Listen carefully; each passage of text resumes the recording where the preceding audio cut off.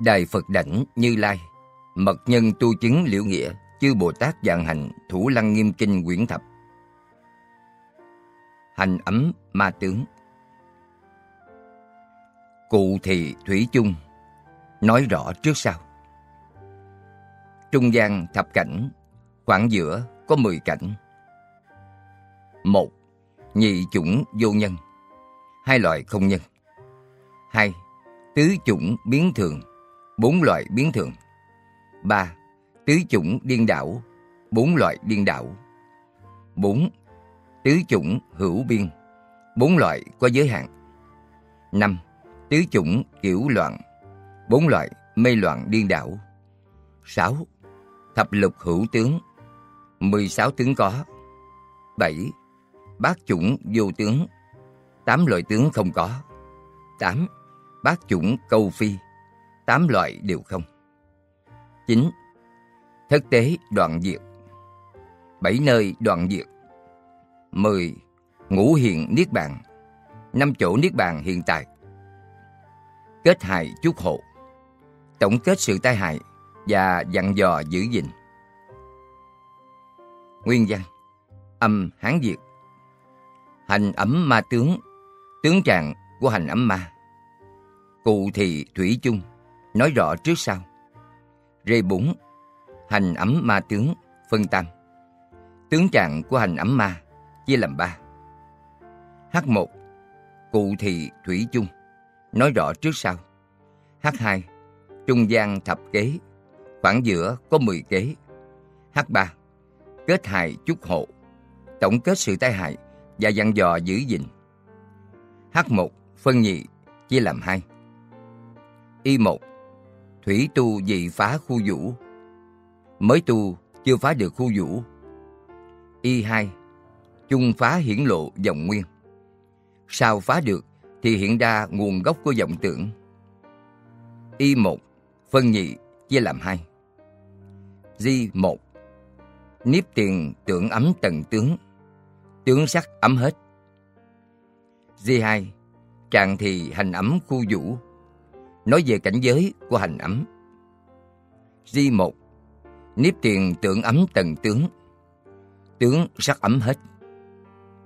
A Nan, bí thiền nam tử, tu tam ma địa, tưởng ấm tầng giả, thì nhân bình thường mộng tưởng tiêu diệt, ngụ mì hằng nhất, giác minh hư tịnh, do như thanh không, vô phục thô chủng tiền trần ảnh sự, quán chư thế gian đại địa sơn hà, như cảnh giám minh, lai vô sở niêm, qua vô tông tích, hư thọ chiếu ứng, liễu võng trần tập, duy nhất tinh chân.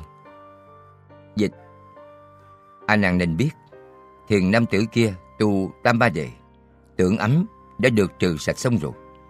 Vậy người như thế ở trong cuộc sống, sinh hoạt hàng ngày, tiêu diệt vọng loạn và các mộng tưởng, thức ngủ như một, thảy đều sáng suốt. Giác minh rỗng lặng như hư không sạch, không còn ảnh sự tiền trần thô trọng. Nhìn xem núi sông, đất đai thế gian, như gương soi sáng, đến không dướng mắt, qua rồi không hề để lại dấu vết. Hư thọ chiếu ứng. Các tập khí cũ đều không còn nữa, chỉ thuần một tính gọi là tinh chân. Giảng A Nan, bỉ thiện nam tử. Này A Nan, vị thiện nam tử kia, vị thiện nam tử nào tức là người tu phản văn văn tự tánh, tu đại định lăng nghiêm. Người đó là ai? Người nào tu tức là người đó, không có nhất định tên, không có độc quyền.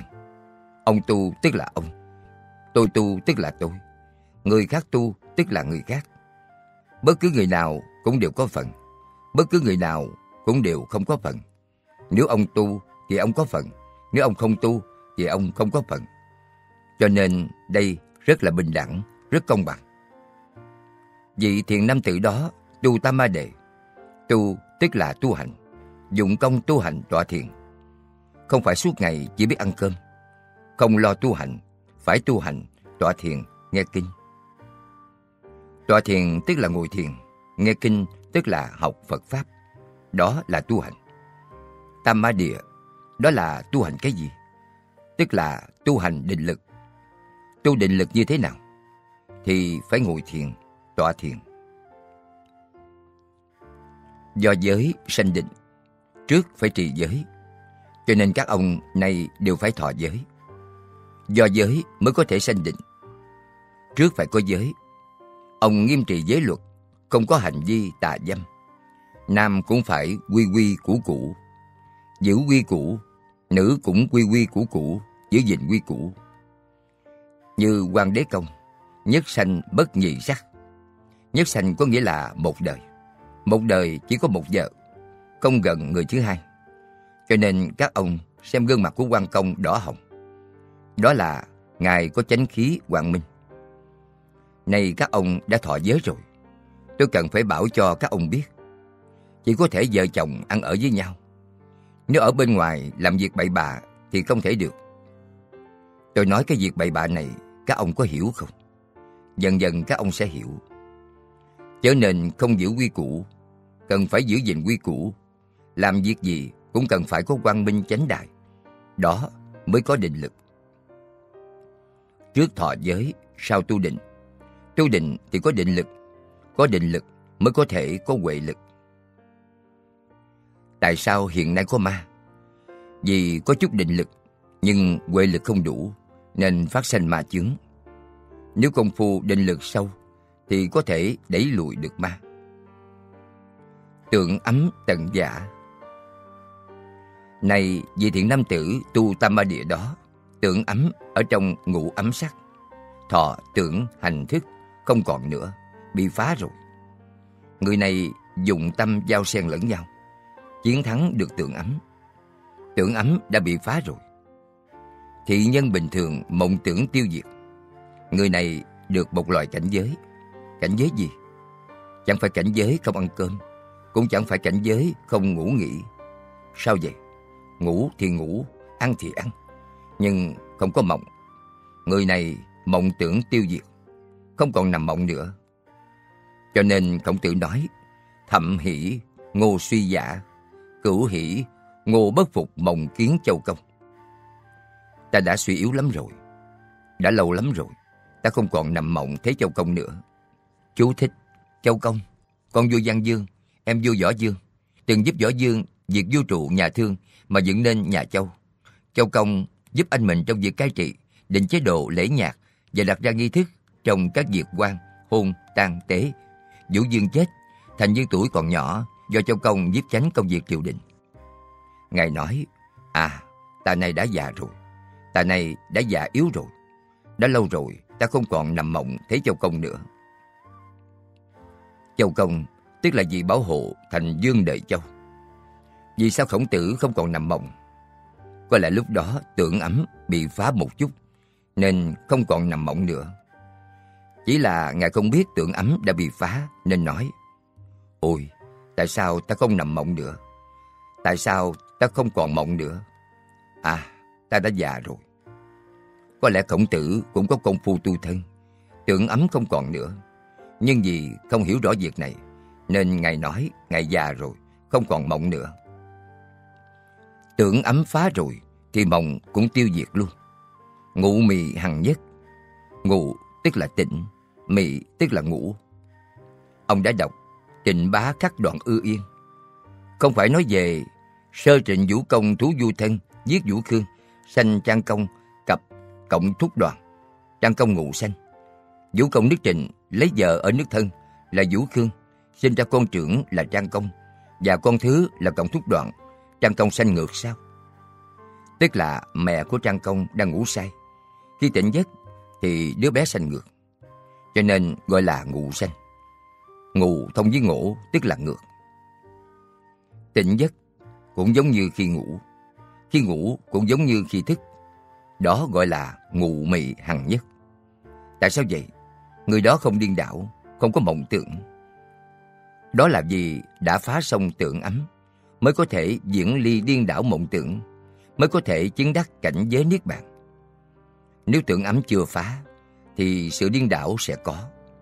Cho nên ở chỗ này cần phải chú ý. Chúng ta nghiên cứu Phật Pháp. Kinh Lăng Nghiêm nói về năm ấm rất quan trọng. Còn có lục kết. Ông giải thích lục kết như thế nào? Nếu ông biết thì có thể giải. Nếu ông không biết, ông sẽ không bao giờ giải được. Kết đó sẽ cột chặt ông lại. Cột chặt ông lại thì ông không thể tự do. Nếu ông mở ra được thì được tự do. Giác minh hư tịnh Khi giác minh hư tịnh, ngụ mị hằng nhất. Người này ngủ cũng là thức, thức cũng giống như ngủ. Đây là cảnh giới gì? vốn là người này ngủ rất ít, rất nhẹ nhàng nhắm mắt. Người ấy dưỡng thần đầy đủ, không giống như một số người kia, suốt ngày ngủ từ sáng đến tối, buổi tối lại ngủ cho đến sáng, ngủ không bao giờ đủ. Tại sao ngủ không đủ? Vì tưởng ấm chưa phá, cho nên hôn trầm rất nặng. Tưởng ấm phá rồi thì sẽ tỉnh tỉnh táo táo, rõ rõ ràng ràng, ngủ mị hằng nhất, tỉnh và thức giống nhau, ngủ và tỉnh đều giống nhau không có phân biệt. Cho nên người ấy ngủ rồi, ông nói chuyện người này cũng có thể nghe được. Cảnh giới này rất di diệu. Ông không nên nghĩ rằng người ấy đã ngủ rồi, nói xấu người ấy, người ấy sẽ biết được ngay. Ông nói người ấy không tốt, người ấy biết được liền. Chỉ là không nói thẳng cho ông biết thôi. À, ông xem cảnh giới đó như diệu biết bao. Cho nên tại sao người trên trời không ăn cũng không ngủ, vì thiên nhân thường tỉnh táo, minh mẫn, sáng suốt. Do như thanh không, cảnh giới giác minh hư tịnh như thế nào? Giống như bầu trời dạng dặm không mây. Bầu trời trong sáng, ánh sáng mặt trời chiếu diệu khắp nơi. Vô phục thô chủng tiền trần ảnh sự. Những tình cảnh thô nặng đều không còn. Những trận ảnh phía trước, tất cả mọi việc đều không còn nữa. Quán chư thế gian đại địa Sơn Hà, như cảnh giám minh. Người ấy nhìn thấy tất cả Sơn Hà đại địa ở thế gian, như gương chiếu vật. Khi chiếu thì tâm của người này có, khi vật đi qua thì không còn nữa, không lưu lại dấu vết, giống như một tấm kiến trong sáng. Lai vô sở niêm, cảnh giới gì đến cũng không cố chấp vào cảnh giới đó. Vô sở niêm, đến không dướng mắt, tức là không chấp trước. Qua vô tông tích, đi qua rồi thì không còn nữa. Đó là câu quá khứ tâm bất khả đắc, hiện tại tâm bất khả đắc, vì lai tâm bất khả đắc. Ba tâm không có chỗ đắc, cho nên cảnh giới gì đến cũng không dính mắt chấp trước, đi thì cũng không có tông tích. Hư thọ chiếu ứng, liễu võng trần tập. Trần tức là cũ, tập là tập khí, võng là không có, liễu là không. Tình cảnh hư thọ chiếu ứng làm cho những tập khí trước kia không còn nữa. Những tập khí cũ, tập khí thúi, tập khí ác, tập khí xấu đều không còn nữa. Ông xem, có người vừa nói chuyện thì rất thúi, đó là tập khí thúi. Có người khi nói thì rất xấu, đó là tập khí xấu. Có người cống cao ngã mạng, nói tóm lại tập khí quá nhiều. Vì thế, những tập khí này đều không còn nữa. Đó gọi là liễu võng trần tập. Các tập khí cũ đều không còn nữa. Duy nhất tinh chân. Duy nhất là cái gì? Tức là niệm tinh chân. Niệm này là cái gì? Tức là thức thứ tám. Duy nhất tinh chân này tức là thức thứ tám. Vào lúc đó, thức thứ sáu, thức thứ bảy đều không còn nữa. Đến chỗ này, tức là thức thứ tám. Vừa chuyển tức là đại dương cảnh trí của Phật. Cho nên đến chỗ này, người này vẫn chưa chuyển, đó là duy nhất tinh chân. Lời ban biên tập Dưới đây là phần giảng của Thượng Nhân năm 80. Ngụ mị hằng nhất Người này ngủ và thức đều giống nhau, không có gì phân biệt. Tức là nhân của người này không còn nữa, không còn mộng tưởng, vì khi người này ngủ cũng rất tỉnh táo, khi tỉnh và thức gần như nhau thôi. Người này rất tỉnh táo, cho nên không có mộng tưởng. Vừa rồi quả địa nói là chánh định cần phải giữ giới. Đây là một lý luận hết sức chính xác.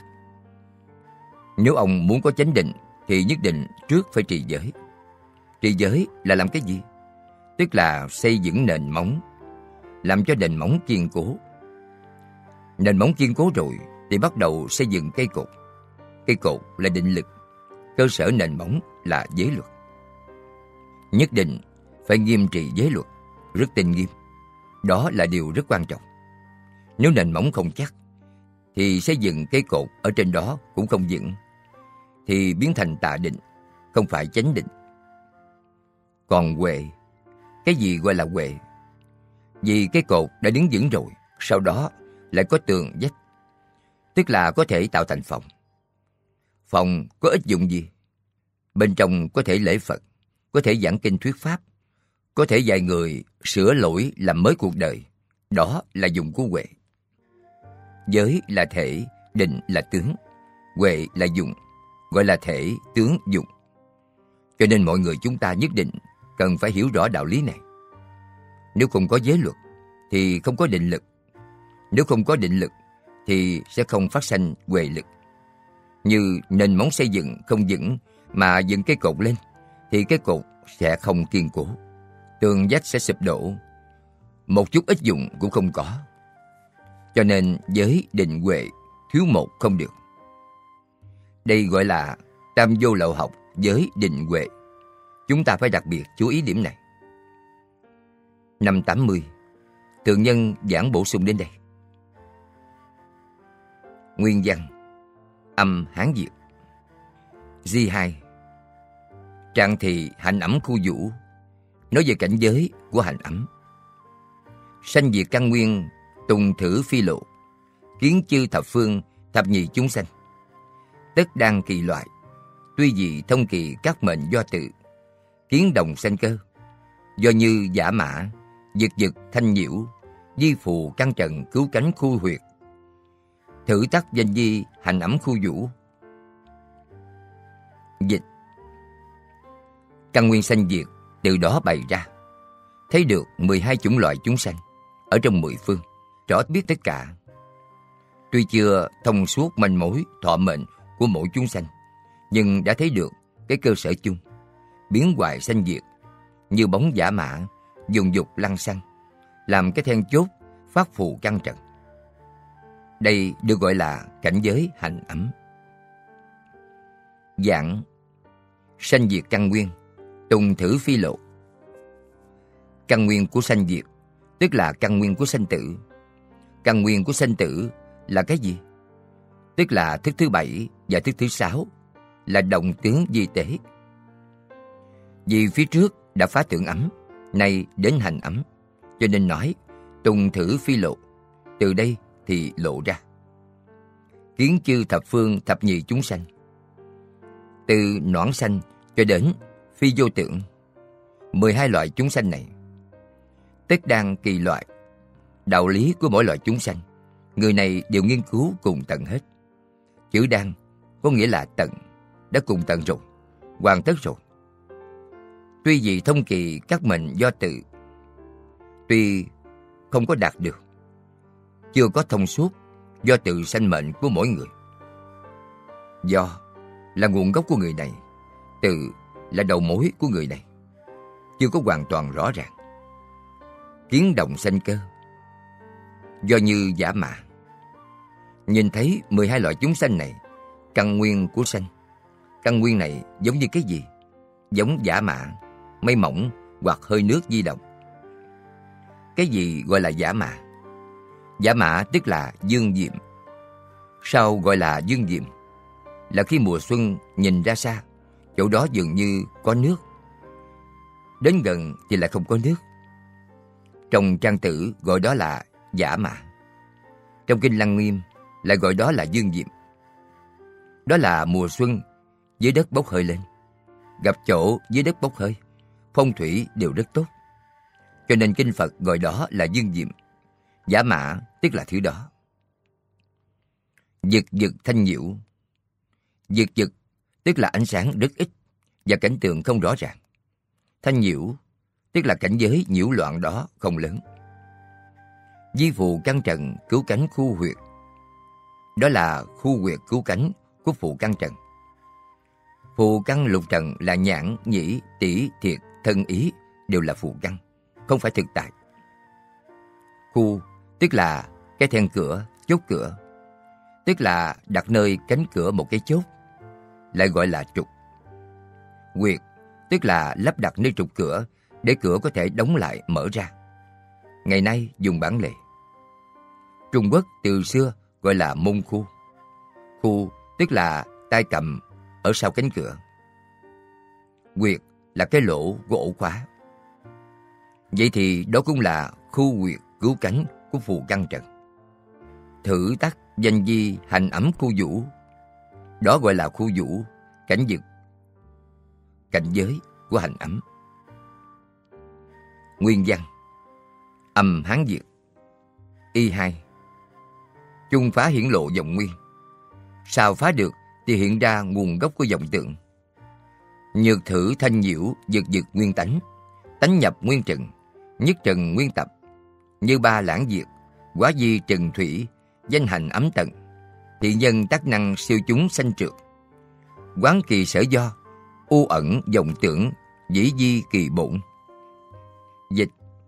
Nếu như tánh thể cội nguồn Của những chớp nhoáng lăng xăng Nhập vào bản tánh vắng lặng bổn nguyên, Thì các tập khí, thảy đều không còn.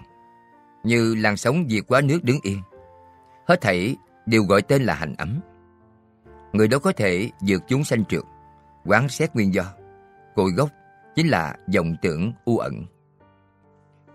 Giảng Nhược thử thanh nhiễu dược dược nguyên tánh Tánh nhập nguyên trần. Tức là nói Cái dạng dược dược thanh nhiễu Có ánh sáng nhỏ yếu Có dạng ánh sáng yếu. Chú thích Thanh nhiễu Thanh là kinh thanh, nhẹ trong Không giống như sự thô trọng, tô nặng của tượng ấm Nhiễu là nhiễu động Không có trừng trạm của thức ấm Kinh Phật Đảnh Thủ Lăng Nghiêm giảng giải Hòa Thượng Thích Viên Anh Tính chất này lâu dài thì nhập vào bản tánh vắng lặng bổn nguyên thì sẽ đứng yên lắng trong. Nhất trần nguyên tập như ba lãng diệt. Đã đứng yên lắng trong rồi thì loại tánh bản lai đó sẽ hiện ra. Tập khí cũng không còn nữa.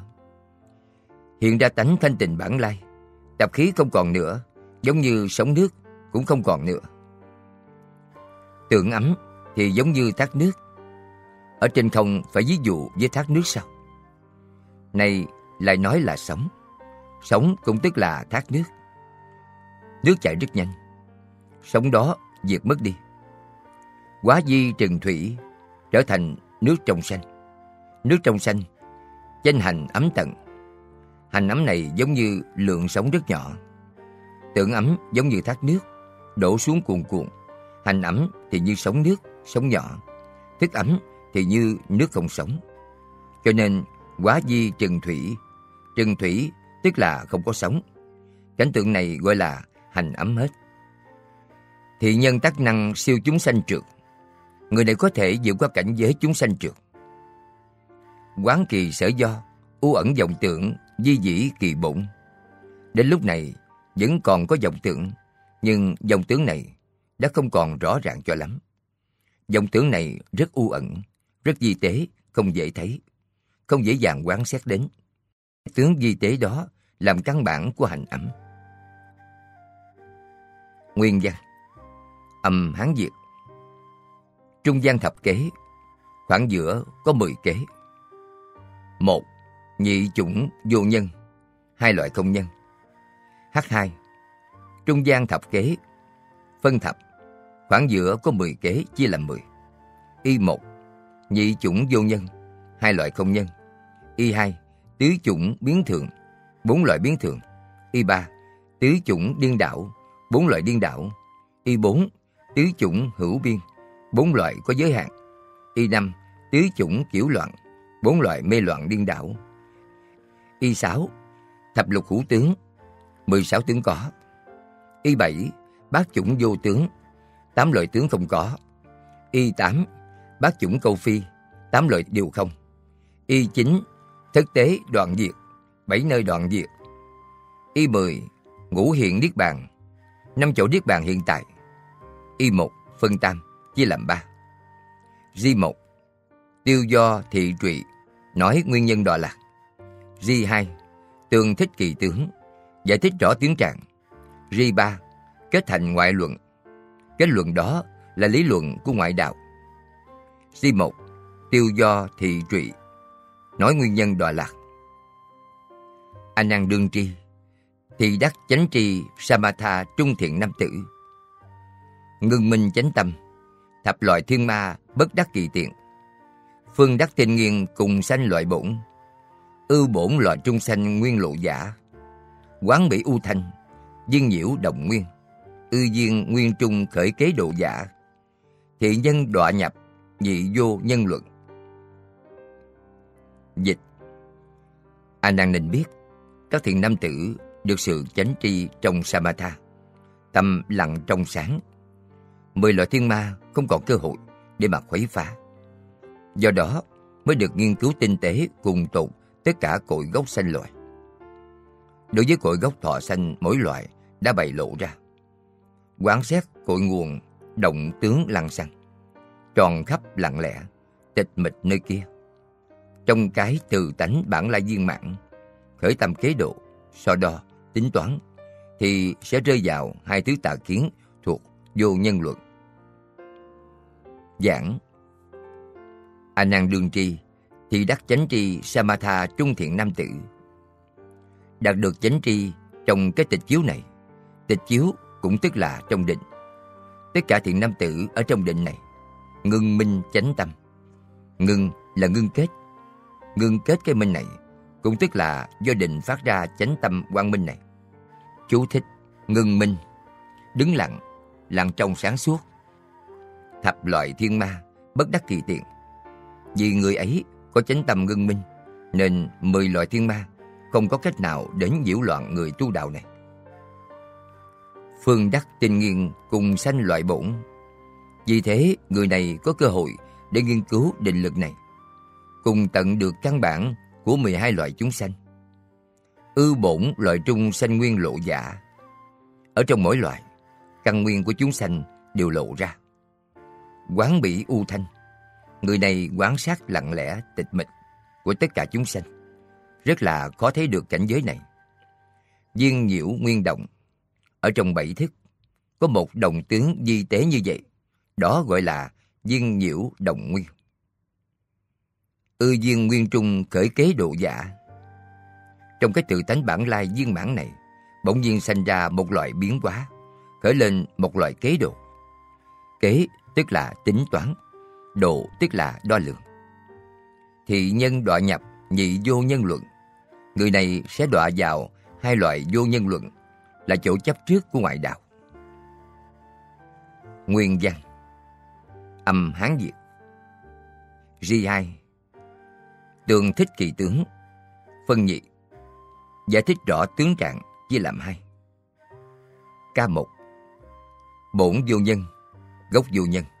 K2 Mạc vô nhân Ngọn vô nhân K1 phân tam Chia làm 3.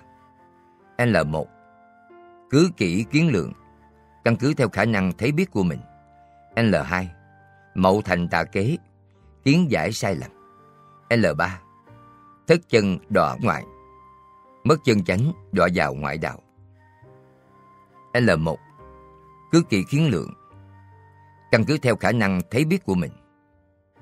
Nhất giả, thị nhân kiến bổn dụ nhân, hà dĩ cố, thị nhân ký đắc sanh cơ toàn phá, thừa ư nhãn căn bác bách công đức, kiến bác vàng kiếp, sở hữu chúng sanh, nghiệp lưu loan hoàng, tử thử sanh bỉ, chỉ kiến chúng sanh luân hồi kỳ xứ, bác dạng kiếp ngoại, minh vô sở quán. Dịch Một là người đó thấy gốc vô nhân. Vì sao như thế? Người đó hoàn toàn phá được sanh cơ. Nương theo 800 công đức nhãn căn, thấy được tất cả, mọi loại chúng sanh. Trong tám muôn kiếp, đều do dòng nghiệp mà xoay dần theo chết đây sanh kia. Chỉ thấy chúng sanh luân hồi trong đó Ngoài tám muôn kiếp thì lại mờ mịt, không trông thấy gì. Giảng Nhất giả thì nhân, kiến bổn vô nhân. Hai loại vô nhân luận này, loại thứ nhất là người này nhìn thấy người khác vốn không có nhân mà làm người. Hà dĩ cố, tại sao vậy? Thị nhân ký đắc, sanh cơ toàn phá. Tưởng ấm của người này đã đoạn trừ. Đó gọi là sanh cơ toàn phá. Chú thích sanh cơ, tức hành ấm, phá tức là hiển bày ra. Đoạn văn trên đã nói nguồn gốc sanh diệt từ đây phơi bày ra, là nghĩa đó vậy. Kinh Phật Đảnh Thủ Lăng Nghiêm giảng giải, Hòa Thượng Thích Viên Anh. Hành ấm như sống nhỏ. Sau khi phá được tượng ấm, đó gọi là sanh cơ toàn phá. Sanh cơ là gì? Tức là cơ hội sanh khởi vọng tưởng hoàn toàn bị phá hết. Không còn vọng tưởng nữa. Tại sao ở trên nói phá tượng ấm thì không còn vọng nữa? Vì người này đã phá cơ hội sanh vọng tưởng. Thừa ư nhãn căn, bát bách công đức. Người này dùng 800 công đức của nhãn căn. Mỗi một căn, nếu viên mãn, không phải có 1.200 công đức sao? Vì nhãn căn không vẹn toàn, cho nên chỉ có 800 công đức. Vậy thì người ấy dùng 800 công đức của nhãn căn. Kiến bát vàng kiếp, sở hữu chúng sanh, nghiệp lưu loan hoàng, tử thử sanh bỉ. Vì tưởng ấm đã phá, cho nên có thể nhìn thấy những việc trong tám dạng kiếp. Thấy tất cả chúng sanh trong tám dạng kiếp, ở trong dòng nghiệp lực mà xoay dần. Chúng sanh đang ở trong dòng chảy tạo nghiệp. Trong dòng chảy tạo nghiệp đó, chết ở đây, sanh ở kia. Nghiệp lưu loan hoàng, cũng tức là nghiệp ở thế giới này giống như một dòng chảy, giống như biển vậy.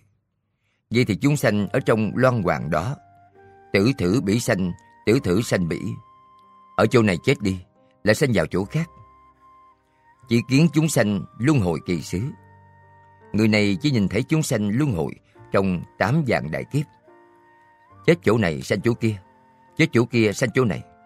Luân hồi xen lẫn như thế ở chỗ đó. Bát dạng kiếp ngoại, minh vô sở quán. Những việc ở ngoài tám dạng đại kiếp, người này đều không biết. Nguyên văn Âm Hán Việt L2 Mậu thành tà kế Kiến giải sai lầm Tiện tác thị giải Thử đẳng thế gian thập phương chúng sanh, Bát dạng kiếp lai, Vô nhân tự hữu. Dịch. Vì thế người này khởi lên kiến giải, Mười phương chúng sanh trong thế gian này Trước táp dạng kiếp, Cho đến hôm nay Đều không nhân duyên Mà là tự có. Giảng. Tiện tác thị giải. Người này có một loại kiến giải như thế, Vì người này không nhìn thấy những việc ở ngoài tám dạng đại kiếp. Vì thế mới có một phán đoán. Phán đoán gì? Người này nói, Thử đặng thế gian thập phương chúng sanh, Bát dạng kiếp lai, Vô nhân tự hữu. À Tất cả chúng sanh ở khắp mười phương Trong tám dạng đại kiếp đến nay Đều không có nhân duyên gì Tự mình sanh ra, Tự mình có. Nguyên văn, Âm Hán Việt L3 Thất chân đọa ngoại. Mất chánh kiến đọa vào ngoại đạo. Do thử kế độ dòng chánh biến tri Đọa lạc ngoại đạo hoặc bồ đề tánh. Dịch. Do kế độ này mất chánh biến tri Nên đọa lạc vào tà kiến ngoại đạo. Vì thế mê hoặc chân tánh bồ đề. Giảng Do thử kế độ, dòng chánh biến tri. Do vì người này kế độ ở bên ngoài, là mất đi chánh tri, biến tri. Đọa lạc ngoại đạo hoặc bồ đề tánh, sẽ đọa lạc vào trong dòng ngoại đạo, mê hoặc bồ đề tâm tánh của mình. Nguyên văn Âm Hán Việt K2 Mạc vô nhân phân tam chia làm ba L1 Cứ kỹ kiến lượng căn cứ theo khả năng thấy biết của mình. L2. Mậu thành tà kiến, kiến giải sai lầm. L3. thức chân đọa ngoại, mất chánh kiến đọa vào ngoại đạo. L1. Cứ kỹ kiến lượng, căn cứ theo khả năng thấy biết của mình. Nhị giả, thị nhân kiến mạc vô nhân. Hà dĩ cố, thị nhân ư sanh chí kiến kỳ căn. Thiên nhân sanh nhân, ngộ điểu sanh điểu, ô tùng lai hắc, học tùng lai bạch, nhân thiên bổn thụ, súc sanh bổn hoành, bạch phi tẩy thành, hắc phi nhiễm tạo, trùng bát dạng kiếp vô phục cải di. Dịch Hay là người đó thấy rõ ràng rằng tất cả các ngọn đều là vô nhân. Tại vì sao thế? Người đó biết rõ cội gốc sanh diệt, người sanh ra người, chim sanh ra chim, quả xưa nay đen, ngỗng trời luôn trắng, Người cũng như trời, thân vốn đứng thẳng. Thân của súc sanh vốn thường nằm ngang. Màu trắng tự nhiên, không do tẩy rửa. Màu đen cũng thế, không nhuộm cũng đen. Từ tám muôn kiếp cho đến ngày nay, không hề dời đổi. Giảng Nhị giả Loại thứ hai là cái gì? Thị nhân kiến mặt vô nhân Loại thứ nhất là kiến bổn vô nhân Loại thứ hai là kiến mặt vô nhân Hà dĩ cố Tại sao vậy? Thị nhân ư sanh chí kiến kỳ căn. Người này thấy được căn nguyên của tất cả chúng sanh. Tri nhân sanh nhân Ngộ điểu sanh điểu. Bản thân người này dường như được khai ngộ Sanh được đại trí huệ. Người này đã biết. Biết cái gì? Ồ, người này đời đời kiếp kiếp đều làm người. Người thì mãi sanh làm người Chim đời đời kiếp kiếp đều làm chim. Ô tùng lai hắc, học tùng lai bạch. Chim quạ từ xưa đến nay màu đen. Cũng không cần dùng thuốc nhuộm. Nó vốn là màu đen. Diêm học vốn sanh ra thì là màu trắng. Nhân thiên bổn thụ, Súc sanh bổn hoành. Người và chư thiên ở cõi trời Đều đứng thẳng để đi. Súc sanh thì đi ngang, Bốn chân đi trên mặt đất. Đều có sự nhất định. Bạch phi, tẩy thành, Hắc phi, nhiễm tạo. Màu trắng này không phải tẩy rửa Mà thành màu trắng. Màu đen như chim quạ là màu đen Cũng không cần dùng màu nhuộm thành. Tùng bát vàng kiếp vô phục cải di. Trong tám vàng đại kiếp Những thứ đó đều không có thay đổi Không có cải biến. Lời ban biên tập. Dưới đây là phần giảng của Thượng Nhân tháng 1 năm 1983 Đệ tử. Người này đã nhìn thấy những sự việc trong hai dạng, bốn dạng, tám dạng Lâu xa như vậy, Tại sao không nhìn thấy người luân hồi trong lục đạo, Lại sanh vào chúng sanh khác? Thường nhân, Câu hỏi này rất hay. Ông nên biết những gì mà người này thấy được. Tuy nó là hai dạng đại kiếp, Kỳ thực chỉ là ở trong cái hy vọng. Một niệm là vô lượng kiếp, Vô lượng kiếp là một niệm. Người ấy cảm thấy là hai dạng kiếp, Kỳ thực đều không nhất định như vậy. Vì người này đang ở trong cảnh giới hư vọng, Là một loại vọng tưởng đang chi phối người này, Mới có vọng cảnh đó hiện ra. Không phải là thực tại. Cho nên người này nhìn thấy con heo Trong hai dạng đại kiếp làm heo, Nhìn thấy trâu Cũng là trong hai dạng đại kiếp làm trâu. Người này cảm thấy như vậy, Kỳ thực đó không phải chính xác. Nếu là chính xác, Thật sự là hai dạng đại kiếp, Đương nhiên trong dòng luân hồi lục đạo Heo không phải chỉ làm heo. Vậy thì người ấy nói đều giống nhau như vậy. Đã chứng minh những gì của người này đều là giả. Người này nói nhìn thấy hai dạng đại kiếp Không nhất định là hai dạng đại kiếp.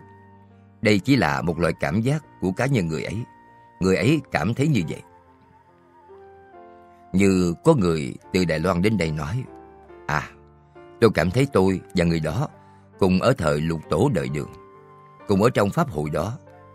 Kỳ thực đây là cảnh giới này. Người ấy cảm thấy, vì cảm thấy nên tất cả sự tình không phải là chân thực. Nếu là chân thực, thì phải có chứng cứ.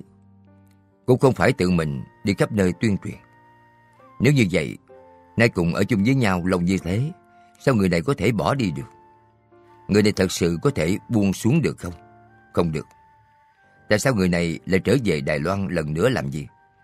Chính vì nói như vậy làm cho vàng thao lẫn lộn, điên đảo thị phi, khiến người không nhận thức được rõ ràng. Ồ, người ấy thật là tài giỏi, người ấy thật là như thế, như thế. Ông xem, người ấy biết đời đường cùng ở chung với ai đó.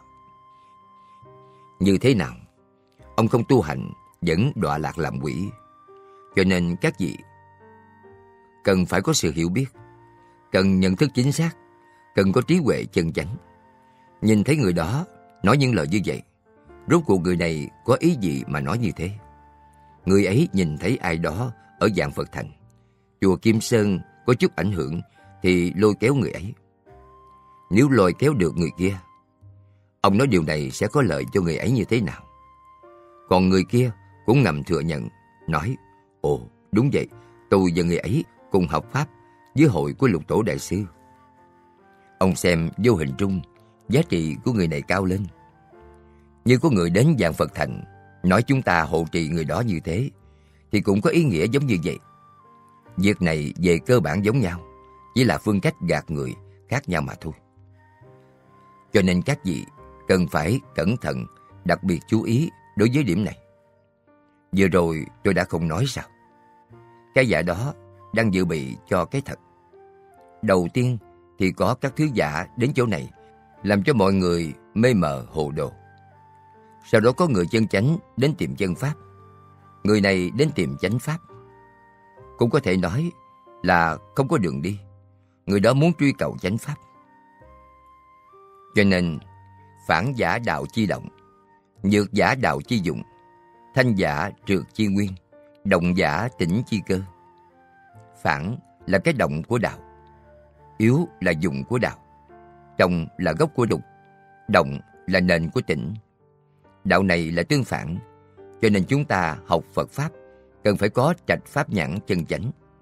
Cần phải biết rõ là Pháp, phi Pháp, hắc Pháp, bạch Pháp, chánh Pháp, tà Pháp. Không sợ người đó là tà, là chánh, là đen, là trắng, là thiện Pháp, là ác Pháp. Chỉ cần ông nhận thức được là tốt. Nếu không nhận thức được, vì ở đó hồ hồ đồ đồ. Chân thật cũng không nhận thức được, giả cũng không hiểu. Từ sáng tới tối, nuốt luôn cả quả táo, ăn mà không biết mùi vị, thật là tệ hại. Cho nên chúng ta ở đây cần phải nghiên cứu Kinh Lăng Nghiêm. Kinh Lăng Nghiêm chúng ta thường phải nghiên cứu. Câu đối ở ngoài cửa chùa chúng ta là Hoa Nghiêm Pháp Hội, Lăng Nghiêm Đạo Tràng. Chỗ chúng ta là Lăng Nghiêm Đạo Tràng. Cho nên nghiên cứu xong 50 loại ấm ma là nghiên cứu 25 viên thông. Nghiên cứu xong 25 loại viên thông là nghiên cứu bốn loại thanh tịnh minh hối. Sau đó, chúng ta nghiên cứu cho rõ ràng từng đoạn, từng đoạn, từng bộ phận. Này có một số ma con, ma cháu, một số yêu ma quỷ quái thường nói Kinh Lăng Nghiêm là giả. Họ nói như thế khiến người sinh lòng hoài nghi, không có tính tâm. Ồ, Kinh Lăng Nghiêm là giả, nói tới nói lui đều là giả. Chúng ta cũng nói đạo lý. Bất luận người đó là giả hay thật. Nếu nói có lý thì chúng ta tin theo. Nói không có lý, nói không phù hợp chánh pháp, không phù hợp với luật, thì dù có thật, chúng ta cũng cho đó là giả. Cho nên thật giả có thể phân biệt từ đâu? Phân biệt từ hắc pháp, bạch pháp. Ồ, ông cũng hồ đồ hỗn độn. Những thứ tà tri tà kiến đó, ông lại nói là đúng. Còn chánh tri chánh kiến, ông nói đó là sai.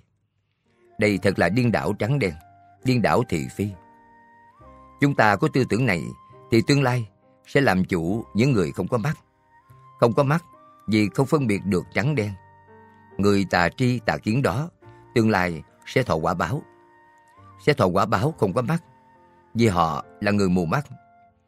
Làm cho người tìm không ra đường chánh. Cho nên điểm này các vị cần phải đặc biệt chú ý. Nhân quả này rất là lợi hại. Không sai chạy mãi mãi. Do kinh nghiệm một đời của tôi, tôi biết không nên làm việc sai. Làm sai một việc nhỏ thì quả báo sẽ đến ngay. Tháng 1 năm 1983, Thượng Nhân giảng bổ sung đến đây. Nguyên văn, Âm Hán Việt. L2 Mậu thành tà kế kiến giải sai lầm. Kim tận thử hình Diệt phục như thị, Như ngã bổn lai bất kiến bộ đề. Dân hà cánh hữu thành bộ đề sự. Đường tri kim nhật, Nhất thiết vật tượng gia bổn du nhân. Dịch. Này, nơi cùng tầng của sinh mệnh này, Cũng là như vậy, Mà ta xưa nay không thấy bộ đề. Làm sao có chuyện thành tựu bồ đề Nên biết tất cả vật tượng ngày nay vốn không nhân duyên Giảng Kim tận thử hình diệt phục như thị Người này có thể nhìn thấy những sự việc trong tám dạng đại kiếp.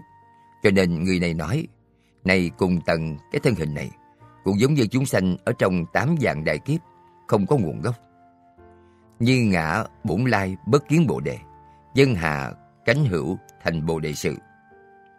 Người này nói, ở trong tám dạng đại kiếp, tôi vốn không nhìn thấy bộ đề là tướng trạng gì.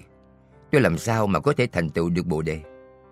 Đường tri kim nhật, nhất thiết vật tượng, giai bổn vô nhân. Người này lại nói, cần phải biết tất cả vật tượng, hoàn toàn không có nhân duyên mà có thể sinh ra. Kỳ thật người này chỉ biết những việc trong tám dạng đại kiếp, mà không biết những việc ở ngoài tám dạng đại kiếp. Khi Phật trụ thế, có một ông già muốn đến chùa xuất gia. Vì lúc đó, Phật đang ở bên ngoài, không ở trong chùa. Tất cả đệ tử A-la-hán nhìn thấy ông già này hơn 80 tuổi rồi, da nhăn, tóc bạc, đi đứng khó khăn. Phàm là người muốn xuất gia, các vị A-la-hán đều phải quán xét tiền nhân hậu quả của người này.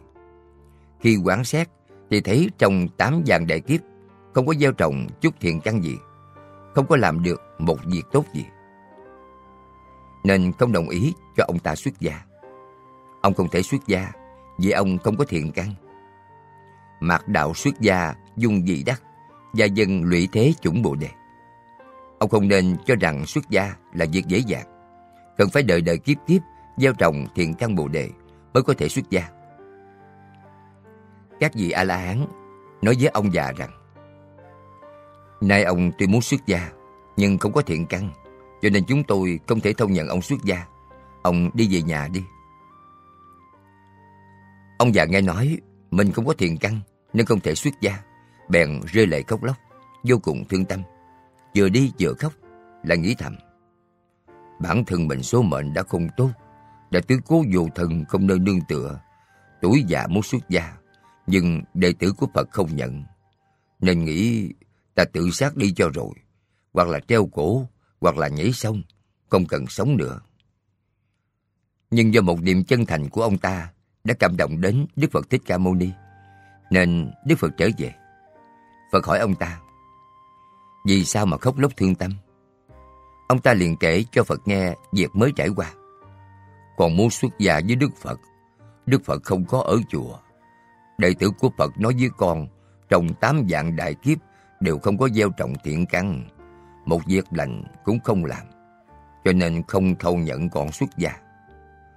Vì như thế, còn nghĩ sống cũng không có ý nghĩa gì, chỉ bằng chết cho xong, cho nên còn rất buồn thảm. Phật an ủi ông ta rằng, ông không nên khóc nữa. Ta cho phép ông xuất gia, ta giúp cho ông xuất gia, ông trở lại với ta. Vì thế ông già theo Phật trở về chùa, Đức Phật cho phép ông xuất gia. Chúng đệ tử bèn sinh lòng hoài nghi. Rất là kỳ lạ, Đức Phật thâu đệ tử đều yêu cầu phải có thiện căn. Ông già này vốn không có thiện căn, tại sao Phật cho phép người này xuất gia? Bèn hỏi Phật, tại sao thâu ông này xuất gia? Phật nói, các ông là những vị A-la-hán, chỉ có thể nhìn thấy những việc trong tám dạng đại kiếp, mà không thể biết được những việc ở trước tám dạng đại kiếp. Thực ra ông già này, tám dạng đại kiếp về trước, là một người tiều phu, thường lên núi đốn củi.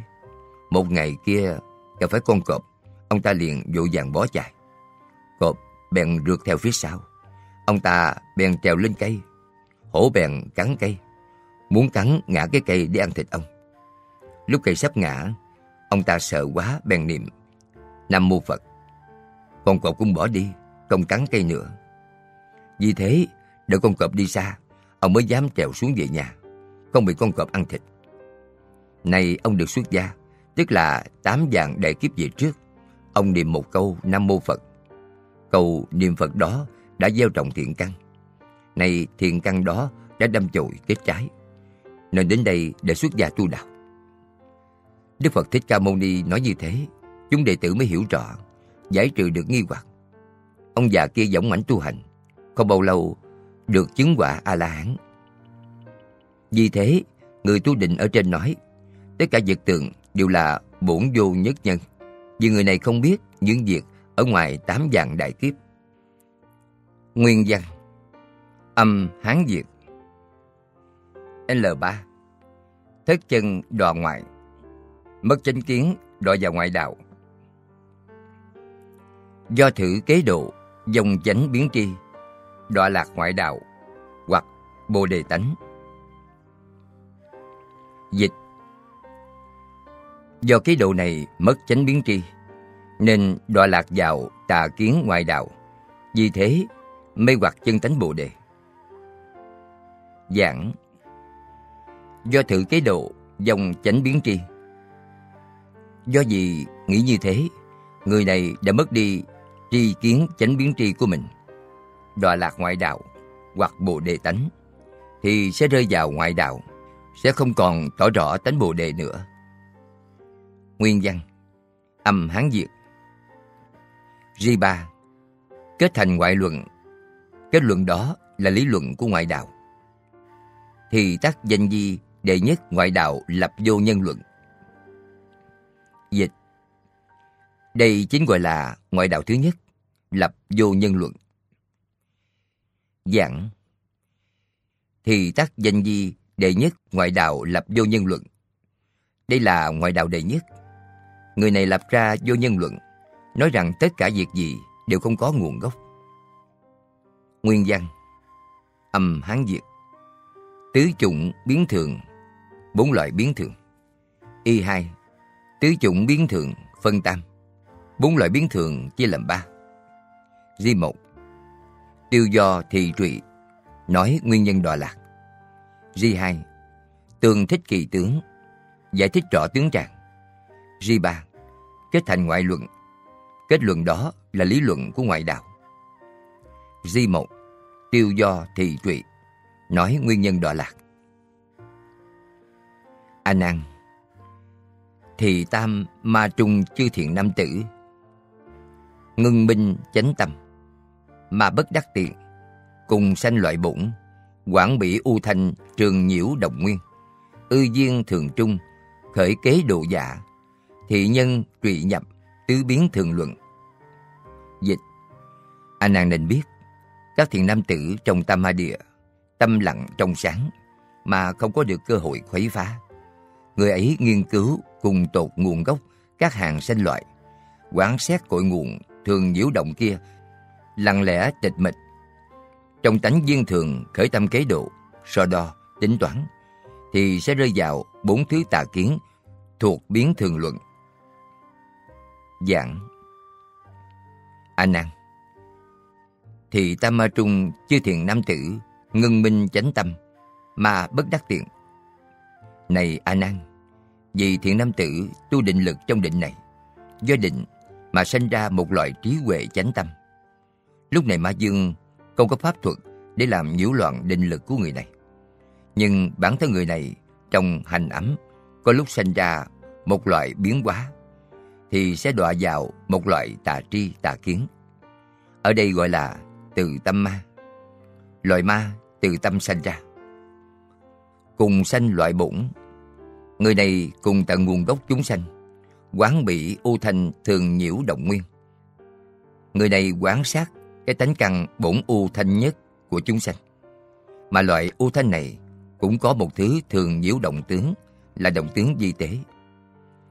U duyên thường trung khởi kế độ giả.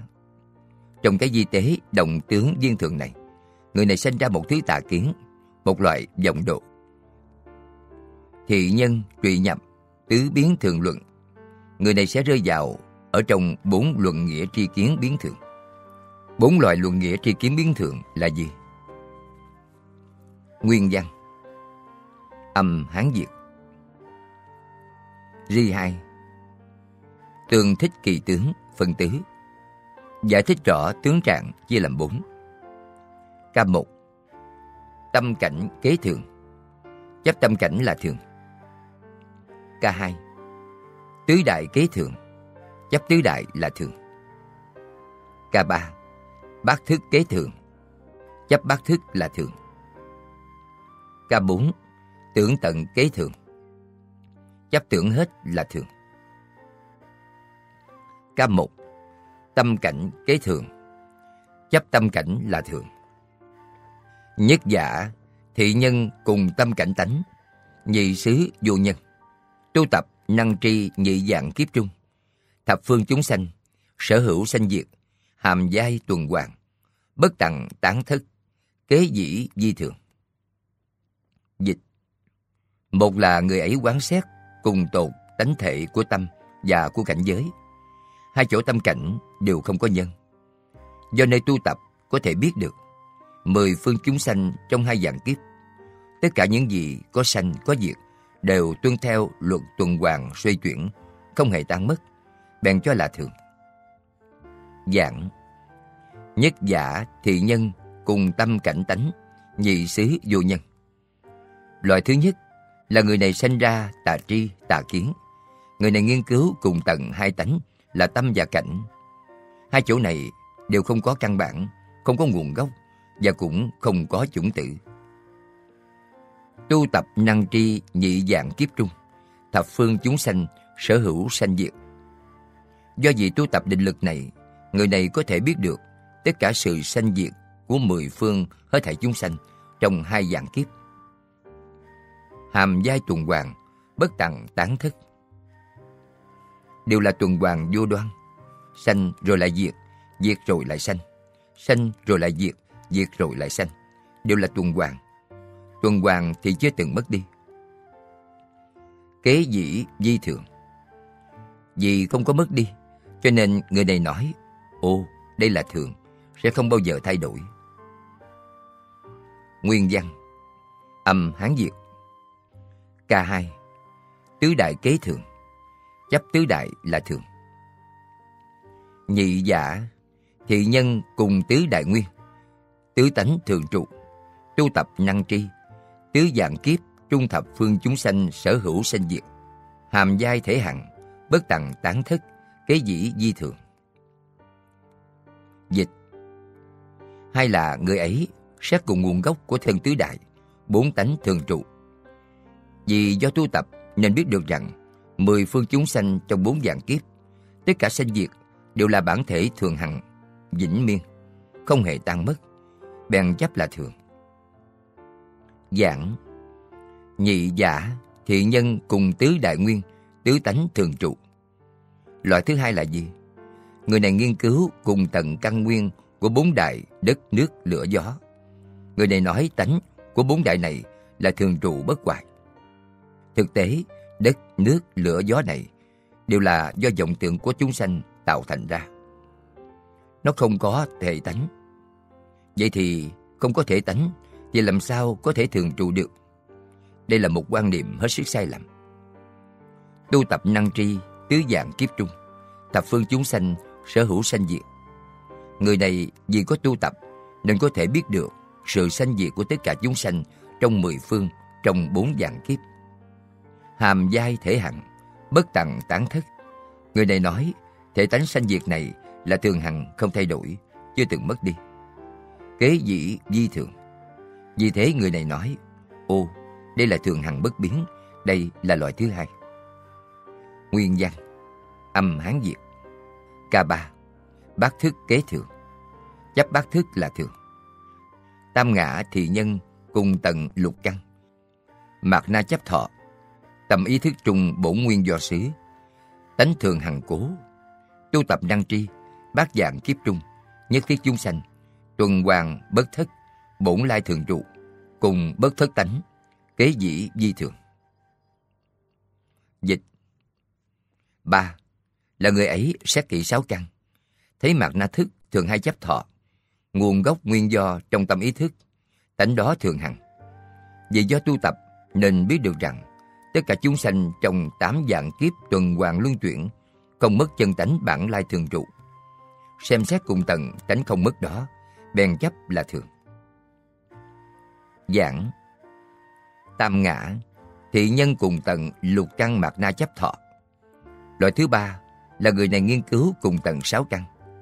Sáu căn tức là ý thức thứ sáu. Ý thức thứ sáu và mạt na thức. Chấp thọ tức là thức thứ tám. Mạt na thức ở trên đã nhắc đến đó gọi là nhiễm ô, tức là nhiễm ô thức. Tâm ý thức trung bổ nguyên do xứ, tánh thường hàng cổ.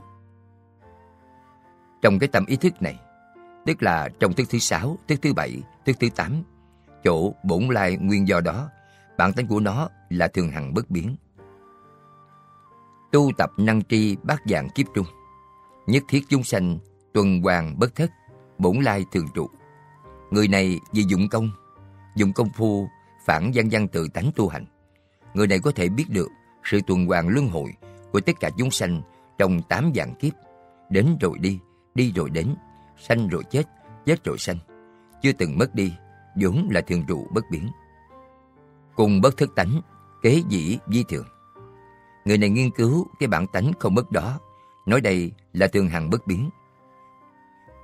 Nguyên văn Âm Hán Việt K4 Tưởng tận kế thường Chấp tưởng hết là thường Tứ giả thiện nhân ký tận tưởng nguyên Sanh lý cánh vô lưu chỉ dần chuyển Sanh diệt tưởng tâm Kim dĩ, vĩnh diệt, Lý trung tự nhiên, thành bất sanh diệt, Nhân tâm sở độ, Kế dĩ di thường Dịch Bốn là người ấy nghiên cứu tường tận nguyên do tưởng ấm. Cái lý sanh diệt không còn vận chuyển trôi chảy dừng lặng. Tâm tưởng sanh diệt vĩnh viễn diệt trừ. Trong lý tự nhiên mà thành ra thứ không sanh không diệt. Vì tâm kế độ chấp cho làm thường. Giảng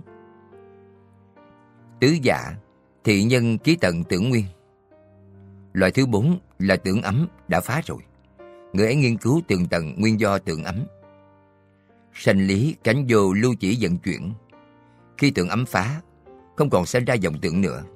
Ý niệm cũng có định lực, cũng ngưng minh chánh tâm. Không còn lại sinh ra dòng tưởng nữa. Khi hành ấm trôi chảy dừng lặng, sanh diệt tưởng ấm, kim dĩ vĩnh diệt, lý trùng tự nhiên thành bất sanh diệt.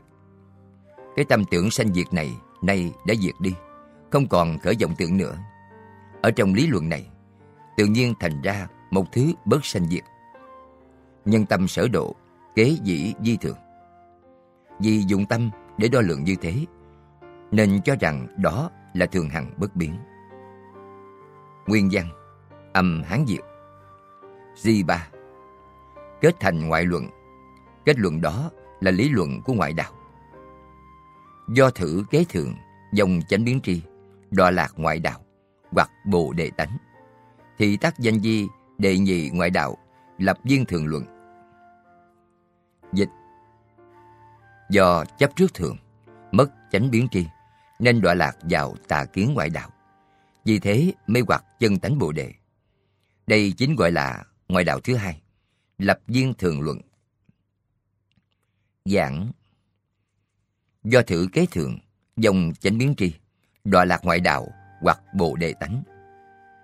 Vì người này kế độ bốn loại biến thường luận, cho nên mất đi trí huệ chánh biến tri, rơi vào trong lý luận của ngoại đạo. Vì rơi vào lý luận của ngoại đạo, cho nên không rõ ràng, không tỏ rõ tánh bộ đề, sanh ra một loại mê hoặc. Thì tác danh di đệ nhị ngoại đạo, lập viên thường luận. Đó gọi là loại ngoại đạo thứ hai, lập ra viên thường luận Nguyên văn Âm Hán diệt 3. Tứ chủng điên đảo bốn loại điên đảo Y 3. Tứ chủng điên đảo phân tam bốn loại điên đảo chia làm ba Di 1. Tiêu do thị trụy Nói nguyên nhân đọa lạc Di 2. Tường thích kỳ tướng Giải thích rõ tướng trạng Di 3. Kết thành ngoại luận Kết luận đó là lý luận của ngoại đạo Di 1. Tiêu do thị trụy nói nguyên nhân đọa lạc. Hữu tam ma trung chư thiện nam tử, kiên ngưng chánh tâm, ma bất đắc tiện, cùng sanh loại bổn. Quán bị u thanh thường nhiễu động nguyên, ư tự tha trung, khởi kế độ giả, thị nhân trụy nhập, tứ điên đạo kiến. Nhất phân vô thường, nhất phân thường luận. Dịch Lại nữa ở đây, các thiện nam tử trong tam ma địa tâm lặng kiên cố, mà không thể có cơ hội khuấy phá. Người ấy nghiên cứu cùng tột gốc xanh, quán xét cội nguồn lặng lẽ tịch mịch thường nhiễu động kia. Giữa mình và người khởi tâm kế độ, thì người ấy bị rơi vào bốn thứ tà kiến điên đảo. Một phần vô thường, một phần thường luận. Giảng Hù Tam Ma Trung chư thiện nam tử Trong định này, những gì thiện nam tử tu hành đó kiên ngưng chánh tâm, mà bất đắc tiện. Người này vì kiên cố định lực của mình mà có được chánh tâm đó. Cho nên ma không thể có cơ hội làm chướng ngại. Nhưng người này sẽ sinh ra ma tự tâm. Cùng sanh loại bổn, quán bỉ u thanh thường nhiễu động nguyên. Người này nghiên cứu căn nguyên của 12 loại chúng sanh, quán xét căn tánh u ẩn thanh tịnh. Vào lúc đó, tu đến trình độ này thì hành ấm có một loại động tướng di tế. Ư tự tha trung khởi kế độ già. Ở trong bình và người sanh ra một loại kế độ. Thì nhân trụy nhập tứ điên đạo kiến. Người này sanh ra vọng tưởng, phát ra từ tâm ma. Sẽ đọa lạc vào trong bốn loại tà kiến điên đảo.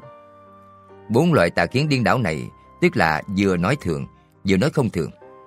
Lại nói cũng sanh cũng diệt, cũng thường cũng vô thường, cũng động cũng tĩnh cũng cấu cũng tịnh, cũng sanh cũng tử. Người này đều nói lời hai bên. Như thế thì không có quyết định từ, đều là hai đầu. Đó cũng tốt, như kia cũng tốt, không có quyết định từ. Nhất phân vô thường, nhất phân thường luận. Hoặc là người này nói đây là vô thường, lại nói là có thường, điên đảo như vậy, không có nhất định, làm cho người mê loạn. Nguyên văn Âm Hán Việt. G2 Tương thích kỳ tướng Phân tứ. Giải thích rõ tướng trạng chia làm bốn. K1 Song ước tự tha. Chấp theo cả hai Mình và người.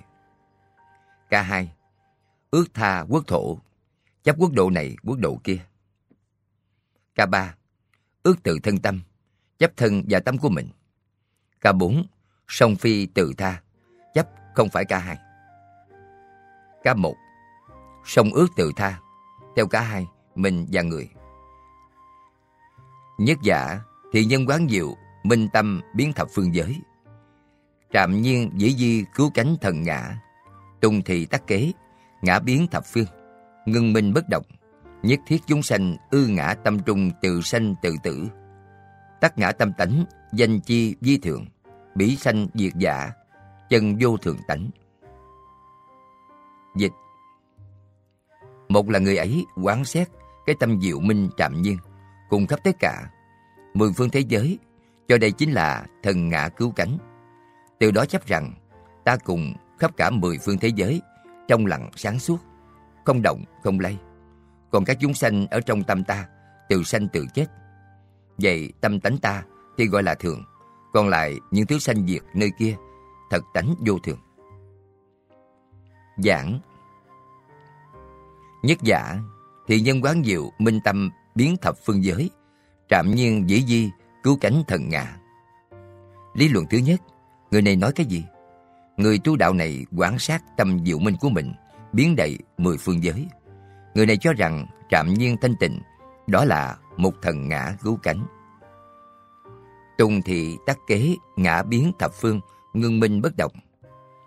Vì người này nhìn thấy tâm của mình biến khắp thập phương giới, cho rằng đó là thần ngã. Từ chỗ đó, người này bèn kế độ, nói rằng tâm của tôi biến mãn mười phương. Ở nơi đó như như bất động, vừa có định lực, vừa có trí huệ. Định huệ viên minh, định huệ bất động. Nhất thiết chúng sanh, ư ngã tâm trung tự sanh tự tử.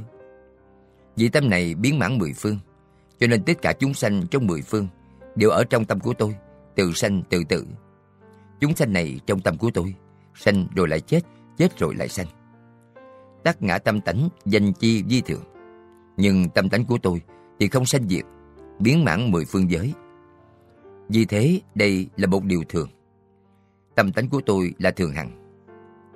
Bỉ sanh diệt giả, chân vô thường tánh. Chúng sanh ở trong tâm của người này sanh rồi lại chết, chết rồi lại sanh. Sanh sanh tử tử, tử tử sanh sanh Tính chất của sự liên tiếp không ngừng này là tánh vô thường. Vì người ấy sanh rồi lại chết, chết rồi lại sanh. Đó là vô thường. Còn tâm của tôi thì thường. Tâm của tôi biến mãn thập phương, là thường trụ bất biến. Nguyên văn Âm Hán Việt K2 Ước tha quốc thổ, dắp quốc độ này quốc độ kia. Nhị giả Thị nhân bất quán kỳ tâm, biến quán thập phương hàng sáu quốc độ kiến kiếp hoài xứ, danh di cứu cánh vô thượng chủng tánh.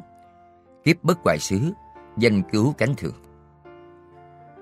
Dịch Hay là người ấy không quán từ tâm, lại xem khắp cả mười phương thế giới, hằng sa quốc độ, thế chỗ kiếp hoài thì gọi chủng tánh cứu cánh vô thường. Còn kiếp không hoại thì gọi rằng đây là cứu cánh thường. Giảng Nhị giả Thì nhân bất quán kỳ tâm Loại thứ hai là người này không quán xét cái tâm của mình. Ở trên là người này thấy cái tâm của mình là biến mãn thập phương. Còn hiện nay là biến quán thập phương hằng sa quốc độ. Người này nhìn thấy hằng sa quốc độ ở bên ngoài. Kiến kiếp hoài xứ, danh di cứu cánh vô thường chủng tánh. Người này nhìn thấy quốc độ nào đó thành trụ hoài không. Khi kiếp đó đến lúc hoại, nói cứu cánh đó là chủng tánh vô thường. Kiếp bất hoại xứ, danh cứu cánh thường. Người này nhìn thấy chỗ mà kiếp chưa hoại, nói đó là cứu cánh thường. Cho nên có một cái vô thường, có một cái thường. Nguyên văn Âm Hán Việt Ca ba, Ước từ thân tâm, Chấp thân và tâm của mình. Tam giả, Thì nhân bị quán ngã tâm, Tinh tế di mật. Do như di trần, Lưu chuyển thập phương, Tánh vô di cải. Năng linh thử thân tức sanh tức diệt. Kỳ bất hoại tánh, Danh ngã tánh thượng. Nhất thiết tự sanh, Tùng ngã lưu xuất, Danh vô thường tánh. Dịch ba, Là người ấy riêng quán tâm mình. Thế tâm tinh tế, Nhỏ nhiệm di mật, Giống như di trần, Lưu chuyển mười phương Tánh không dời đổi. Có thể khiến cho thân thể này đây, Sanh rồi lại diệt Diệt rồi lại sanh. Cái tánh không hoại Gọi đó là tánh thường hằng của ngã. Còn tất cả sự sanh tử tử sanh, Từ trong thường tánh của ngã chảy ra, Thì gọi đó là bản tánh vô thường. Giảng Tam giả thì nhân biệt quán ngã tâm. Lý luận điên đạo thứ ba là người này phân biệt quán tâm của mình, tinh tế di mật, do như di trần, lưu chuyển thập phương, tánh vô di cải. Tinh có nghĩa là tinh mà còn lại tinh thêm. Tế rất là nhỏ, di là rất di diệu, mật là chỗ mà không thể giác sát đến được. Tinh tế di mật này là dạng của hành ấm. Người này quan sát trần cảnh như sóng nhỏ, giống như di trần lưu chuyển khắp mười phương. Tánh lưu chuyển này không có dời đổi, không thay đổi. Năng linh thử thân tức sanh tức diệt, có thể khiến cho cái thân này sanh rồi lại diệt, diệt rồi lại sanh. Kỳ bất hoại tánh, danh ngã tánh thượng. Tánh lưu động này không hư hoại, là tánh bất hoại, là một thường tánh trong tự tánh. Nhất thiết tự sanh, tùng ngã lưu xuất, danh vô thường tánh. Cái mà chết rồi lại sanh, sanh rồi lại chết. Những cái sanh chết đó đều chảy ra từ trong thường tánh của ngã. Đó gọi là vô thường tánh. Nguyên văn Âm Hán Việt Ca 4 Sông Phi từ tha, chấp không phải ca hai. Tứ giả, thị nhân tri tưởng ấm tận, kiến hành ấm lưu hành ấm thường lưu, thế di thường tánh, sắc thọ thượng đẳng, kim dĩ diệt tận, danh vô thường tánh. Dịch bốn Là người ấy biết tưởng ấm hết. Thế các hành ấm trôi chảy không ngừng, chấp cho là thường. Còn sắc, thọ, tưởng, này đã diệt hết, gọi là vô thường. Giảng Tứ giả Thị nhân tri tưởng ấm tận, kiến hành ấm lưu. Loại thứ tư là người tu hành này biết được tưởng ấm đã hết, giác sát được hành ấm chảy nhẹ. Hành ấm thường lưu, kế di thường tánh. Nay hành ấm đang trôi chảy di tế, giống như sống lưu động vậy. Người này vì nhìn thấy nó không có gì thay đổi, nên nói, ồ, đây là thường tánh, là thứ thường tánh. Sắc thọ tưởng đẳng, kim dĩ diệt tận, danh vô thường tánh. Sắc ấm, thọ ấm, tượng ấm ở trên này đã không còn nữa, nên đó là vô thường tánh. Người này nghĩ như vậy. Nguyên văn Âm Hán Việt Di ba Kết thành ngoại luận Kết luận đó là lý luận của ngoại đạo. Do thử kế độ, nhất phân vô thường, nhất phân thường cố, đọa lạc ngoại đạo hoặc bồ đề tánh, thì tắc danh di đề tam ngoại đạo, nhất phân thường luận. Dịch Do sự kế độ một phần vô thường, một phần là thường, nên đọa lạc vào tà kiến ngoại đạo. Vì thế mê hoặc chân tánh Bồ Đề. Đây chính gọi là ngoại đạo thứ ba, lập ra một phần gọi là thường luận. Giảng Do thử kế độ, nhất phần vô thường, nhất phân thường cố. Do bốn loại lý luận không chính xác ở trên để kế độ, người này nói một phần là không thường, một phần là có thường. Đọa lạc ngoại đạo hoặc bồ đề tánh. Vì cái lý luận điên đảo này, bản thân người này đối với lý luận đó cũng không rõ ràng. Cho nên đọa lạc biến thành tri kiến của ngoại đạo. Tư tưởng của ngoại đạo, lý luận của ngoại đạo, cho nên làm mê hoặc chân tánh bồ đề. Thì tác danh di đệ tam ngoại đạo, nhất phân thường luận. Đó gọi là luận nghĩa điên đạo thứ ba của ngoại đạo. Lý luận một phần là thường, một phần là không thường. Nguyên văn. Âm Hán Việt Y bốn. Tứ chủng hữu biên phân tam. Bốn loại có giới hạn chia làm ba. Di một. Tiêu do thị trụy. Nói nguyên nhân đọa lạc. Di hai. Tương thích kỳ tướng. Giải thích rõ tướng trạng. Di ba.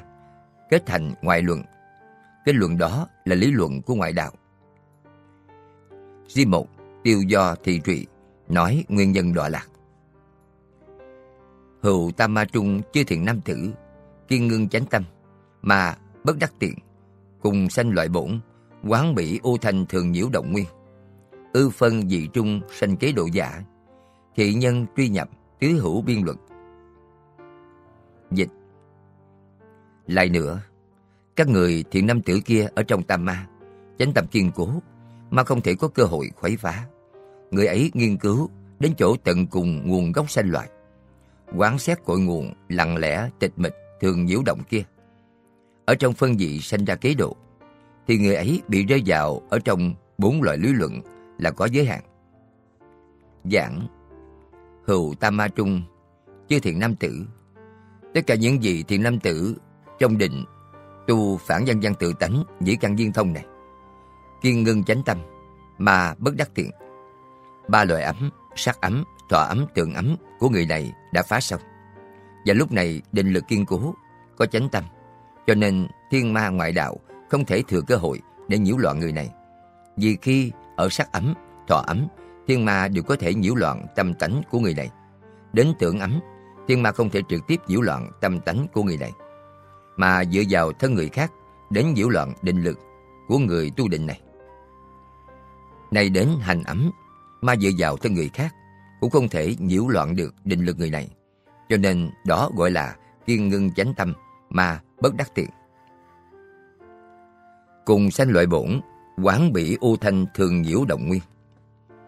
Người này nghiên cứu cùng tận nguồn gốc của 12 loại chúng sanh, quán sát chủng tánh u ẩn thanh tịnh nhất của chúng sanh. Vậy thì trong động tướng di tế của hành ấm, đó gọi là thường nhiễu động nguyên. Ư phân vị trung sanh kế độ giả. Phân vị này có bốn loại, phía sau sẽ nói đến.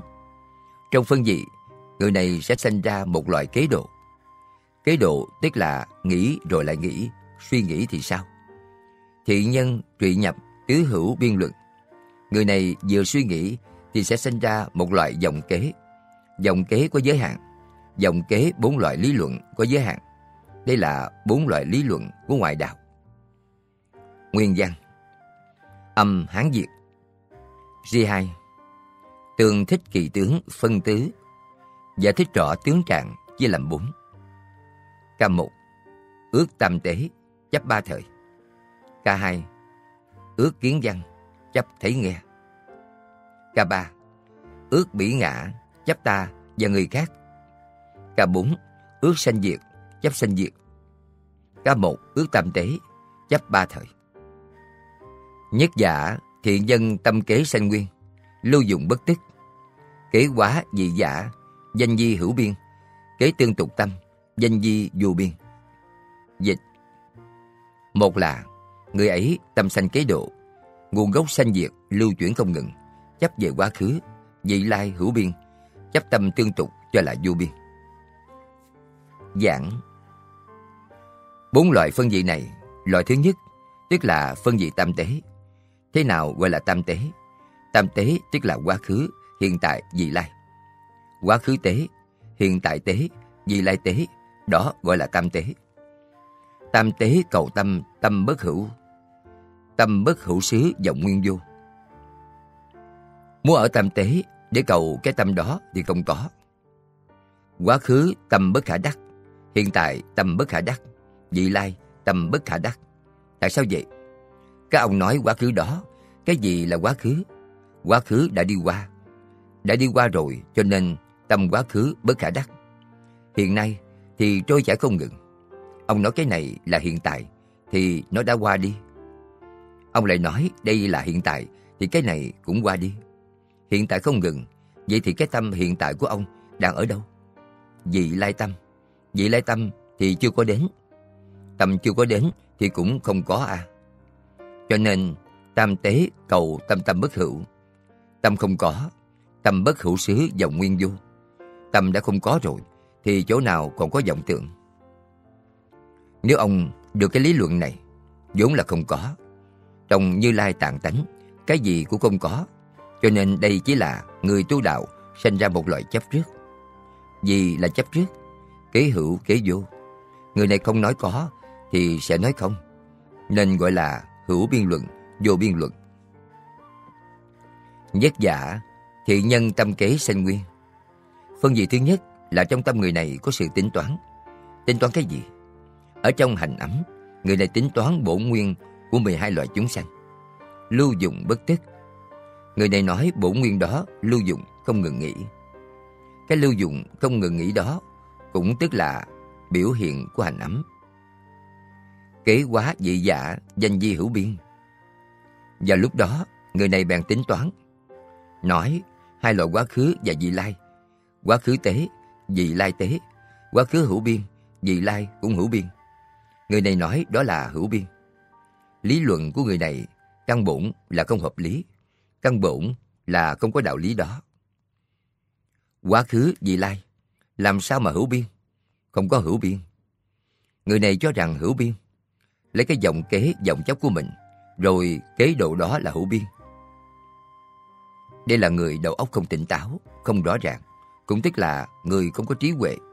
Người này tu đạo, tu đến chỗ đã phá tưởng ấm, còn về hành ấm thì mê mất đường chánh. Mê mất đường chánh, cho nên kế hữu kế vô. Kế tương tục tâm. Người ấy nói đây là tâm hiện tại, hiện tại tương tục không ngừng. Tương tục không ngừng là danh di vô biên. Vì nó không ngừng nên vô lượng vô biên, không có biên tế, đó gọi là vô biên. Nguyên văn, âm hán diệt. Ca hai, ước kiến văn, chấp thấy nghe. Nhị giả, thị nhân quán bát dạng kiếp, tác kiến chúng sanh.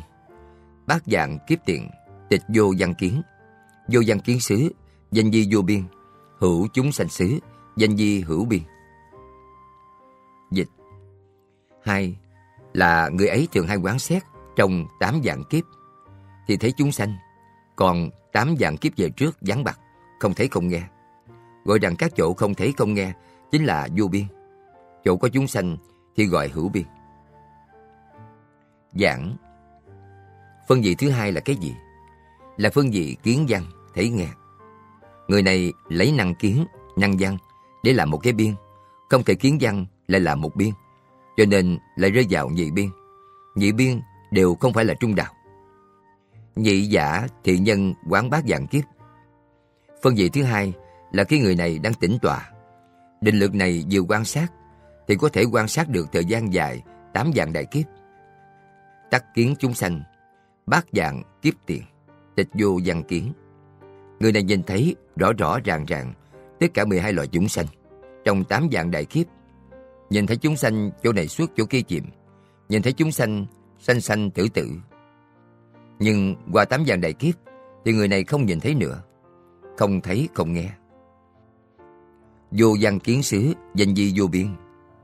Khi không thấy không nghe, ở chỗ không nhìn thấy này, Người đọc tên cho đó là vô biên, không có biên giới. Hữu chúng sanh xứ, danh di hữu biên. Chỗ mà có thể nhìn thấy chúng sanh. Người này nói đó là hữu biên. Đây lại rơi vào nhị biên. Người này vừa chấp trước vô, vừa mắc kẹt có. Chấp trước vô thì sẽ rơi vào không. Mắc kẹt vào có thì sẽ rơi vào sắc. Một thứ mắc kẹt vào không, một thứ chấp trước vào sắc. Vì thế, đều không hợp với trung đạo. Vì vậy Đức Phật phê bình đây là ngoại đạo. Nguyên văn, âm Hán diệp, Ca ba Ước bỉ ngã, chấp ta và người khác. Tam giả, thị nhân kế ngã biến tri, đắc vô biên tánh. Bỉ nhất thiết nhân, hiện ngã tri trung, ngã tầng bất tri bỉ chi tri tánh. Danh bỉ bất đắc vô biên chi tâm, đảng hữu biên tánh. Dịch ba Là người ấy tâm sanh kế độ, ta biết cuộn thấp, nên được cái tánh gọi là vô biên. Còn các người kia hiện ra ở trong cái biết của ta mà ta không hề biết được tánh biết ấy là của họ. Bởi họ không được cái tâm vô biên, chỉ có cái tánh gọi là hữu biên. Giảng Tam giả thì nhân kế ngã biến tri, đắc vô biên tánh. Phân vị thứ ba, tức là phá ngã. Bỉ tức là chúng sanh. Ngã tức là người tu đạo, đó là một loại chấp trước của mình. Người này lại sinh ra một loại giọng kế, giọng chấp. Nói, tôi cảm thấy mình được trí huệ biến tri. Sao gọi là biến tri? Biến tri tức là chẳng có cái gì mà không biết, cho nên ở trong đó được một thứ vô biên tánh. Người này nói, bị nhất thiết nhân hiện ngã tri trung, ngã tặng bất tri, bỉ chi tri tánh. Tất cả chúng sanh kia đều ở trong trí huệ của tôi, nhưng tôi không biết tri tánh đó của chúng sanh. Danh bị bất đắc, vô biên chi tâm, đảng hữu biên tánh. Đó gọi là chúng sanh chưa được tâm vô biên, mà người này đã được đến tâm vô biên. Vì người này không biết tri tánh của chúng sanh, cho nên nói đối phương không được tâm vô biên này. Không có trí huệ vô biên này.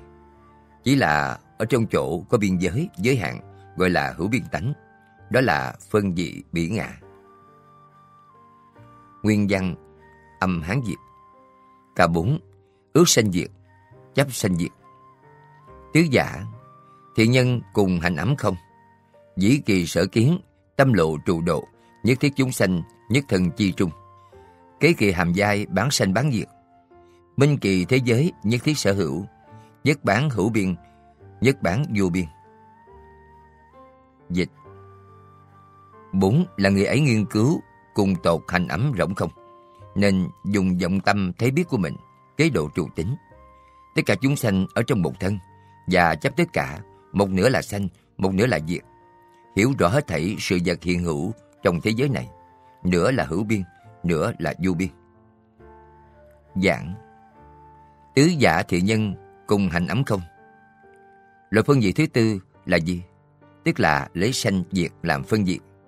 Người này nghiên cứu hành ấm, nghiên cứu đến cực điểm, nghiên cứu đến cái không của hành ấm. Dĩ kỳ sở kiến, lấy cái kiến giải nghiên cứu của mình, tâm lộ trụ độ.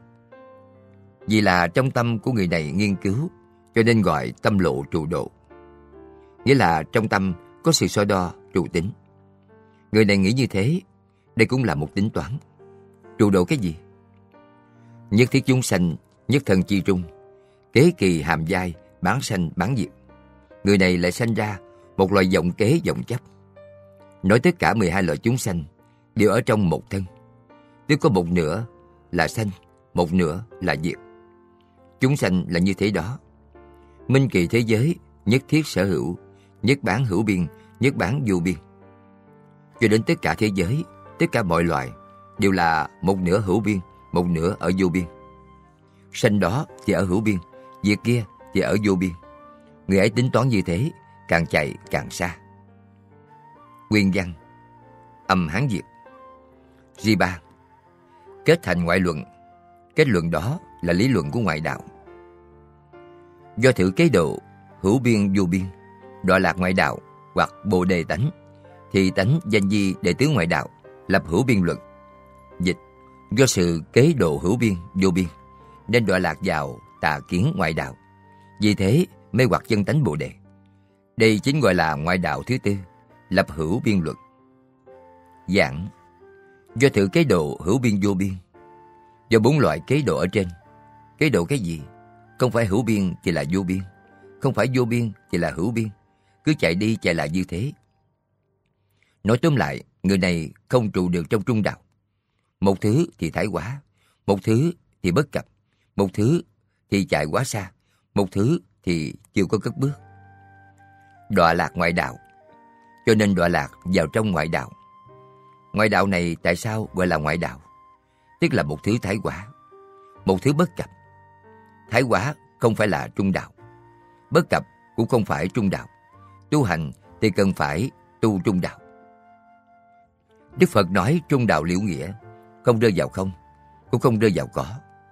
Nếu thiên về không hoặc thiên vào có, thì sẽ rơi vào dị biên. Nay đây đều là dị biên, nên gọi là ngoại đạo. Hoặc bồ đề tánh, người ấy đối với bồ đề tánh, không nhận thức được, bị mê hoặc. Thì tác danh di đệ tứ ngoại đạo, lập hữu biên luận. Đây đặt cho nó một cái tên là loại ngoại đạo thứ tư, lập ra hữu biên luận. Nguyên văn, âm hán diệt. năm Tứ chủng kiểu loạn, bốn loại mê loạn điên đạo. Y năm tứ chủng kiểu loạn phân tam, bốn loại mê hoặc điên đảo chia làm ba. G1, tiêu do thị trụy, nói nguyên nhân đọa lạc. G2, tường thích kỳ tướng, giải thích rõ tướng trạng. G3, kết thành ngoại luận, kết luận đó là lý luận của ngoại đạo. G1, tiêu do thị trụy, nói nguyên nhân đọa lạc. Hữu Tam Ma Trung chư thiện nam tử kiên ngưng chánh tâm, mà bất đắc tiện.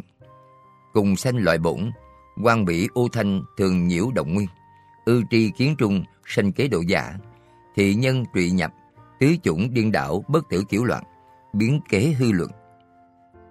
Dịch Lại nữa, ở đây các thiện nam tử trong tam ma địa, tâm lặng kiên cố, mà không thể có cơ hội quấy phá. Người ấy nghiên cứu cùng tột gốc sanh quán xét cội nguồn lặng lẽ tịch mịch thường nhiễu động kia. Trong chỗ tri kiến khởi sanh kế độ, người đó đọa vào bốn luận hư vọng biến kế điên đảo, bất tử mê loạn.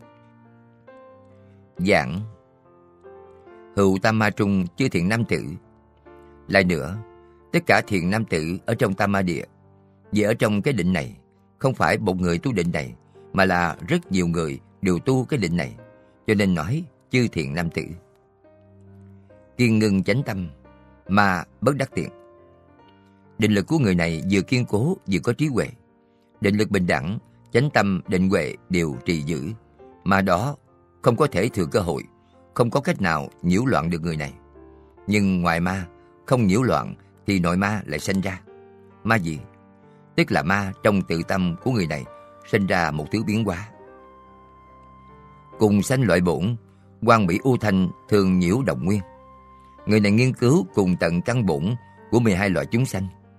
Nhìn thấy cái tánh thanh tịnh lúc ban đầu của chúng sanh, và lúc đó, hành ẩm có một đồng tướng di tế, nên gọi là thường nhiễu đồng nguyên. Ư tri kiến trung sanh kế độ giả. Trong tri kiến này sinh ra một tâm kế độ. Nếu không sanh tâm này, thì không có việc gì xảy ra. Vừa sanh tâm này, vừa động niệm thì sẽ phát sanh bệnh. Nói, khai khẩu tiền thác, cử niệm tức quay Vừa động niệm, vừa có vọng tưởng thì sẽ sanh ra bệnh thị nhân truyền nhập tứ chúng điên đạo, bất tử kiểu loạn, biến kế hư luận. Biến kế tức là biến kế chấp tánh. Người này sanh ra một loại biến kế chấp tánh.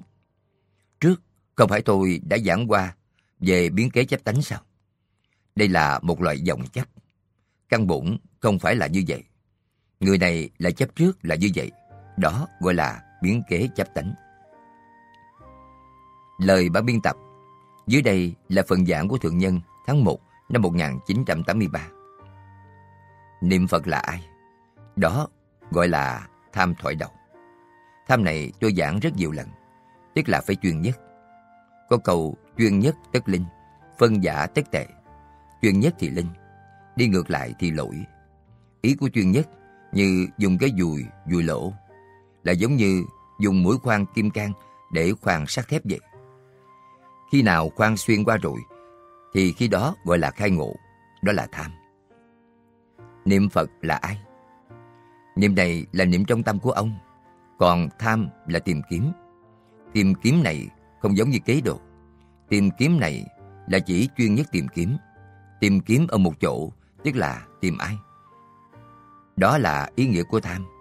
Còn kế độ không phải là một ý niệm, là đông suy nghĩ, tây suy nghĩ, so sánh lẫn nhau, phân biệt lẫn nhau, đo lường lẫn nhau.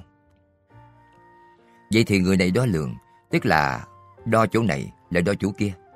Sanh tâm kế độ này là do bản thân người này vọng tưởng quá nhiều. Tham chỉ là một vọng tưởng, còn kế độ thì rất nhiều vọng tưởng. Chỗ này kéo, chỗ kia lôi. Người này muốn lên trời, thượng đế nơi đó mặc y phục gì, đội mũ gì. Con mắt bao lớn, lỗ tai thì dài bao nhiêu, lỗ mũi thì dày bao nhiêu. Người này tính toán kích thước của thượng đế, dùng thước tức này để đo, để kế độ. Vậy thì rốt cuộc thượng đế có phải là như thế không? Người này chưa thấy, cho nên thước tất đo lường của người này không nhất định là đúng. Người này lại chạy xuống đất, kế độ sức hút của tâm trái đất có bao lớn, diện tích bao nhiêu, đất có bao nhiêu hạt di trần. Đại khái là do một dạng dạng lần, tám dạng, bốn ngàn di trần tập trung vào một chỗ. Đó là một quả địa cầu. Kỳ thực đều là một loại phỏng đoán của mình. Mình đang tính toán, sử dụng máy điện toán, computer, e rằng cũng tính không ra. Nhưng người này sử dụng máy điện toán của mình. Ở nơi đó tính tới tính lui, tính hoài cũng không ra cái đầu, cũng không ra cái đuôi. Người này nói đây thật là một quái vật. Cho nên tham này không phải là hành ẩm, cũng không phải là sắc, thọ, tưởng, hành thức. Niệm này là niệm trong tâm của ông, là một cái niệm duy nhất. Ví dụ ông niệm Nam Mô A Di Đà Phật, Nam Mô A Di Đà Phật, đó chỉ có một câu Nam Mô A Di Đà Phật, không có dòng tưởng nào khác. Đó gọi là lấy độc trì độc. Nếu ông có quá nhiều vọng tưởng, đọc quá nhiều nhất định sẽ chết. Tháng 1 năm 1983, Thượng Nhân giảng bổ sung đến đây. Nguyên văn. Âm Hán Việt Ri 2 Tường thích kỳ tướng. Giải thích rõ tướng trạng. K1 Bát diệt kiểu loạn. Tám loại mê loạn điên đạo. K2 Duy vô kiểu loạn. Chỉ mê chấp cái không có. K3 Duy thị kiểu loạn. Chỉ mê chấp cái có. K4 Hữu vô kiểu loạn. Mê chấp cả có và không. K1 Bát diệt kiểu loạn. Tám loại mê loạn điên đạo Nhất giả Thì nhân quán biến quá nguyên. Kiến thiên lưu xứ, Danh chi di biến. Kiến tương tục xứ, Danh chi di hằng. Kiến sợ kiến xứ, Danh chi di sanh. Bất kiến kiến xứ Danh chi di diệt. Tương tụ chi nhân, Tránh bất đoạn xứ. Danh chi di tăng, tránh tương tục trung. Trung sở ly xứ, Danh chi di giảm. Các cát sanh xứ, Danh chi di hữu. Hổ hổ dòng xứ, Danh chi di vô. Dĩ lý đồ quán, Dụng tâm biệt kiến. Hữu cầu pháp nhân là vấn kỳ nghĩa. Đáp ngôn, Ngã kim diệt sanh diệt diệt Diệt hữu diệt vô việc tăng, việc giảm. Ư nhất thiết thời, Giai loạn kỳ ngữ, Linh bỉ tiền nhân, Di thất chương cú Dịch. Một là người ấy quán xét nguồn gốc của sự biến hóa. Thế chỗ dời đổi gọi là biến hóa. Thế chỗ tương tục gọi là thường hằng. Chỗ mà thấy được thì gọi là sanh. Chỗ không thấy được thì gọi là diệt. Tánh nhân tương tục không có gián đoạn. Đó gọi là tăng. Chính trong tương tục ở chỗ rời nhau, gọi đó là giảm. Mỗi chỗ sanh ra, gọi đó là có. Mỗi chỗ mất đi, gọi đó là không. Dùng lý quán sát, Xem xét tất cả. Dùng tâm phân tích, Thấy có riêng biệt. Có người cầu Pháp, Đến hỏi nghĩa lý, Thì lại đáp rằng, Hiện tại ta này cũng sanh cũng diệt, Cũng có cũng không, Cũng tăng cũng giảm. Ở trong mọi lúc, nói năng hỗn loạn, Khiến cho người nghe hiểu biết sai lầm, Mất đi chương cú Giảng Nhất giả thiện nhân quán biến quá nguyên Thiện nhân là ai? Tức là người sắp nhập vào đường mây này. Người này quán sát nguồn gốc biến hóa của hành ấm. Kiến thiên lưu xứ, danh chi di biến. Nhìn thấy hành ấm đang trôi chảy, người này vì nhìn thấy hành ấm trôi chảy, cho nên nói đó là biến. Kiến tương tục xứ, danh chi di hằng. Người này nhìn thấy chỗ hành ấm tương tục, không gián đoạn, nên nói đó là thường. Hằng tức là hằng thường bất biến. Chữ biến ở trên tức là không thường. Kiến sợ kiến xứ, danh chi di danh. Người này là ở chỗ hành ấm, nhìn thấy chỗ mà mình thấy. Chỗ đó là gì? Tức là động tướng di tế. Người này nói đó là sanh. Bất kiến kiến xứ, danh chi di diệt. Ở hành ấm, người này không nhìn thấy động tướng di tế, nên gọi đó là diệt. Đó là những diệt ở trong tám dạng đại kiếp. Người này nhìn thấy nên nói đó là sanh. Những diệt ở ngoài tám dạng đại kiếp, người này không nhìn thấy nên nói đó là diệt. Điều này thì tương đồng với ý nghĩa ở trên. Tương tục chi nhân, tánh bất đoạn xứ, danh chi di tăng. Nhân này tương tục không gián đoạn. Chỗ nhân tánh bất đoạn này, người này nói đó là bất đoạn, tức là tăng. Đây cũng đều là những thứ mà người ấy nhìn thấy thuộc về hành ấm. Chánh tương tục trung, trung sở ly xứ, danh chi di giảm. Ở trong tương tục sẽ có một chỗ rời nhau, một chỗ ly khai. Người đó nói là giảm. Giống như 25 vị thánh nói về viên thâu của mình. Trong đó có nói đến lỗ mũi hít thở, thở ra hít vào. Ở chính giữa có chỗ giao nhau, đó tức là ly xứ này. Người này nói đó là giảm. Ông không nên truy cứu tận nguồn gốc này. Đó là người ấy tự đặt tên. Những điều mà người này nhìn thấy, nguồn gốc vốn là không có lý lẽ. Ông không nên ở bên trong truy cứu lý do. Người ấy nói như thế là không có lý luận. Đó gọi là ngang ngược, không hợp lý. Nói cho các ông biết, ngoại đạo sở dĩ gọi là ngoại đạo vì những lời họ nói ra đều không có lý do. Các cát sanh xứ, danh chi di hữu, các cát. Người này nhìn thấy mỗi chỗ sanh ra của hành ấm, nói đó là có. Hổ hổ dòng xứ, danh chi di vô. Vậy thì chỗ vừa có là vừa không. Người ấy nói đó là không có.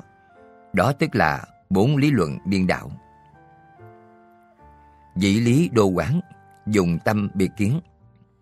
Nếu ông dùng lý này để quán sát, thì luận nghĩa đều không đúng. Người này đã dùng tâm sai rồi hữu cầu pháp nhân là vấn kỳ nghĩa. Vậy thì vào lúc đó, nếu có người đến cầu pháp, xin người này khai thị đạo lý của Phật giáo. Đáp ngôn, ngã kim diệt sanh diệt diệt, diệt hữu diệt vô, diệt tăng diệt giảm. Người này bèn bảo với người đó rằng, tôi cũng sanh, tôi cũng diệt, tôi cũng có, tôi cũng không, tôi cũng tăng, tôi cũng giảm. Người ấy nói như thế ư nhất thiết thời giai loạn kỳ ngữ. Bất cứ lúc nào người ấy đều nói hai đầu. Chẳng phải nói có thì là nói không. Chẳng phải nói không thì là nói sắc. Cứ nói hai loại. Tìm không ra trung đạo. Cho nên linh bỉ tiền nhất di thất chương cũ. Bỉ tức là người đến để cầu pháp đó. Người cầu pháp đó muốn hỏi cái gì? Bị người này nói bậy, giảng đến nỗi làm quên đi, mất đi câu hỏi. Vốn muốn xin khai thị đạo lý gì đó đều quên đi. Ông nói người khai thị như thế, người ta muốn hỏi cho rõ ràng. Người đó là làm cho hồ đồ hỗn độn, đầu óc quay cuồng, không biết phương hướng đông tây nam bắc là đâu, không biết thế nào là đúng, cho nên quên đi chương cú. Không những quên đi mình muốn hỏi cái gì, cái tâm thanh tịnh và trí huệ vốn có đều mất luôn, hôn mê luôn. Đây không chỉ là bản thân mình điên đảo, mà còn làm cho người khác điên đảo. Nguyên văn Âm Hán Việt k hai Duy vô kiểu loạn Chỉ mê chấp cái không có Nhị dạ Thì nhân đế quán kỳ tâm Hổ hổ vô xứ Nhân vô đắc chứng Hữu nhân lai vấn Duy đáp nhất tự Đảng ngô kỳ vô Trừ vô chi dư Vô sở ngôn thuyết Dịch Hay là người ấy quán xét kỹ lưỡng cái tâm thay nhau không có nơi chốn. Do nơi cái không mà được chứng đắc. Có người đến hỏi chỉ đáp một chữ, chỉ nói là không. Ngoài chữ không ra, chẳng nói gì cả. dạng Đây vì người đó chỉ biết vô, không có, nên nói bậy. Bất luận là có, người ấy cũng nói vô, vô. Người ấy cũng nói vô. Ông hỏi cái gì, người ấy đều nói vô. Ông lại hỏi thêm, người ấy vẫn là vô. Vô, vô, vô, tức là nói một chữ vô. Chữ thứ hai cũng không nói. Nhị giả thì nhân đế quán kỳ tâm. Người này quán sát tâm của mình, hổ hổ vô xứ. Ở trong 12 loại chúng sanh, người này cảm thấy cái tâm hành ấm này cùng nhau không có. Khi người này nhìn thấy chỗ không có, thì nhân vô đắc chứng. Người này cảm thấy vì chữ vô nên đắc được trí huệ. Kỳ thực, người này cũng không hiểu rõ. Đó gọi là uống nắng quá tay. Sửa chữa thái quá cũng không tốt. Căn bụng là không có lý. Người này chấp trước đó là vô. Cùng không có. Người này cảm thấy mình khai ngộ rồi. Khai ngộ gì? Ngộ được chữ vô, không này. Cho nên hữu nhân lai dẫn. Dĩ như có người nhìn thấy người này tu hành lâu năm, suốt ngày không nói chuyện. Cứ ở chỗ đó nhắm mắt dưỡng thần. Thậm chí cũng không ăn cơm, ăn một chút chuối. Người thường cho rằng đó là bậc thánh tăng ở thế gian này. Vì thế đến để hỏi thăm giáo pháp. Người này cũng giả bộ như vậy. Người ấy cô làm bộ làm dạng trả lời như thế. Duy đáp nhất tự, chỉ trả lời một chữ. Một chữ đó tức là nhất từ thiện. Người thường cũng không hiểu rõ ý người này muốn nói cái gì. Cho nên đặt tên là nhất từ thiện. Đảng ngôn kỳ vô.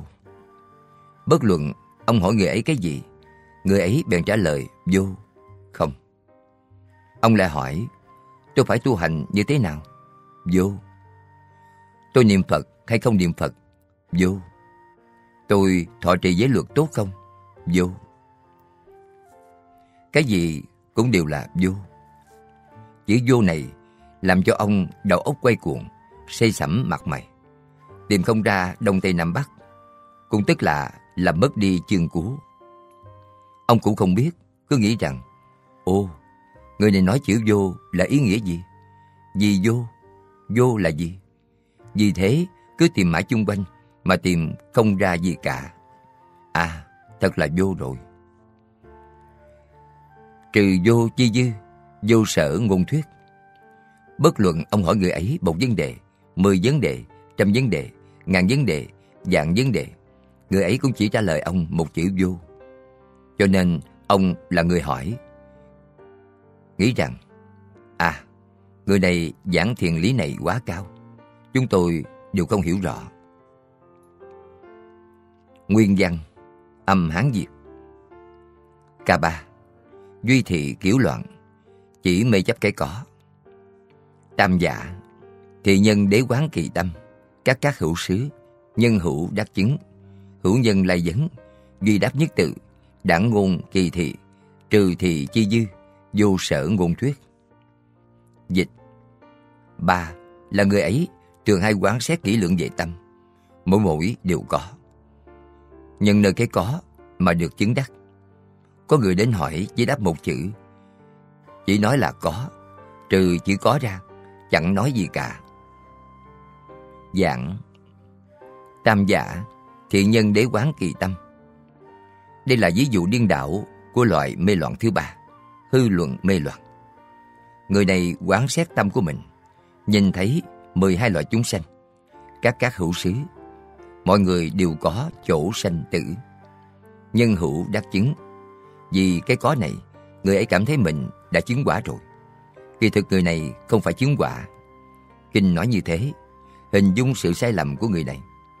Người này nhìn thấy tất cả chúng sanh đều có, nói, à, đều có cả. Người này nhìn thấy đạo lý này, cho rằng mình đã khai ngộ rồi, chứng quả rồi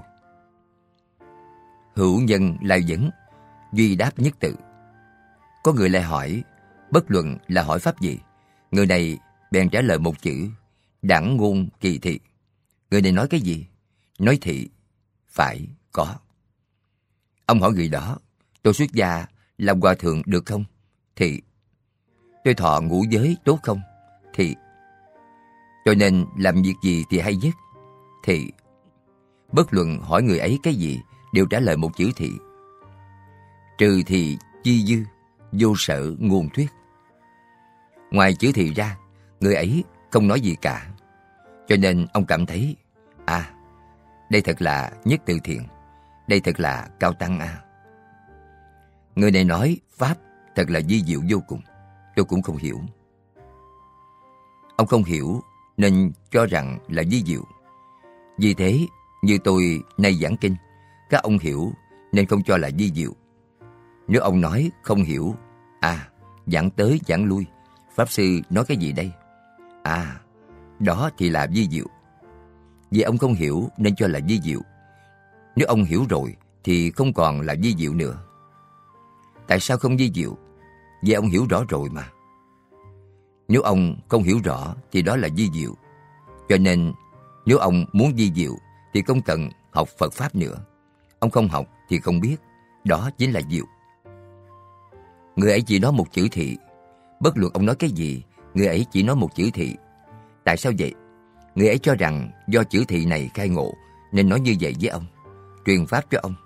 Transmit dhamma to you. Nguyên văn Âm Hán Việt K4 Hữu vô kiểu loạn, Mê chấp cả có và không. Tứ dạ Thị nhân hữu vô câu kiến. Kỳ cảnh chi cố, Kỳ tâm diệt loạn, Hữu nhân lai dẫn đáp ngục. Diệt hữu tức thị diệt vô Diệt vô chi trung bất thị diệt hữu. Nhất thiết kiểu loạn, Vô dung cùng cật. Dịch. Bốn, Là người ấy chấp luôn cái có và cả cái không. Cái cảnh khi đã phân chia như vậy thì chính cái tâm cũng rối loạn theo. Có người đến hỏi thì đáp lại rằng cũng có cũng không. Ở trong cái không chẳng phải cũng có. Toàn là mê loạn, chấp vào lý luận tà kiến đảo điên. Dạng Loại mê loạn thứ tư này tức là mê loạn có và không. Sao gọi là mê loạn có và không? Người này vừa nói có, lại nói là không. Lại nói không chẳng phải là có, có chẳng phải là không. Người này cũng chẳng biết là có, cũng chẳng biết là không. Giống như người uống rượu rồi nói cạn, bừa bãi như vậy. Tứ giả, thị nhân hữu vô cầu kiến. Người này ở trong hành ấm, cũng thấy có hữu, cũng thấy có vô. Nhìn thấy hành ấm này, trôi chảy như sông, trôi chảy không ngừng. Người ấy nói là có, khi trôi chảy không ngừng đó. Có chỗ gián đoạn, người ấy lại nói là không. Kỳ cảnh chi cố, kỳ tâm diệt loạn. Cảnh giới này phân chia ra, giống như cây sinh ra một cái nhánh vậy. Cho nên người này nói, có cũng đúng, không cũng đúng. Tâm của người này cũng mê loạn lên. Tại sao tâm của người này mê loạn? Vì người này không có trí huệ chân chánh, không có định lực chân chánh trí lực và định lực không bình đẳng, không bình quân. Cho nên vào lúc đó, người này sinh ra một loại chấp trước. Bản thân mình cũng tìm không được đầu mối, nên có con đường sai. Người này cũng không biết đường nào là đúng. Hữu nhân lai dẫn. Nếu có người lại thỉnh Pháp, thỉnh người này khai thị, đáp ngôn. Diệt hữu tức thị diệt vô. Diệt vô chi trung, bất thị diệt hữu. Người này nói, cũng có, cũng tức là không có. Nhưng không có thì không thể là có. Cũng không tức là không có. Nhưng không có thì có thể không phải là có. Ông nói rốt cuộc là ý nghĩa gì? Nhất thiết kiểu loạn. Đây là lý lẽ mê loạn, mê chấp quá mức. Nói đến nỗi mình cũng không biết là nói những gì. Cho nên tôi cho rằng người này nói lời bừa bãi trong khi say rượu. Vô dung cùng cực Vô dung, ông không thể nói lý với người này. Như thế, vậy làm sao đây? Thì biện pháp của tôi là ông đánh hai bạc tay, xem người này còn nói là có hay là không có. Ông đánh một bạc tay, Nếu người ấy nói có, tại sao ông đánh tôi? Ông không có mà. Tôi đánh ông cũng là không có à. Còn có một cách khác. Ông lấy dao giết người này. Nói, nè, tôi giết ông. Xem người ấy có hay không có. Vô dung cùng cực. Tức là không thể nói lý với người này. Không có lý nào có thể nói được. Cũng không cần phải hỏi người này. Nguyên văn, âm Hán Việt. Riba, kết thành ngoại luận. Kết luận đó là lý luận của ngoại đạo. Do thử kế độ, kiểu loạn hư vô, đọa lạc ngoại đạo. Hoặc bồ đề tánh. Thì tác danh di đề ngũ ngoại đạo. Tứ điên đạo tánh, bất tử kiểu loạn, biến kế hư luận. Dịch Do những kế độ, mê loạn hư vô, nên đọa lạc vào tà kiến ngoại đạo. Vì thế, mê hoặc chân tánh Bồ Đề. Đây chính gọi là ngoại đạo thứ năm. Lập bốn thứ luận toàn là hư vọng, biến kế điên đảo, bất tử mê loạn. Giảng Do thử kế độ kiểu loạn hư vô. Vì bốn loại mê loạn diễn dông hảo quyền ở trên. Không có chỗ này. Ý nghĩa không có chân thật. Đọa lạc ngoại đạo hoặc bồ đề tánh. Cho nên đọa lạc vào ngoại đạo. Tại sao gọi người đó là ngoại đạo? Vì lý luận người đó không chính xác. Tà tri tà kiến, những đạo lý nói ra đều không phải là cứu cánh, không phải triệt để. Như thế sẽ làm mê đi, làm che đầy bồ đề giác đạo chân chánh. Thì tác danh di đề ngũ ngoại đạo, tứ điên đạo tánh, bất tử kiểu loạn. Đây gọi là bốn loại tà kiến điên đảo của ngoại đạo thứ năm. Tức là bốn loại trên Loại thứ nhất, tức là cũng sanh cũng diệt, cũng có cũng không, cũng tăng cũng giảm.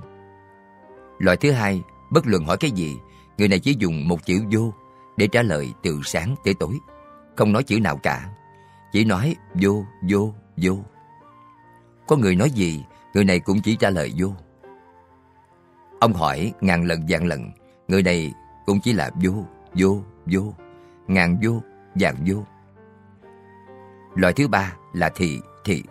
Bất luận ông nói cái gì, người đó đều nói thị. Ông hỏi, tôi có thể làm giặc được không? Thị. Tôi có thể thọ giới được không? Thị. Tôi có thể ăn phân được không? Thị. Có thể uống nước tiểu được không? Thị. Ông có thể chết được không? Thị. Ông có thể sống ở thế giới này được không? Thị. Bất luận ông nói cái gì, người đó cũng đều thị. Ngàn thị, dạng thị, ngàn dạng đều là thị, không có cái nào mà không thị. Thị của người ấy tức là có, cái gì cũng đều có, tất cả tất cả đều là có. Đó là loại thứ ba. Loại thứ tư là nói, cũng có cũng không, có tức là không, không là không phải là có. Rốt cuộc là ý nghĩa gì? Người ấy nói bốn loại tánh mê loạn như thế. Nói mê loạn không rõ ràng, nói điên đảo. Biến kế hư luận Người ấy biến kế hư vô. Trước đó nói về biến kế chấp tánh, y tha khởi tánh, viên thành thật tánh. Đạo lý này không biết các ông có hiểu hay không? Thế nào là biến kế chấp tánh? Như ban đêm, không có ánh sáng mặt trăng. Ở trên mặt đất có một sợi dây. Ông nhìn thấy sợi dây này vốn là sợi dây, nhưng ông hoài nghi. Ô, đây có phải là con rắn không? Đó gọi là biến kế chấp tánh vốn không phải là rắn, chỉ là sợi dây. Ông giọng kế độ nói nó là một con rắn. Là như ban đêm, không có ánh sáng mặt trời, nhìn thấy bóng đen của cây, hoặc là bóng đen của một cây hoa. Ông vừa bước ra, bỗng nhìn thấy một cái bóng đen như vậy. Ô, đó là quỷ chăng? vốn là một gốc cây, hoặc là một cây hoa, hoặc là một tấm dáng. Ông nhìn thấy, ô, đó là người chăng? Là quỷ à? nên sinh lòng sợ sệt. Hoặc ban đêm nhìn thấy một con chó, ông bèn, ô, đó có phải là chó sói không? Đó có phải là con cọp không? Sinh ra biến kế chấp tánh này. Nếu ông nhìn thấy rõ ràng, ô, thì ra đây là con chó, không phải con sói, cũng không phải con cọp. Đó tức là y tha khởi tánh. Vì ông y theo con chó nên sinh ra biến kế chấp tánh. Thì ra là con chó con chó đó chỉ là cái gì? Chó là một loại súc sanh thông thường. Vì ông có biến kế chấp tánh, nên cho nó là sói, là cọp, hoặc là yêu quái gì đó. Cây cỏ hoa lá cũng đều là như vậy. Vậy thì sợi dây ông cho nó là rắn. Khi nhìn rõ ràng thì ra là một sợi dây. Đó gọi là y tha khởi tánh. Vậy sợi dây là bằng cái gì? Là bằng gai. Gai đó gọi là viên thành thật tánh. Sao gọi là y tha khởi tánh? Gai có thể tạo thành một sợi dây. Đó gọi là y tha khởi tánh. Y theo viên thành thật tánh mà khởi lên cái y tha khởi tánh. Y tha khởi tánh này, sau đó nhìn không rõ ràng, nhận thức không minh bạch, thì sinh ra một loại biến kế chấp tánh. Này, ngoại đạo này, người này căn bổn không phải như vậy, nên sinh ra một loại hư luận biến kế sở chấp. Nguyên văn Âm Hán Việt 6. Thập lục hữu tướng 16 tướng có Y 6 Thập lục hữu tướng phân tam 16 tướng có chia làm 3 Di 1 Tiêu do thị trụy Nói nguyên nhân đọa lạc Di 2 Tường thích kỳ tướng, Giải thích rõ tướng trạng. Di 3 Kết thành ngoại luận. Kết luận đó là lý luận của ngoại đạo. Di 1 Tiêu do thị trụy. Nói nguyên nhân đọa lạc Hữu tam ma trung chưa thiện nam tử, Kiên ngưng chánh tâm Ma bất đắc thiện, Cùng sanh loại bổn Quán bỉ u thanh thường nhiễu đồng nguyên. Ư vô tận lưu sanh kế độ giả Thị nhân trụy nhập Tử hậu hữu tướng Phát tâm điên đạo Dịch.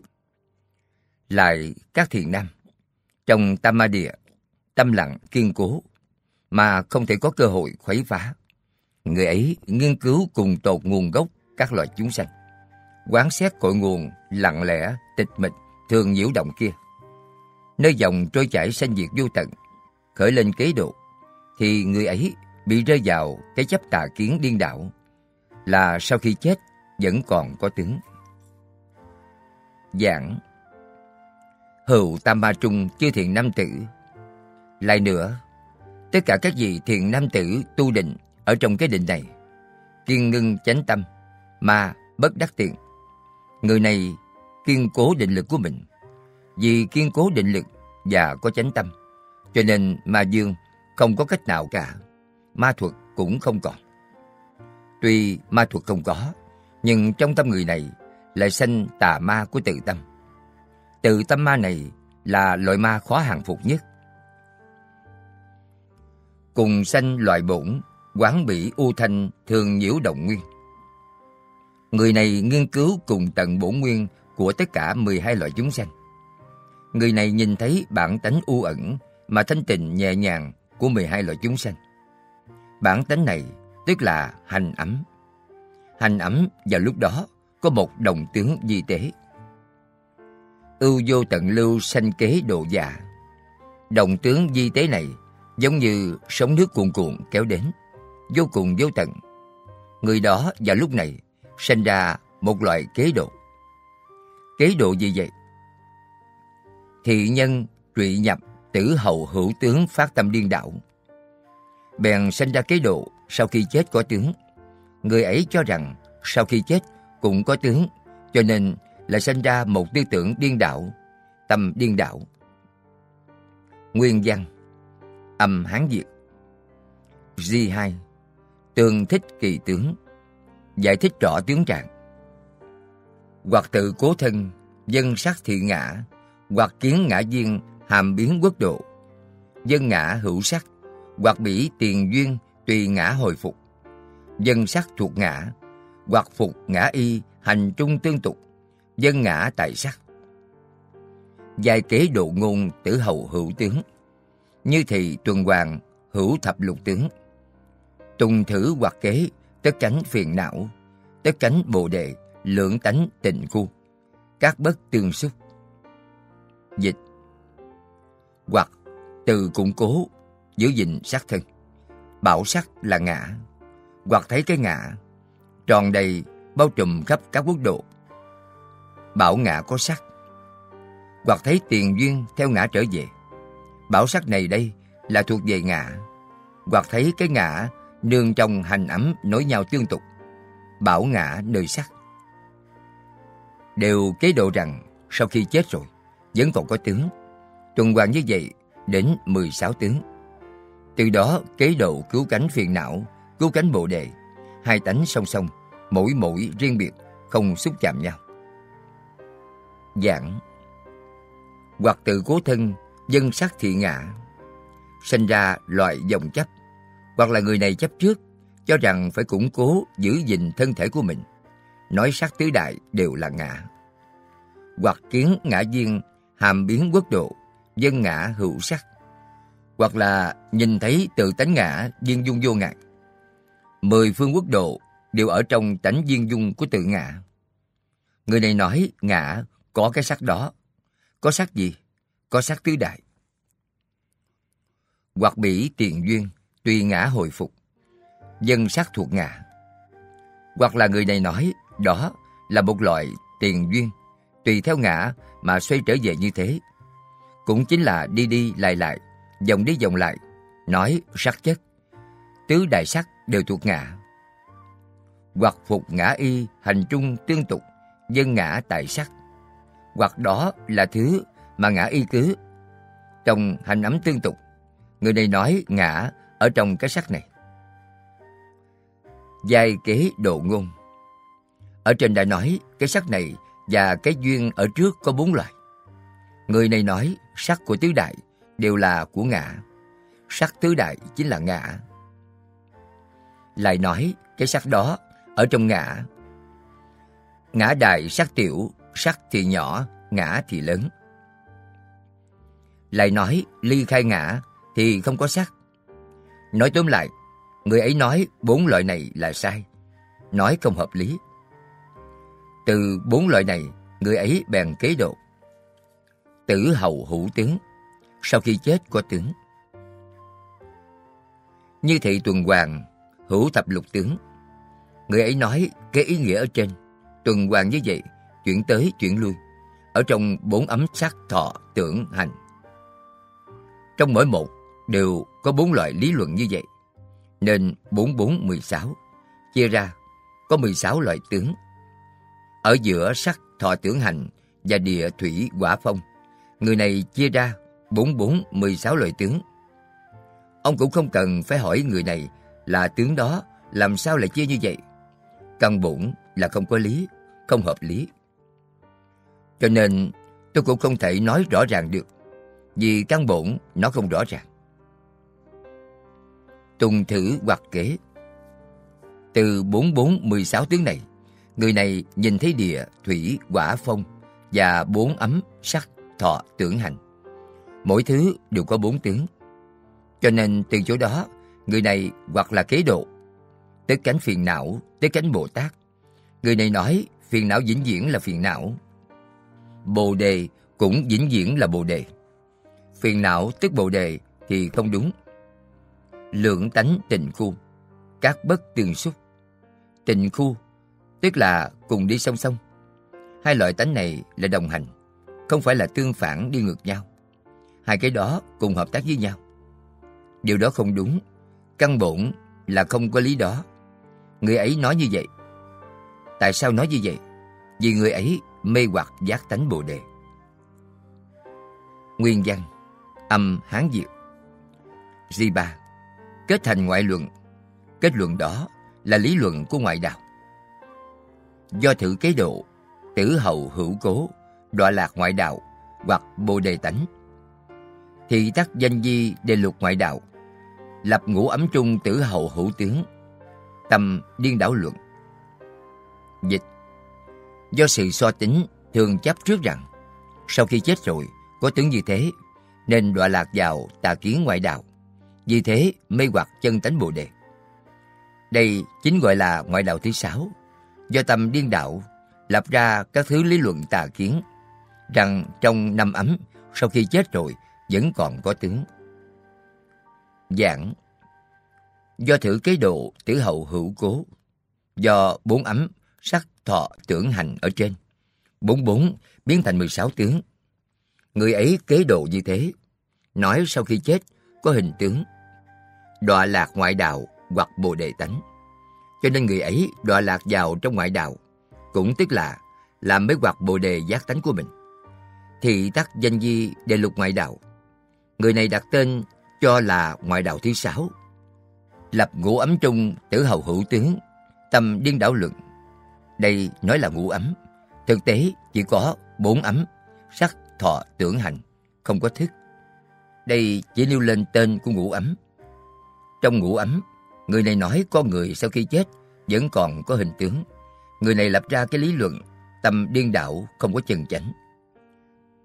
Nguyên văn, Âm Hán Việt 7. bác chủng vô tướng, Tám loại tướng không có Y một, bác chủng vô tướng phân tam Tám loại tướng không có chia làm ba Di một, Tiêu do thị trụy, Nói nguyên nhân đọa lạc Di hai, Tương thích kỳ tướng Giải thích rõ tướng trạng. G ba, Kết thành ngoại luận. Kết luận đó là lý luận của ngoại đạo. G một, Tiêu do thì trụy. Nói nguyên nhân đọa lạc. Hữu tam ma trung chưa thiện nam tử, Kiên ngưng chánh tâm, Mà bất đắc tiện, Cùng sanh loại bụng Quán bị u thành thường nhiễu động nguyên.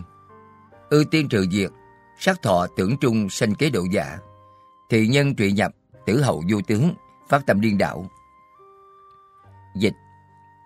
Lại các thiện nam trong tam ma địa, Tâm lặng kiên cố, Mà không thể có cơ hội khuấy phá. Người ấy nghiên cứu cùng tột nguồn gốc các loại chúng sanh, quán xét cội nguồn lặng lẽ tịch mịch thường nhiễu động kia.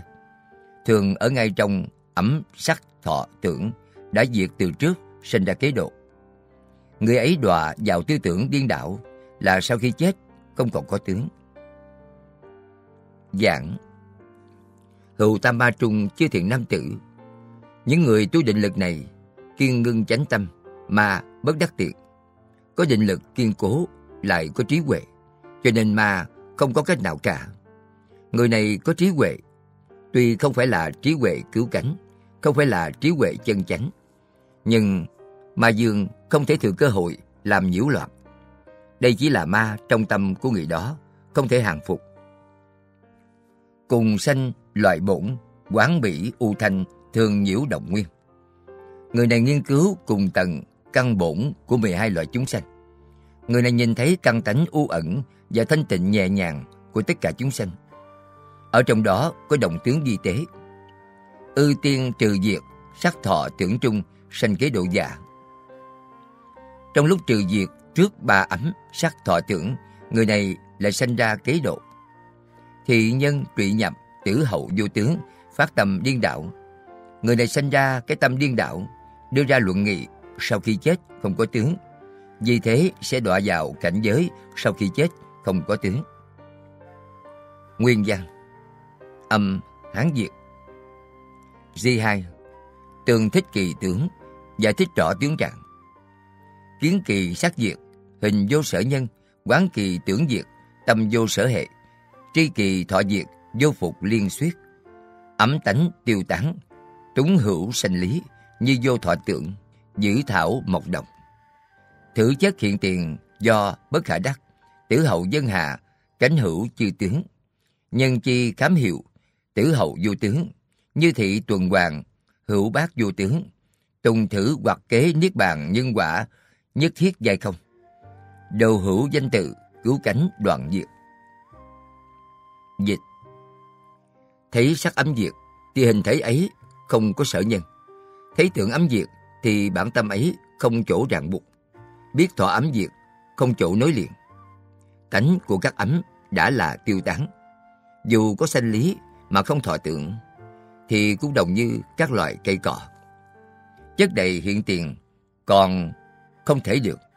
Vậy sau khi chết, làm sao mà còn có được các tướng? Do vậy cho rằng, sau khi chết rồi, không còn có tướng. Tuần hoàng xoay dần, mãi cứ như thế, có tám vô tướng.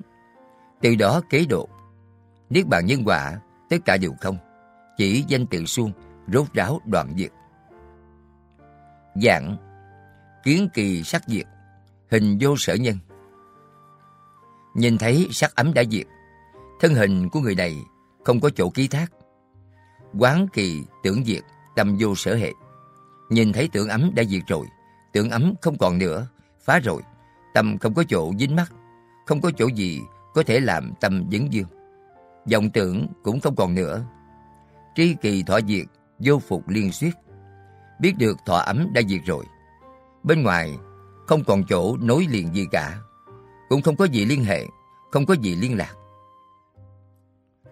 Ấm tánh tiêu tán, ba ấm sắc thọ tưởng đều tiêu tán. Túng hữu sanh lý, như vô thọ tưởng, giữ thảo mộc đồng. Tuy có chút sanh lý, đó là hành ấm, cũng không có thọ, cũng không có tưởng. Vì không có thọ, cũng không có tưởng, người này cảm thấy mình giống như cây cỏ vậy. Thử chất hiện tiền do bất khả đắc. Chất này không phải chỉ riêng cho sắc, cũng chỉ cho tâm.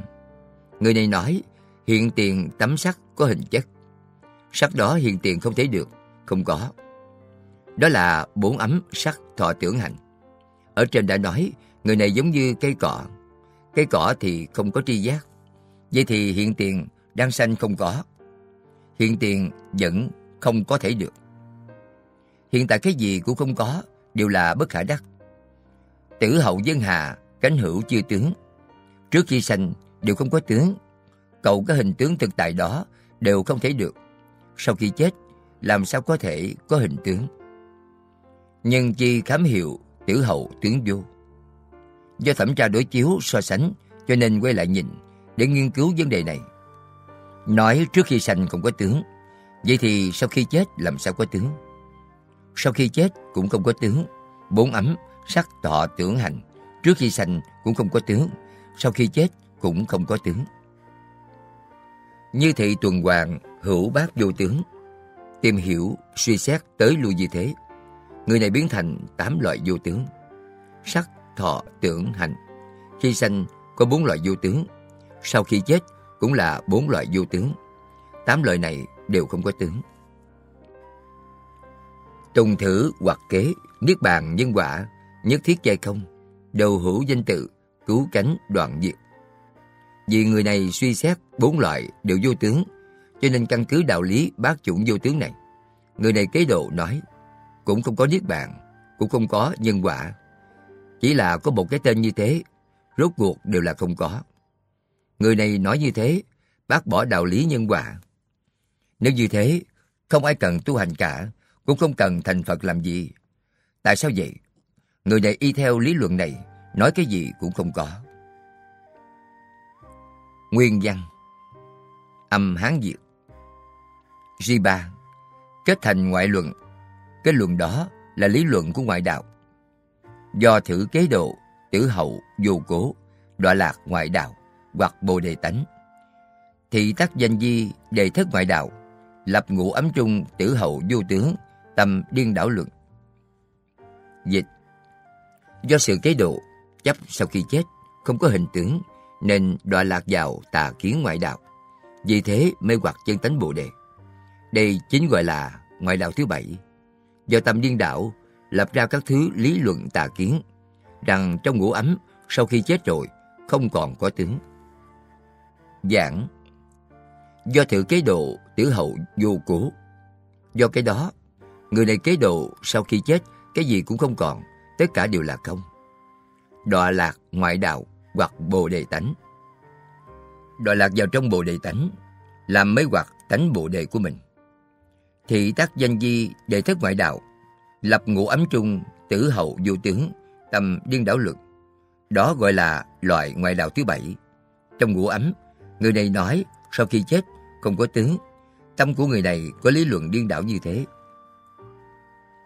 Nguyên văn Âm Hán diệt 8.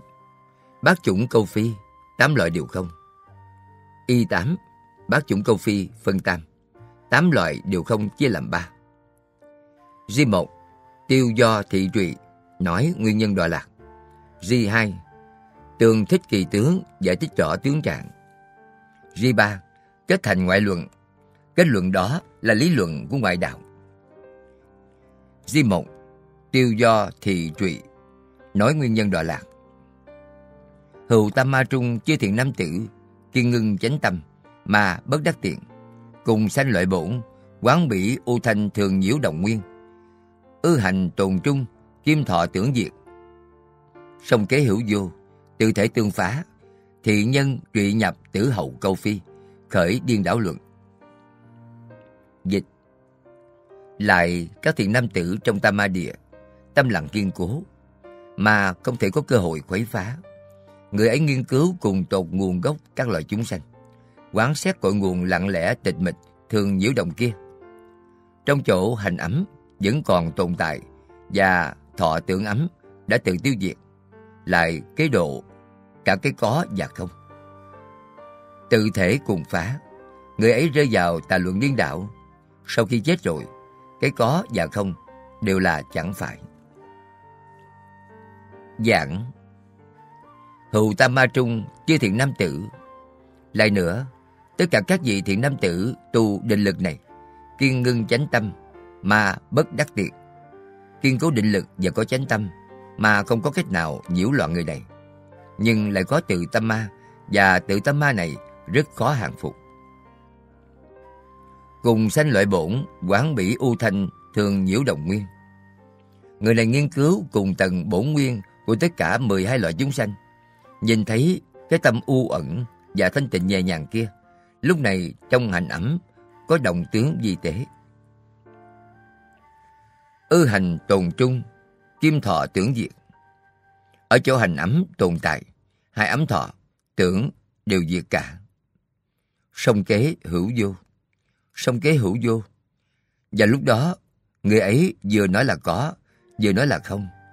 Vừa nói là không, vừa nói là có. Tự thể tương phá. Bản thân người này cũng làm thành không có luôn. Bản thân người này cũng không còn tồn tại. Ông nói là có thì bản thân người này có, nói không thì bản thân người này không có. Tự thể tương phá này, tự mình làm cho mình không thể thành lập cái lý luận đó. Thì nhân trụy lạc, tử hậu câu phi, khởi điên đảo luận. Người này sau khi chết cũng không có hữu, cũng không có vô. Vậy thì có cái gì? Cũng không có hữu, cũng không có vô. Vậy thì nói cái này có phải là trung đạo không? Không phải vậy. Người này không phải nói trung đạo, cũng không có trung đạo. Vì như thế cho nên đó là lý luận sai lầm, điên đạo. Nguyên văn Âm Hán Việt G2 Tường thích kỳ tướng Giải thích rõ tướng trạng Sắc thọ tưởng trung, kiến hữu phi hữu, hành thiên lưu nội, quán vô bất vô.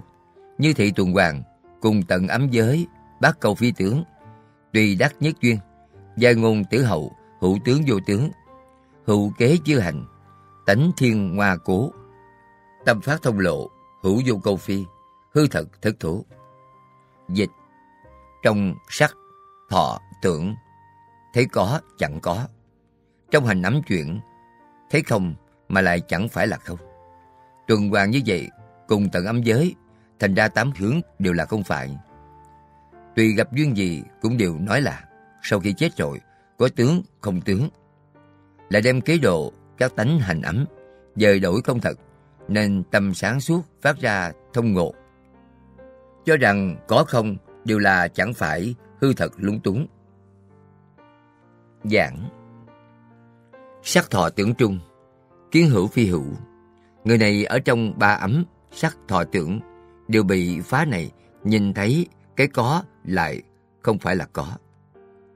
Hành thiên lưu nội, ở trong hành ấm trôi chảy có đồng tướng di tế đó. Quán vô bất vô, người này nhìn thấy không có lại dường như có, cho nên đó cũng không phải là có, cũng không phải là vô. Người này lập ra lý luận điên đảo đó. Như ở trên, người này nói, nhìn thấy sắc, thọ, tưởng chung, kiến hữu phi hữu. Hành thiên lưu nội, quán vô bất vô. Người ấy ở trong nơi sắc thọ tưởng, thấy có chẳng có. Trong hành ấm, chuyện thấy không mà lại chẳng phải là không. Thấy tình cảnh như thế, như thị tuần hoàn, người này quay tới quay lui, tuần hoàn như thế, suy xét đạo lý này. Cùng tận ấm giới, Đối với bốn loại ấm giới, sắc, thọ, tưởng hành. Người này đều nghiên cứu cùng tận. Nghiên cứu, truy cứu, lật qua, lật lại. Nghiên cứu lẫn nhau như thế. Bác câu phi tướng. Người này nói bốn loại đều không có tướng. Tuy đắc nhất duyên. Người ấy được một đáp án Giai ngôn tử hậu, hữu tướng vô tướng. Người ấy nói sau khi chết, sắc thọ tưởng hành cũng không phải có tướng, cũng không phải vô tướng, đó là có tướng vô tướng. Hữu kế chư hành tánh thiên hoa cố, tâm phát thông ngộ. Ngoa, có thể nói là cải biên, thay đổi, cũng có thể nói là sai lầm. Người này nghiên cứu tính chất hành ấm. Vì hành ấm có loại động tướng di tế trôi chảy, trôi chảy. Tánh thiên hoa này trôi chảy và thay đổi. Trong tâm của người này phát ra một loại tà thông tà ngộ. Người này bèn phán đoán hữu vô câu phi, hữu tướng vô tướng đều không có. Cái gì cũng không có thì có phải là trung đạo không? Không phải vậy. Vì người này không hiểu rõ đạo lý trung đạo liễu nghĩa, cho nên không nói về trung đạo, chỉ nói về hữu vô. Vì thế, người này hư thật thất thố. Cũng không phải là hư, cũng không phải là thật. Ông nói thực, người ấy lại nói phi thực. Ông nói hư, người ấy lại nói phi hư. Cho nên, người này nói phi thực phi hư. Phi thực phi hư như thế đều là lúng túng. Nguyên văn Âm Hán Việt G3 Kết thành ngoại luận Kết luận đó là lý luận của ngoại đạo.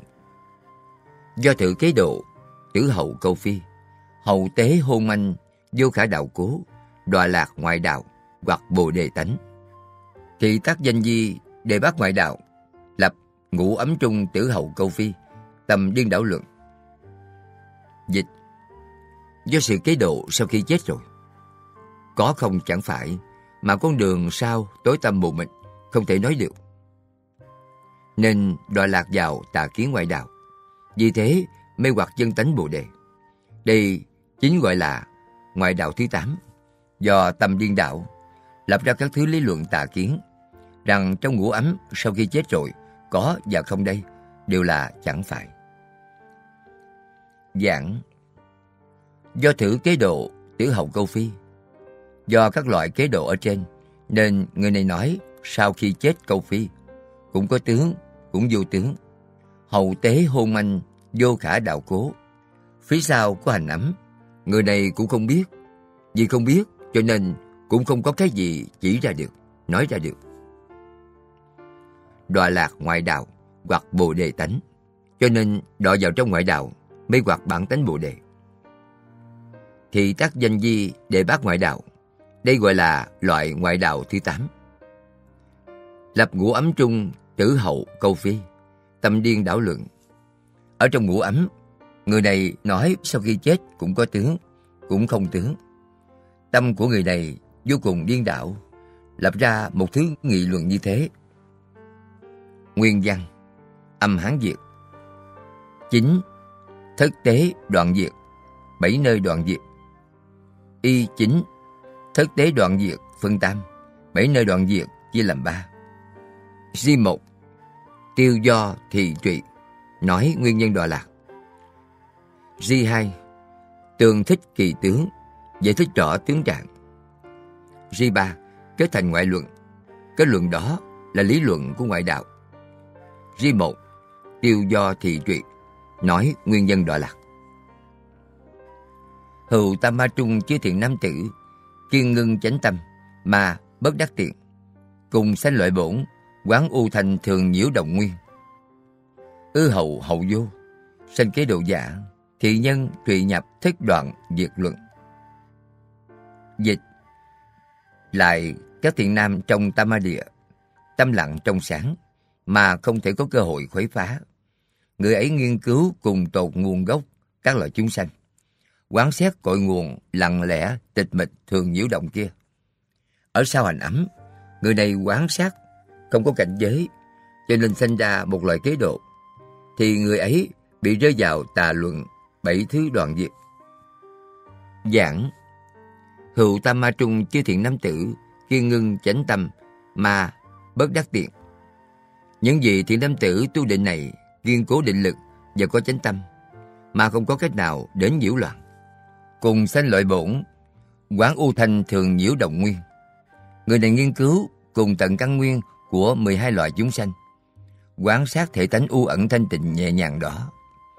và lúc đó, trong hành ẩm có đồng tướng di tế, ư hậu hậu vô, sanh kế độ dạ. Sau hành ẩm, người này quán sát, không được cảnh giới gì cả, cho nên sanh ra một loại kế độ. Thì nhân trụy nhập thất đoạn diệt luận, người này sẽ đọa vào bảy loại đoạn diệt luận.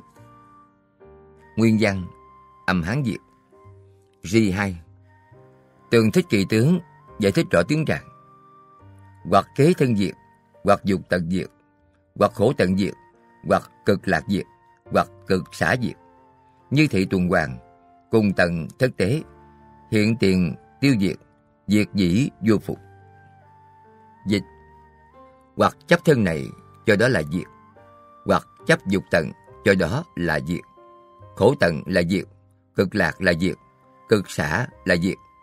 Tuần hoàng xoáy dần cùng tận bảy chỗ. Hiện tiền ác phải dướng vào tiêu diệt. Nếu đã diệt rồi, không trở lại nữa. Giảng hoặc kế thân diệt, hoặc là người này kế độ thân mình.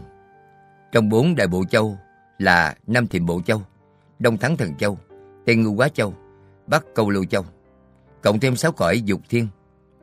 Tất cả những chúng sanh có thân người này, quan sát những thân này tương lai sẽ diệt. Hoặc dục tận diệt, hoặc là trong sơ thiền thiên của tứ thiền thiên, dục tận diệt.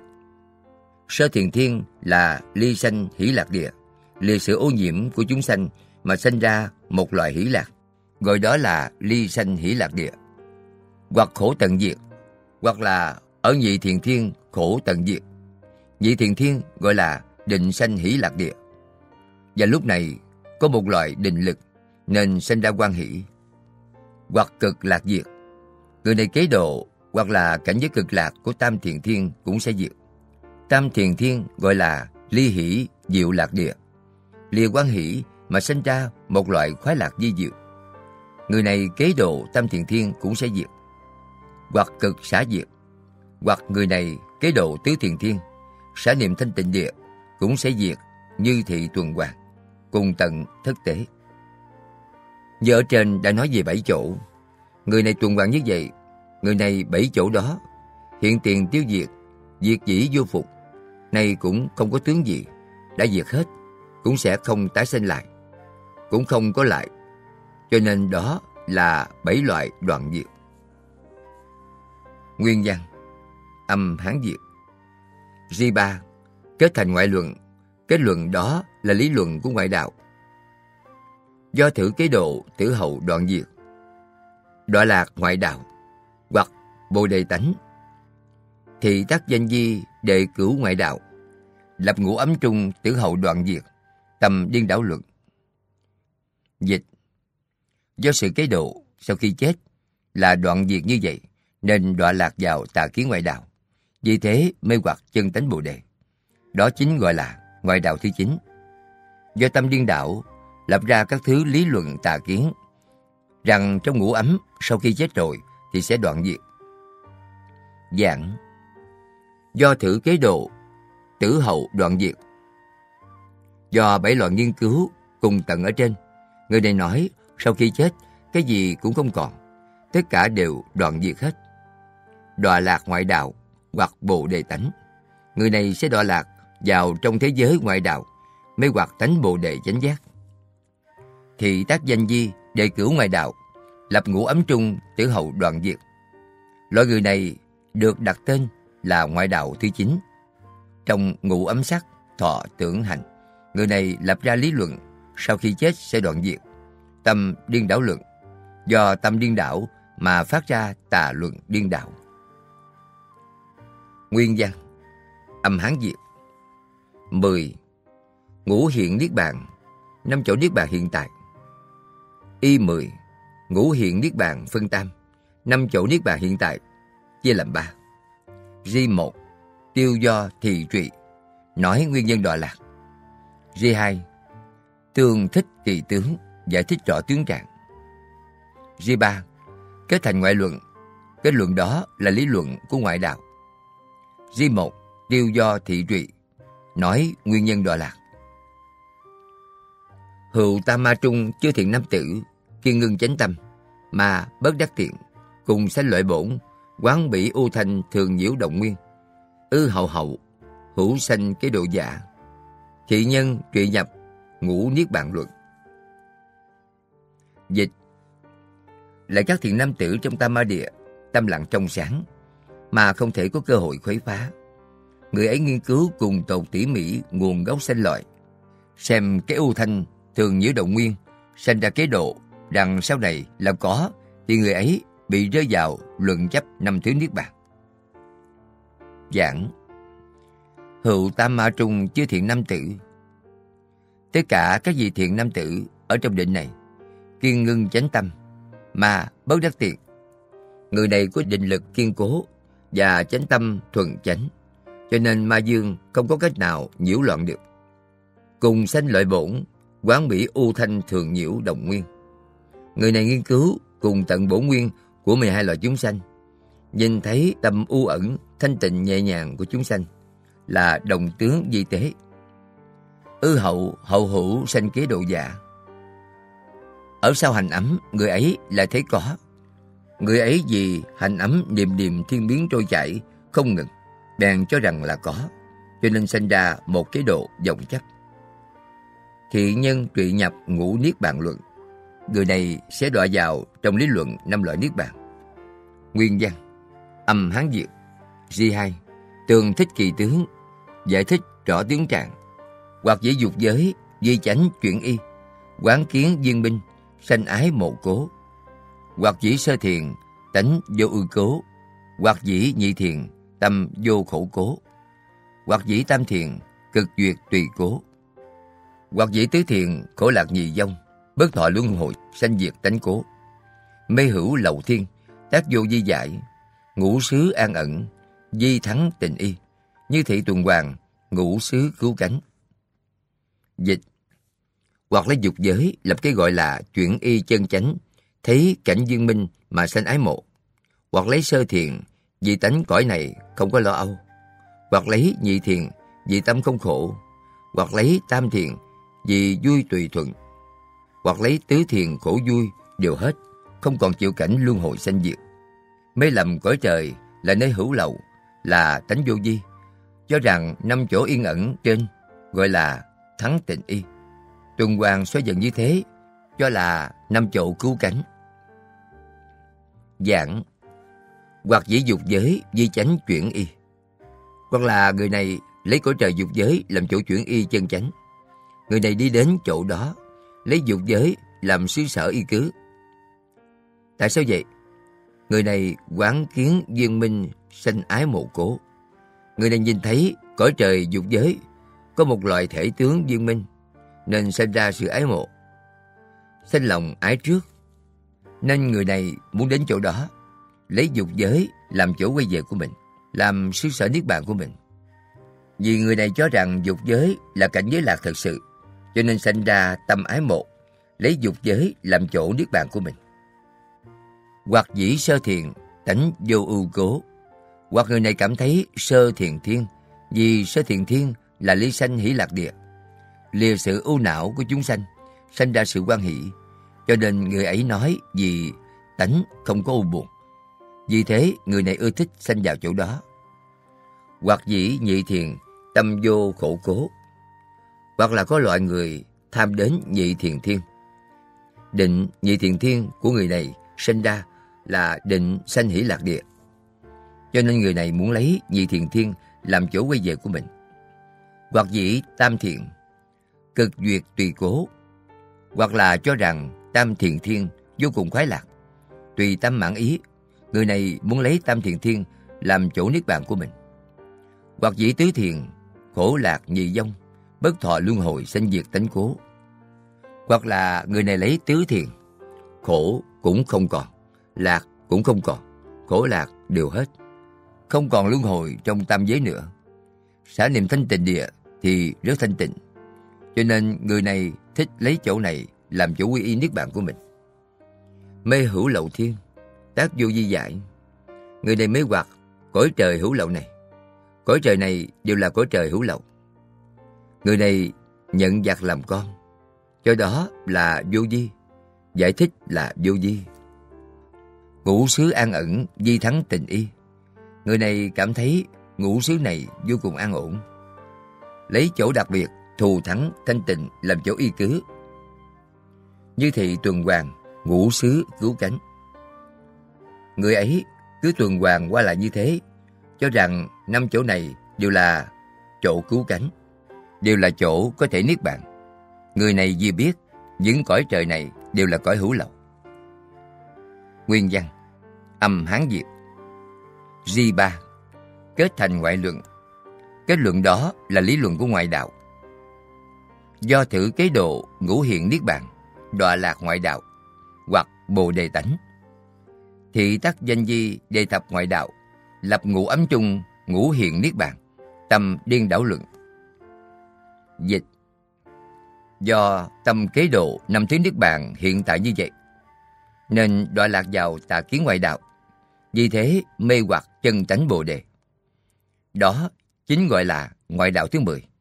Do tâm điên đảo lập ra các thứ lý luận tà kiến. Ở trong ngũ ấm lập ra năm loại niết bàn hiện tại. Giảng do thử kế độ ngũ hiện niết bàn. Do năm loại kế độ ở trên, người này kế độ hiện ra năm loại niết bàn. Đọa lạc ngoại đạo hoặc bồ đề tánh thì sẽ đọa lạc vào trong ngoại đạo làm mê mất đi giác tánh bồ đề. Thị tác danh di đề thập ngoại đạo lập ngũ ấm chung ngũ hiện niết bàn, tầm điên đảo luật. Đây gọi là ngoại đạo thứ 10. Ở trong ngũ ấm, người này lập ra năm loại niết bàn hiện tại, lập ra lý luận điên đảo không chính xác. Nguyên văn Âm Hán Việt Kết hại chút hộ Tổng kết sự tai hại và dặn dò giữ gìn. H3 Kết hại chút hộ phương tam Tổng kết sự tai hại và dặn dò giữ gìn chia làm ba. Y một, Thị nhân giao hổ, Khai thị sắc ấm và tâm, Giao xen lẫn nhau.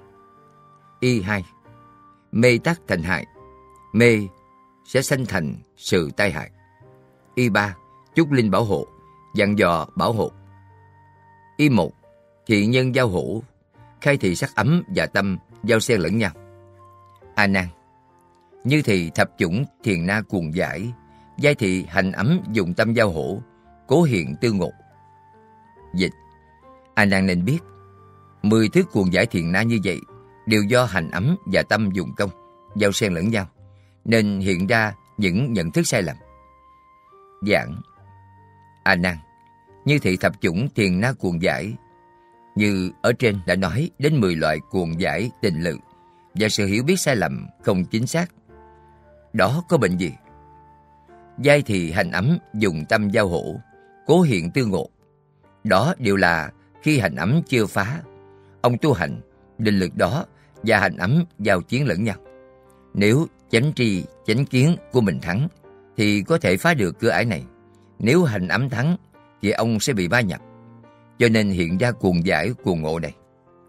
Nguyên văn Âm Hán Việt Y hai Mê tắc thành hại Mê sẽ sanh thành sự tai hại Chúng sanh ngoan mê bất từ thổn lượng, phùng thử hiện tiền, dĩ mê di giải, tự ngôn đăng thánh, đại dòng ngữ thành, đọa vô gián ngục. Dịch Chúng sanh ngu mê, nên không hề biết tự lượng sức mình. Gặp cảnh hiện ra cho mê là ngộ, tự bảo đã được chứng đắc quả thánh, thành đại dòng ngữ, đọa ngục vô gián. Giảng Chúng sanh ngoan mê, bất tự thốn lượng, Chúng sanh ngoan mê không giác ngộ, cũng không nghĩ mình là người như thế nào, có tâm tánh như thế nào. Phùng thử hiện tiền, dĩ mê di giải. Gặp phải cảnh giới này hiện tiền, lấy mê làm ngộ vốn là mê, nhưng vì không có minh sư chỉ điểm, cũng không có thiền tri thức, giáo đạo, nên mình lấy mê làm chỗ giải thích. Tự ngôn đăng thánh, tự nói mình đã chứng đắc thánh quả, tự nói mình đã khai ngộ, tự nói mình đã thành Phật. Đại dòng ngữ thành, đọa vô gián ngục. Đây thật là chân chân thật thật, nói đại dòng ngữ. Đã nói đại dòng ngữ thì nhất định sẽ đọa vào địa ngục vô gián. Nguyên văn, Âm Hán Việt Y ba, Chúc Linh bảo hộ, Dặn dò bảo hộ. Nhữ đẳng tức tu tương như lai ngữ. Ư ngã diệt hậu, truyền thị mạt pháp. Biến linh chúng sanh, giác liễu tư nghĩa. Vô linh tâm ma, tự khởi thâm nghiệt Bảo trì phục hộ, Tiêu tức tà kiến. Giáo kỳ thân tâm, Khai giác chân nghĩa. Ư vô thượng đạo, Bất tào chi kỳ. Vật linh tâm kỳ đắc thiểu di túc, Tác đại giác dương, Thanh tịnh tiêu chỉ. Dịch. Sau khi Như Lai đã diệt độ rồi, Các ông quyết phải đem lời Như Lai Truyền dạy chúng sanh trong đời mạt Pháp.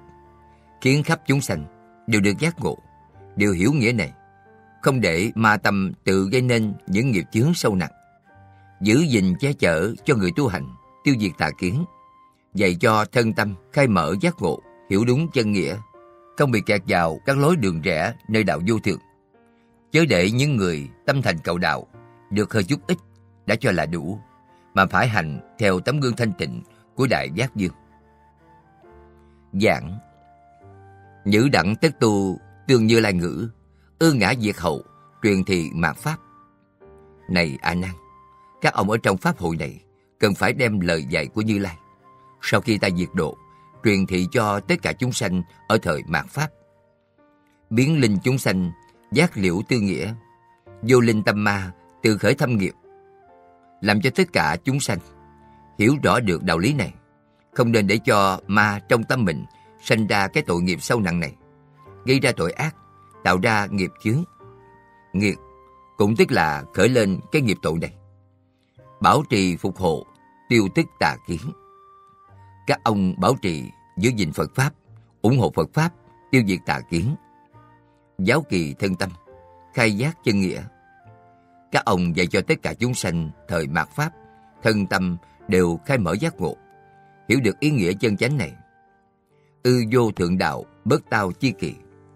Đối với đạo quả vô thượng, không gặp phải chi mạng Chi mạng tức là không phải pháp gốc, không gặp pháp ngọn, cũng không cầu pháp gốc. Gặp phải đường rẽ, không biết đi đường nào mới đúng. Vật linh tâm kỳ, đắc hiểu di túc. Không nên để cho những người trong tâm khẩn cầu vô thượng giác đạo, nhưng mới được một chút cho là đủ. Tác đại giác dương thanh tịnh tiêu chỉ, nên làm đại giác dương, làm tấm gương thanh tịnh, mô phạm thanh tịnh, lãnh tụ thanh tịnh. Không nên được ít cho là đủ, cần phải cố gắng tiến bộ thêm.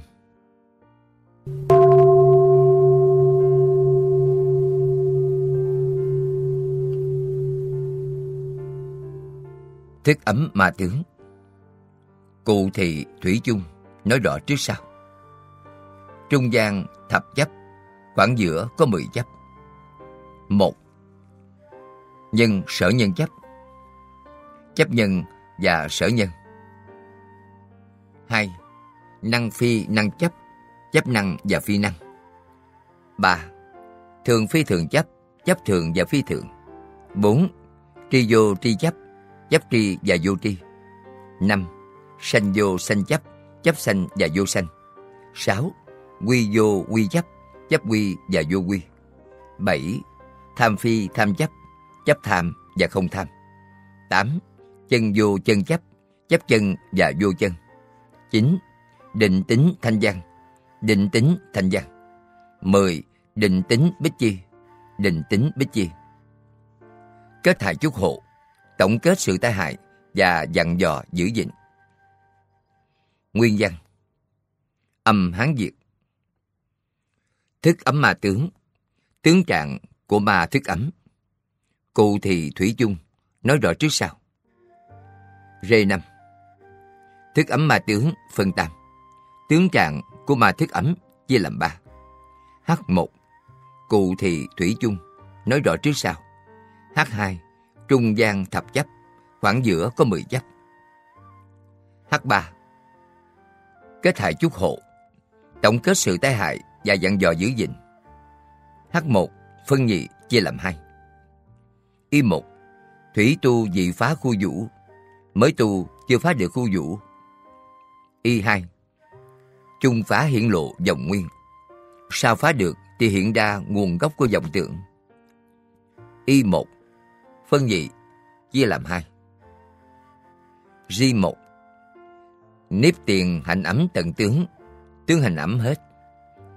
Ri hai Trạng thị thức ấm khu vũ, nói về cảnh giới của thức ấm. Ri một Nếp tiền hành ấm tận tướng, tướng hành ấm hết.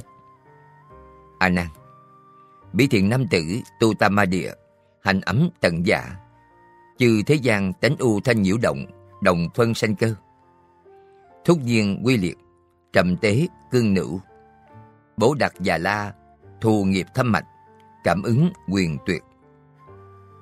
Dịch anh nàng nên biết, thiện nam tử này tu tam ma địa, hành ấm hết rồi. Nơi sanh đồng phận, đồng tướng u ẩn thanh tịnh nhẹ nhàng. Các tánh thế gian, bỗng chốc tan rã, dường mối di tế. Bố đặc già la, mạch ngầm gây nghiệp, trả dây quả báo của các chúng sanh, cảm ứng đều dứt.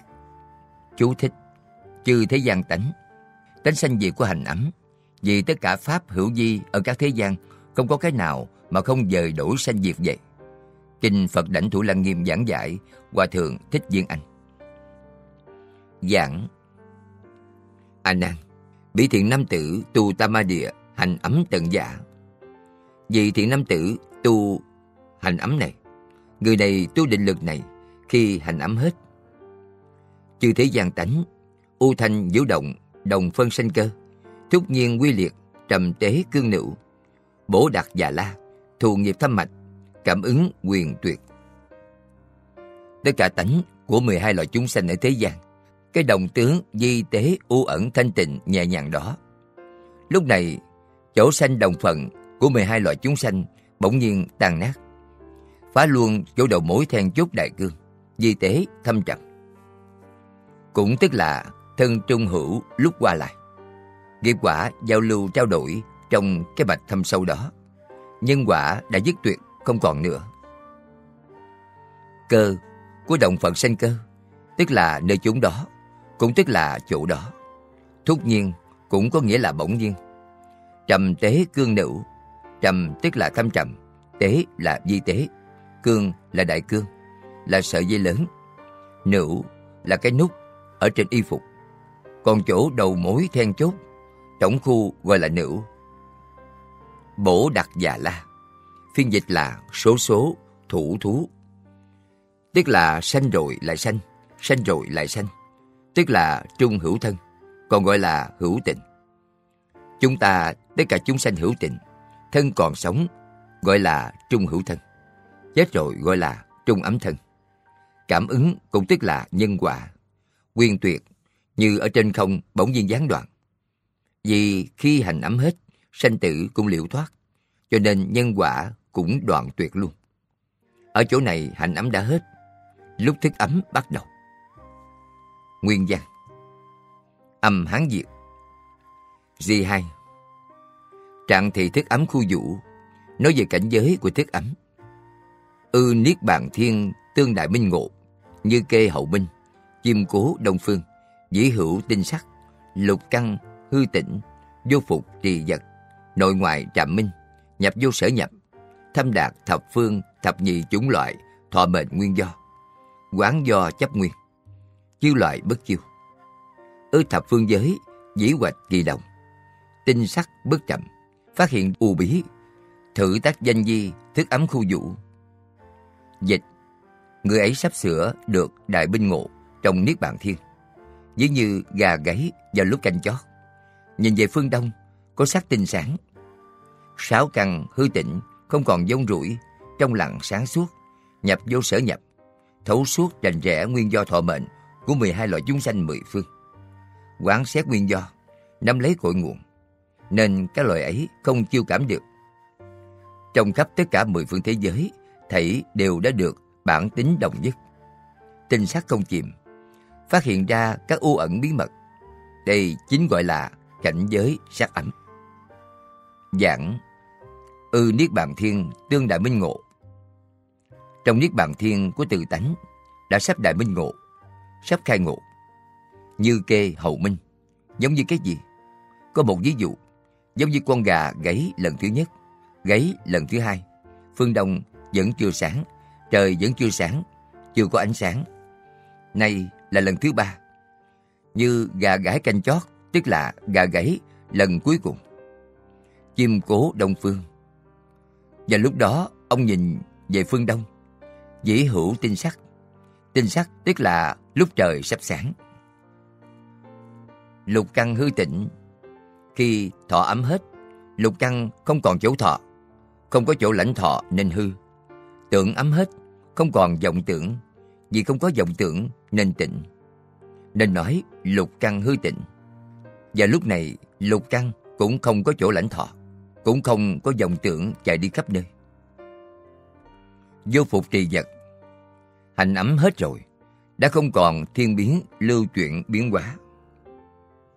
Hành ấm thì thiên biến trôi chảy biến hóa, giống như sống thường trôi chảy không ngừng nay đồng nguyên di tế của hành ấm không còn nữa, nên vô phục trì vật, chỗ nào cũng không chạy nữa. Nội ngoại trạm minh Và lúc đó, chỉ còn thuyết ấm là chưa phá. Bên trong cũng đã quang minh, bên ngoài cũng đã quang minh. Nhập vô sở nhập. Vì căn trần đã đoạn hết, lục căn và lục trần hợp lại làm một. Không còn căn, cũng không còn trần. Căn và trần không kết thành đôi nữa. Đã là không có chỗ sở duyên nên căn trần không kết thành đôi nữa. Không còn chỗ trái ngược, đối lập nhau.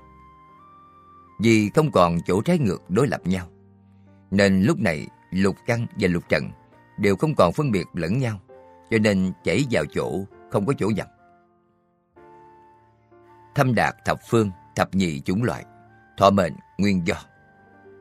Và lúc này thông đạt sâu sắc căn nguyên, nguồn gốc sanh mạng lúc ban đầu của 12 loại chúng sanh trong 10 phương. Quán do chấp nguyên, chư loại bất chiêu. Quán sát được nguồn gốc căn bổn này, và lúc này cũng không thọ lãnh sự chiêu dẫn của 12 loại chúng sanh.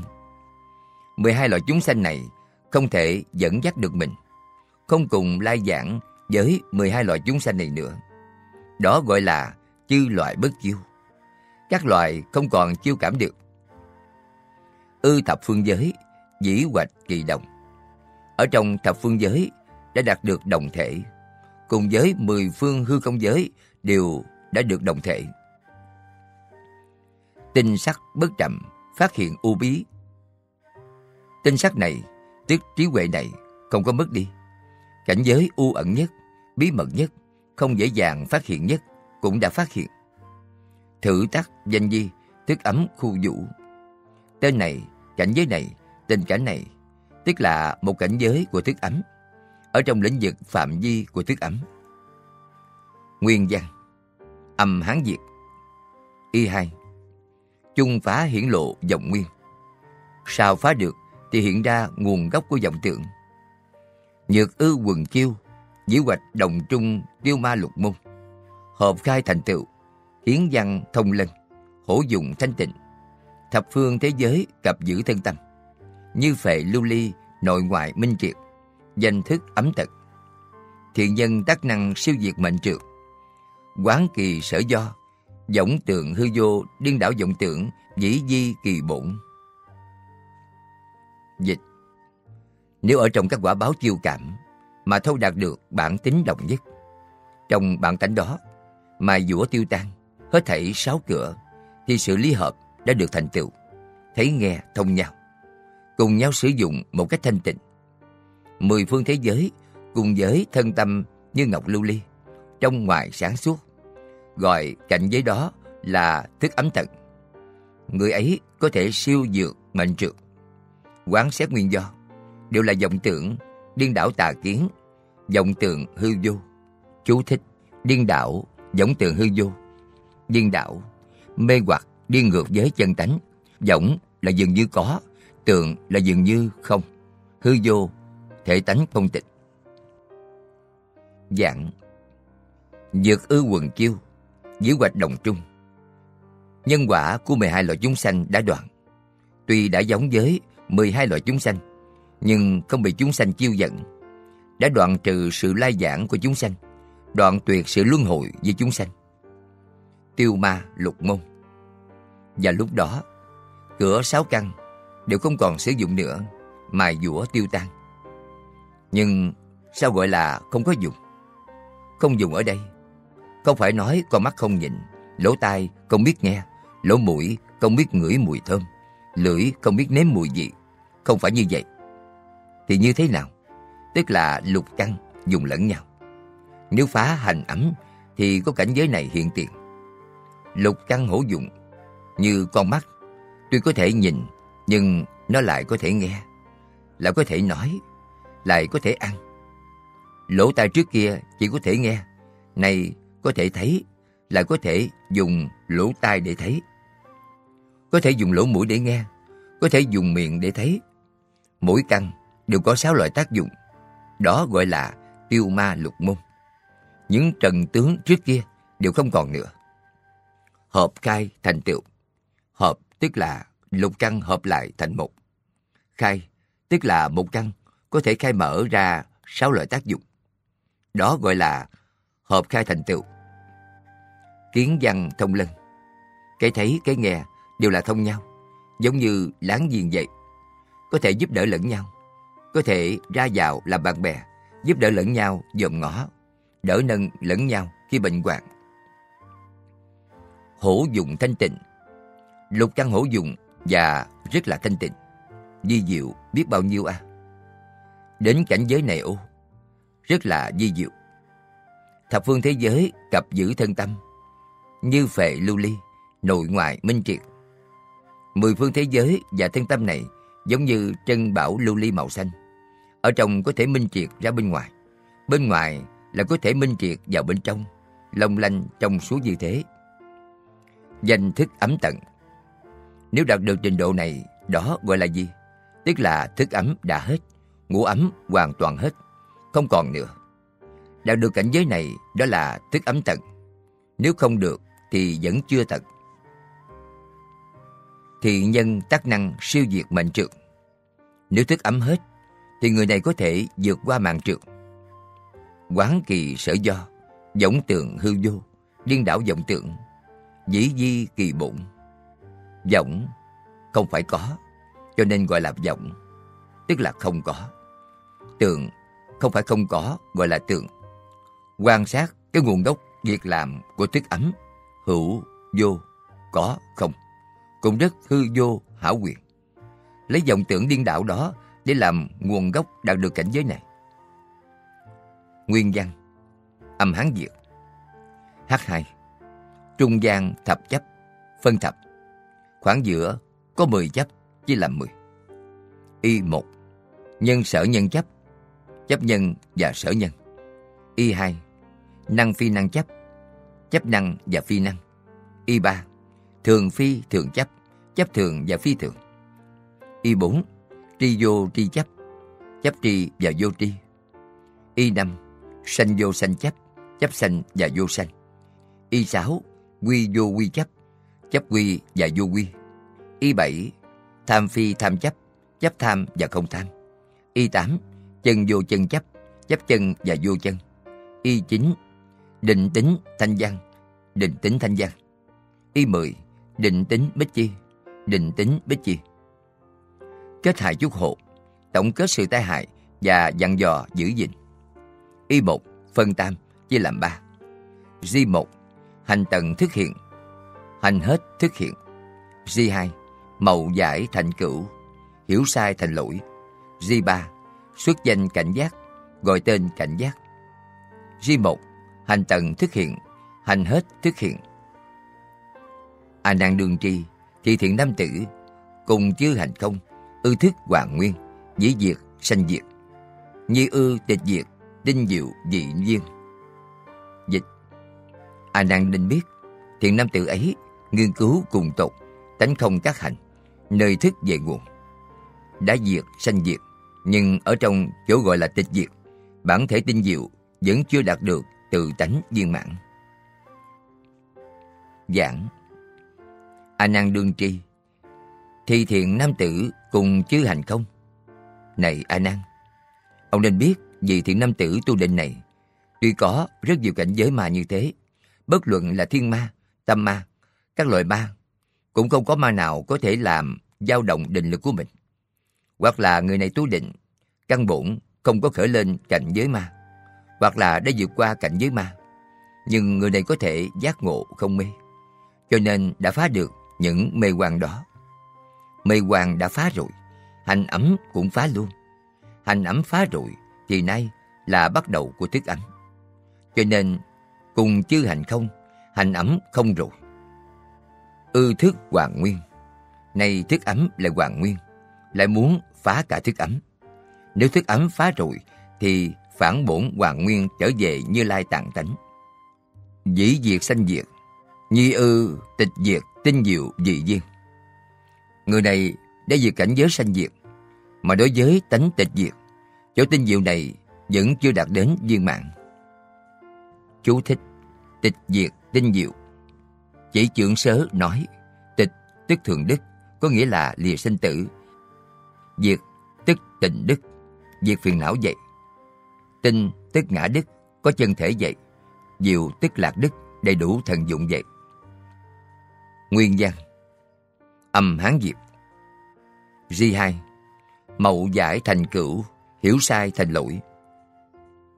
Năng linh kỹ thân Căn cách hợp cai, Ư giữ thập phương chư loại thông giác Giác tri thông hút, Năng nhập duyên nguyên. Nhược ư sở quy lập chân thường nhân, Sanh thắng giải giả Thiện nhân đắc đọa nhân sở nhân chấp. Sa tỳ ca la sở quy minh đế, Thành kỳ bán lữ, Mê Phật Bồ Đề, Dòng thức trì kiến. Dịch. Người ấy có thể khiến nơi thân mình, Các căn, lúc thì khi hợp khi chia Cùng với các loài Trong khắp mười phương Thông chung tánh giác Cái giác tri ấy đã đặng thông suốt Thì tâm an nhiên nhập vào bổn tánh căn nguyên viên mạng Nếu chỗ quay về Lập ra cái nhân gọi là chân thường Mà sanh thắng giải thì người ấy lại rơi vào cái chấp là nhân sở nhân. Thành bạn ngoại đạo, sa tỳ ca la, chấp quy minh đế. Mê hoặc bản tâm, đánh mất tri kiến, bỏ quên chân tánh bồ đề Phật quả. Giảng Năng linh kỹ thân, căn cách hợp khai. Người này từ thức ấm sinh ra một loại vọng tượng, nói ở cảnh giới tinh diệu chưa viên mạng đó. Người tu đạo này có thể khiến cho lục căn của mình hữu dụng. Mỗi một căn đều có thể có năng lực của sáu căn. Con mắt có thể nói chuyện, là có thể nghe tiếng. Lỗ tai là có thể ăn đồ ăn, lại có thể ngửi mùi. Lục căn, nhãn, nhĩ, tỷ, thiệt, tân ý đều có thể thông dụng lẫn nhau. Ông nói lỗ tai có thể ăn đồ ăn được không? Lục căn hữu dụng thì lỗ tai có thể ăn.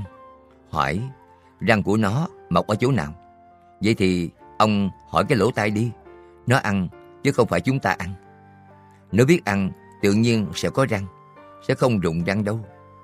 Hoặc là nó không cần răng, nay sinh ra cũng được. Đây là tác dụng của khoa học chân chánh, một loại năng lực của khoa học chân chánh. Cho nên mỗi căn đều có sáu loại năng lực. Đó gọi là lục căn hữu dụng. Căn cách hợp khai. Hợp tức là lục căn hợp lại thành một. Lục căn biến thành một căn. Khai tuy là một căn mà có thể có tác dụng của sáu căn. Ông nói có phải thần thông không?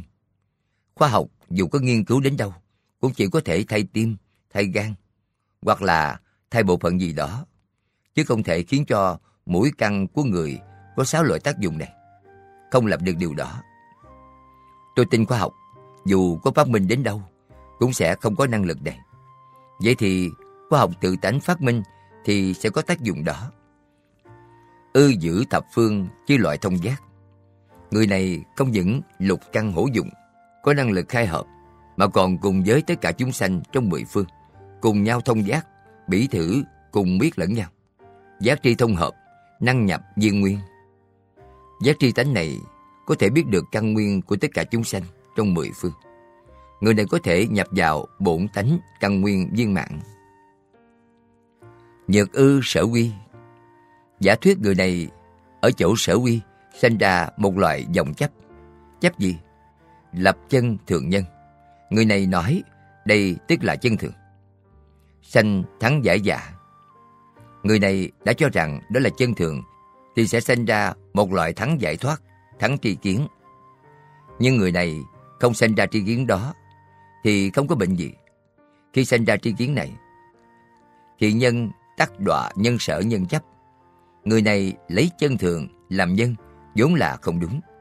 Người này cho rằng chỗ đó là chân thường, kỳ thực vẫn ở chỗ thích, không phải là chân thường. Người này biến thành nhân sở nhân chấp, dũng không phải là nhân đó. Nhưng người này lập ra một cái nhân như vậy. Lập cái nhân như thế thì sinh ra một loại chấp trước. Sinh ra loại chấp trước đó thì người này cùng với ngoại đạo hợp lại thành một. Cùng với ngoại đạo quy vào một mối. Hợp vốn để buôn bán, giống như cổ phần hữu hạn công ty. Người này chạy đến ngoại đạo, cùng với ngoại đạo làm cổ phần hữu hạn công ty. Cùng với ngoại đạo gì? Satikala, tức là ngoại đạo tóc vàng trước đã nói qua, tức là vị sư phụ mà mẹ của ma đăng già nữ theo học. Người này dùng Satikala tiên phạm thiên chúa, Đó gọi là hoàng phát ngoại đạo. Sở quy minh đế, minh tức là không có gì cả. Minh đế của người này, tức là tức thứ tám ở cảnh giới hiện nay, biến hóa ra. Người này nói tất cả dạng vật đều sanh từ minh đế. Thành kỳ bán lữ, Người tu đạo này khi chấp vào cái phi nhân này, nhân lập không đúng, cho nên làm bạn với hoàng phát ngoại đạo, là người lấy minh đế làm chủ quay về, mở công ty hữu hạn công ty hữu hạn này không biết khi nào xong đời hữu hạn không biết là hữu hạn hay là vô hạn. Mê phật bồ đề. Người ấy mê mất đi bồ đề giác tánh của phật. Dòng thất tri kiến. Vì người này lập ra cái lý luận phi nhân kế nhân. Không nên lập cái nhân đó, mà người này lập ra cái nhân đó. Nhân sở, nhân chấp. Người này lập ra không đúng, nên không có trí huệ chân chánh, gọi là dòng thất tri kiến dòng thất tri kiến, tức là không có trí huệ chân chánh. Là mất đi trí huệ chân chánh, là mất ở chỗ nào? Nếu ông muốn giúp người này tìm kiếm, ông cũng sẽ mất luôn. Nguyên văn, âm hán việt. G3 xuất danh cảnh giác, gọi tên cảnh giác. Thì danh đệ nhất, lập sở đắc tâm, thành sở quy quả, di diễn viên thông, nội niết bàn thành, sanh ngoại đạo chủng dịch. Đó chính gọi là tà chấp thứ nhất. Làm sở đắc tâm tâm có chỗ đắc. Thành ra cái quả có chỗ quay về. Trái xa hẳn với bản tánh viên thông, đi ngược lại với thành xứ niết bàn. Nên sanh vào nhà của giống ngoại đạo. Giảng. Thị danh đệ nhất làm sở đắc tâm, thành sở quy quả đây là loại thứ nhất. Người này lập ra sở đắc tâm thành một cái quả trổ quy hướng của người này. Tông chỉ của người này đã sai rồi. Sao sai vậy? Di diễn viên thông cùng với đạo lý tu hành, nhĩ căn viên thông, phản văn văn tự tánh, nhập vào dông sở hoàn toàn tương phản, hoàn toàn không phù hợp. Tại sao vậy? Vì người này sinh ra một loại chấp trước, bồi niết bàn thành. Vì người này đi ngược thành phố lớn niết bàn. Cái gì là thành phố lớn niết bàn? Ở chỗ nào? Thành phố lớn niết bàn ở chỗ tứ đức niết bàn thường lạc ngã tịnh sanh ngoại đạo chủng, phi nhân lập nhân của người ấy thì biến thành ngoại đạo chấp trước, biến thành minh đế của ngoại đạo tóc vàng. Cùng với ngoại đạo tóc vàng, hùng chung cổ phận, làm bạn bè với nhau. Nguyên văn, âm hán việt. Y hai, năng phi năng chấp, phân tam, chia làm ba. Ri một hành tận thức hiện. Hành hết thức hiện. Ri hai, mậu giải thành cửu. Hiểu sai thành lỗi. Ri ba, xuất danh cảnh giác. Gọi tên cảnh giác. Ri một, hành tận thức hiện. Hành hết thức hiện. A nan, hữu thiện nam tử, cùng chư hành không dĩ diệt sanh diệt, như ư tịch diệt tinh diệu dị duyên. Dịch, a nan định biết, thiện nam tử ấy nghiên cứu cùng tột tánh không các hành, đã diệt, sanh diệt. Nhưng ở nơi chỗ gọi là tịch diệt, vẫn chưa đạt được viên mãn tinh diệu. Giảng A Nan, hữu thiện nam tử cùng chưa hành không? Này A Nan, lại nữa, vị thiện nam tử tu định đó đã nghiên cứu cùng tận hành ấm đã không rồi. Dĩ diệt sanh diệt, như ư tịch diệt, tinh diệu dị duyên. Người này đã diệt đi cảnh giới sanh diệt, mà ở trong cảnh giới tịch tịnh, tịch diệt, tinh diệu dị viên, Tịch diệt lạc này, người này vẫn chưa đạt được hoàn toàn. Vì nay cái thức vẫn chưa hết. Thức này chỉ sai một chút với chân như. Thức thì có sanh, có diệt, chân như thì không sanh không diệt. Vậy thì nay ở thức thứ 8 có một loại tướng sanh diệt, di tế cùng với chân như không sanh không diệt hòa hợp với nhau. Đó gọi là hòa hiệp thức, tức là cái thức sanh diệt, rất là gần với cái chân như không sanh diệt. Cùng hòa hợp với nhau. Đó gọi là hòa hợp thức. Vì nó là hòa hợp thức, cho nên tinh diệu chưa được viên mãn. Nguyên văn Âm Hán Việt G2 Màu giải thành cửu Hiểu sai thành lỗi Nhật ư sở quy, Lãm di tự thể, Tần hư công giới, Thập nhị loại nội sở hữu chúng sanh. Giai ngã thân trung nhất loại lưu xuất, Sanh thắng giải giả. Thị nhân tác đọa năng phi năng chấp. Ma hê thủ la hiền vô biên thân, Thành kỳ bạn lữ. Mê Phật Bồ Đề, Dòng thức kỳ kiến. Chú thích Lãm di tự thể Tức quên mình quán xét cái thức. Quán xét lâu ngày nên được thành tựu. Vì chỉ nhìn thấy thức thể vô biên, Nên không nhìn thấy có thân mình. Tức lấy thức tâm làm từ thể vậy. Kinh Phật Đảnh Thủ Lăng Nghiêm giảng giải, Hòa Thượng Thích Viên Anh. Dịch, Giả như người ấy ở chỗ quay về, Mà là chấp trước là tự thể mình, Cho rằng tất cả hết thảy chúng sanh Gồm 12 loại cùng tận hư không, Đều là một loại Ở trong thân ta tuôn khởi phát sanh.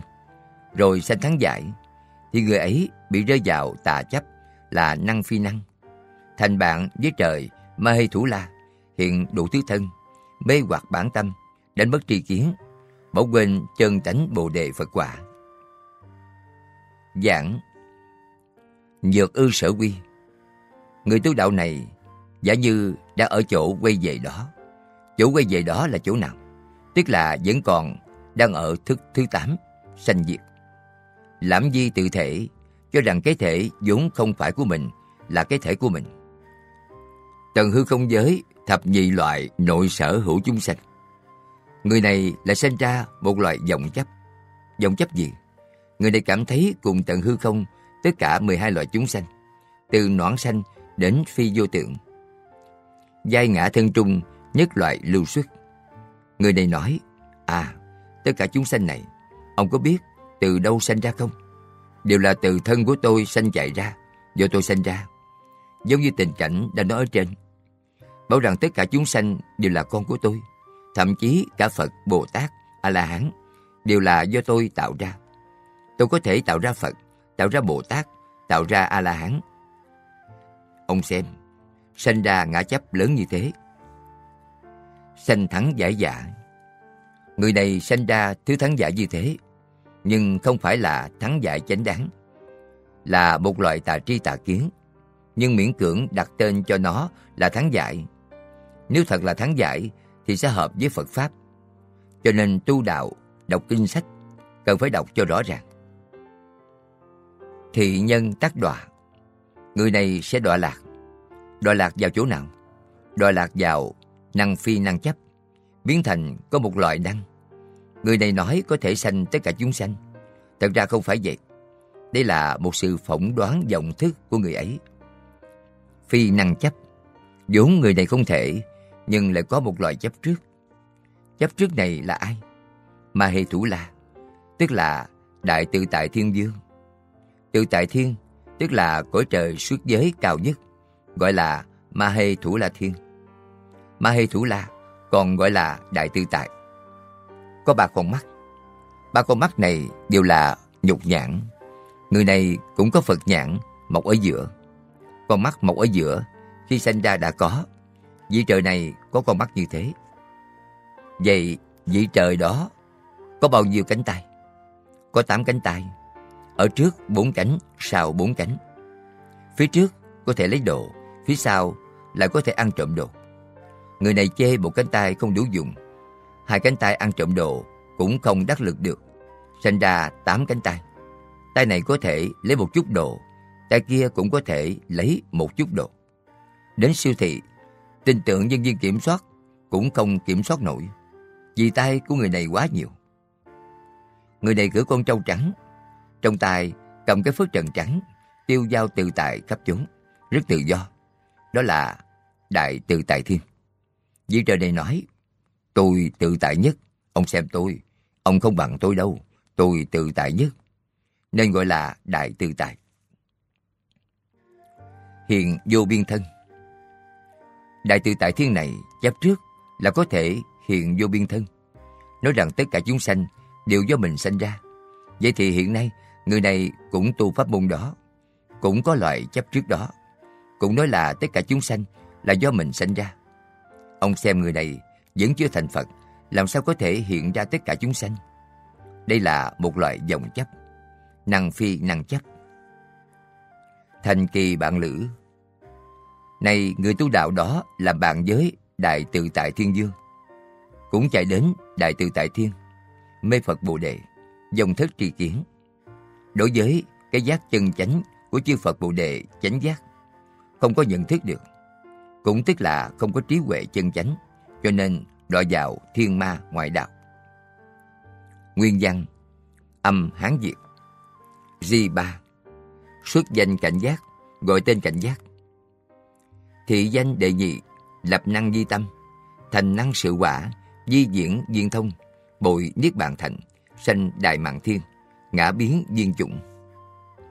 Dịch Nơi đây gọi là tà chấp thứ hai lập ra cái tâm gọi là năng di. Thành ra cái quả gọi là năng sự.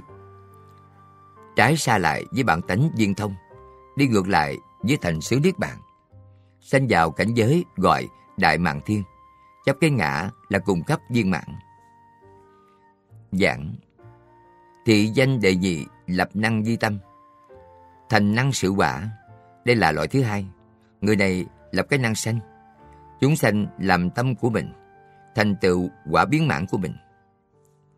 Di diễn viên thông Người này sẽ trái ngược với pháp môn nhĩ căn viên thông, phản văn văn tự tánh. Bội Niết Bàn thành cũng đi ngược lại với thành Niết Bàn bất sanh bất diệt. Sanh Đại Mạng Thiên Người này tương lai sẽ sanh vào Đại Mạng Thiên. Đại Tự Tại Thiên cũng tức là Đại Mạng Thiên. Sao gọi là Đại Mạng Thiên? Vì người này kinh thường mọi người, luôn cưỡi trên mình con trâu trắng lớn, có ba con mắt, tám cánh tay, cảm thấy mình tại ba lỗi lạc, cảm thấy cưỡi con trâu trắng thật tự do tự tại, rất thoải mái. Người này cho rằng cuộc sống của mình rất ưu việt, cho nên sanh ra tâm cống cao ngã mạng, nhập vào ngã biến viên chủng. Nói ngã có thể cùng khắp viên mãn, có thể thành tựu tất cả. Nguyên giác. Âm Hán Diệt. Ba. Thường phi thường chấp. Y ba. Thường phi thường chấp phân tam chia làm ba. G1 Hành tận thức hiện, Hành hết thức hiện. G2 Mậu giải thành cửu, Hiểu sai thành lỗi. G3 Xuất danh cảnh giác, Gọi tên cảnh giác. G1 Hành tận thức hiện, Hành hết thức hiện. Hữu thiện nam tử, Cùng chứ hành không, Dĩ diệt sanh diệt, Như ư tịch diệt, Tinh diệu dị duyên. Dịch. Lại thiện nam ấy, Nghiên cứu cùng tộc tánh không các hạnh, đã diệt, sanh diệt. Nhưng ở nơi chỗ gọi là tịch diệt, vẫn chưa đạt được viên mãn tinh diệu.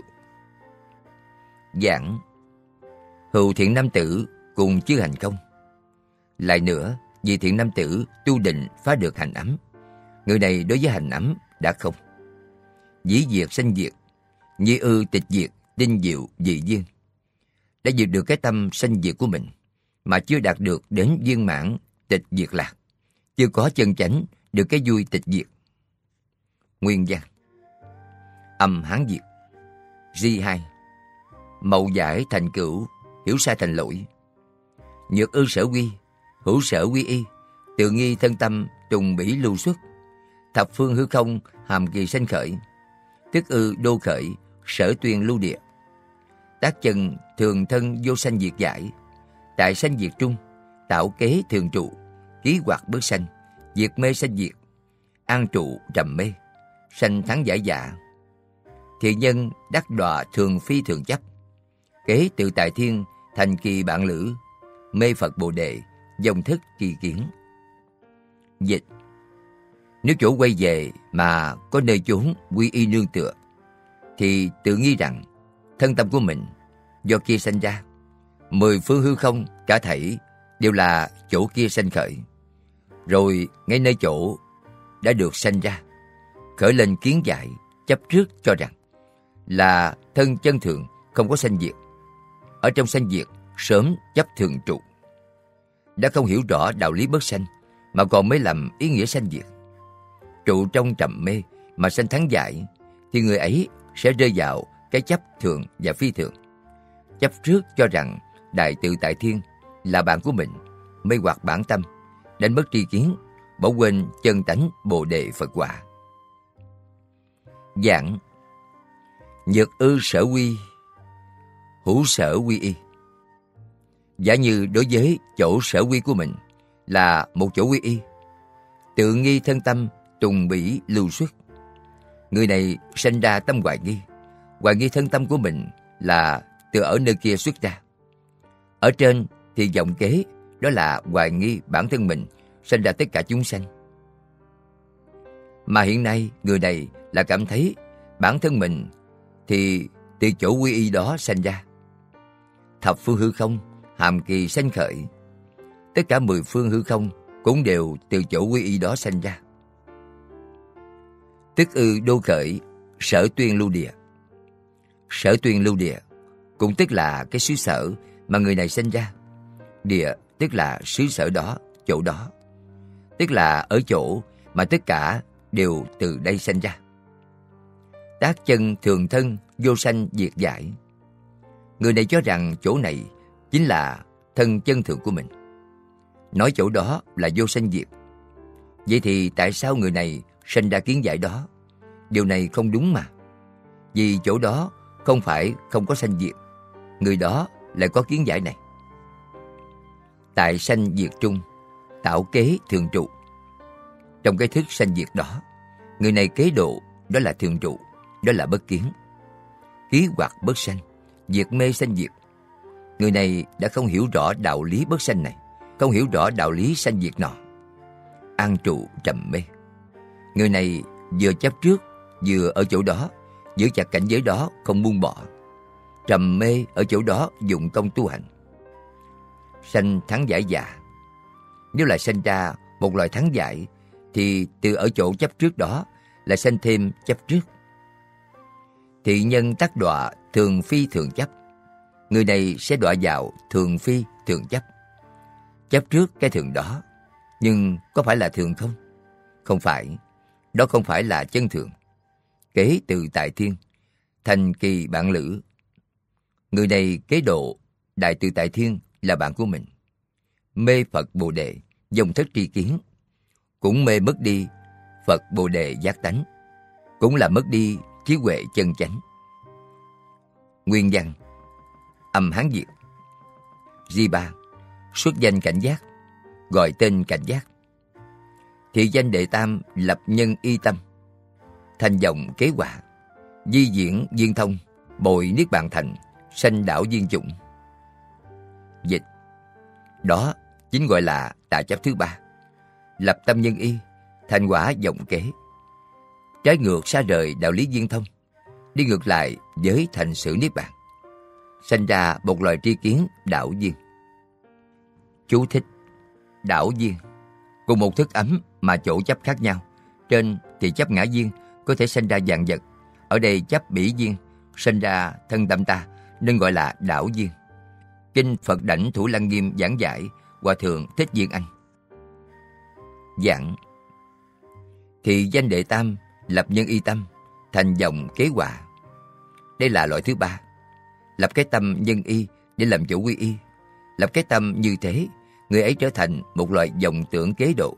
Không phải là quả, mà cho là quả. Di diễn viên thông, bội niết bàn thành, sanh đảo viên chủng. Vừa trái ngược, vừa xa rời với đạo lý viên thông, vừa xa rời, vừa trái ngược với thành niết bàn, sinh ra một loại tri kiến điên đảo. Nguyên văn Âm Hán Việt 4. Tri vô tri chấp Y 4. Tri vô tri chấp Phân tam với làm ba, Di 1. Hành tận thức hiện Hành hết thức hiện Di 2. Màu giải thành cửu Hiểu sai thành lỗi Di 3. Xuất danh cảnh giác Gọi tên cảnh giác. Di một, Hành tận thức hiện, Hành hết thức hiện. Hữu thiện nam tử Cùng chư hành công, Dĩ diệt sanh diệt, Nhi ư tịch diệt, Tinh diệu dị duyên. Dịch, Lại thiện nam ấy, Nghiên cứu cùng tộc Tánh không các hành, Đã diệt sanh diệt, Nhưng ở nơi chỗ gọi là tịch diệt, Vẫn chưa đạt được viên mãn tinh diệu. Giảng, Hữu thiện nam tử cùng chư hành không vì thiện nam tử này Nghiên cứu cùng tầng, Chư hành đã không? Dĩ diệt sanh diệt, Nhi ư tịch diệt tinh diệu dị duyên người ấy đã diệt trừ cái chủng tánh sanh diệt. Nhưng đối với cái vui tịch diệt thì cái tinh diệu chưa có được viên mãn. Nguyên văn Âm Hán diệt. G2 Mậu giải thành cửu, Hiểu sai thành lỗi. Nhật ư sở tri Tri biến viên cố. Nhân tri lập giải Thập phương thảo mộc Giai sinh hữu tình Giữ nhân vô dị Thảo mộc di nhân Nhân tử hoàn thành thập phương thảo thọ vô trạch biến tri, sanh thắng giải giả. Thì nhân tác đọa, tri vô tri chấp. Bà tra, tiếng ni, chấp nhất thiết giác. Thành kỳ bạn lữ, mê Phật Bồ Đề, dòng thức tri kiến. Dịch Nếu như người kia, do chỗ hiểu biết viên mãn cùng khắp mà sanh kiến giải, dòng tưởng cho rằng tất cả cỏ cây trong khắp mười phương đều là hữu tình, không khác với người. Cỏ cây làm người, người chết làm cây, cùng khắp mười phương. Người này không có trí huệ chọn lựa cái biết cùng khắp, sinh ra thắng giải. Người ấy rơi vào tà kiến, chấp trước, tri và vô tri. Thành bạn ngoại đạo bà tra. Tiền ni, chấp rằng tất cả đều có tri giác, mê hoặc bản tâm, đánh mất tri kiến, bỏ quên chân tánh bồ đề Phật quả. Giảng Nhược ư sở tri, tri biến viên cố, Nhân tri lập giải, giả như đối với sự hiểu biết của người này, người ấy nói cái tri này là biến mãn cùng khắp viên mãn. Vì cái biết này, người ấy lập ra cái kiến giải. Lập kiến giải gì? Kiến giải của người này bạn sẽ không ngờ được. Tôi cũng không nghĩ đến được. Kiến giả gì vậy? Người ấy nói thập phương thảo mộc, giai sưng hữu tình, giữ nhân vô dị. Người Trung Quốc có một câu nói rằng Người không phải là cây cỏ, làm sao có thể vô tình? Như thế đủ chứng minh cây cỏ là vô tình. Nhưng nay người ấy lại sanh một loại kiến giả như thế. Nói tất cả thảo mộc trong mười phương đều là hữu tình. Cùng với người không khác, nó cũng có sinh mạng. Thảo mộc di nhân, nhân tử hoàn thành thập phương thảo thọ. Thảo mộc có thể làm người, người nếu chết đi lại biến thành cây cỏ trong mười phương vô trạch biến tri. Người này không có trí huệ để chọn lựa cái biết cùng khắp tất cả. Sanh thắng giải giả. Và lúc đó người này lại làm ra chuyện lạ đời. Sanh ra một loại tà thắng giải. Thị nhân tác đọa. Người này sẽ đọa lạc vào chi vô tri chấp. Người này nói người ấy biết. Kỳ thực người ấy không biết. Nhưng mà người ấy chấp trước nói rằng mình biết.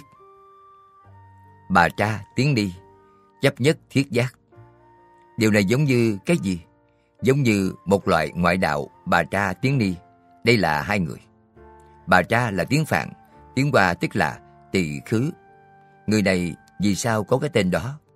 Người này trước kia là một bụng đồng, là một đồng tử chăn trâu, hoặc là chăn heo, chăn dê gì đó. Lúc đó dương tử, tỳ xá ly chưa làm vua. Cũng ở bên ngoài vui giỡn. Khi vui giỡn giỡn chơi thì lấy thân bà cha làm giường nằm, ngủ trên giường của bà cha. Bà cha rất không vui, trở về nói với mẹ rằng Tỳ xá ly lấy con làm giường, ngủ trên mình con. Mẹ của bà cha biết đây là hoàng đế tương lai, không dám làm như thế nào. Vì thái tử có thế lực, nên nói Con sau này không nên ở chung với thái tử nữa, con nên tránh xa, cách thái tử xa một chút. Vì thế nên có tên là tỳ khứ. Tiếng ni cũng là tiếng Phạn, dịch thành tiếng Hoa là hữu quân. Có lẽ người này thích làm quân nhân, có khí cái của quân nhân, cho nên gọi như vậy. Hai ngoại đạo này chấp nhất thiết giác. Họ cho rằng cái gì cũng đều biết. Người tu hành này thành kỳ bạn lữ, thành bạn của họ. Mê Phật Bồ Đề, dòng thất tri kiến. Người này mê hoặc Bồ Đề giác tánh, bất đi chánh tri chánh kiến của mình. Nguyên văn Âm Hán Việt Ri ba Xuất danh cảnh giác Gọi tên cảnh giác Thị danh đệ tứ Kế duyên tri tâm Thành hư mậu quả Di diễn viên thông Bội niết bàn thành Sanh đạo tri chủng Dịch Đó chính gọi là chấp trước thứ tư Chế độ cho rằng cái tâm viên tri Cái gì cũng biết Cho nên thành ra cái quả sai lầm Khác thánh viên thông Đi ngược lại với thành xứ Niết Bàn, sinh ra chủng tử tên gọi đảo tri. Giảng Thì danh đệ tứ Ở trên đã nói đây là loại chấp trước thứ tư. Chấp trước cái gì vậy? Kế duyên tri tâm. Người này nói cái gì cũng biết, không cái gì không biết. Kỳ thực đây là một lời chấp trước, đối với tất cả đều không biết. Thành hư mậu quả. Thành tựu cái quả hư mậu chính là không có cái gì cả mậu là sai lầm. Hư mậu tức là không có như thế. Di diễn viên thông Điều này trái ngược và cách xa pháp môn nhĩ căn viên thông. Bội niết bàn thành và cũng trái ngược với thành niết bàn bớt sanh bất diệt. Sanh đạo tri chủng, người ấy sinh ra một loại đạo tri. Đạo tức là điên đạo, điên đạo cái tri kiến của mình. Giống như cây cỏ không ai có thể tính vào loại hữu tình, mà người này lại tính vào trong loại hữu tình. Nói, người chính là cây cỏ, cây cỏ cũng có thể làm người. Vậy thì có người hỏi, cây cỏ có linh, vậy thì nó không phải có tri giác sao? Không phải vậy, vì có một tinh linh dựa vào cây cỏ, chứ không phải cây cỏ đó có trí giác là một loại hữu tình. Nguyên văn. Âm Hán Việt. Năm. Sanh vô sanh chấp. Y năm. Sanh vô sanh chấp phân tam chia làm ba. Ri một. Hành tận thức hiện hành hết thức hiện. Ri hai. Mậu giải thành cửu hiểu sai thành lỗi. Ri ba. Xuất danh cảnh giác gọi tên cảnh giác. Di một hành tận thức hiện hành hết thức hiện. Hữu thiện nam tử cùng chư hành không dĩ diệt sanh diệt. Nhi ư tịch diệt tinh diệu dị duyên. Dịch. Lại thiện nam ấy, nghiên cứu cùng tột, tánh thông các hành đã diệt, sanh diệt, nhưng ở nơi chỗ gọi là tịch diệt, vẫn chưa đạt được viên mãn tinh diệu. Dạng Hữu thiện nam tử cùng chưa hành không. Lại nữa vì thiện nam tử tu định này, nghiên cứu cùng tận cái không của chư hành. Hành ấm đã không, dĩ diệt sanh diệt, người ấy đã diệt được cái sanh diệt. Nhi ư tịch diệt, tinh diệu dị duyên. Tuy nói đã diệt được sanh diệt, nhưng đối với cảnh giới tịch diệt vẫn chưa được viên mãn, vẫn còn một ít chủng tử sanh diệt ở đó. Nguyên văn, âm hán diệt, di hai, mậu giả thành cửu, hiểu sai thành lỗi. Nhược ư viên dung, căn hổ dụng trung, dĩ đắc tùy thuận, tiện ư viên quá nhất thiết phát sanh, cầu quả quang minh, lạc thủy thanh tịnh, ái phong châu lưu, quán trần thành tựu, các cát sùng sự. Dĩ thử quân trần, phát tác bổn nhân, lập thường trụ giải. Thiện nhân tác đọa sanh vô sanh chấp, chư ca diếp ba tình bà la môn, cần tâm dịch thân, sự quả sùng thủy, cầu xuất sanh tử, thành kỳ bạn lữ, mê Phật Bồ Đề, dòng thất tri kiến. Dịch Nếu ở trong chỗ các căn viên dung sử dụng lẫn nhau đã được tùy thuận, bèn ở nơi tánh viên dung biến hóa, phát sinh các thứ mà cầu ánh sáng của cái quả đại. Ưa thích thanh tịnh của cái thủy đại. Ưa thích tràn khắp của cái phong đại. Quán tánh thành tựu của cái địa đại. Lễ bái phụng sự đất nước lửa gió. Lấy cái trần đó cho là bản nhân. Lập cái kiến giải thường trụ như thế thì sẽ rơi vào tà kiến chấp trước, là sanh vô sanh thành bạn của nhóm ca diếp ba kia và bà la môn, đem hết thân tâm siêng năng lễ bái, thờ nước bái lửa, cầu khỏi sanh tử, mê hoặc bản tâm, đánh mất tri kiến, bỏ quên chân tánh bồ đề phật quả giảng nhược ư viên dung, căn hổ dụng trung. Dĩ đắc tùy thuận. Giả như ở cảnh giới viên dung, trong lục căn hổ dụng, đã đạt được sự tùy thuận tùy tám mãn nguyện. Thiện ư viên giáo nhất thiết phát sanh, bèn chấp trước tất cả phát sanh ở trong cái viên dung biến hóa. Cầu quả quang minh, lạc thủy thanh tịnh, ái phong châu lưu, quán trần thành tựu. Người này đối với ngọn lửa sáng vô cùng sùng bái. Đối với tánh thủy thanh tịnh cũng rất là sùng bái. Người này là thích cái tính chất di động của gió, cũng rất sùng bái. Trần tức là địa, người này quan sát sự thành tựu của đất. Người này đối với đất, nước, lửa, gió, các cát, sùng sự. Người này khấu đầu với lửa, khấu đầu với nước, khấu đầu với gió, khấu đầu với đất. Người này nói, thật là bất khả tư nghị. Ông xem, lửa làm sao có ánh sáng? À nước làm sao thanh tịnh như vậy? Thật đáng cho tôi sùng bái. Tôi khấu đầu nhiều một chút. Suốt ngày khấu đầu nước, khấu đầu lửa, khấu đầu gió, khấu đầu đất. Sùng bái tứ đại là cúng dường tứ đại. Sự là thờ cúng cúng dường. Lửa thì có thần lửa, nước có thần nước, gió có thần gió, đất có thần đất. Cho nên người ấy xem đất, nước, lửa, gió, bốn vị thần lớn này làm tổ tiên của mình nên thờ bái đất nước lửa gió. Tôn giả Mahakajip cũng là ngoại đạo thờ lửa, chuyên môn khấu đầu lễ bái lửa. Dĩ thử quần trần, phát tác bổn nhân. Người ấy lấy các trần của tứ đại đất nước lửa gió để làm cái bổn nhân của mình. Lập thường trụ giải, người này nói đó đều là thường trụ. Đất nước lửa gió đều là như lai tạng tánh nhưng ông nên cung kính như lai tạng, không nên cung kính đất nước lửa gió. Đó là đầu thường an đầu. Không dụng công ở căn bổn, không cung kính như lai tạng tánh không cung kính phật, mà cung kính cành ngọn, chạy đến chỗ cành ngọn. Chú thích, đầu thượng an đầu. Thuật ngữ thiền lâm, với những sự việc lặp đi lặp lại như người vốn đã có đầu. Nếu trên đầu lại thêm một cái đầu nữa, thì dư thừa không cần thiết, không thượng an cũng không đồng nghĩa. Thị nhân tác đọa sanh vô sanh chấp. Người này muốn liễu sanh tử, mà thực tế không thể liễu được sanh tử là sanh đa chấp này. Chư ca diếp bà tịnh bà la môn. Ca diếp bà và phạm chí bà la môn là loại người tu thanh tịnh hạnh các người này cần tâm dịch thân, sự quả sùng thủy, cầu xuất sanh tử, siêng năng cần khổ, thân mình tu đủ các thứ khổ hạnh vô ích cung dưỡng lửa, cung dưỡng nước. Khấu đầu, thờ cúng cúng dường, đất, nước, lửa, gió, để cầu liễu thoát sanh tử. Thành kỳ bạn lữ, người tu định này sẽ làm bạn với những người đó. Mê phật bồ đề, dòng thất tri kiến. Đây cũng là mê hoặc bồ đề chân tánh, là mất đi trí huệ chân chánh. Nguyên văn, âm hán việt di ba, xuất danh cảnh giác gọi tên cảnh giác. Thì danh đệ ngũ, kế trước sùng sự, mê tâm tùng vật, lập vọng cầu nhân, cầu vọng ký quả, di diễn viên thông, nội niết bàn thành, sanh điên quá chủng.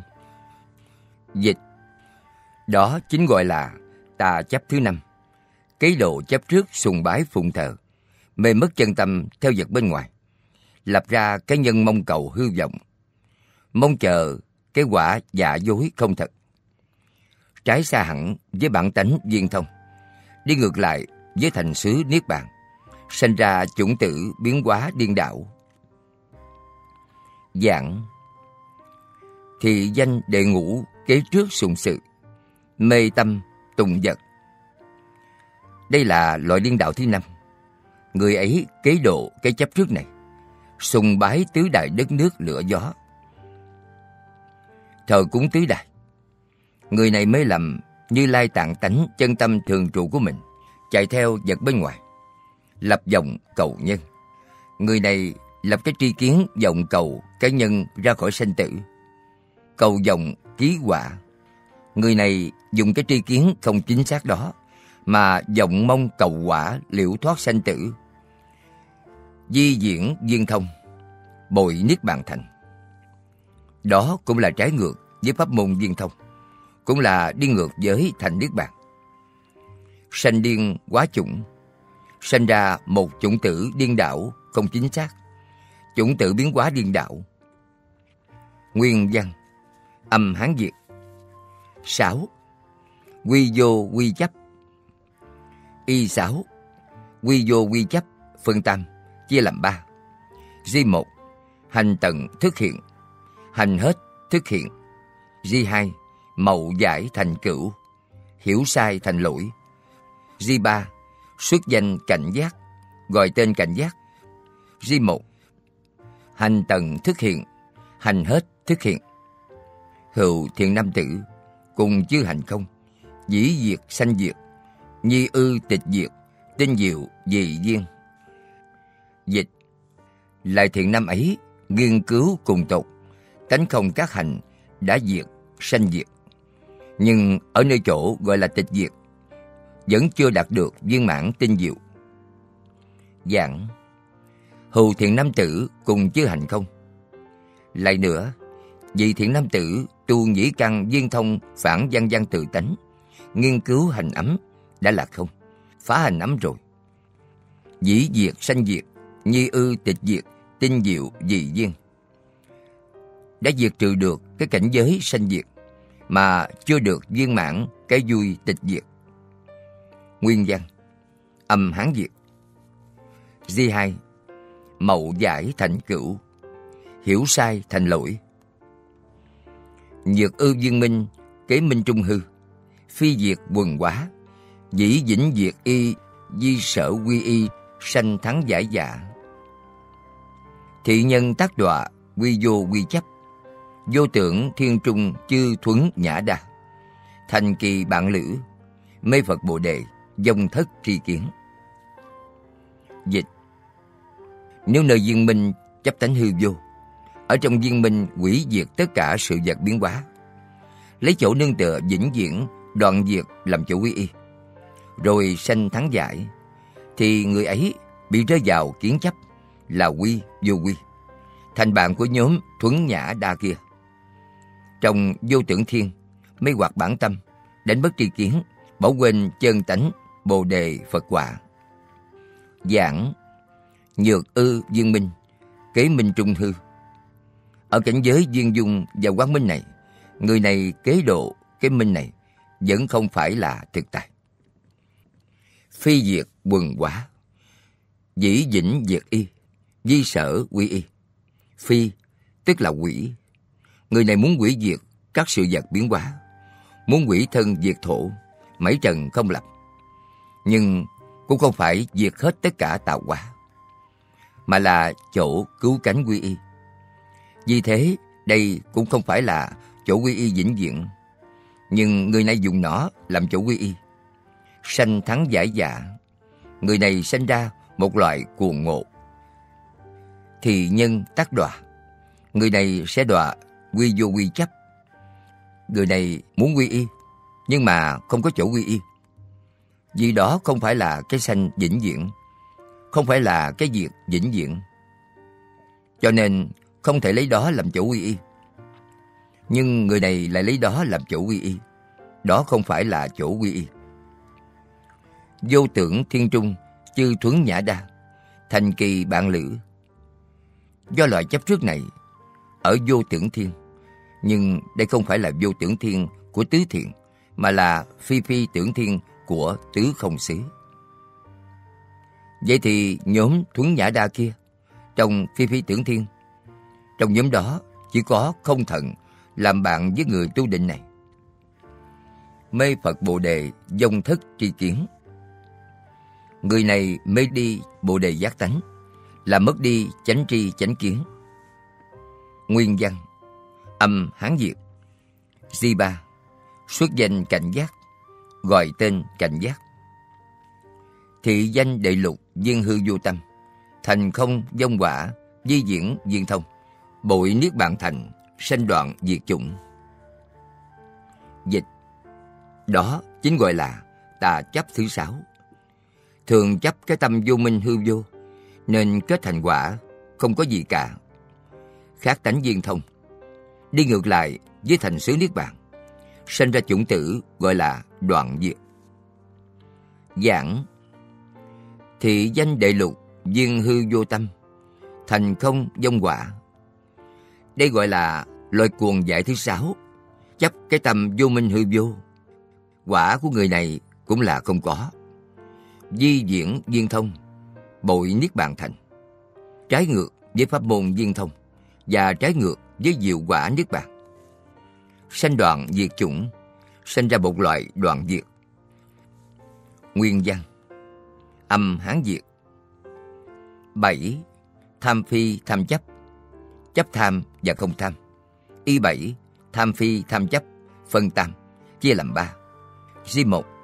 Hành tận thức hiện, Hành hết thức hiện Di 2. Màu giải thành cửu, Hiểu sai thành lỗi Di 3. Xuất danh cảnh giác, Gọi tên cảnh giác Di 1. Hành tận thức hiện, Hành hết thức hiện Hữu thiện nam tử cùng chư hành không Dĩ diệt sanh diệt Nhi ư tịch diệt tinh diệu dị duyên Dịch, Lại thiên nam ấy, Nghiên cứu cùng tột, Tánh không các hành Đã diệt sanh diệt, Nhưng ở nơi chỗ gọi là tịch diệt vẫn chưa đạt được viên mãn tinh diệu.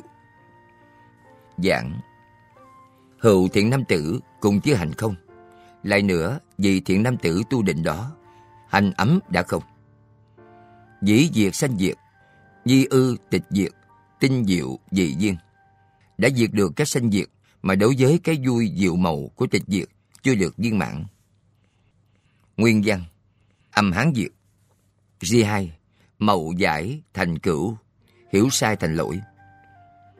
Nhược ư viên thượng Cố thân thường trụ, Đồng ư tinh duyên Trường bất khuynh thệ Sanh thắng giải dạ Thị nhân tác đọa, Tham phi tham chấp. Chư A Tư Đà cầu trường mệnh giả, Thành kỳ bạn lữ, Mê Phật Bồ Đề, Dòng thức tri kiến. Dịch. Nếu ở trong tánh viên mãn thượng trụ, Củng cố cái thân thường trụ tại đời, Đồng giới tánh thể tinh tế viên mãn, Sống lâu không chết. Mà sanh thắng giải, Thì người ấy bị rơi vào cái chấp Là tham phi tham. Thành bạn của nhóm tên A Tư Đà Mong cầu trường thọ Mê hoặc bản tâm, Đánh mất tri kiến, Bỏ quên chân tánh Bồ Đề Phật quả. Giảng Nhược ư viên thượng. Giả như vào lúc viên mãn và thường trụ đó, Cố thân thường trụ, Người này kiên cố cái thân của mình. Muốn thường trụ tại đời, Mong muốn được trường sanh bất lão. Đồng ư tinh viên Ở trong cái thọ mạng tinh di và viên mạng đó, Trường bất khuynh thệ Thời gian rất dài, Người này cũng không chết. Khuynh thệ tức là chết. Sanh thắng giải dạ Và lúc đó sanh ra một loại tà thắng cuồng giải Thì nhân tác đọa tham phi tham chấp, Người này tham muốn trường sanh. Mà không được trường sanh Đó gọi là chấp tham và không tham Chư A Tư Đà cầu trường mệnh giả A Tư Đà là tiếng Phạn Phiên dịch thành tiếng Hoa là vô tỷ Không có cái gì có thể so sánh được đây là một loại ngoại đạo ở trên trời, tham cầu trường thọ. Người tu định này thành kỳ bạn lữ, thành quyến thuộc của họ. Mê Phật Bồ Đề, dòng thất tri kiến. Mê đi Bồ Đề giác tánh là mất đi chánh tri chánh kiến. Nguyên văn, âm Hán diệt Ri Ba, xuất danh cảnh giác, gọi tên cảnh giác. Thị danh đề thất chấp trước mệnh nguyên, lập cố vọng nhân, thú trường lao quả, di diễn viên thông, bội niết bàn thành, sanh vọng viên chủng. Dịch Đó chính gọi là tà chấp thứ bảy, chấp trước nguồn gốc của thọ mệnh mình, lập ra cái nhân củng cố hư vọng, hướng theo cái quả trường sanh bất tử, trái ngược xa rời bản tánh viên thông, quay lưng lại với bảo sở niết bàn, sinh ra vọng tưởng kéo dài mạng sống. Giảng Thị danh đề thất chấp trước mệnh nguyên. Đây gọi là loại thứ bảy. Người này chấp trước căn nguyên của sinh mệnh mình, nguồn gốc của sinh mệnh. Lập cố dòng nhân, thú trường lao quả. Người ấy lập ra cái dòng nhân kiên cố, muốn được cái quả trường sanh bất lão. Trường sanh bất lão có thể gọi là trường lao. Di diễn viên thông, đi ngược với pháp môn nhĩ căn viên thông phản văn văn tự tánh. Bội niết bàn thành, không những đi ngược với pháp môn nhĩ căn viên thông, mà còn đi ngược thành niết bàn. Sanh vọng viên chủng, sanh ra một loại vọng tưởng kéo dài mạng sống. Nguyên văn, âm hán việt, tám, chân vô chân chấp, y tám, chân vô chân chấp, phân tam, chia làm ba. Ri một, hành tận thức hiện, hành hết thức hiện. Ri hai, màu giải thành cửu, hiểu sai thành lỗi. Ri ba, xuất danh cảnh giác, gọi tên cảnh giác. Ri một, hành tận thức hiện, hành hết thức hiện. Hầu thiện nam tử, cùng chưa hành không, dĩ diệt sanh diệt, nhi ư tịch diệt tinh diệu dị duyên. Dịch Lại thiện nam ấy, cùng tột tánh không của các hành ấm, diệt các sanh diệt, nhưng trong nơi chỗ tinh diệu tịch diệt chưa được viên mãn. Giảng Hữu thiện nam tử cùng chưa hành không, dĩ diệt sanh diệt. Vì thiện nam tử tu định này đã phá xong hành ấm, đã diệt xong cảnh giới sanh diệt. Nhi ư tịch diệt tinh diệu dị duyên. Nhưng đối với cái vui di diệu của tịch diệt, người này vẫn chưa được viên mãn. Nguyên văn Âm Hán diệt, Ri hai Màu giải thành cửu, hiểu sai thành lỗi. Quán mệnh hổ thông, khước lưu trần lao, khủng kỳ tiêu tận, tiện ư thử tế, tọa liên hoa cung, quảng quá thất trân, đa tăng bảo duyên, tứ túng kỳ tâm sanh thắng giải dạ. Thị nhân tác đọa chân vô chân chấp, tra chỉ ca la, thành kỳ bạn lữ, mê Phật Bồ Đề, dòng thất trì kiến. Dịch. Xét xem mệnh căn dung thông lẫn nhau, lại muốn lưu giữ lại cái trần lao, sợ nó tiêu mất. Bèn ở chỗ này, ngồi cung liên hoa, quá ra bậy báo, cùng các mỹ nữ, thường ưa phóng túng, buông lung tâm mình, sinh ra thắng giải. Người ấy sẽ bị đọa vào cái chấp là chân vô chân. Thành bạn của nhóm tra chỉ ca la, mê hoặc bản tâm, đánh mất tri kiến, bỏ quên chân tánh bồ đề Phật quả. Giảng Quán mệnh hổ thông Người này quán sát sinh mạng của mình và của tất cả chúng sanh thông lẫn nhau. Khước lưu trần lao, khủng kỳ tiêu tận. Người này không muốn cùng tận cái trần lao, muốn lưu giữ cái trần lao lại. Sợ trần lao tiêu hết đi. Tiện ư thử tế tọa liên hoa cung.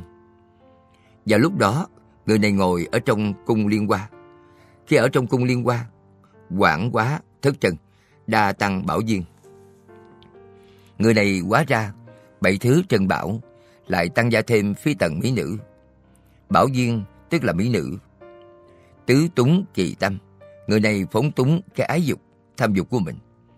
Sanh thắng giải dạ, lúc đó người này lại sinh ra một loại thắng giải. Thì nhân tác đọa, người này sẽ đọa lạc vào chân vô chân chấp. Người này nghĩ rằng đã đạt được cái chân rồi, nhưng không phải là chân. Tra chỉ, ca la, thành kỳ bạn lữ. Tra chỉ, ca la, sao gọi là tra chỉ? Tra chỉ phiên dịch thành kết phượt. Kết tức là dùng một sợi dây cột thành cái gút. Phượt là dùng một sợi dây kéo lại. Đây là nói dùng một sợi dây cột chặt chúng sanh lại. Kala là tiếng Ấn Độ, phiên dịch thành tiếng Hoa là ngã sở tác. Cái gì là ngã sở tác? Ở đây nói sự trói buộc, tất cả chúng sanh không được tự do, đều do ta làm ra ta làm cho họ không được tự do. Hai ngoại đạo thiên này, tư tưởng của họ như vậy. Người tu định kia sẽ thành quyến thuộc của họ. Mê Phật Bồ Đề, dòng thức tri kiến. Mê mất đi Bồ Đề giác tánh là mất đi chánh tri chánh kiến, chỉ còn là tà tri tà kiến. Nguyên văn, âm Hán Việt. di ba xuất danh cảnh giác, gọi tên cảnh giác.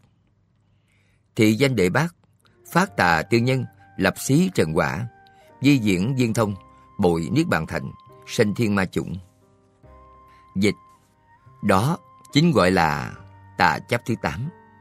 Phát ra cái nhân tà tứ tà niệm, lập thành cái quả trần lao xí thành, khác tánh viên thông, đi ngược lại với thành xứ niết bàn, sanh vào chủng tộc của thiên ma kia. Giảng thị danh đề bác phát tà tiêu nhân, lập xí trần quả. Đây là loại thứ tám. Người này phát ra một loại nhân tà tư, lập ra xí trần. Xí có nghĩa là xí nhiên, là rất thành hành. Cái quả trần lao rất là thành hành này. Di diễn viên thông, bội niết bàn thành. Điều này trái ngược với pháp môn nhĩ căn viên thông, cũng đi ngược thành niết bàn. Sanh thiên ma chủng, sanh vào chủng tộc của thiên ma. Nguyên văn, âm Hán Việt. Chính, định tính thanh văn. Y chính, định tính thanh văn, phân tam, chia làm ba. Ri một, hành tận thức hiện, hành hết thức hiện. Ri hai, màu giải thành cửu, hiểu sai thành lỗi. Ri ba, xuất danh cảnh giác, gọi tên cảnh giác. Ri một, hành tận thức hiện, hành hết thức hiện. Hữu thiện nam tử cùng chưa hành không, dĩ diệt sanh diệt, nhi ư tịch diệt, tinh diệu dị duyên. Dịch lại thiện nam tử ấy đã cùng tồn tánh không các hành, diệt các sanh diệt, nhưng ở trong chỗ tinh diệu tịch diệt chưa được viên mãn. Giảng Hữu thiện nam tử cùng chưa hành không. Lại nữa, vì thiện nam tử này nghiên cứu tất cả chưa hành là không. Dĩ diệt sanh diệt, nhi ư tịch diệt, tinh diệu dị duyên đã diệt đi cái tánh sanh diệt, mà đối với cái vui di diệu tịch diệt vẫn chưa được viên mãn. Nguyên văn, Âm Hán diệt. Ri hai màu giải thành cửu, Hiểu sai thành lỗi. Ư mệnh minh trung, Phân biệt tinh thô, Sơ quyết chân ngụy, Nhân quả tương thụ, Duy cầu cảm ứng, Bồi thanh tịnh đạo, Sở dị kiến khổ, Đoạn tập chứng việc tu đạo. Cư diệt dĩ hưu, Cảnh bất tiền tiến. Sanh thắng giải dạ Thị nhân tác đọa định tánh thanh văn. Chư vô văn tăng tăng thượng mạng giả Thành kỳ bạn lữ, Mê Phật Bồ Đề, Dông thức tri kiến. Dịch, Người ấy hiểu rõ nguồn gốc thọ mạng, Phân biệt rõ ràng cái tế, cái thô. Quyết đoán, lựa chọn Cái chân, cái nguyệt Nhân quả trả nhau chỉ cầu cảm ứng. Trái ngược lại với chân đạo thanh tịnh, Nghĩa là thấy khổ. Đoạn trừ tập đế Chứng diệt tu đạo. Ngưng nơi chỗ diệt, Không cầu tiến tới. Sinh ra thắng giải. Người ấy rơi vào định tánh thanh văn. Thành bạn của nhóm tỳ kheo vô văn. Và với những người gọi tăng thượng mạng, Mê hoặc bản tâm, Đánh mất tri kiến, Bỏ quên chân tánh, Bồ đề Phật quả. Giảng.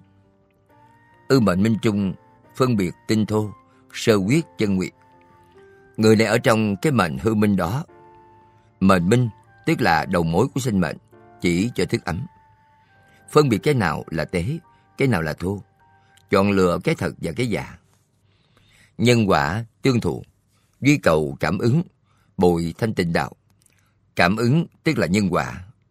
Người này biết cái nhân quả thù báo lẫn nhau, nhưng chỉ cầu sự cảm ứng của nhân quả, trái ngược với cái đạo thanh tịnh.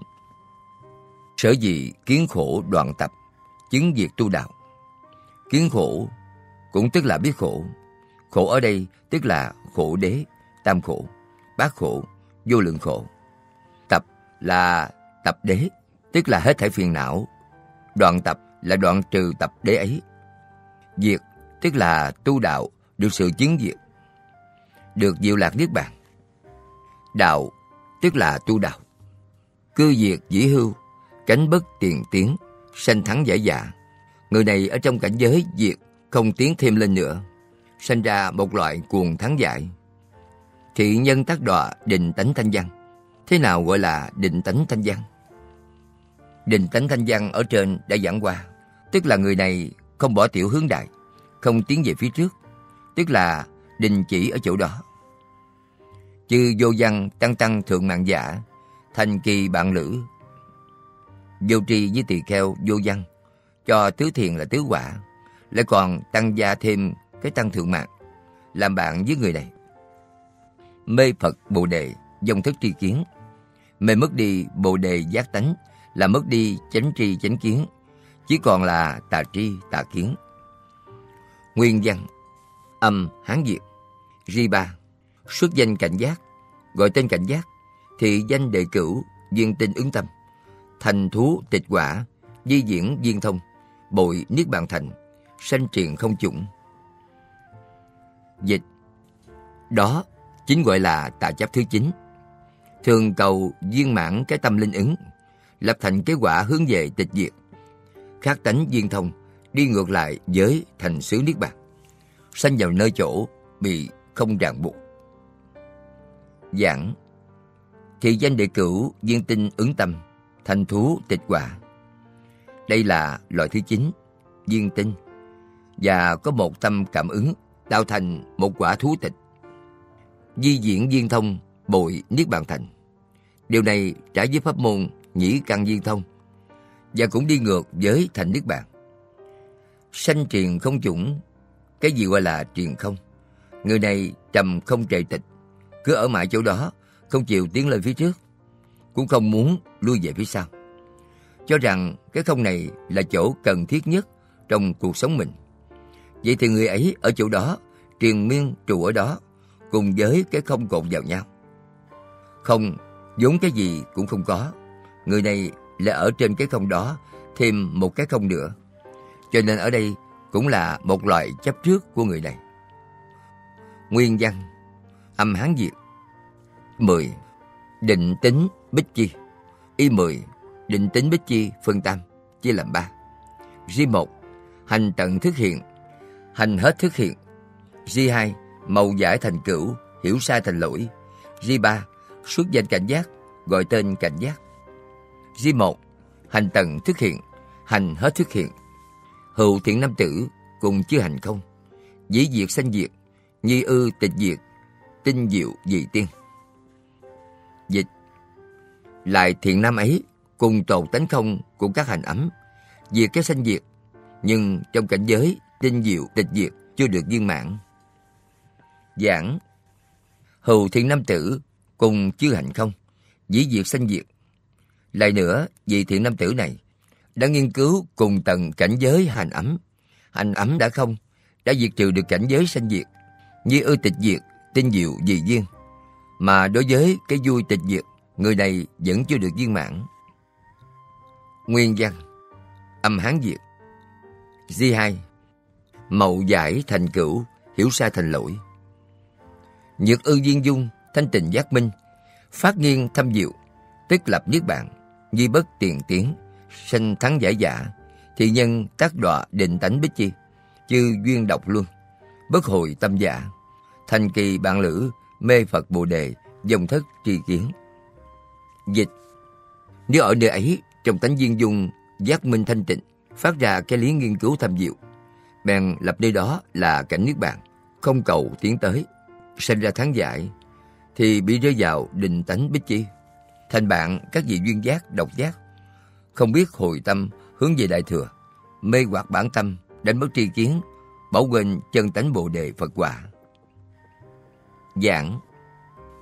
Nhược ư viên dung Như ở cảnh giới viên dung này Đã thanh tịnh giác minh Và lúc đó phát nghiên thâm diệu Phát ra cái lý tánh nghiên cứu thâm diệu, Tức lập niết bàn như bất tiền tiến. Ở chỗ thức ấm chưa phá, Người ấy lập thành niết bàn, Không tu hành tiến về phía trước. Sanh thắng giải giả, Người ấy sinh ra một loại cuồng giải, Thắng giải cuồng vọng thì nhân tác đọa định tánh bích chi chư duyên độc luân. Người này đọ vào bất hồi tâm, đọ vào hai loại định tánh duyên giác, độc giác bích chi Phật, không bỏ tiểu, quay hướng về đại. Bất hồi tâm giả, thành kỳ bạn lữ, định tánh la hán, không bỏ tiểu về đại đó, làm quyến thuộc của người này, làm bạn của người này. Mê Phật Bồ Đề, dùng thất tri kiến, mê hoặc Bồ Đề, mất đi chánh tri chánh kiến. Nguyên văn. Âm Hán Việt. Di Ba. Xuất danh cảnh giác. Gọi tên cảnh giác. Thị danh đệ thập. Duyên giác dẫn tâm. Thành trạm minh quả. Di diễn duyên thông. Bội niết bàn thành. Sanh giác duyên minh Bất quá duyên chủng. Dịch. Đó chính gọi là tà chấp thứ 10 Duyên giác thông hợp cùng với chân tâm Thành quả trạm minh Khác tánh duyên thông đi ngược lại với thành suy niết bàn. Sinh ra chấp trước lý duyên trí minh, không thể dung hợp, quá giải vượt qua chỗ ngộ, chỗ chấp. Nguyên văn Sanh giác duyên minh bất quá duyên chủng, giác tức độc giác, duyên giác, sanh vào hai quá vị này, duyên minh tức là cảnh chứng ngộ, độc giác thì không thầy tự ngộ, duyên giác thì duyên sanh vô tánh, bèn chấp cho là lý duyên, trí minh tức cho là chân cảnh niết bàn mà không thể dung hợp, quá giải vượt qua. Chỗ ngộ, chỗ chấp vẫn là dòng giống định tánh. Kinh Phật Đảnh Thủ Lăng Nghiêm giảng giải Hòa Thượng Thích Viên Anh. Giảng thì danh đề thập Đây là loại thứ 10, là loại cuối cùng ở trong thức ấm. Thông qua cửa ải này thì không còn lo gì cả, không còn nguy hiểm gì cả. Đáng tiếc, không dễ dàng bước đi bước này. Vậy thì ở chỗ này, chỗ sai kém rất là di tế. Nên nói sai một ly, đi một dặm. Tức là sai một cọng tóc, kết quả gì cả ngàn dặm. Duyên giác dẫn tâm, thành trạm minh quả. Cái duyên giác của người này cùng với thường trụ chân tâm đã sắp ăn khớp, thành cái quả rất thanh tịnh quang minh.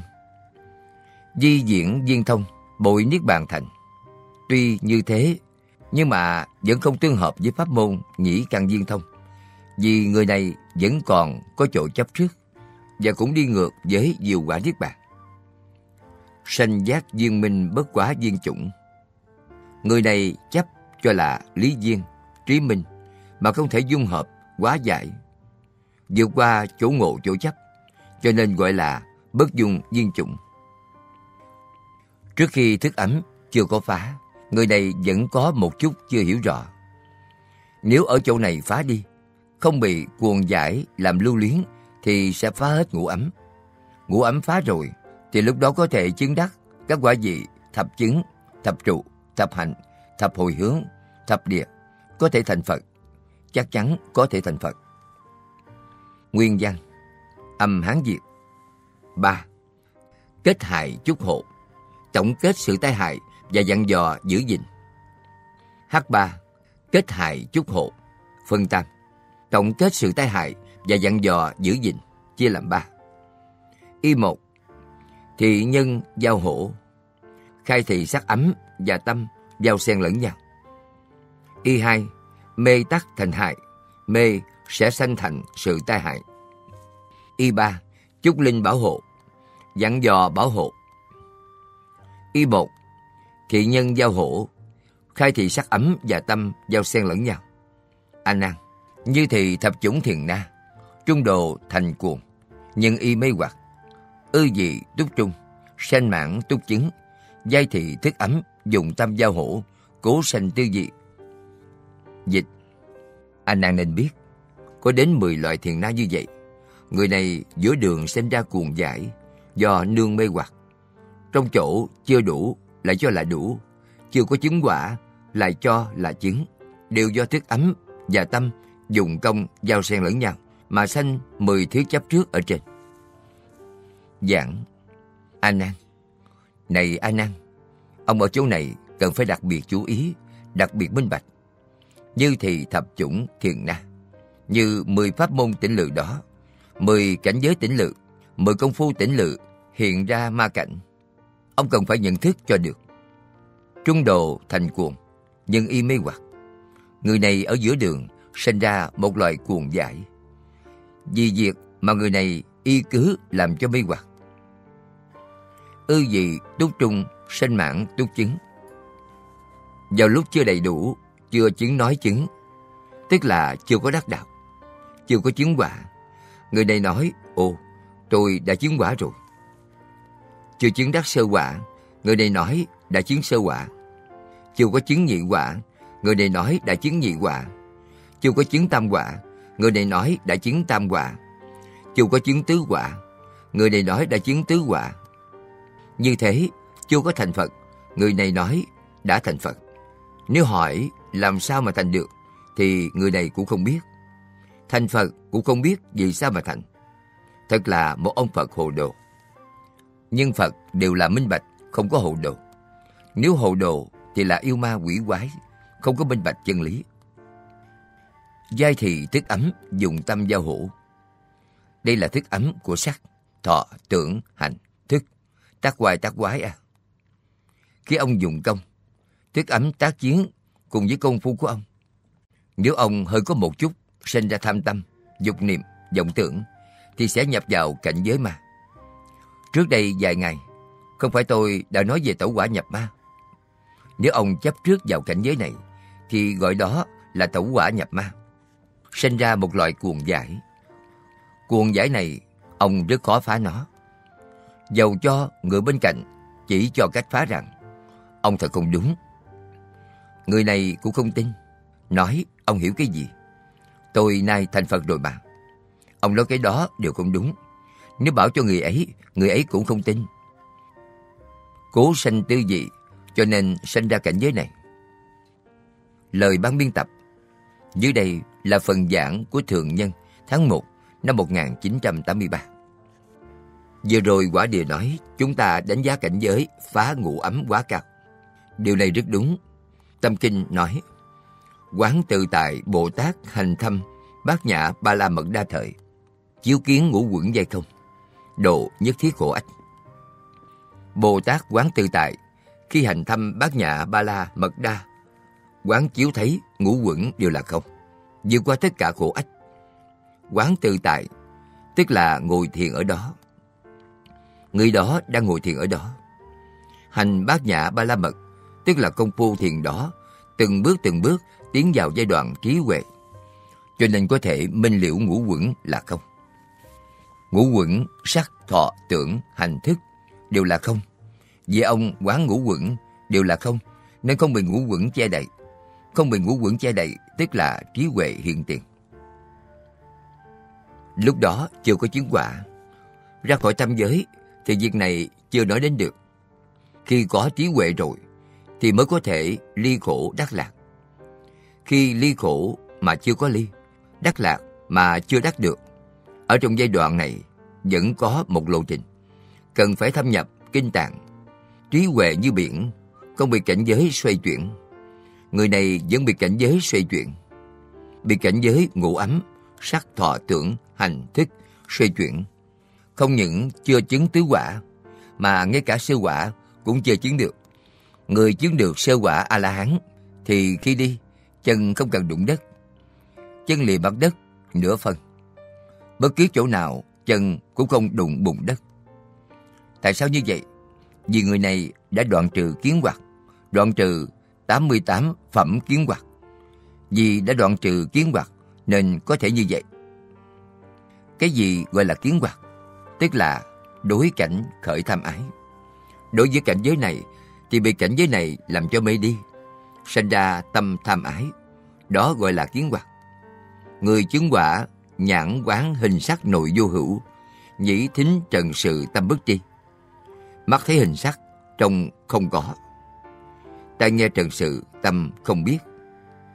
Cái gì cũng đều không cả. Không có chỗ chấp trước, thì người ấy làm sao còn tẩu quả nhập ma được. vốn không có ma, có thể nhập được. Không có quả nào có thể tẩu được. Người này không có quả. Mê lý khởi phân biệt đó là tiêu hoạt. Thánh nhân nhị quả, tam quả phải đoạn trừ tiêu hoạt. Ông nghĩ xem, ở giai đoạn ngủ ấm, nếu đã đoạn trừ tiêu hoạt, thì làm sao có thể nghĩ đông, nghĩ tây, nghĩ nam, nghĩ bắc. Kế độ việc này, kế độ việc kia. dùng đủ thứ tâm phân biệt để nghiên cứu đạo lý. Không có việc ấy.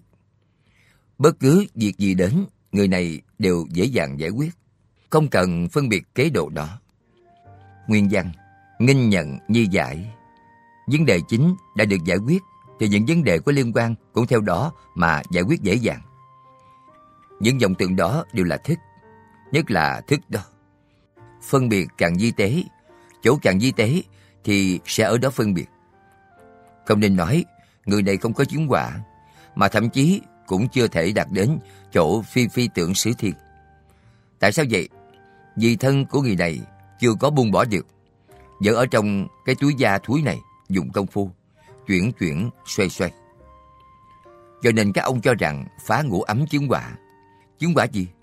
Phá ngũ ấm chỉ là một đoạn đường cần phải đi. Cho nên quý vị cần phải nhận thức rõ ràng cảnh giới này. Không nên giống như tỳ kheo vô văn vậy. Cho tứ thiền thiên là tứ quả. Phá ngũ ấm tức là ở cảnh giới sơ thiền, nhị thiền.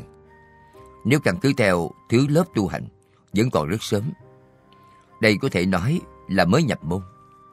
Ông không nên đối với học sinh tiểu học là cho rằng đó là sinh viên tốt nghiệp đại học. Dù là thần đồng, cũng không có nhiều như vậy. Hoặc là có đứa trẻ học rất nhanh, đó là thần đồng nhưng mà rất ít. Cho nên đối với Pháp, cần phải nhận thức rõ ràng.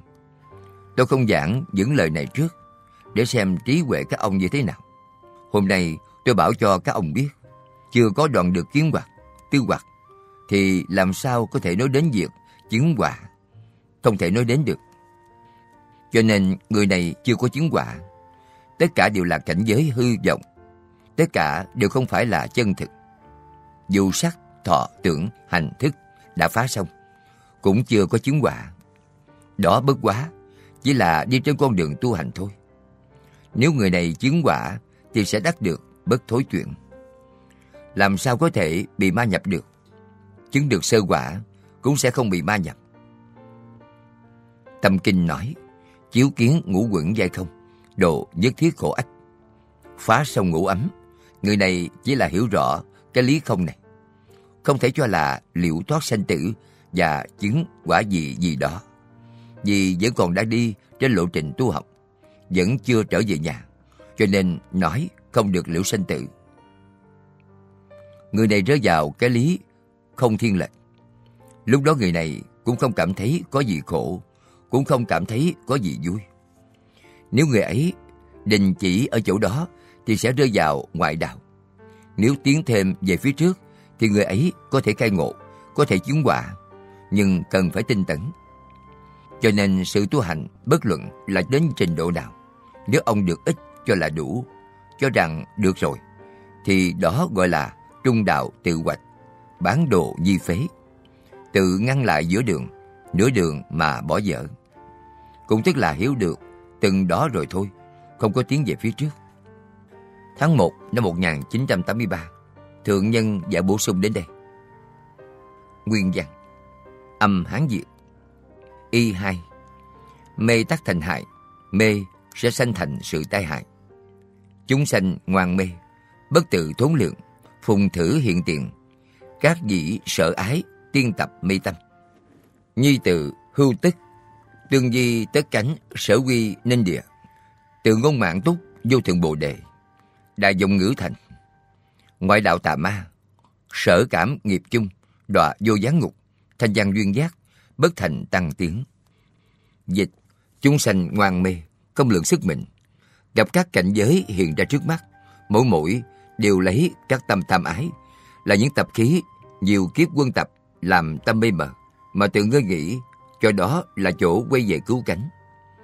Tự bảo đầy đủ vô thượng bồ đề, thành đại giọng ngữ. Tà ma ngoại đạo, khi các nghiệp báo chiêu cảm hết rồi, thì bị đọa vào địa ngục vô gián, thanh văn, duyên giác, thì dừng tại chỗ, không thể tiến thêm. Giảng Chúng sanh ngoan mê, bất tự thốn lượng. Chúng sanh mê hoặc ngoan cố bất quá. Người này cũng không nghĩ lại bản thân mình là thứ gì.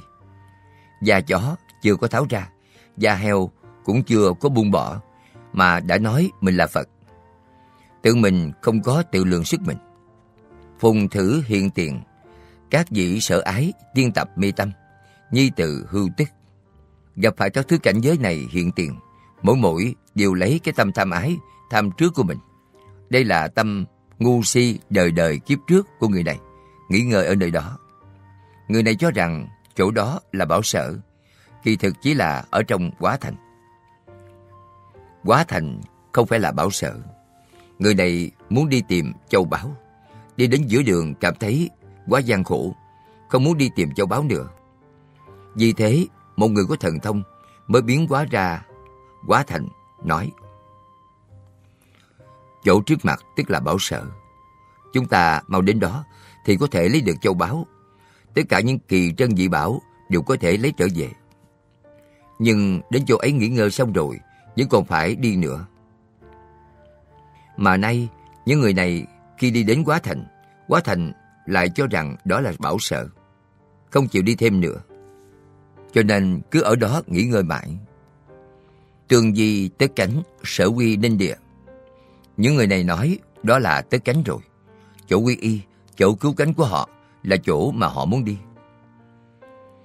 Từ ngôn mãn túc vô thượng bồ đề. Bản thân nói đã đầy đủ rồi, đã chứng đắc vô thượng bồ đề rồi, đã thành Phật rồi. Đại giọng ngữ thành.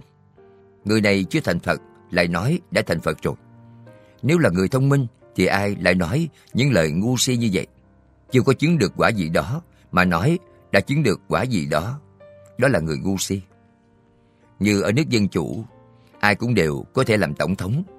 Điều đó không sai. Ai cũng đều có thể làm tổng thống. Nhưng không phải ai cũng đều là tổng thống. Phải được mọi người chọn lựa, bầu cử thì mới chính thức làm tổng thống. Không phải nói ai ai cũng đều là tổng thống. Vậy thì người nào là chánh tổng thống, người nào là phó tổng thống? Do nên chính là ý nghĩa như thế. Các ông không có đọc sách, cũng không có nghiên cứu đạo lý gì. Ông đi làm tổng thống, ngay tên của mình cũng không biết ký thì làm sao làm tổng thống được á? Thành Phật cũng vậy. Ông không có tu hành, cũng không có ở núi tuyết 6 năm, dưới cây bồ đề 49 ngày. Công phu đó, một ngày ông cũng chưa làm mà ông có thể thành Phật. Ông thật là quá dễ dàng, nên đó là một loại cuồng vọng. Ngoại đạo tà ma đây là một loại tư tưởng ngoại đạo tà ma, sở cảm nghiệp chung. Sau khi tà ma, ma nghiệp mà người này chiêu cảm đến đã hết. Đọa vô gián ngục, tương lai mà đó cũng có lúc thọ mạng hết. Thọ mạng hết thì linh tánh của người này cũng sẽ đọa vào địa ngục vô gián. Thanh văn duyên giác, bất thành tăng tiến. Nếu người này là định tánh thanh văn và định tánh bích chi, hai loại này dù nói giọng ngữ cũng không đọa địa ngục, nhưng cũng không có thể tiến lên về phía trước. Cho nên bất thành tăng tiến, dừng tại chỗ không thể tiến thêm. Nguyên văn Âm Hán Việt Y ba Chúc Linh bảo hộ, dặn dò bảo hộ. Nhữ đẳng tồn tâm bỉnh như lai đạo, tương thử pháp môn, ư ngã diệt hậu, truyền thị mạc thế, phổ linh chúng sanh giác liễu tư nghĩa. Vô linh kiến ma, tự tác trầm nghiệt. Bảo tuy ai cứu, tiêu tức tạ duyên. Linh kỳ thân tâm, nhập Phật tri kiến. Tùng thủy thành tựu, bất tao kỳ lộ. Dịch Các ông phát tâm giữ đạo Như Lai. Sau khi Như Lai đã diệt độ rồi, nên đem Pháp này truyền cho chúng sanh trong đời mạt Pháp, khiến cho hết thảy tất cả chúng sanh hiểu rõ nghĩa này, không để yêu ma tạo nghiệp sâu dày, giữ gìn thương xót, cứu độ chúng sanh, tiêu dứt tà duyên, khiến cho thân tâm được vào tri kiến của Phật Như Lai. Từ chỗ bắt đầu đến nơi thành tựu, không bị lầm vào các đường lối rẽ. Giảng Nhữ đẳng tồn tâm bỉnh Như Lai Đạo Này A Nan, các ông những vị Đại Bồ Tát, Đại A-La-Hán, Đại Tỳ Kheo, Đại Phú Trưởng Giả đang ở trong hội, dần theo cái đạo lý mà Như Lai nói ra. Tương thử pháp môn, đem cái pháp môn viên thông, phản văn văn tự tánh, tánh thành vô thượng đạo, mà Kinh Lăng Nghiêm nói ra. Ư ngã diệt hậu, truyền thị mạc thế, phổ linh chúng sanh, giác liễu tư nghĩa. Sau khi ta diệt độ, các ông cần phải hàng ngày truyền thị cho chúng sanh thờ mạt Pháp, khiến cho tất cả chúng sanh giác ngộ hiểu rõ đạo lý này. Vô linh kiến ma, từ tác trầm nghiệt, lại có kiến ái ma. Kiến ma tức là nhìn thấy và chấp trước cảnh giới và bị cảnh giới xoay chuyển. Có người nhìn thấy chấp trước và sanh ra một loại ái tâm. Bị cảnh giới này xoay chuyển, đó đều là kiến ma và kiến ái ma. Ông không nên để cho kiến ma và kiến ái ma làm cho ông phải bị đọa lạc. Trầm tức là đọa lạc, nghiệt là tạo ra nghiệp tội. Tạo ra nghiệp tội này. Bảo tuy ai cứu, ông nên bảo hộ giữ gìn tất cả chúng sanh, thương xót, cứu độ chúng sanh. Tiêu tức tà duyên, đình chỉ những cái cuồng tâm, giả tánh, không chánh đáng, tà tri tà kiến kia. Linh kỳ thân tâm nhập Phật tri kiến, khiến cho thân và tâm được nhập vào trong Phật tri kiến. Tùng thủy thành tựu, bất tao kỳ lộ. Từ lúc bắt đầu cho đến khi thành tựu, không nên gặp phải nhánh rẽ. Thủy tức là bắt đầu, thành tựu tức là ngọn, điểm cuối. Kỳ lộ tức là trên đường lộ chính lại chia ra một lối đi nhỏ.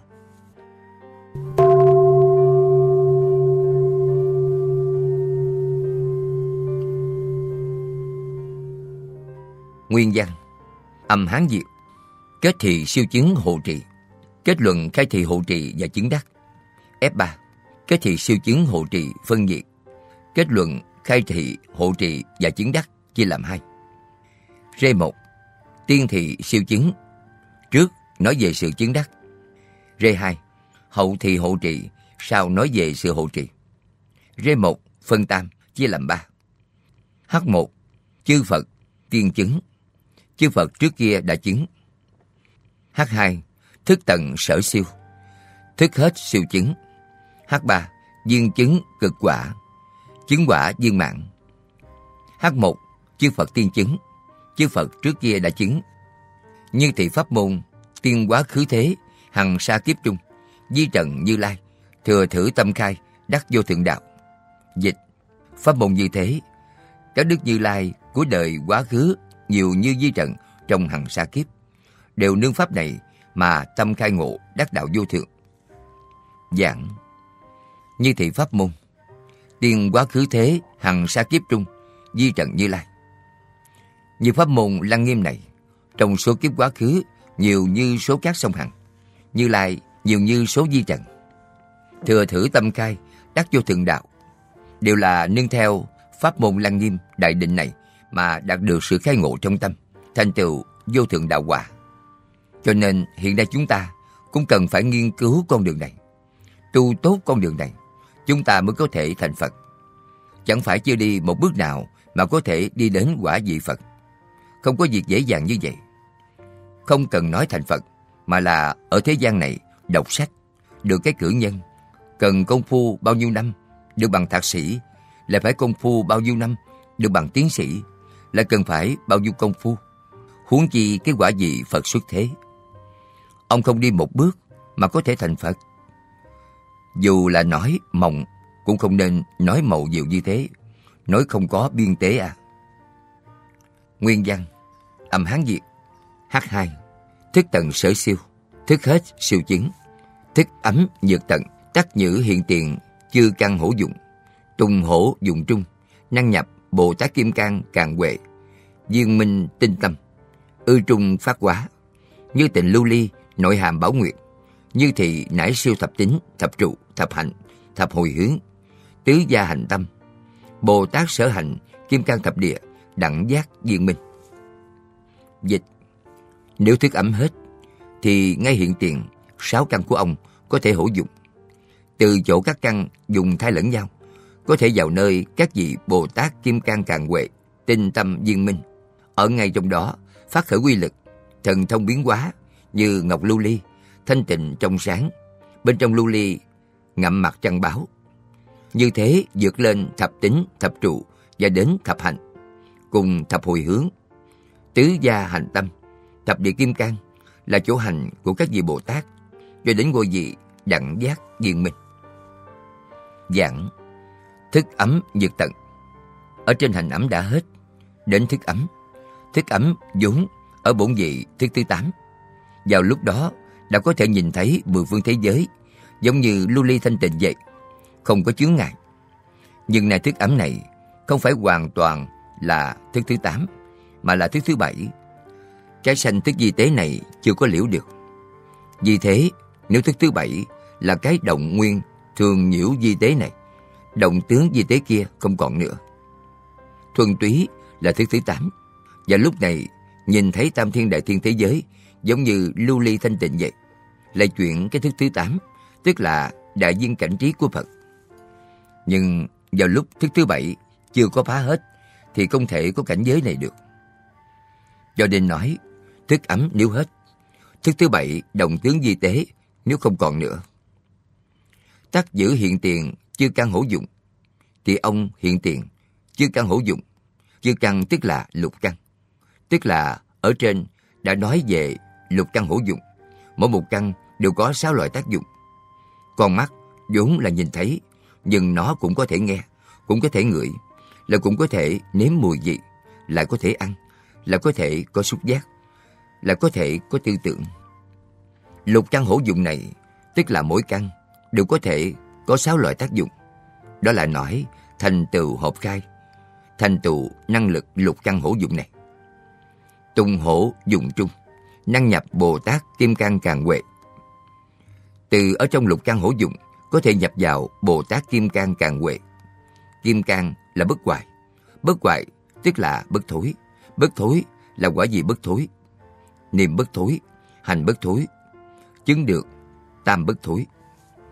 Càng huệ là càng huệ địa. Viên minh tinh tâm, ư trung phát hóa.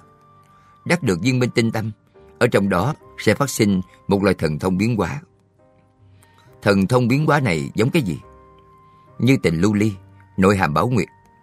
Như lưu ly không có bụi bặm, ở trong lưu ly lại chứa một mặt trăng bảo.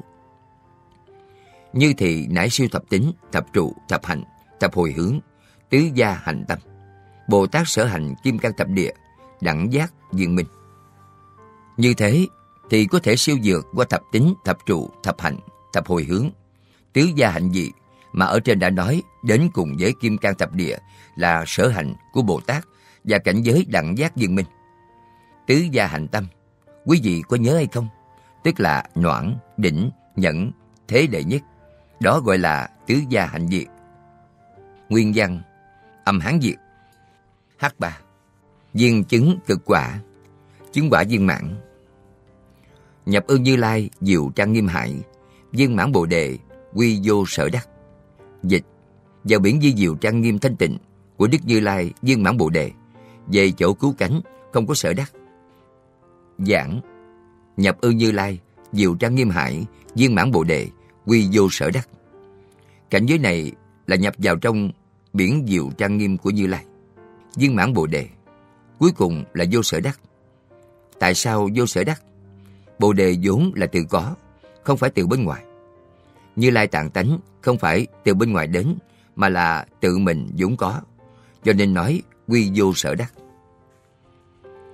Nguyên văn Âm Hán Việt Rê 2 Hậu thì hộ trì phân tam Sau nói về sự hộ trì chia làm ba H1 Thủ minh tuân cổ biện tích Trước nói rõ việc phân tích theo xưa H2 Chánh linh am thức hộ trì Khiến cho hiểu rõ hộ trì H3 Đinh chúc khâm cổ giáo phạm, Dặn dò nên dân theo lời dạy xưa. H1 Thủ minh tuân cổ biện tích, Trước nói rõ việc phân tích theo xưa. Thử thì quá khứ tiên Phật Thế Tôn Samatha Trung, Tỳ bà Xá Na, Giác minh phân tích di tế mà sự. Dịch, Mười loại cảnh giới đã nói ở trên, Đó là chư Phật ở thời quá khứ, Trong lúc tu học Pháp Samatha, Tỳ bà Xá Na Giác ngộ hiểu rõ Phân tích rành rẽ ma sự di tế Giảng Những điều ở trên nói đến Là mười loại chủng tử mười loại cảnh giới ở trong thức. Thử thì quá khứ tiên Phật Thế Tôn. Chư Phật Thế Tôn đời quá khứ, Samatha Trung. Samatha là một loại định, là diệu định lăng nghiêm. Tỳ bà Xá Na, giác minh phân tích.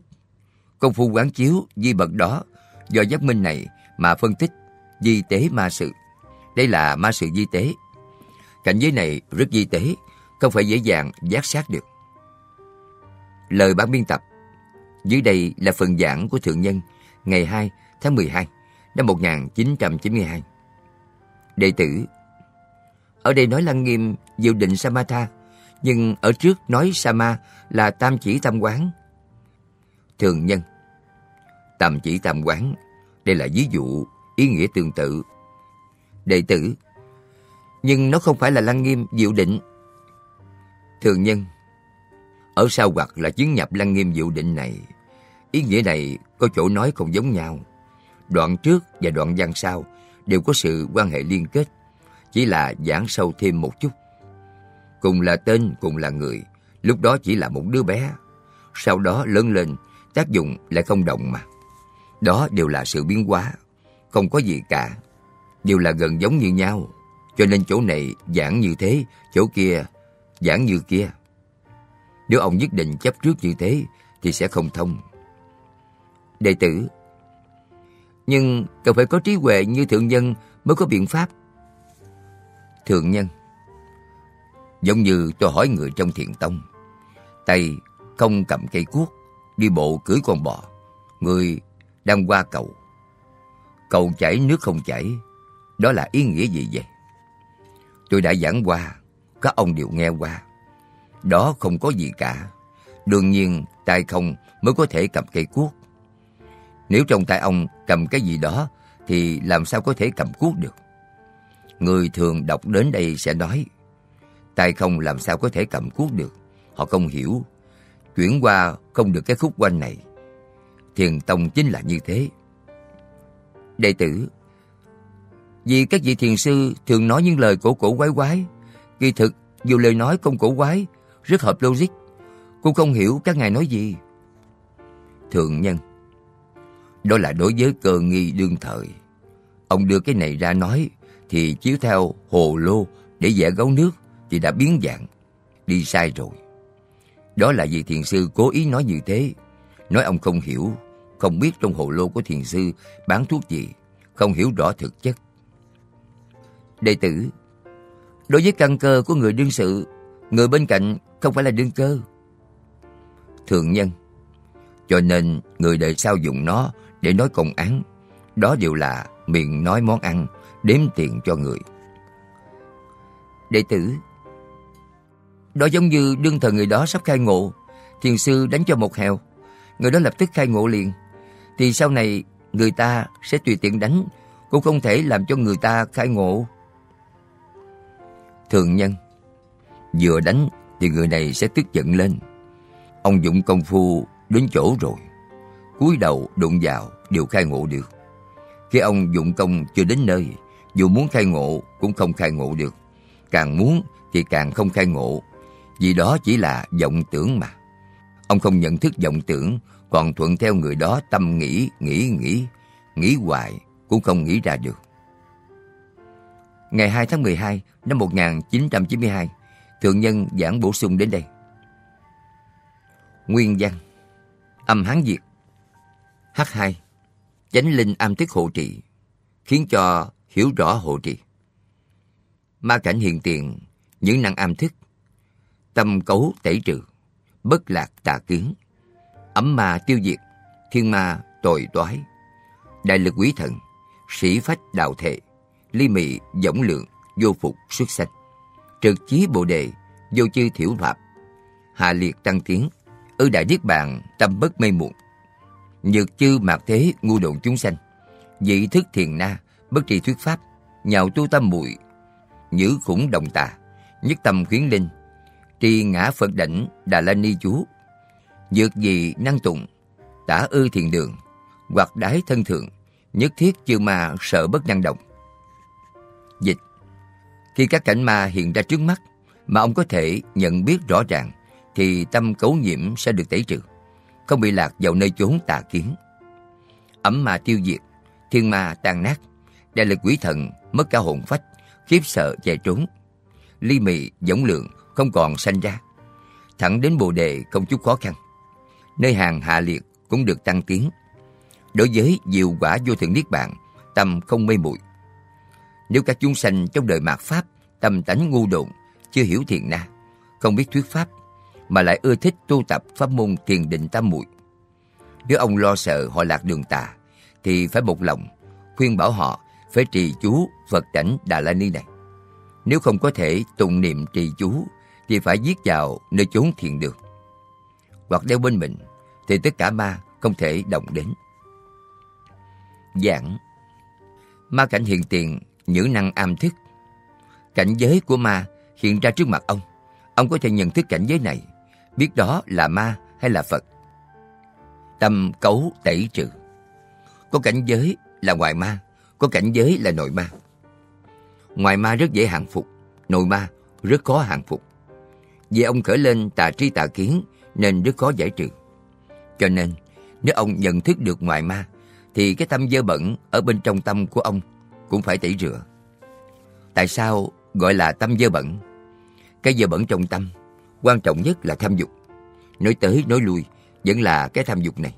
Tham dục này cũng tức là dâm dục. Nếu tâm dâm dục không còn nữa, tâm dơ bẩn rửa sạch thì sẽ không rơi vào tà kiến. Nếu tâm dâm dục không tẩy rửa sạch sẽ thì rất nhiều bệnh đều đến. Những thứ bệnh này đều do tham dục sinh ra. Vì thế, các thứ phiền não vô minh đều sinh ra. Các thứ đó sinh ra thì sẽ rơi vào tà kiến. Bất lạc tà kiến. Vì thế, nếu tẩy rửa sạch sẽ những cái bệnh đó thì tà kiến cũng không còn nữa. Ấm ma tiêu diệt, thiên ma tồi toái. Năm ấm ma ở trên đã nói, đã tiêu diệt rồi, thì ông sẽ có trí huệ chân chánh, không rơi vào tà kiến. Thiên ma kia cũng nát tan luôn, làm cho thiên ma sợ nát gan. Đại lực quý thần sĩ phách đạo thể. Cho đến đại lực quý thần, tuy sức mạnh không phải sao. Quý thần này có thể dùng một bàn tay để lật đổ ngọn núi Tu Di. Nhưng chánh tri chánh kiến của ông hiện tiền. Ông có đại định lăng nghiêm này thì đại lực quý thần đó cũng chạy luôn, làm cho hồn phách của quỷ cũng chết luôn. Quỷ vừa nhìn thấy ông, khủng khiếp kinh sợ bỏ chạy đi. Ly mị giống lượng, vô phục xuất sanh. Ly mị giống lượng đều là các loại yêu quái, sẽ không sanh ra nữa, không còn nữa. Trực chí Bồ Đề, vô chi thiểu phạm. Mãi đến cảnh giới Phật, không có một chút khó khăn, không có một chút vấn đề, không có một chút phiền phức. Hạ liệt tăng tiến, ư đại niết bàn, tâm bất mê muộn. Dù là căn tánh hạ liệt, cũng sẽ tăng tiến hướng về phía trước, đi đến chỗ đó, ở diệu quả đại niết bàn. Tâm sẽ không mê muội giống như lúc trước nữa. Nhược dư mạc thế ngu đồn chúng sanh. Như thế giới này thời kỳ mạt Pháp. Những chúng sanh ngu độn đó, ông có giáo hóa người này học tốt như thế nào đi nữa, người này vẫn đi trên con đường xấu. Ông không dạy người này điều xấu, nhưng người này vẫn đi trên con đường xấu. Học điều tốt, khó như lên trời. Học điều không tốt, dễ dàng như xuống núi. Tại sao vậy? Vì tập khí quá nặng, tham dục quá nhiều. Tập khí cũ, bệnh cũ, nghiệp chứng cũ, quan nghiệp, nợ nần kiếp trước quá nhiều. Cho nên ông muốn đi lên thì nó sẽ kéo ông xuống.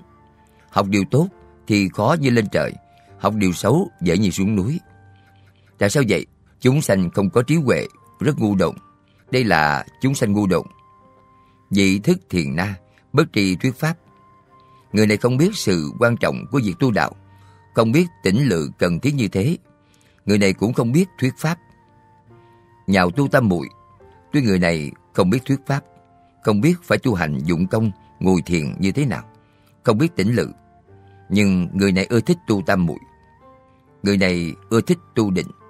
Ưa thích tu định chắc chắn phải hiểu rõ đạo, hiểu rõ pháp. Nhữ khủng đồng tà nếu ông lo sợ người này sẽ rơi vào tà tri tà kiến. Nhất tâm khuyến linh trì ngã Phật đảnh Đà La Ni Chú. Nếu ông không có biện pháp gì cả, thì ông nên khuyên người đó. Khuyên cái gì? Khuyên người đó trì tụng Phật đảnh Đà La Ni Chú. Cũng tức là Lăng Nghiêm Chú. Ông nên khuyên người đó niệm chú Lăng Nghiêm. Nhược gì năng tụng. Nếu như chú Lăng Nghiêm, người này niệm tới niệm lui cũng không thuộc được, cứ mãi cầm bổn tụng. Thì ông dạy người ấy tả ư thiền đường, hoặc đái thân thượng, viết ở trong phòng mà người ấy ngồi thiền, hoặc là đem theo bên mình. Sao vậy? Vì chỗ có kinh điển thì chỗ đó có Phật, huống chi là chú này. Chú này ở chỗ nào thì chỗ ấy có Bồ Tát Kim Cang Tạng và quyến thuộc của Ngài cùng tất cả hộ pháp thiện thần. Nhất thiết chư ma, sợ bất năng động. Nếu ông đem bên mình thì tất cả ma sẽ không làm gì ông được. Lời ban biên tập Dưới đây là phần giảng của Thượng Nhân tháng 1 năm 1983. Còn nói về người bị ma nhập, nếu có thể tụng lăng nghiêm chú, ma có đi hay không? Nếu ông có thể niệm lăng nghiêm chú, thì ma nào cũng đều đi cả. Nhưng cần phải chuyên nhất tâm ý để niệm. Nếu ông chuyên nhất tâm niệm, không khởi vọng tưởng, không có tâm tham gì cả, thì má nào cũng đều tránh xa. Chỉ sợ ông vừa niệm chú, vừa khởi lên vọng tưởng, niệm sát sanh không gián đoạn, niệm trộm cắp cũng không gián đoạn, niệm tà dâm cũng không gián đoạn, niệm vọng ngữ cũng không ngừng nghỉ. Trong tâm cứ mãi nghĩ đến việc uống rượu. Như thế, ông niệm chú gì cũng không có linh. Tháng 1 năm 1983, Thượng Nhân giải bổ sung đến đây. Nguyên văn Âm Hán Việt. H3 Đinh Chúc khâm cổ giáo phạm. Dặn dò nên dân theo lời dạy xưa. Nhữ đường cung khâm Thập phương Như Lai cứu cánh tu tiến Tối hậu thùy phạm. Dịch. Ông nên cung kính Dân theo lời dạy khai thị cuối cùng của mười phương Phật về đường tu tiến, cứu cánh rốt ráo. Giảng. Đức Phật Thích Ca Mâu Ni từ tâm tha thiết, ân cần phó chúc, bảo với A Nan rằng nhữ đương cung khâm. Đối với lăng nghiêm diệu định, pháp môn nhĩ căn viên thông phản văn văn tự tánh này và pháp môn lăng nghiêm thần chú là Phật đảnh Đà La Ni tổng nhiếp tất cả pháp, trì vô lượng nghĩa. Ông nên cung kính và khâm phụng. Thập phương Như Lai cứu cánh tu tiến. Đây là tâm của mười phương Như Lai, đây là tánh của mười phương Như Lai, cũng tức là mẹ của mười phương Như Lai, là pháp môn tu tiến cứu cánh nhất, triệt để nhất, di diệu nhất. Tối hậu thùy phạm, cũng tức là lời dạy tối hậu của mười phương Như Lai. Lời khai thị cuối cùng là pháp môn quan trọng nhất. Thùy phạm, tức là mô phạm quan trọng nhất, là một loại pháp tắc quan trọng nhất, là lời khai thị quan trọng nhất, là con đường khiến ông đắc được tri kiến của Phật. Nhân thỉnh trùng minh, ngũ ấm sanh diệt. A Nan niếp tiền thỉnh vấn. A Nan tiếp tục thưa hỏi. Như Lai cụ đáp tam vấn. Như Lai trả lời đầy đủ ba câu hỏi. Đáp sanh khởi vọng tưởng, trả lời vọng tưởng sanh khởi. Tiêu thuyết vọng tưởng chi do, nói rõ nguồn gốc vọng tưởng. Sắc ấm vọng tưởng, vọng tưởng của sắc ấm. Thọ ấm vọng tưởng, vọng tưởng của thọ ấm. Tưởng ấm vọng tưởng, vọng tưởng của tưởng ấm. Hành ấm vọng tưởng, vọng tưởng của hành ấm. Thức ấm vọng tưởng, vọng tưởng của thức ấm. Tổng kết vọng tưởng sở thành. Tổng kết chỗ tạo thành của vọng tưởng. Đáp ấm giới thiển thâm. Trả lời sự sâu cạn của ấm giới. Đáp diệt trừ đốn tiệm. Trả lời diệt diệt trừ đốn tiệm. Kết khuyến truyền thị. Kết luận và khuyên truyền dạy cho người đời sau. Nguyên văn, Âm Hán Việt Y một, Nhân thỉnh trùng minh ngũ ấm sanh diệt, Do thưa hỏi mà giải đáp lần nữa về sự sanh diệt của ngũ ấm. một, A Nan niếp tiền thỉnh vấn. A Nan tiếp tục thưa hỏi. D2 Nhân thỉnh trùng minh ngũ ấm sanh diệt, phân tam. Do thưa hỏi mà giải đáp lần nữa về sự sanh diệt của ngũ ấm chia làm ba. E1 nếp tiền thỉnh vấn. Tiếp tục thưa hỏi. E2 Cụ đáp tam vấn, Trả lời ba câu hỏi. E3 Kết khuyến truyền thị, Kết luận và khuyên truyền dạy cho người đời sau. E1 nếp tiền thỉnh vấn, Tiếp tục thưa hỏi. A Nan tức tụng tọa khởi. Văn Phật thì hối, Đảnh lễ không phụng, Ước trì vô thức. Ư đại chúng trung Trung phục bạch Phật. Như Phật sở ngôn ngũ ấm tướng trung ngũ chủng hư vọng di bổn tưởng tâm. Ngã đẳng, bình thường, dị mong như lai, di tế khai thị, hữu thử ngũ ấm, di tịnh tiêu trừ, di thứ đệ tận. Như thị ngũ chủng, nghệ hà di giới, duy nguyện như lai, phát tuyên đại từ, di thử đại chúng, thanh minh tâm mục, dĩ di mạc thế nhất thiết chúng sanh, tác tương lai nhạn. Dịch Sau khi nghe lời Đức Phật dạy bảo, A Nan liền từ chỗ ngồi đứng dậy, đảnh lễ kính dân, ghi nhớ không sót. Ở trong đại chúng lại bạch Phật rằng: Như lời Phật dạy, trong tứ ngũ ấm có năm hư vọng vốn là căn nguyên của tâm vọng tưởng. Chúng con thường ngày chưa được Như Lai khai thị tỉ mỉ, lại năm ấm ấy đồng thời tiêu trừ, hay theo thứ lớp tuần tự mà hết. Năm lớp như thế, giới hạn đến đâu? Cuối mong Như Lai phát tâm đại từ, làm cho đại chúng mắt tâm sáng tỏ và làm đạo nhãn trong đời vị lai cho cả chúng sanh ở thời mạt Pháp. Giảng A Nan tức tùng tọa khởi. A Nan nghe Đức Phật Thích Ca Mâu Ni dặn dò như thế, nên từ chỗ ngồi của mình đứng dậy.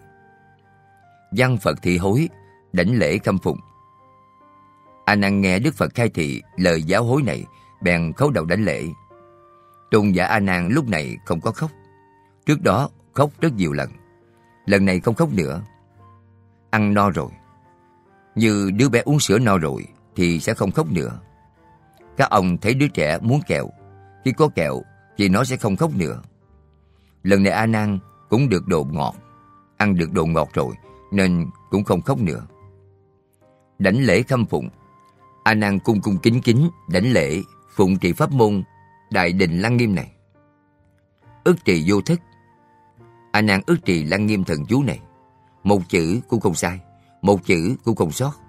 Chữ chữ rõ ràng, câu câu minh bạch. Miệng thì niệm, tâm thì ghi nhớ chú này.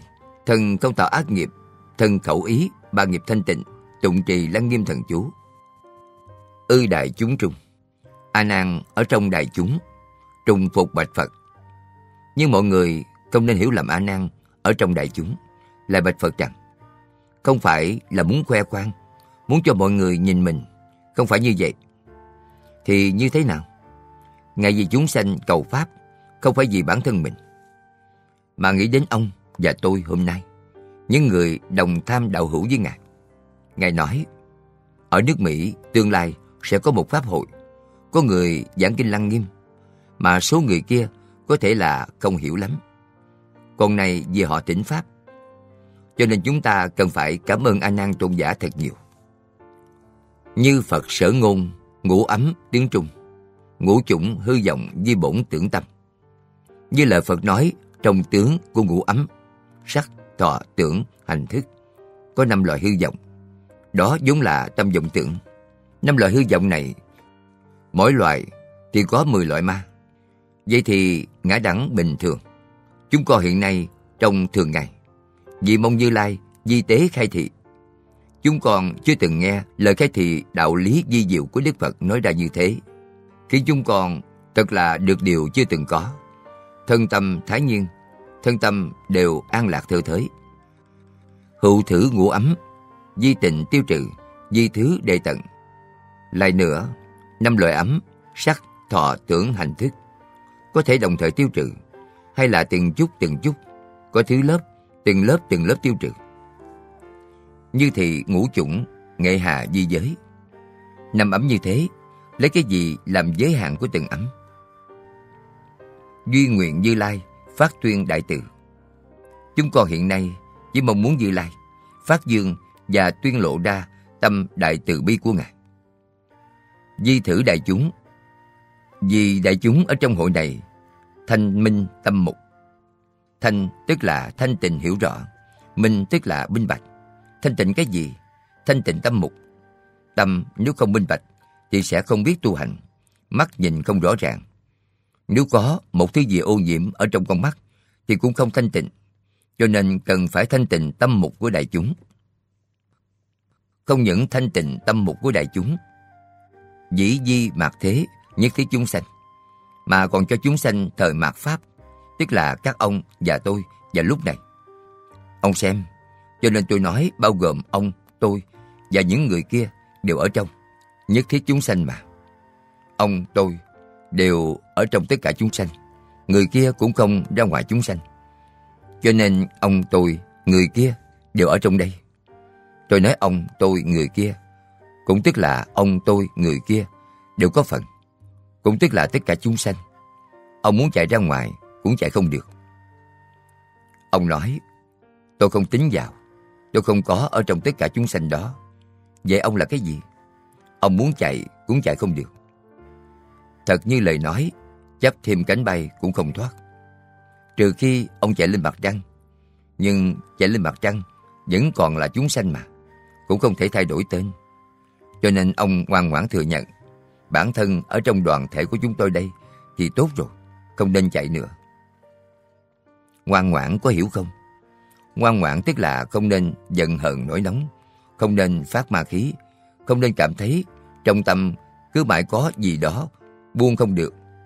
Không nên trong tâm cứ mãi cảm thấy khó chịu bực bội, từ từ lạc lạc.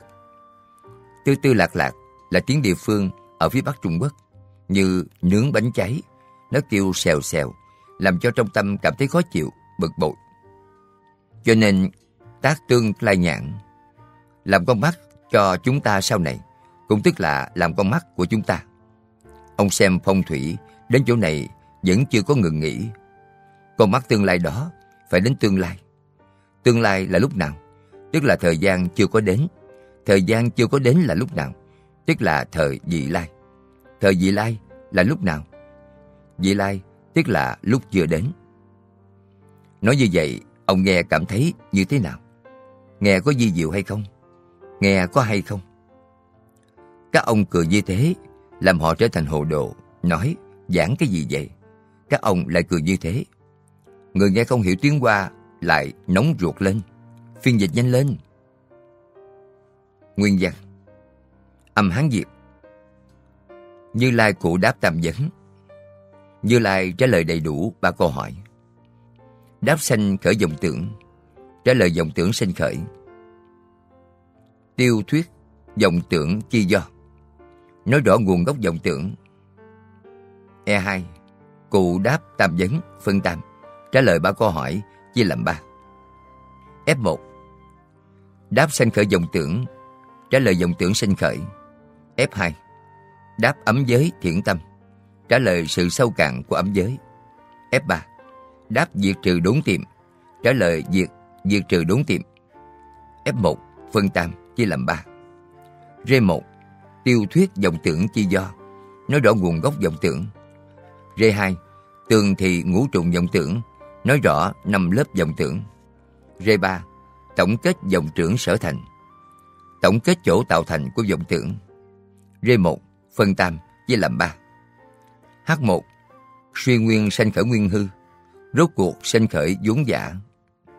H2 Phán quyết đạo kế phi thị. Phán quyết điên đảo dòng chấp không thật. H3 Kết quy cố thuyết dòng tưởng. Kết luận lại đều nói về dòng tưởng. H1 Suy nguyên sanh khởi nguyên hư. Rốt cuộc sanh khởi vốn giả. Phật cáo A Nan. Tinh chân diệu minh, Bổn giác viên tịnh. Phi lưu sanh tử, cặp trần cấu. Nại chí hư không, Gia nhân vọng tưởng Chi sở sanh khởi.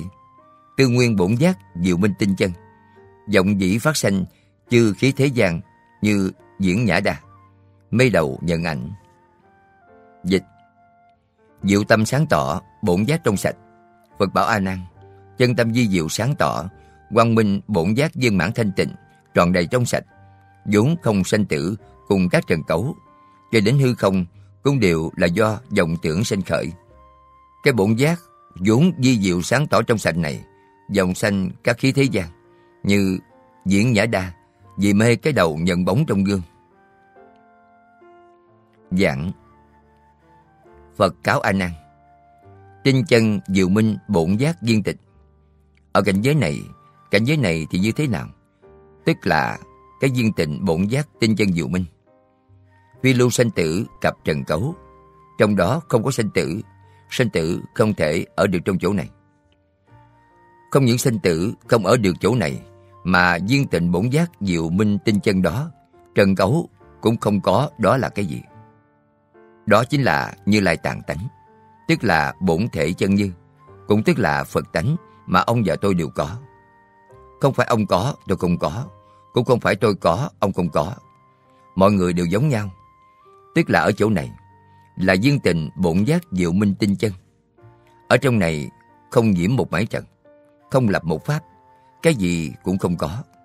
Nếu ông có thể phản bổn hoàng nguyên, quay về ở chỗ này, thì lúc đó ông cũng không có vô minh, cũng không có dâm dục, cũng không có tham dục, cũng không có suy tâm vọng tưởng, cái gì cũng không có, khô khan và thanh khiết trong sạch. Cho nên hiện nay chúng ta đang tu, tức là muốn trở về cái chỗ vốn có đó. Nếu không có chỗ đó, mọi người đều không cần phải tu nữa. Nại chí hư không, gia nhân vọng tưởng, chi sở sanh khởi. Mỗi người chúng ta đều nhìn thấy cái hư không đó. Hư không từ chỗ nào đến đây? Hư không ở trong cái tâm vọng tưởng của chúng ta sinh ra. Cho nên do gì cái vọng tưởng này mà có ngủ ấm, lại có ngủ trượt, lại có lục kết, sinh ra đủ thứ phiền phức. Đó tức là không có việc kiếm việc mà làm. Tại sao vậy? Vì ông không có công việc, muốn đi kiếm một việc để làm, tìm một chút việc để làm. Nếu có tiền thì cũng được, nhưng đáng tiếc, càng làm càng lỗ vốn, làm công cho người ta, càng làm càng lỗ vốn. Giống như buôn bán, càng buôn bán càng lỗ vốn, lỗ tới lỗ lui, lỗ đến nỗi đem cái dư lai tàn tánh của mình, cầm dưới chân núi ngủ ấm. Vì thế nên bị lục trăng lục trần, những cái tên giặc cướp đó chiếm lấy làm của riêng mình. Chúng nó chiếm lấy núi ngủ ấm để làm xào quyệt của chúng, đi khắp nơi cướp giật, giết người cướp của. Ông thấy ông đã chiêu giặc, chứa chấp kẻ tội phạm cho đến hiện nay. Đầu tiên ông buôn bán lỗ vốn, sau đó mạng sống cũng đưa vào luôn. Những tên giặc cướp của ông đi khắp nơi cướp tiền, cướp của. Làm sao mà không giết người? Có giết người, cho nên tự tánh của ông bị đè dưới chân núi ngủ ấm. Thì có lục căng, lục trần. Những tên giặc cướp đó đi cướp giật khắp nơi. Hiểu rõ không? Nếu ông hiểu rõ đạo lý này, thì tôi giảng kinh không có vô ích. Có gì không hiểu không? Không hiểu thì từ từ học. Tư nguyên bổn giác diệu minh tinh chân. Căn nguyên đó không lập một pháp, không sanh một pháp. Cái bổn giác diệu minh tinh chân viên tịnh đó là bổn giác căn bổn.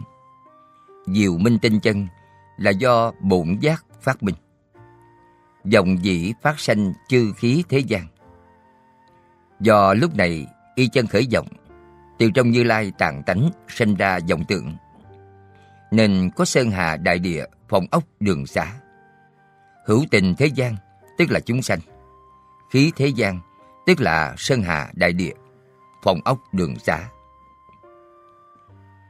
Như diễn nhã đa, mây đầu nhận ảnh. Như diễn nhã đa kia, mây đầu điên cuồng bỏ chạy. Sáng sớm thức dậy, vừa soi gương, nhìn thấy trong gương có người, có mũi, có mắt, có lỗ tai, lại có miệng. Anh ta nói, Ô, sao mà tôi không có đầu? Người ở trong kính thì có đầu, tôi làm sao không có đầu? Cho nên quảng sợ điên cuồng, bỏ chạy khắp nơi, đi tìm đầu của mình. Ông nói đầu anh ta có mất không? Câu chuyện diễn nhã đạt đa trước đã giảng rồi. Các ông còn nhớ hay không? Nếu không ghi nhớ thì suy nghĩ đi. Khi nhớ lại thì nói ra.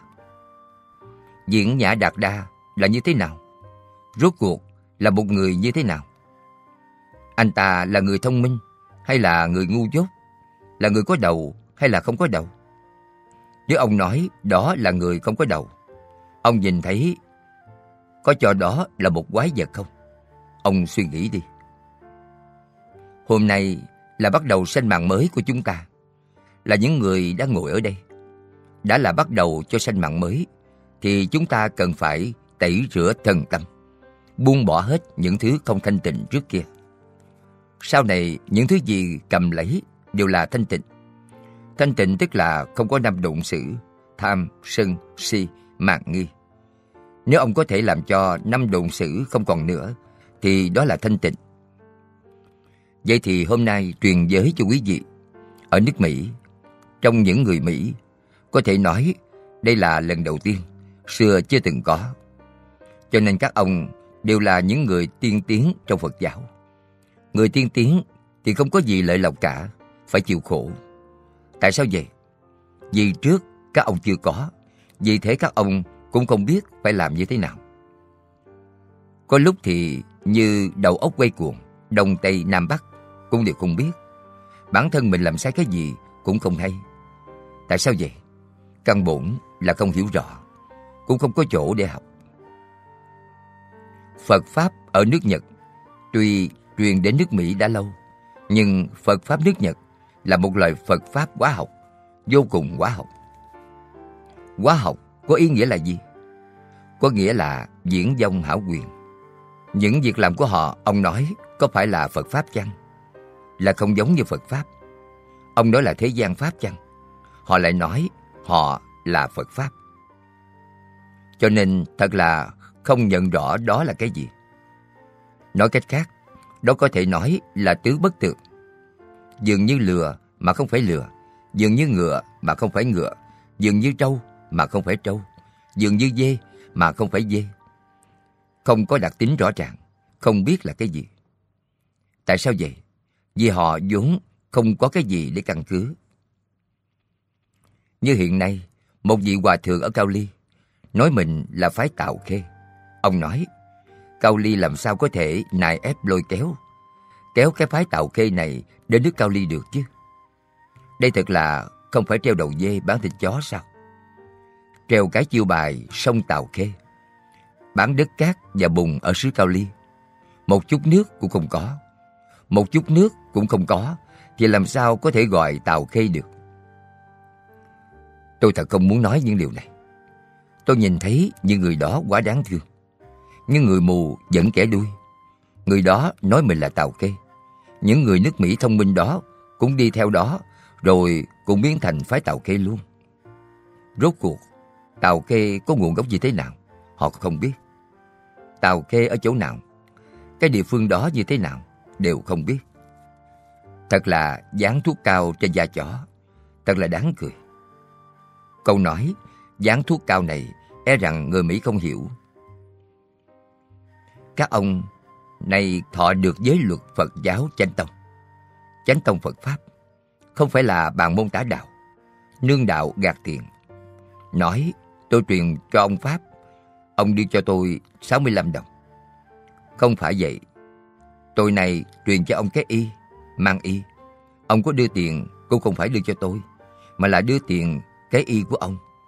Cái y đó thì cần phải mua, có đúng vậy không? Này, ông đắp cái y này, sau đó gặp pháp hội nào đều phải đắp y. Đắp y này bày tỏ sự cung kính Phật, cung kính Pháp, cung kính Tăng. Pháp hội của chúng ta ngày mai đã được viên mãn. Sau này có pháp hội nào, người đắp y này nên đứng trước, không có đắp y, chỉ mặc áo dài thì phải đứng sau. Người thọ giới trước thì đứng phía trước, người thọ giới sau đứng phía sau. Đây là thứ lớp trong Phật giáo. Hôm nay chúc mừng các ông. Trong thời gian hơn 3 tháng, đã viên mãn sự học của mình. Sự học viên mãn, nhưng công việc của các ông mới bắt đầu. Công việc gì? Phải giải trừ những đau khổ cho khắp nhân loại trên thế giới. Vì sự đau khổ của nhân loại, cần phải có người giúp đỡ. Sao mới có thể giải trừ? Sự đau khổ của nhân loại không phải chỉ có một quốc gia nào đó có, mà là nhân loại khắp cả thế giới đều có sự đau khổ. Vậy thì khắp nhân loại đều có sự đau khổ, cần có người có trí tuệ để nhắc nhở sự thống khổ của mỗi người. Sau đó, họ mới biết cách tìm cầu sự an lạc chân chánh.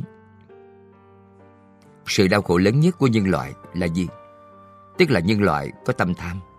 Có tâm tham cho nên khổ nhất. Có tâm sân cũng là một việc khổ nhất. Có tâm si cũng là một việc khổ nhất. Tham, sân, si là ba loại thuốc độc mà mỗi người đều cho rằng nó là bạn tốt nhất cho nên không thoát ly được quan hệ với nó. Tại sao vậy? Vì họ không hiểu. Nếu hiểu rồi thì sự đau khổ của nhân loại sẽ không còn nữa. Lần này, Pháp hội giảng tập Lăng Nghiêm bắt đầu từ ngày 16 tháng 6. Mỗi ngày từ 6 giờ sáng cho đến 9 giờ tối, tu hành không ngừng nghỉ, học tập không ngừng nghỉ. Thời gian hơn ba tháng thật vô cùng quý báu. Nhưng nay thời gian quý báu ấy đã trôi qua. Học nghiệp quý báu cũng đã học được trên mình của các ông. Các ông phải đem Phật Pháp mà mình học được giảng cho toàn thế giới, khiến cho người ở trên thế giới này đều có thể ly khổ đắc lạc, được đại trí huệ chân chánh. Không nên đi làm những việc ngu si nữa, không nên đi làm những việc vô ích đối với nhân loại nữa. Trên khắp thế giới, lần này có thể nói là lần thứ nhất của Phật giáo. Nên nói, không tiền dị hữu, chưa từng có việc này. Vì thời gian giảng kinh rất nhiều, nhưng chưa có một ngày mà từ sáng đến tối không nghỉ ngơi tu học như thế.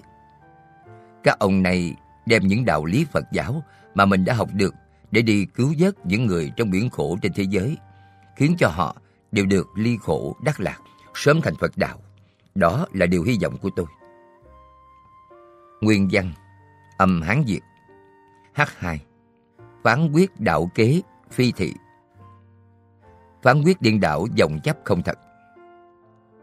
Dòng nguyên vô nhân, Ư vọng tưởng trung, Lập nhân duyên tánh, Mê nhân duyên giả xuyên di tự nhiên. Bỉ hư không tánh, Do thật quyển sanh. Nhân duyên tự nhiên, Giai thị chúng sanh dòng tâm kế độ. A nan, tri dòng sở khởi Thuyết dòng nhân duyên. Nhược dòng nguyên vô, Thuyết dòng nhân duyên nguyên vô sở hữu. Hạ huống bất tri, Suy tự nhiên giả. Dịch. Căn nguyên dòng tưởng vốn không có nhân, Là trong dòng tưởng lập tánh nhân duyên. Người kia không hiểu đạo lý nhân duyên, Cho là tự nhiên. Tánh hư không kia, Còn thật là do quyển quá sanh ra. Huống là nhân duyên hay là tự nhiên? Đều là chúng sanh Dòng tâm kế độ. Anh nàng nên biết. Nếu hiểu hư vọng, từ đâu sanh khởi, Thì mới có thể nói được rõ ràng Nhân duyên hư vọng. Nếu hư vọng ấy vốn là không có, Thì cái nhân duyên gọi hư vọng đó vốn không thể có. Huống chi ngoại đạo không hiểu nhân duyên, Mà lại lập luận cho là tự nhiên. Giảng. Đoạn văn này ý nói, Nhân duyên dòng niệm này của chúng ta. Sao gọi là nhân duyên? Người đó không hiểu nhân duyên Mê lầm cho là tự nhiên, Rơi vào trong ngoại đạo tự nhiên, Cho nên mới nói Dòng nguyên vô nhân. Căn nguyên của dòng tưởng không có cơ sở. Không có cơ sở, Tức là không có thể tánh, Cho nên nói dòng nguyên vô nhân. Ư vọng tưởng trung lập nhân duyên tánh. Vậy thì ở trong cái vọng tưởng này, Vọng lập ra một cái thuyết, Nói đó là một loại nhân duyên tánh. Đối với vọng tưởng, Có người hỏi tôi, Cái gì gọi là vọng tưởng? Tôi nói, Vọng tưởng mà ông này hỏi tôi, Tức là vọng tưởng. Thế nào là vọng tưởng? Mà nay ông hỏi đó tức là vọng tưởng. Vọng tưởng này Ông đi đâu để tìm? Nó có gốc hay không? Quá khứ thì không có. Vọng tức là hư vọng. Hư vọng thì là thứ không có thực thể. Nói một thứ thì không hợp với đề mục này. Căn bổn là không có thứ nào, Cho nên không thể nói nó là món đồ gì. Vậy thì ở trong dòng tưởng này, Lập nhân duyên tánh, Mê nhân duyên dạ Ông có nhân duyên tánh. Nếu ông hiểu rõ nhân duyên Thì không có bệnh gì. Nhưng người mê nhân duyên này vốn không biết cái gì gọi là nhân duyên, Nói, Vậy thì Pháp Sư Ngài giảng cái nhân duyên này Rốt cuộc là cái gì? Ở trên đã giảng rất nhiều lần. Nhân duyên này Tức là một loại Pháp của Tiểu Thừa Dùng để phá ngoại đạo. Đã là Pháp của Tiểu Thừa Thì vốn không có đạo lý thâm sâu di diệu gì Tức là nhân duyên. Như thị nhân, như thị duyên. Còn người không hiểu nhân duyên Thì xưng di tự nhiên. Gọi cái nhân duyên đó là tự nhiên. Cho nên người ấy nuốt chửng cả trái táo. Thế nào gọi là nuốt chửng cả trái táo? Có lẽ các ông nghe không hiểu nuốt nguyên trái táo là gì. Tức là ăn nguyên một trái táo. Trái táo ông không có nhai, cũng không có cắn. Cứ nguyên trái táo bỏ vào miệng, nuốt xuống bụng. Rốt cuộc là mùi vị gì thì không biết. Cho nên người mà mê lầm về nhân duyên, tức là không hiểu nhân duyên đó, gọi đó là tự nhiên. Đây là một loại lý luận của ngoại đạo. bỉ hư không tánh. Này không nói về nhân duyên, cũng không nói về tự nhiên. Này nói về cái tánh hư không. Hư không là cái gì? Do thật quyển sanh. Hư không cũng sinh ra từ trong dòng tưởng của ông. Ở trên bài kệ tụng của Bồ Tát Văn Thù Sư Lợi đã nói Không sanh đại giác trung, như hải nhất âu phát. Cái không đó ở trong tánh đại giác, giống như một cái bọt nước ở trong đại dương. Cho nên nó là do vọng tưởng sinh ra. Nhân duyên tự nhiên, giai thị chúng sanh dòng tâm kế độ. Cái gì gọi là nhân duyên? Cái gì gọi là tự nhiên? Hai cách nói nhân duyên và tự nhiên này đều là tất cả chúng sanh lấy tâm vọng tượng đó để đánh giá đo lường, tưởng tượng ra. Đều do vọng tưởng sinh ra. Tôi nói như vậy không biết đúng hay sai. Nhưng các ông nghĩ xem. A Nan tri vọng sở khởi, thuyết vọng nhân duyên. A Nan, ông có biết cái dòng trưởng sanh khởi như thế nào không? Có như thế nào không? Từ đâu đến, ông có biết không? Ông biết vọng tưởng đó từ đâu đến mới có thể nói về cái nhân duyên vọng này một cách chân chánh. Nhược vọng nguyên vô, thuyết vọng nhân duyên nguyên vô sở hữu. Vậy thì vốn là không có cái vọng. Ông lại nói cái nhân duyên vọng tượng đó từ đâu mà ra? Vì vọng đó không có thể tánh. Đã không có thể tánh thì vọng đó nguyên vô sở hữu, không có gì cả, cái gì cũng không có, là chư pháp không tướng, đã là không có cái vọng nguyên, nó không có nguồn gốc. Hà huống bất tri, suy tự nhiên giả, huống chi là không biết. Ngay cả nhân duyên cũng không biết, bèn đưa ra một cái tự nhiên, thì sẽ rơi vào ngoại đạo tự nhiên. Đó thì làm sao có thể được, không thể được. Nguyên văn, âm Hán Việt, H3, kết quy cố thuyết vọng tưởng, kết luận lại đều nói về vọng tưởng thì cố Như Lai giữ nhữ phát minh, ngũ ấm bổn nhân, đồng thì vọng tưởng. Dịch Thế nên Như Lai thuyết minh cho ông, nguồn gốc năm ấm đều là vọng tưởng. Dạng Thì cố Như Lai giữ nhữ phát minh. Vì ở trên nói về cái ý nghĩa này, cho nên như thế nào? Tôi giảng cho ông nghe, về ông phát huy minh bạch. Bảo cho ông. Bảo cho ông cái gì? ngũ ấm bổn nhân, nguồn gốc của năm ấm sắc, thọ, tưởng, hành thức là cái gì? Tức là dòng tưởng. dòng tưởng này, nếu ông truy cứu nó, thì nó không có tự thể. Ngũ ấm là mẹ của nó từ chỗ đó đến. Từ chỗ nào vậy? Tức là từ dòng tưởng đến. Ngũ ấm cũng là từ dòng tưởng mà đến. dòng tưởng cũng từ ngũ ấm mà đến. Đó là y chân khởi dòng. đồng thì dòng tưởng. Cho nên trước kia tôi chưa giảng sao. Ngọn núi năm ấm này sẽ đè bẹp ông. Lại có sáu giặc ở nơi núi đó chiêu binh mãi mã, tích chứa lương thực, giết người cướp của, không gì mà không làm. Ngọn núi ngủ ấm này che đầy cái như lai tàn tánh của ông, khiến cho ông không thể lộ ra được. Chỉ có ngọn núi ngủ ấm thì còn chưa sao, lại đến sáu tên giặc sáu tên giặc ở nơi đó làm tướng cướp. Bọn cướp này đi giết người cướp của, cho nên mới chôn vùi Như Lai tàn tánh ở trong. Nếu ông hàng phục được sáu tên giặc này và ngủ ấm kia, thì Như Lai tàn tánh của ông sẽ hiển hiện ra. Lời ban biên tập Dưới đây là phần giảng của Thượng Nhân tháng 1 năm 1983. Chúng ta hàng ngày ở đây nghiên cứu Phật Pháp, cần phải triêu ư tư tịch ư tư. Sáng cũng ở đây, chiều cũng ở đây, ngày ngày đều như vậy. Một ngày không được như vậy thì sẽ bỏ qua cơ hội. Ông thì ở nơi đó nghĩ tưởng, không biết là phút giây nào thì sẽ mất đi lợi ích mà mình đã có. Ở đây tôi đưa ra một ví dụ. Giống như cái gì vậy? Giống như mèo đang ở đó rình chuột. Mèo ở nơi đó đợi chờ mấy ngày sau đó chạy đi. Vì mèo không có tâm nhẫn nại nên chạy đi. Nó vừa chạy thì chuột xuất hiện, nên không có bắt được chuột. Thật là kỳ lạ. Lại giống như câu cá, ở nơi đó câu mấy ngày mà cá không bắt câu. Vì cá nhỏ đã bị cá lớn ăn hết rồi. Cá lớn đó ăn cá nhỏ no nê, không muốn ăn thứ nào khác nữa. Ở nơi đó ngủ nghỉ, cho nên mấy ngày cũng không ăn gì cả. Đến khi nó vừa đói bụng bơi ra, lúc đó người câu cá không có tâm nhẫn nại đã bỏ đi, cho nên không có câu được cá. Một con cá cũng không câu được. Đó vốn là những việc sát sanh. Câu cá cũng là sát sanh. Mẹ bắt chuột cũng là sát sanh. Chúng ta tu đạo cũng đang sát sanh. Sát sanh gì? Tức là giết sáu tên giặc. Mắt, mũi, tai, lưỡi, thân ý. Sáu tên giặc này, chú tâm canh giữ, thì sáu tên giặc đó không thể thừa cơ hội được. Vừa giải đãi làm biến, sáu tên giặc đó lại tắt quai tắt quái, tạo phản liền. Nguy hiểm như thế.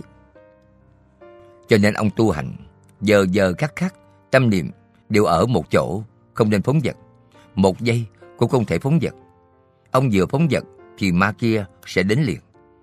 Không những hiện nay chúng ta tu hành, mà đó cũng như thế. Mà thời Đức Phật còn tại thế, người tu đạo cũng như thế, cũng phải cẩn thận, cẩn thận, thường thường dụng công tu hành. Có gì chứng minh khi Phật còn tại thế cũng có ma. Sau khi Đức Phật nhậm Niết Bàn, khi kiết tập kinh tạng, A Nan tôn giả thăng pháp tòa, ngồi ở chỗ pháp chủ ngồi. Vì kiết tập kinh tạng cần phải có một người trụ trì pháp hội. Vào lúc đó, tướng mạo của tôn giả A Nan hiện ra một tướng đoan nghiêm, bất khả tư nghị.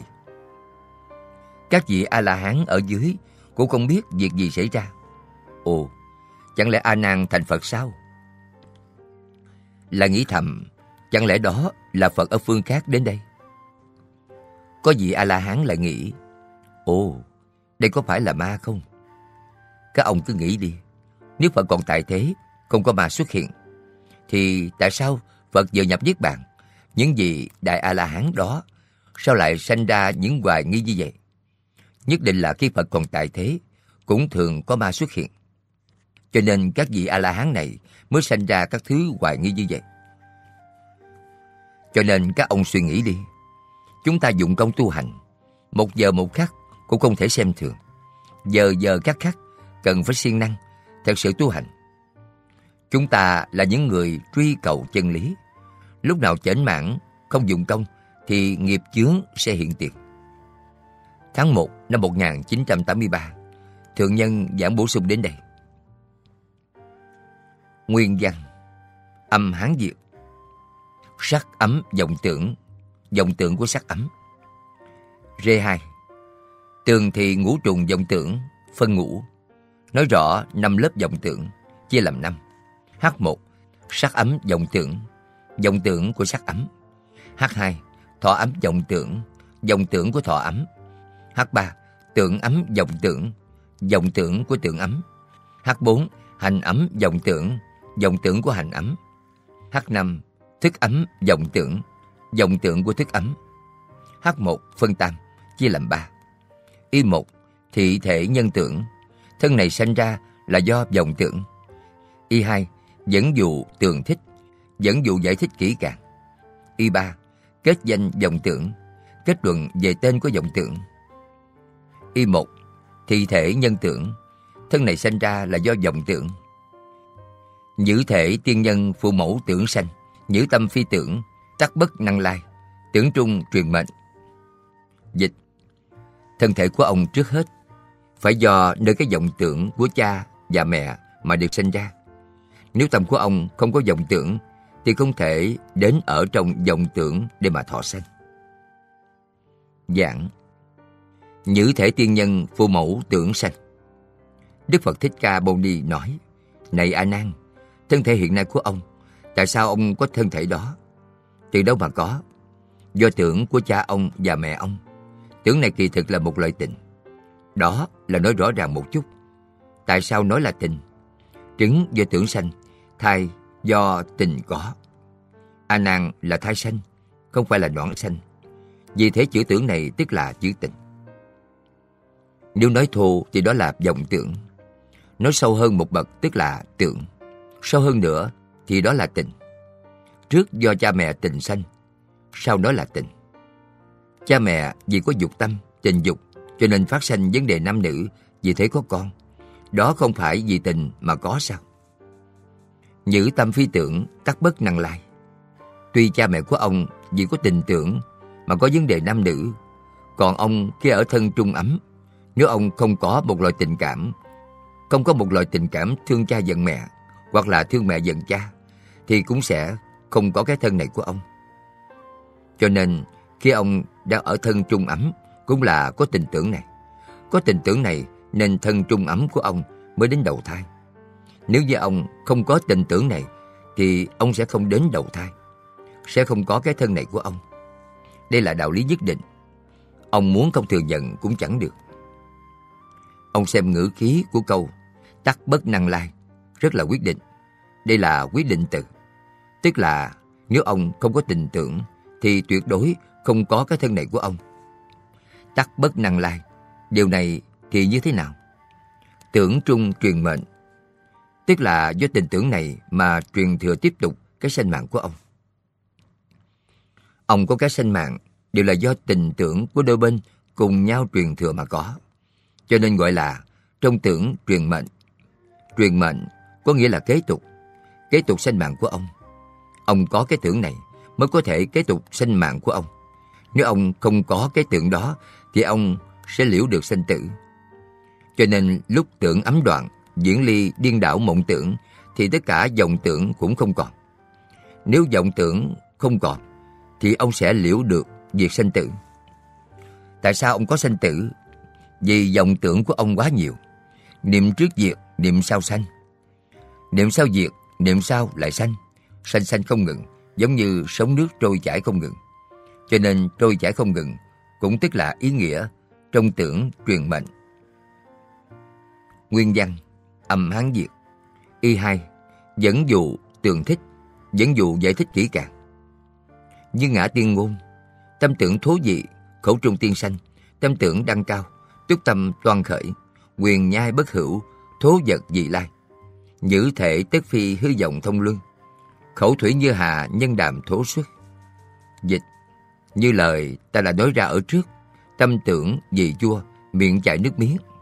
Tâm tưởng lên cao, thì lòng bằng chân cảm thấy ghê rợn. Dốc cao không có, vật chua chưa nếm.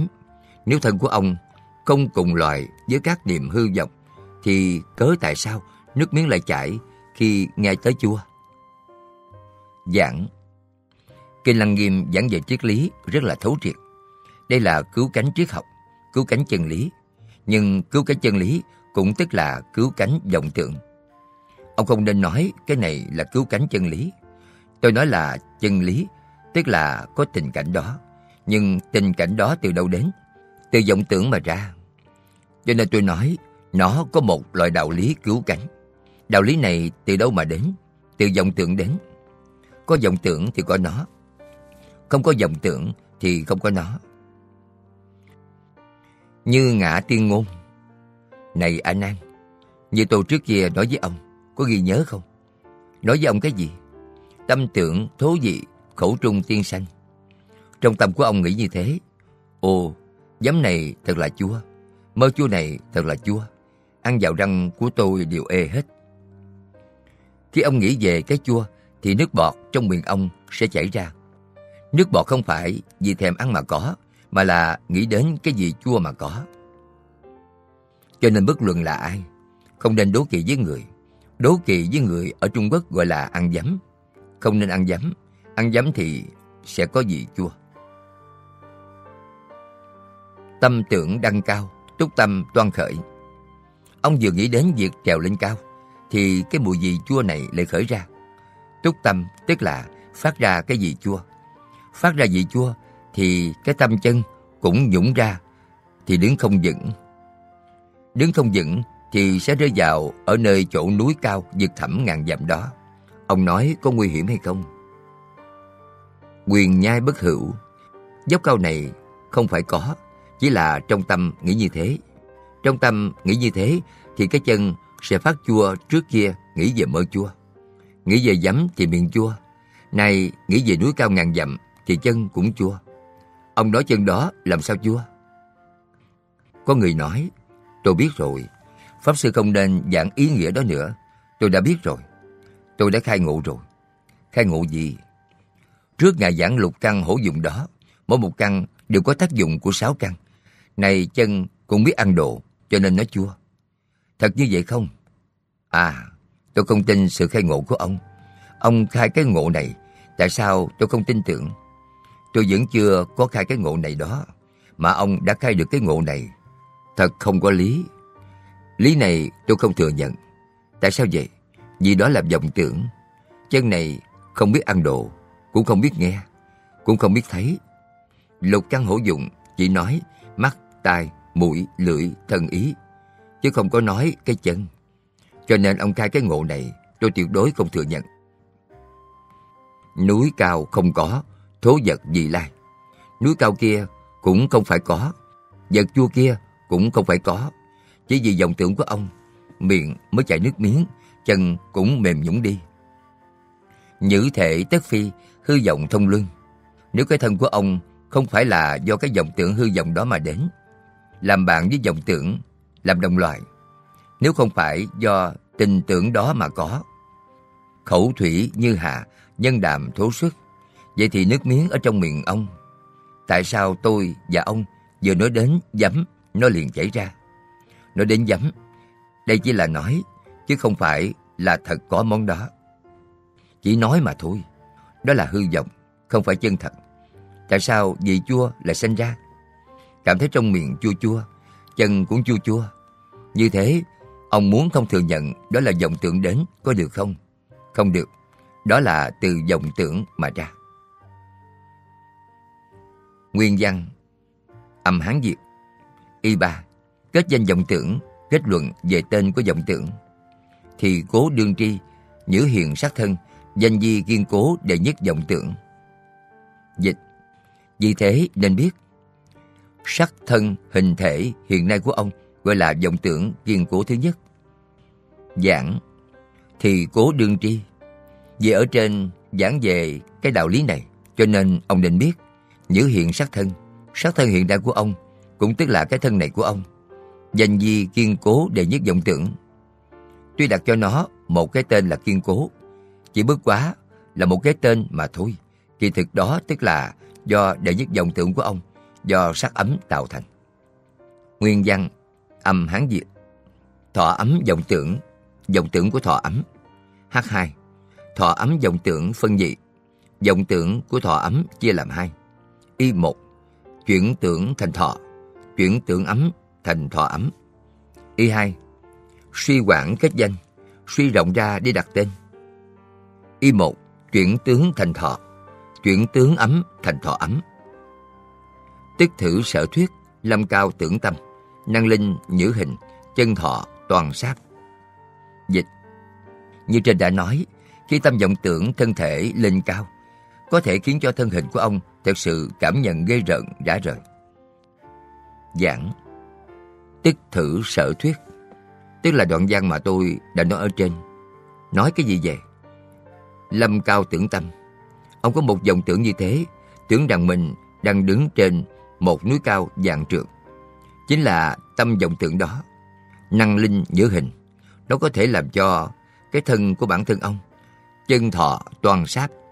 Nói như thế, suy nghĩ, à, cái chân của mình cảm thấy chua, cảm thấy chát. Sao gọi là chát? Chát tức là không có trơn. Cảm thấy rất là chua chát. Cảm thấy cái chân dường như đứng không vững, muốn ngã xuống. Ông đi đến chỗ cao dàn trường đó, nhìn xuống dưới xem. Ở kìa, nhìn không thấy đáy. là bàn chân mềm nhũng ra. Liền đó, dù không muốn ngã xuống, cũng ngã xuống. Đó có ý nghĩa gì vậy? Vì dòng tưởng của ông làm thành. Nếu ông không có dòng tượng đó, ở trên mặt đất đi tới đi lui, đi biết bao nhiêu là đường, thì lòng bằng chân cũng không mềm nhũng, cũng không mỏi nhừ. Ông đi trên cái cầu độc mộc, nhìn xuống dưới nước chảy xiết. Ồ, nếu mà rớt xuống thì rồi đời sẽ bị chết chìm. Không nghĩ đến thì không có việc gì. Vừa nghĩ đến thì chân không thể nhúc nhích được nữa, mềm nhũng ra, bước không nổi nữa, té xuống. Đó là có mối liên hệ với cái tưởng của ông. Nếu ông không có cái vọng tượng đó, nhắm mắt bước về phía trước, khi không biết có một cây cầu độc mộc như thế thì không có việc gì. Vậy thì chúng ta nhắm mắt thử đi qua cái cầu độc mộc cũng bị rớt xuống đó như thường. Tại sao vậy? Ông thấy không rõ. Cách bước thì đạp không đúng cái cầu độc mộc. Còn ông nhìn thấy nếu khởi lên vọng tưởng biết ở dưới là nước chảy xiết, ông sanh ra tâm lo sợ. Nhưng nếu ông nhắm mắt chạy qua cái cầu đó thì cũng bị rớt xuống sông. Vì thế, đừng nên mở mắt mà khởi vọng tưởng, cũng không nên nhắm mắt vọng tưởng chết. Nếu ông nhắm mắt vọng tưởng chết thì đi không được, cho nên điều quan trọng ở chỗ này. Ông cũng không nên nhắm mắt mà có vọng tưởng chết. Sao gọi là vọng tưởng chết? Là làm cho vọng tưởng chết đi. Ông mở mắt sanh ra vọng tưởng thì là bàn chân mềm nhũng. Ông nhắm mắt, cũng bị rơi xuống hố sâu thẳm đó. Vì thế nhắm mắt cũng không phải là biện pháp. Vì thế chỗ khó nhất chính là ở đây. Làm sao đây? Tốt nhất là không khởi lên vọng tưởng thì sẽ không có việc gì. Nguyên văn Âm Hán Việt Y 2 Suy quảng kết danh Suy rộng ra để đặt tên Do nhân thọ sanh, Năng động sắc thể. Nhữ kim hiện tiền thuận ích di tổn, Nhị hiện khu trì, Danh di hư minh đệ nhị vọng tưởng. Dịch. Do nhân thọ sanh, dao động sát thân, Ông nay hiện tiền hai thứ thuận ích cùng với di tổn, Đang cùng dông rủi, Gọi là vọng tưởng hư minh thứ hai.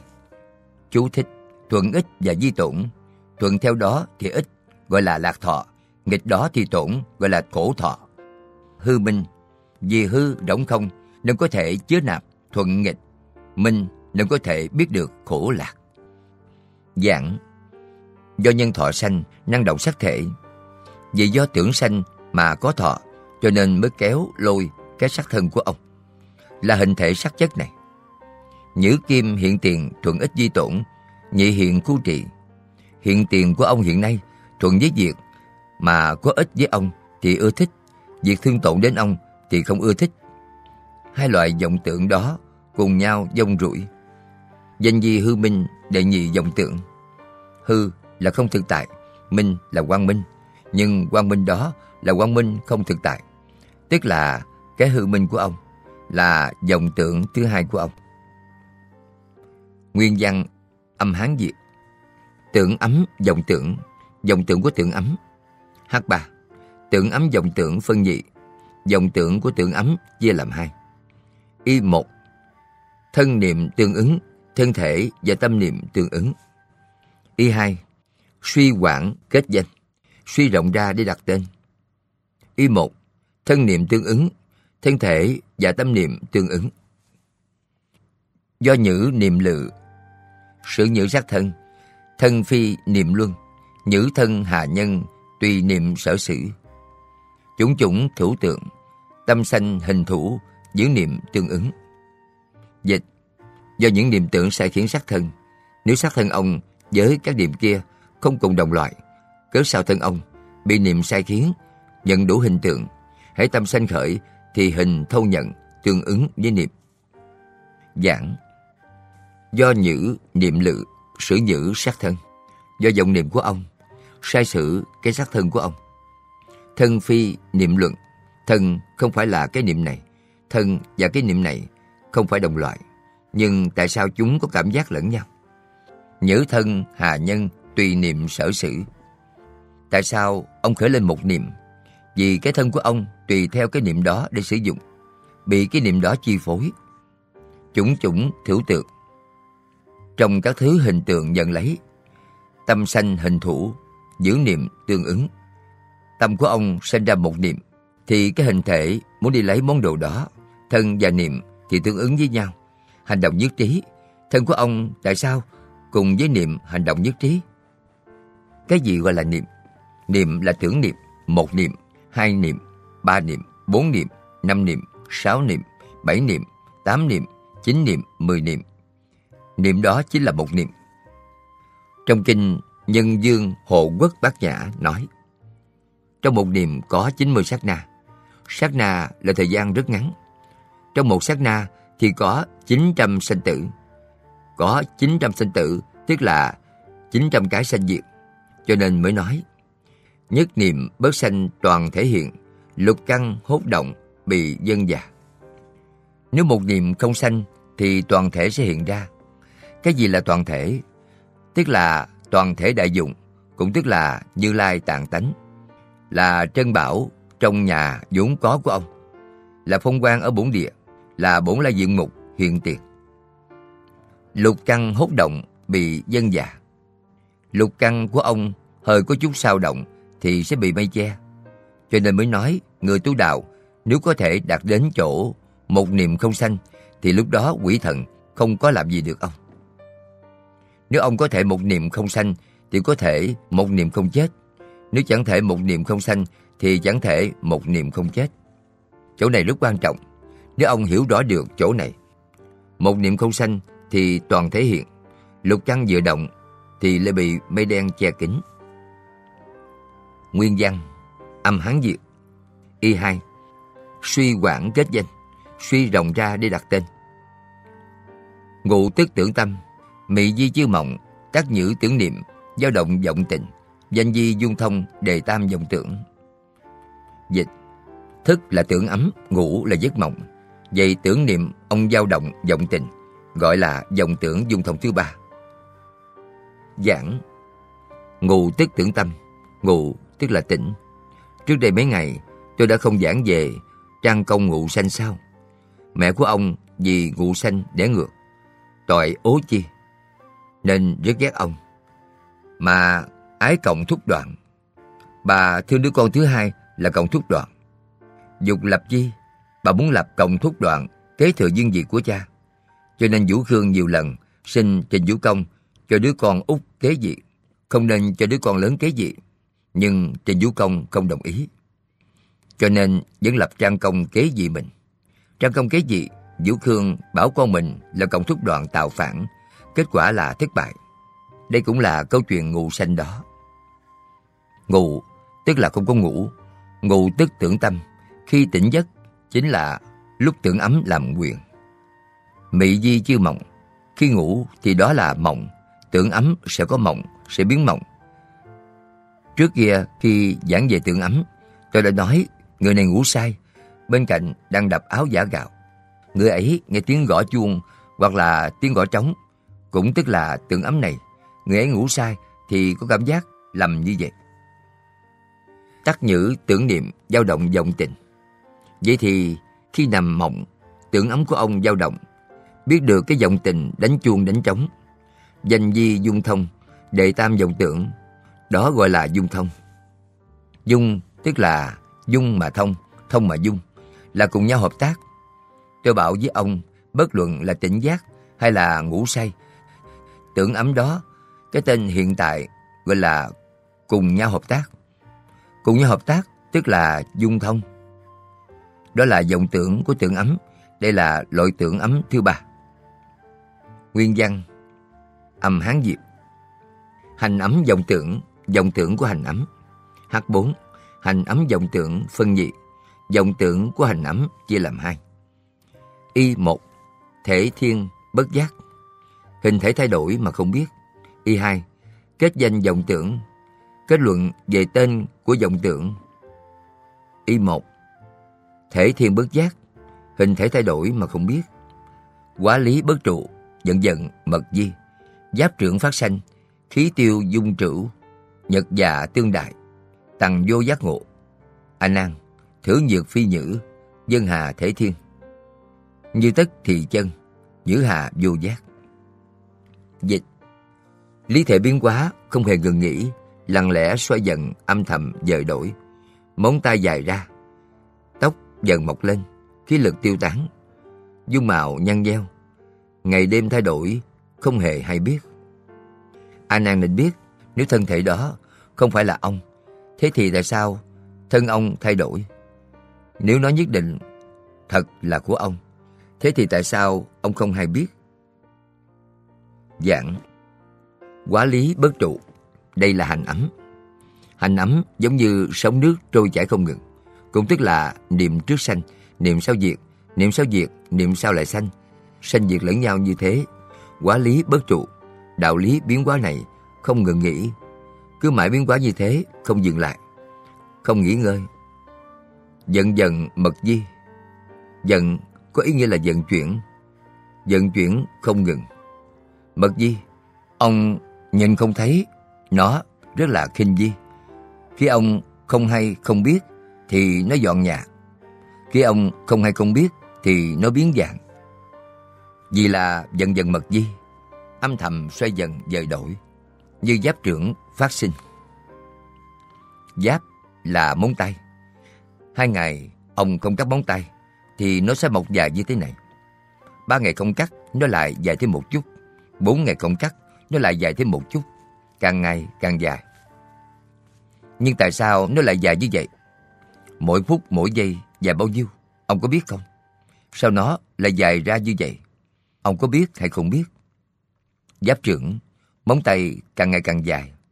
Phát xanh, tóc trên đầu của ông và tôi một tháng không cắt thì dài khoảng 4 phân.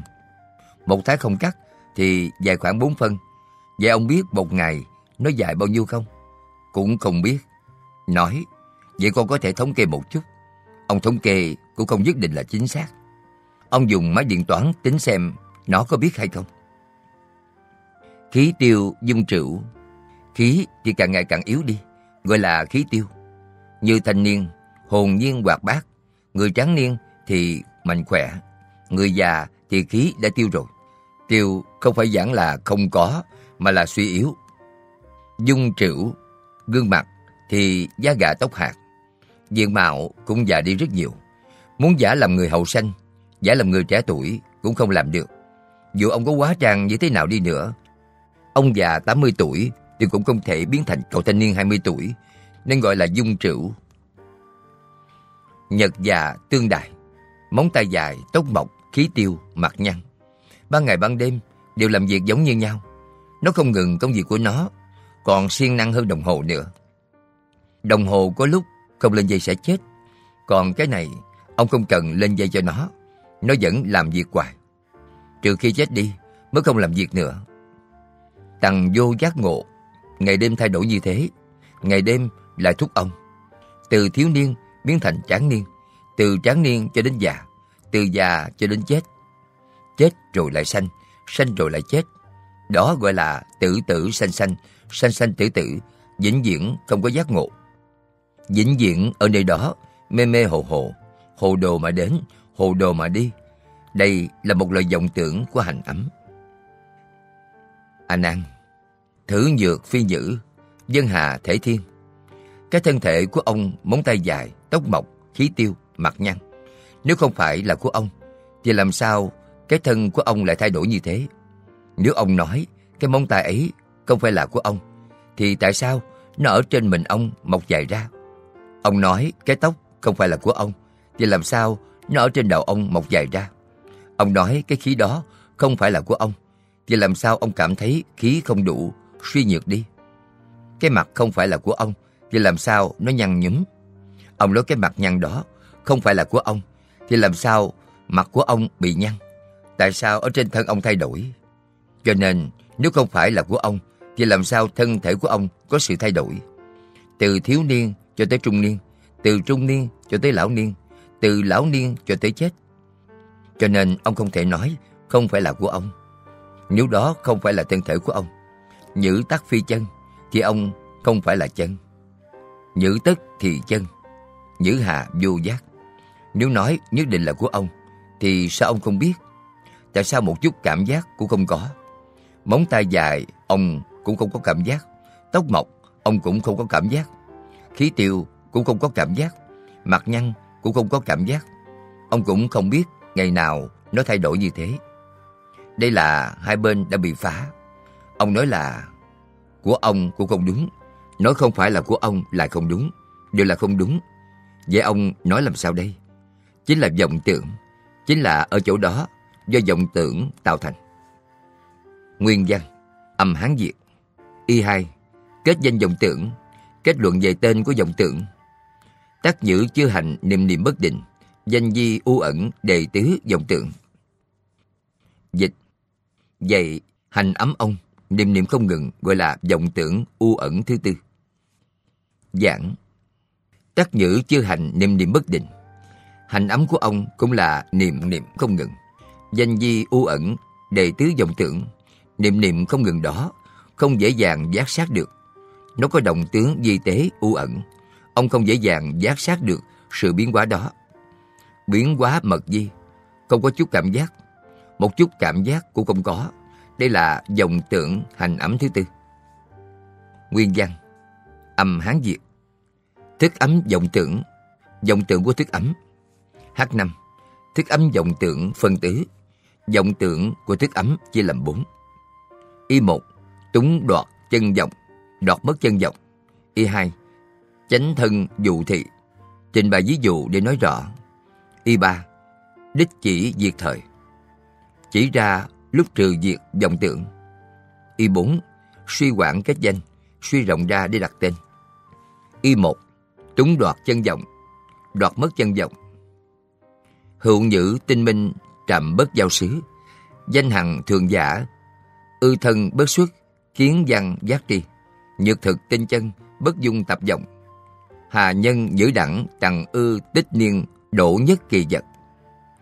Kinh lịch niên tuế, Ước vọng câu vô Ư hậu hốt duyên, Phục đổ tiền dị. Ký ức quyển nhiên Tằng bất di thức tác thử tinh liễu, trạm bất giao trung. Niệm niệm thọ quân, hữu hà trù toản.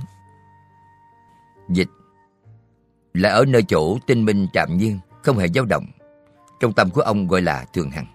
Ở nơi thân ông, không ra ngoài những kiến văn giác tri. Nếu đó thật là bản tánh tinh chân, thì không dung chứa tập khí hư vọng. Tại sao các ông năm xưa đã từng thấy một vật lạ? Trải qua nhiều năm, nhớ quên đều không. Về sau, bỗng nhiên thấy vật lạ đó, thì nhớ rõ ràng không hề mất đi. Vậy ở trong cái tinh minh trạm nhiên không dao động này, niệm niệm thường luôn chịu sự quân tập, không tính toán hết. Giảng, hữu nhữ tinh minh, trạm bất giao xứ, danh hằng thường giả. Ở chỗ tinh minh, đứng lặng thanh tịnh, mà không dao động đó. Nếu gọi nó là hằng thường, ư thân bất xuất, kiến văn giác tri. Nhưng trên thân ông vẫn không xuất hiện kiến văn giác tri. Nhật thực tinh chân, bất dung tập vọng.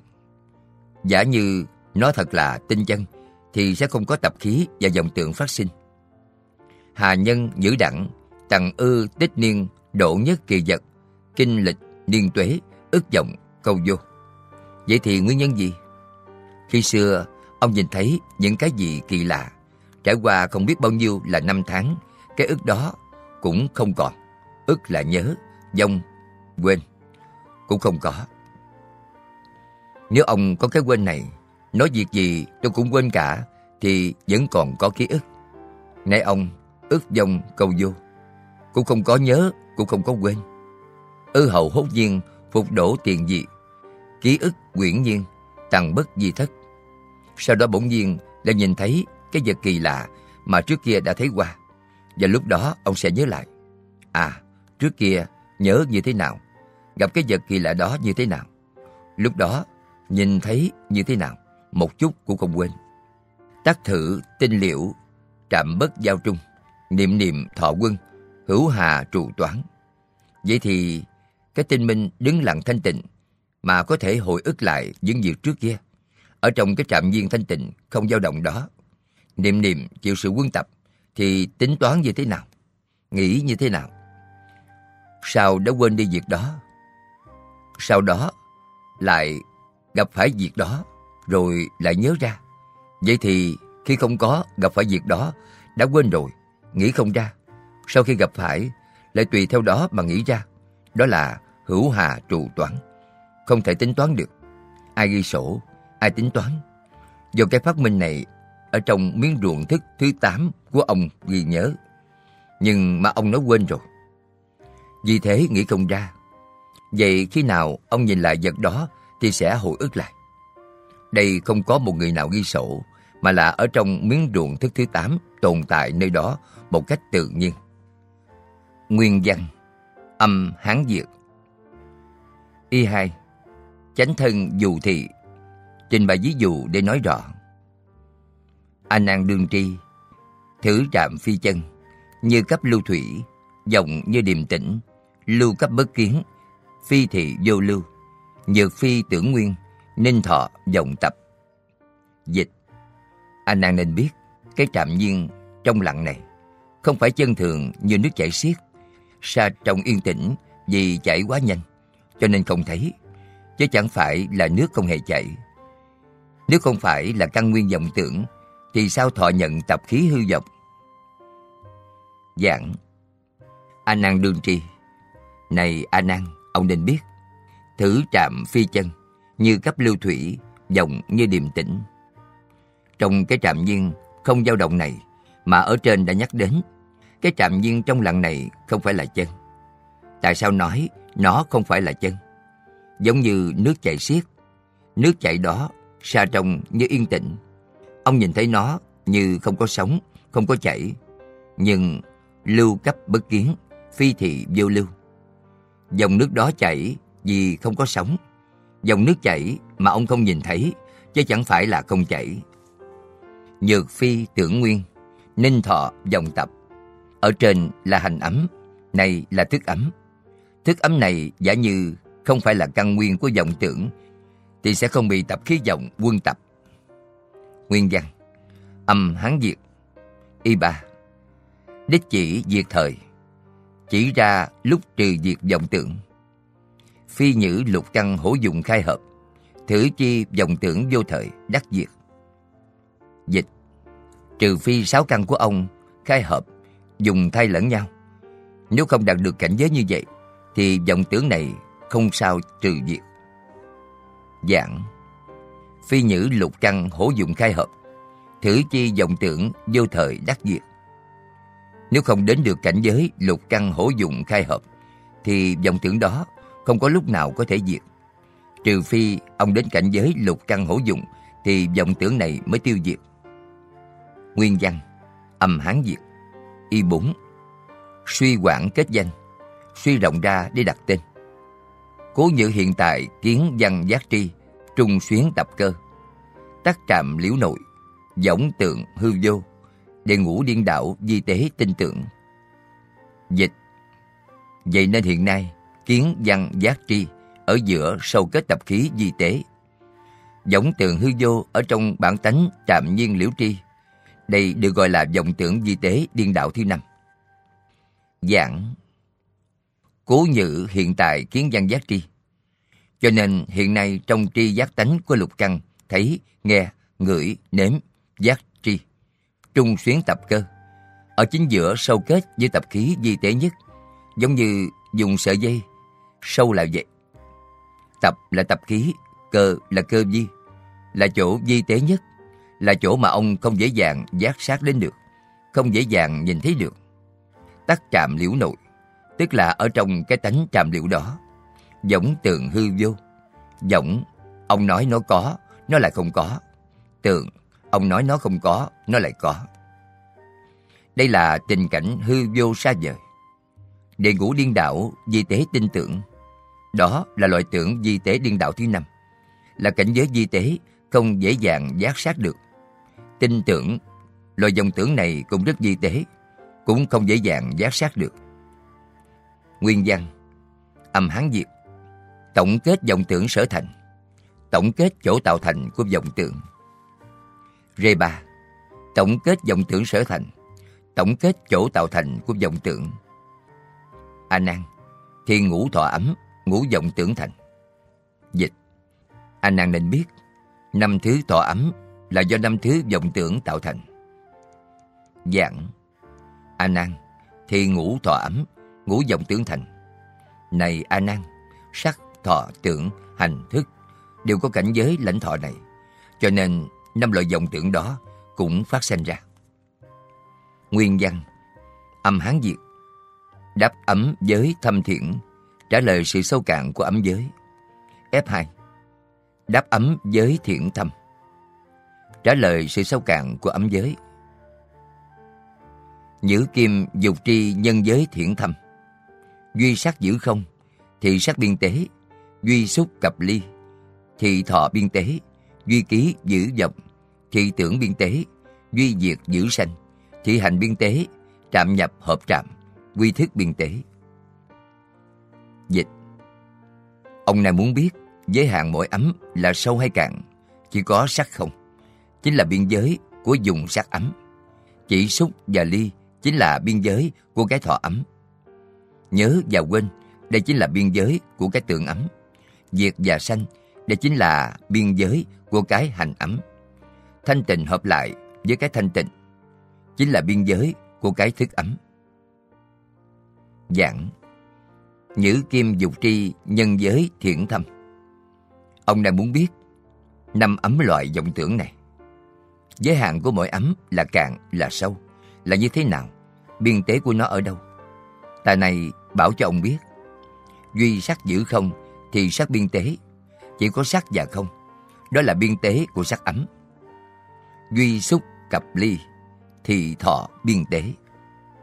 Xúc trần và ly cai đó là biên tế của thọ ấm. Duy ký giữ dông thì tưởng biên tế. Chỉ có cái nhớ và cái quên. Đó là biên tế của tượng ấm. Duy diệt giữ sanh thì hành biên tế. Chỉ có diệt và sanh là biên tế của hành ấm. Trạm nhập hợp trạm quy thức biên tế. Thanh tịnh lại hợp với thanh tịnh, đó là biên tế của thức ấm. Nguyên văn Âm Hán Việt Đáp diệt trừ đốn tiệm Trả lời diệt Diệt trừ đốn tiệm F3 Đáp diệt trừ đốn tiệm Trả lời diệt diệt trừ đốn tiệm Thử ngũ ấm nguyên, Trùng điệp sanh khởi, Sanh nhân thức hữu, Diệt tùng sát trừ. Lý tắc đốn ngộ, Thừa ngộ tình tiêu. Sự phi đốn trừ, Nhân thứ đệ tận. Ngã dĩ thị nhữ, Kiếp ba cân kết.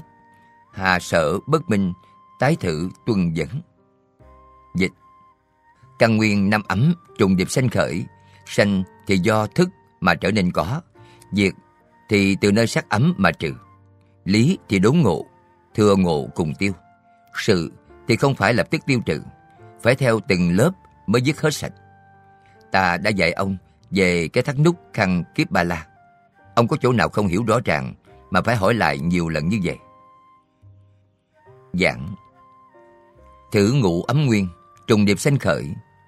Căn bụng của năm ấm này Nó lặp lại và trùng điệp sanh ra. Sanh rồi lại sanh Tuần hoàn với nhau như thế Giúp đỡ lẫn nhau như thế. Sanh nhân thức hữu Sanh vì thức, thức ấm mới có. Diệt tùng sắc trừ Diệt thì từ sắc, sắc ấm trừ. Sao lại diệt? Vì có sắc. Nếu diệt sắc thì nó sẽ quay trở về không? Cho nên diệt Vì thế sanh là do thức mà sanh ra. Diệt là do hình sắc mà diệt.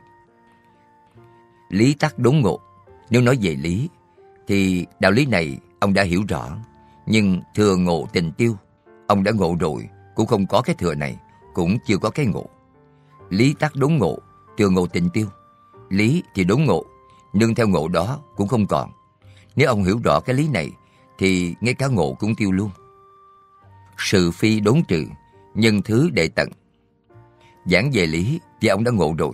Giảng về sự thì ông còn cần nhân thứ đệ tận. Ông giống như cởi bỏ y phục, cởi ra một lớp, rồi cởi ra lớp thứ hai, sau đó lớp thứ ba, lớp thứ tư, lớp thứ năm. Cho nên về sự tướng, ông phải từ thứ lớp mà đoạn tận. Về lý thì ông đã hiểu rõ rồi, nhưng ông vẫn chưa có tu. Cần phải tu mới có thể phá được năm ấm này. Ngã dĩ thì nhữ kiếp ba cân kết, Tôi trước kia đã nói với ông, cho dùng cái khăn thắt làm sáu cái nút. Hà sở bất minh, tái thử tuần dẫn. Sao ông lại không hiểu chứ? Sao lại hỏi tôi nhiều như thế? Vẫn cứ hỏi dài dòng như thế. Lời ban biên tập Dưới đây là phần giảng của Thượng Nhân tháng 1 năm 1983.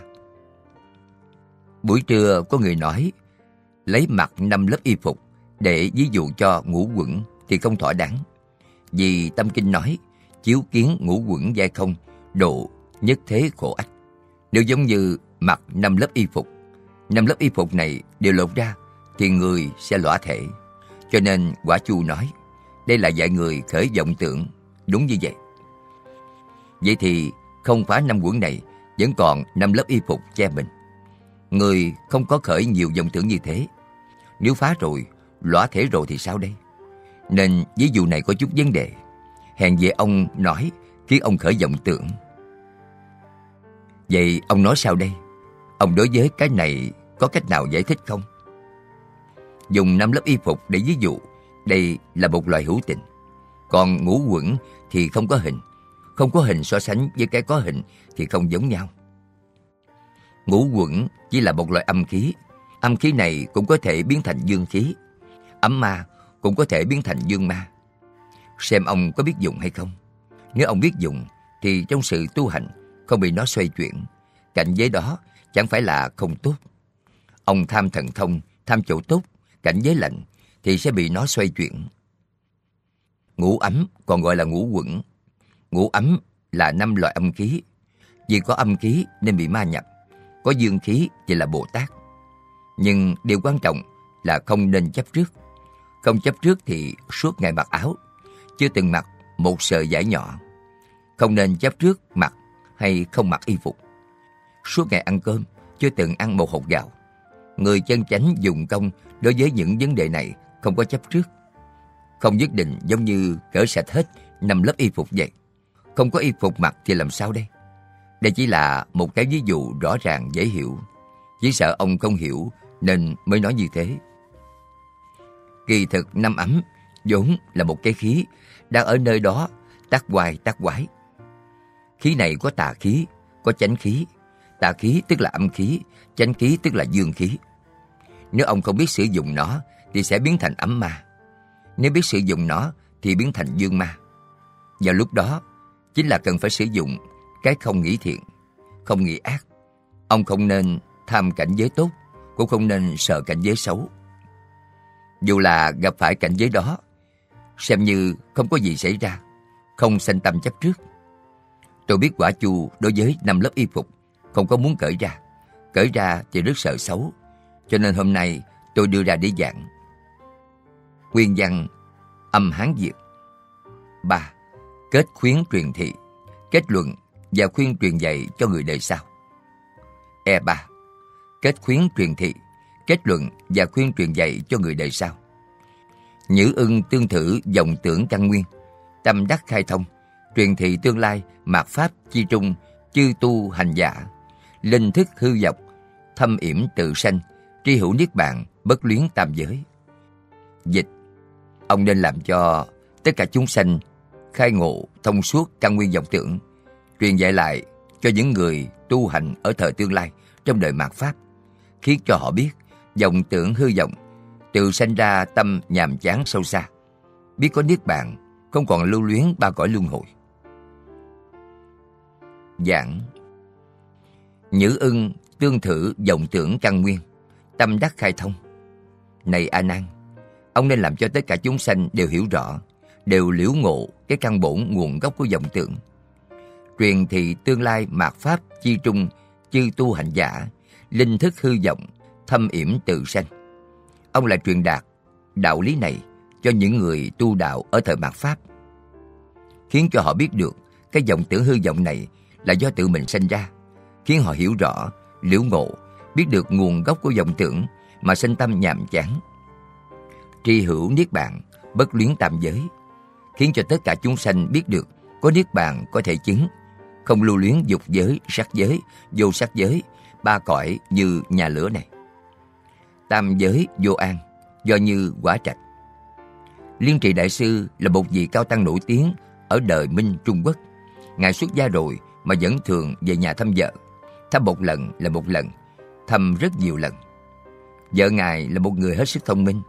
Nghĩ đến chồng của mình xuất gia rồi mà không tu hành, buông bỏ không được tình ái, cứ mãi trở về nhà. Đó không phải là biện pháp tốt. Vì thế, bà mới đào trước cửa một cái hầm. Ở trên dùng cái chiếu che lại. Ở trong hầm để cái gì? Để một chút lửa ở trong đó. Liên trì đại sư lần nữa là trở về nhà. Vừa bước tới thì rớt vào trong hầm lửa đó.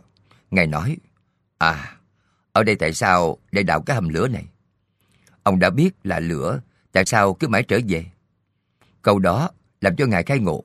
Từ đó về sau, không còn trở về nhà nữa. Đây cũng là nói, tam giới vô an, do như quả trạch ba cõi dục giới, sắc giới, vô sắc giới đều là chỗ không an lạc, giống như nhà lửa vậy. Lưu thông phận Dạo cúng Phật chi phước So sánh với phước cúng Phật Đáp hoạch phước chi đa trả lời được phước rất lớn. Tháng diệt ác chi công, khe công đức diệt ác. Cử lưỡng lợi chi thắng, đưa ra thù thắng của hai loại lợi ích. Kết đại chúng pháp hỷ, đại chúng quan hỷ. Nguyên văn. Âm Hán Việt. Lưu thông phần, phần lưu thông. Dạo cúng Phật chi phước. So sánh với phước cúng Phật. A3. Lưu thông phần. Phân ngũ. Phần lưu thông chia làm năm. B1. Dạo cúng Phật chi phước. So sánh với phước cúng Phật. B2. Đáp hoạch phước chi đa. Trả lời được phước rất lớn. B3. Tháng diệt ác chi công Khen công đức diệt ác B4. Cử lưỡng lợi chi thắng, Đưa ra thù thắng của hai loại lợi ích B5. Kết đại chúng pháp hỷ, Đại chúng đều quan hỷ B1. Dạo cúng Phật chi phước, So sánh với phước cúng Phật A Nan, Nhược phục hữu nhân, Biến mãn thập phương sở hữu hư không, Doanh mãn thất bảo Trì dĩ phụng thượng Di trần chư Phật, Thừa sự cung dưỡng Tâm vô hư độ Ư ý dân hạ, thì nhân dĩ thử thí Phật nhân duyên, Đắc phúc đa phủ Dịch Anh đang nên biết, Với việc có người đem các thức bảo chất đầy hư không cùng khắp mười phương dâng lên chư Phật nhiều như di trần. Lễ bái cúng dường mà tâm không hề sao lãng biến lười. Ý ông thế nào? Người này do nơi nhân duyên cúng dường chư Phật mười phương được phước nhiều chăng? Dạng A Nan, nhược phục hữu nhân, biến mãn thập phương sở hữu hư không, doanh mãn thất bảo. Này A Nan, giả như có một người chứa chất đầy bảy thứ châu bảo như vàng, bạc, lưu ly, pha lê, sa cự, xích châu, mã não trong hư không của mười phương thế giới. Trì dĩ phụng thượng di trần chư Phật, dùng nó để cúng dường chư Phật nhiều như số di trần vô lượng vô biên. Thừa sự cúng dường, tâm vô hư độ, là khấu đầu lễ bái, lại cúng dường, tâm kia chưa từng một phút một giây sao lãng. Ư ý dân hạ, ý của ông thì như thế nào? Thị nhân giữ thị, thí Phật nhân duyên, đắc phúc đa phủ. Người này dùng thất bảo nhiều như thế để cúng dường chư Phật, đem hết thất bảo của mình cúng dường Phật. Nhân duyên đó, phước báo đó nhiều hay không? Ông nói đi. Nguyên văn. Âm Hán Việt B2 Đáp hoạch phước chi đa. Trả lời được phước rất lớn. A Nan đáp ngôn. Hư không vô tận, chân bảo vô biên.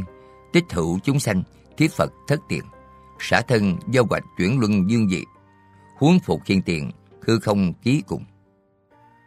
Phật thổ sung biến, giai thí trân bảo, cùng kiếp tư nghĩa, thường bất năng cập, thị phúc dân hạ, cánh hữu biên tế. Dịch, anh An đáp rằng, hư không vô tận, chân bảo vô biên.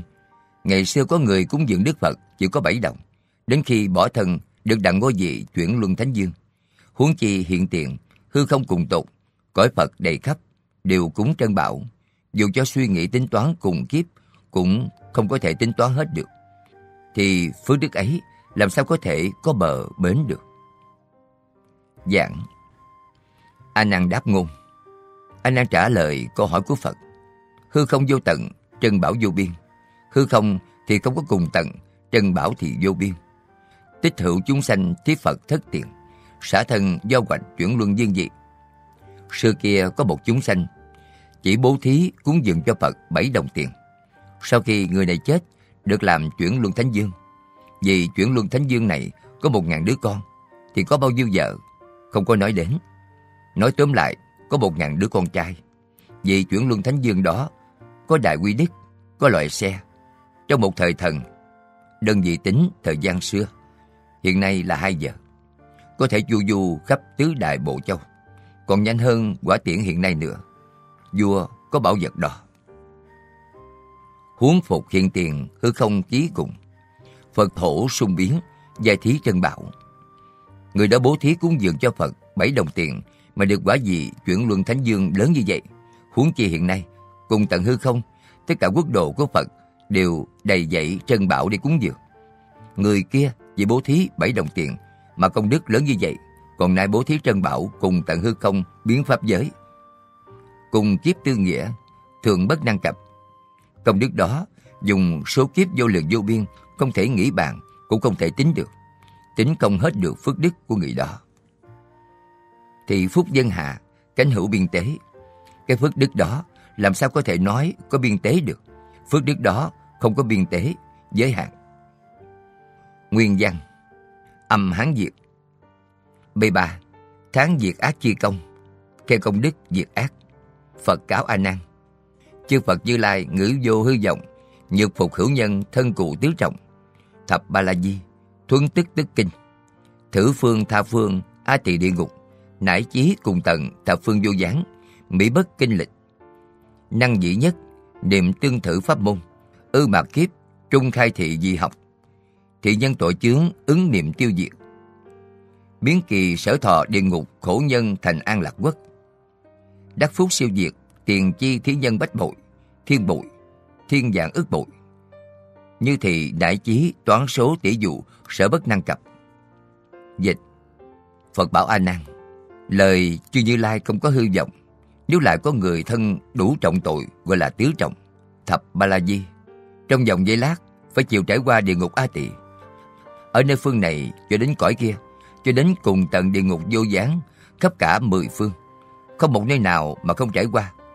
Nhưng mà có thể chỉ trong một niệm, đem pháp môn này khai thị cho người chưa từng học pháp trong đời mạt pháp, thì tội người ấy chỉ trong niệm đó liền được tiêu diệt biến cái nhân khổ mà mình phải nhận ở chốn địa ngục thành an lạc quốc được phước siêu dược trăm lần ngàn lần vạn lần ức lần hơn người cúng dường trân châu mã não như thế cho đến dùng phép toán số hay là thí dụ cũng không nói hết.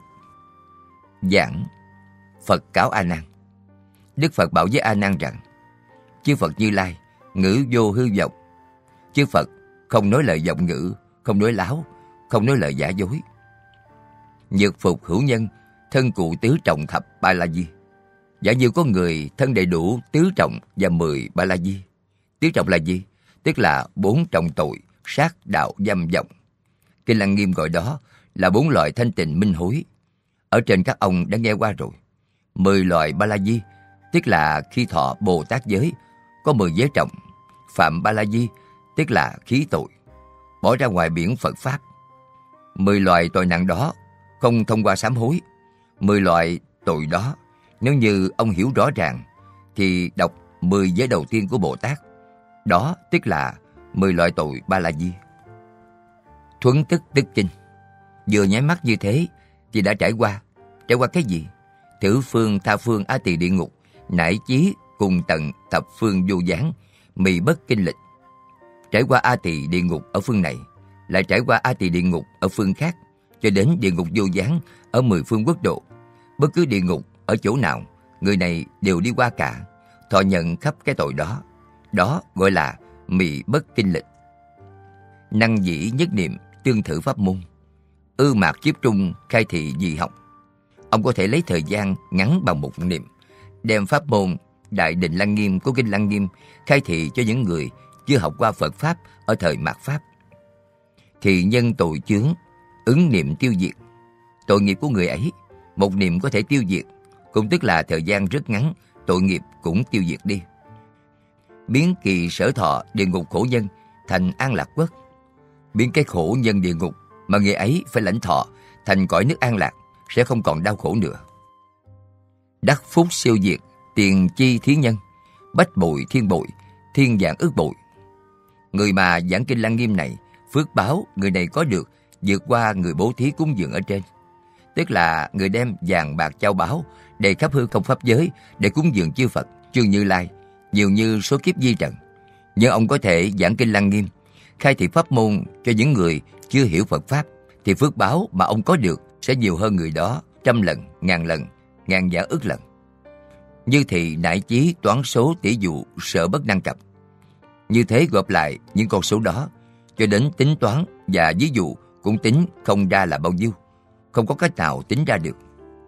Nguyên văn Âm Hán diệt B4 cử lưỡng lợi chi thắng, đưa ra thù thắng của hai loại lợi ích. A Nan, nhược hữu chúng sanh, năng tụng thử kinh, năng trì thử chú, dư ngã quảng thuyết, cùng kiếp bất tận, y ngã giáo ngôn, như giáo hành đạo, trực thành bồ đề, vô phục ma nghiệp. Dịch A Nan nên biết, nếu có chúng sanh năng tụng kinh này và trì chú này, công đức vô lượng. Nếu ta rộng nói, thì khắp cùng kiếp cũng không nói hết. Các ông y theo lời dạy của ta, mà hành chánh đạo, thì sẽ thành tựu vô thượng bồ đề, không còn ma nghiệp. Giảng A Nan, nhược hữu chúng sanh năng tụng thử kinh, năng trì thử chú. Về sau nếu có chúng sanh đọc tụng bộ kinh Lăng Nghiêm, có thể trì tụng chú Lăng Nghiêm này, như ngã quảng thuyết cùng kiếp bất tận.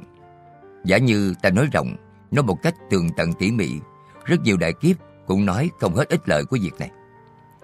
Y ngã giáo ngôn như giáo hành đạo, trực thành bồ đề, vô phục ma nghiệp. Các ông phải y theo lời dạy bảo của ta, y theo phương pháp này để tu hành, trực tiếp có thể thành tựu quả giác bồ đề vô thượng, sẽ không còn bị tất cả ma nghiệp.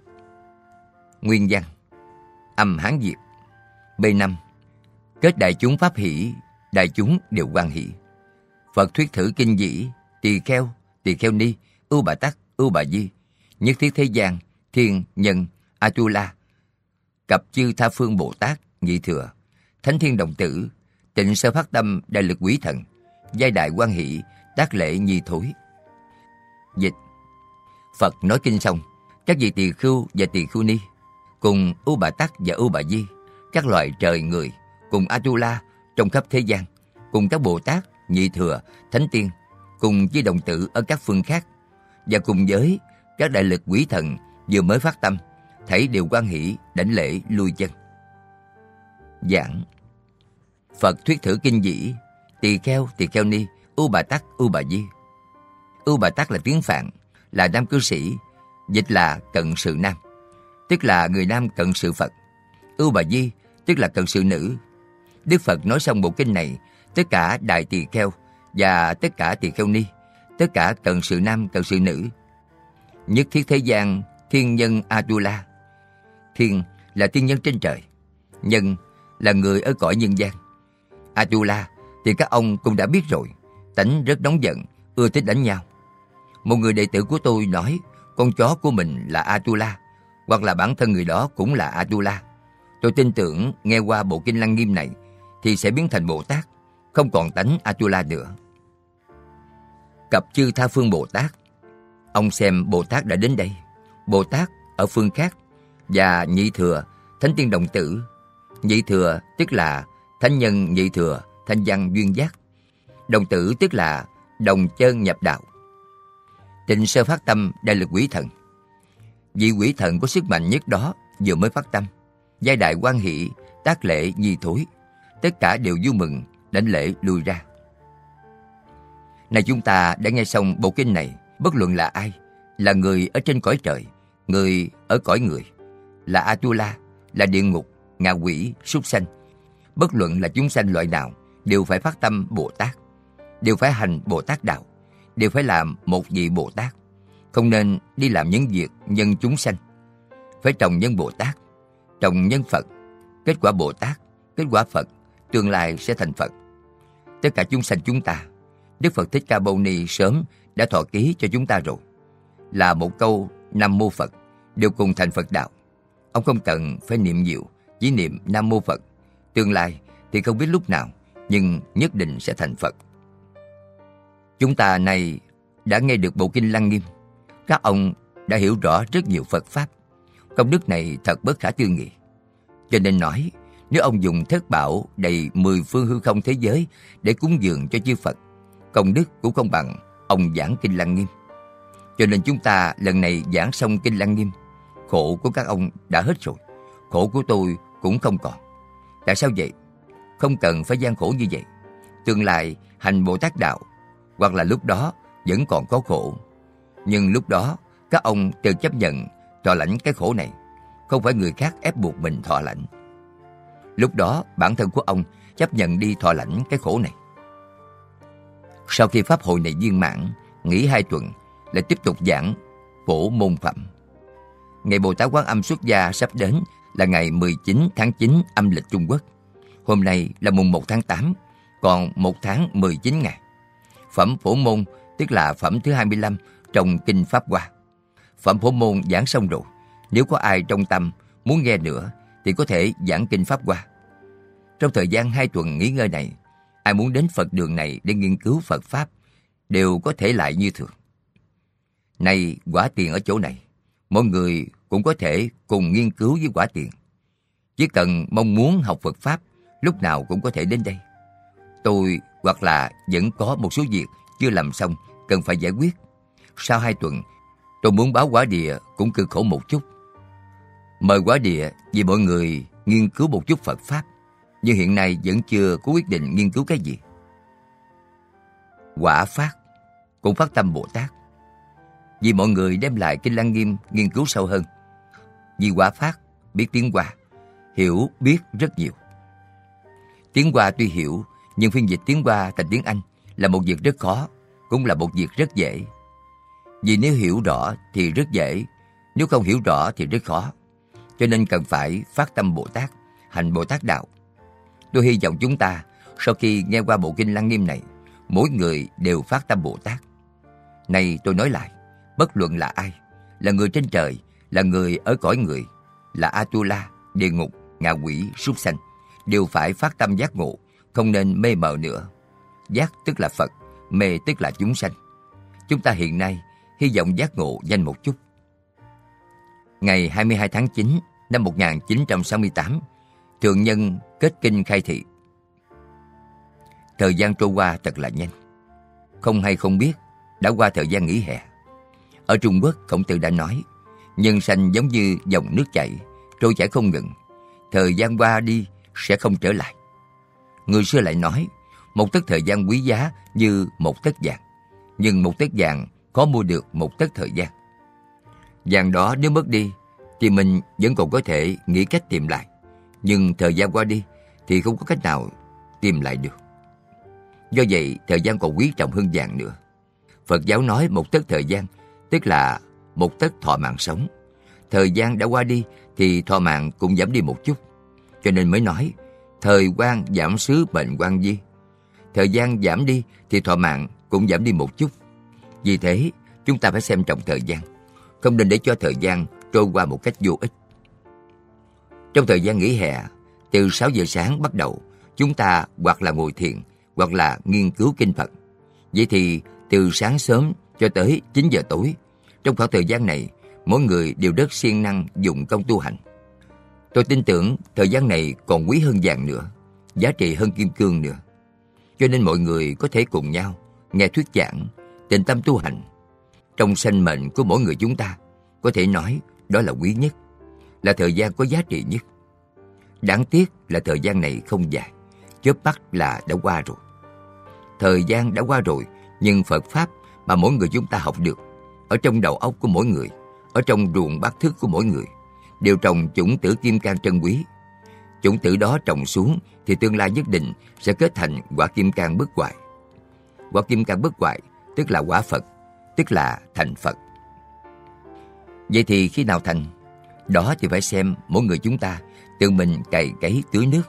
Chủng tử đó trồng xuống rồi giống như trồng ruộng.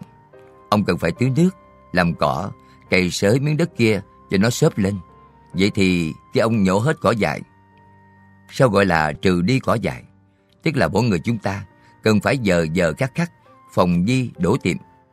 Phòng di tức là phòng bị chỗ di tế. Phòng bị cái niệm di tế sanh ra. Đổ tiệm tức là ngăn chặn, tiêu diệt, ngăn chặn tận gốc tất cả dòng tưởng, làm cho tất cả dòng tưởng này không còn nữa. Cho nên tâm niệm của chúng ta không nên khởi vọng tưởng, không nên để cho nó sanh rất nhiều tạp niệm, không nên có vọng tưởng, không nên có tạp niệm, đó gọi là phòng di đổ tiệm. Mỗi ngày đều dùng công như thế, mỗi ngày tu hành như thế, dung bụi, tưới nước, giống như trồng ruộng, tưới nước cho nó, lại làm cỏ sạch sẽ. Vậy thì từng ngày từng ngày, hột giống kim cang của ông trồng xuống đất sẽ sinh ra mầm bồ đề. Mầm bồ đề đã sinh ra thì cái bồ đề sẽ sinh trưởng. Cái bồ đề sinh trưởng thì tương lai sẽ kết quả bồ đề. Nhưng ông cần phải giữ gìn mầm bồ đề đó, giữ gìn quả bồ đề đó.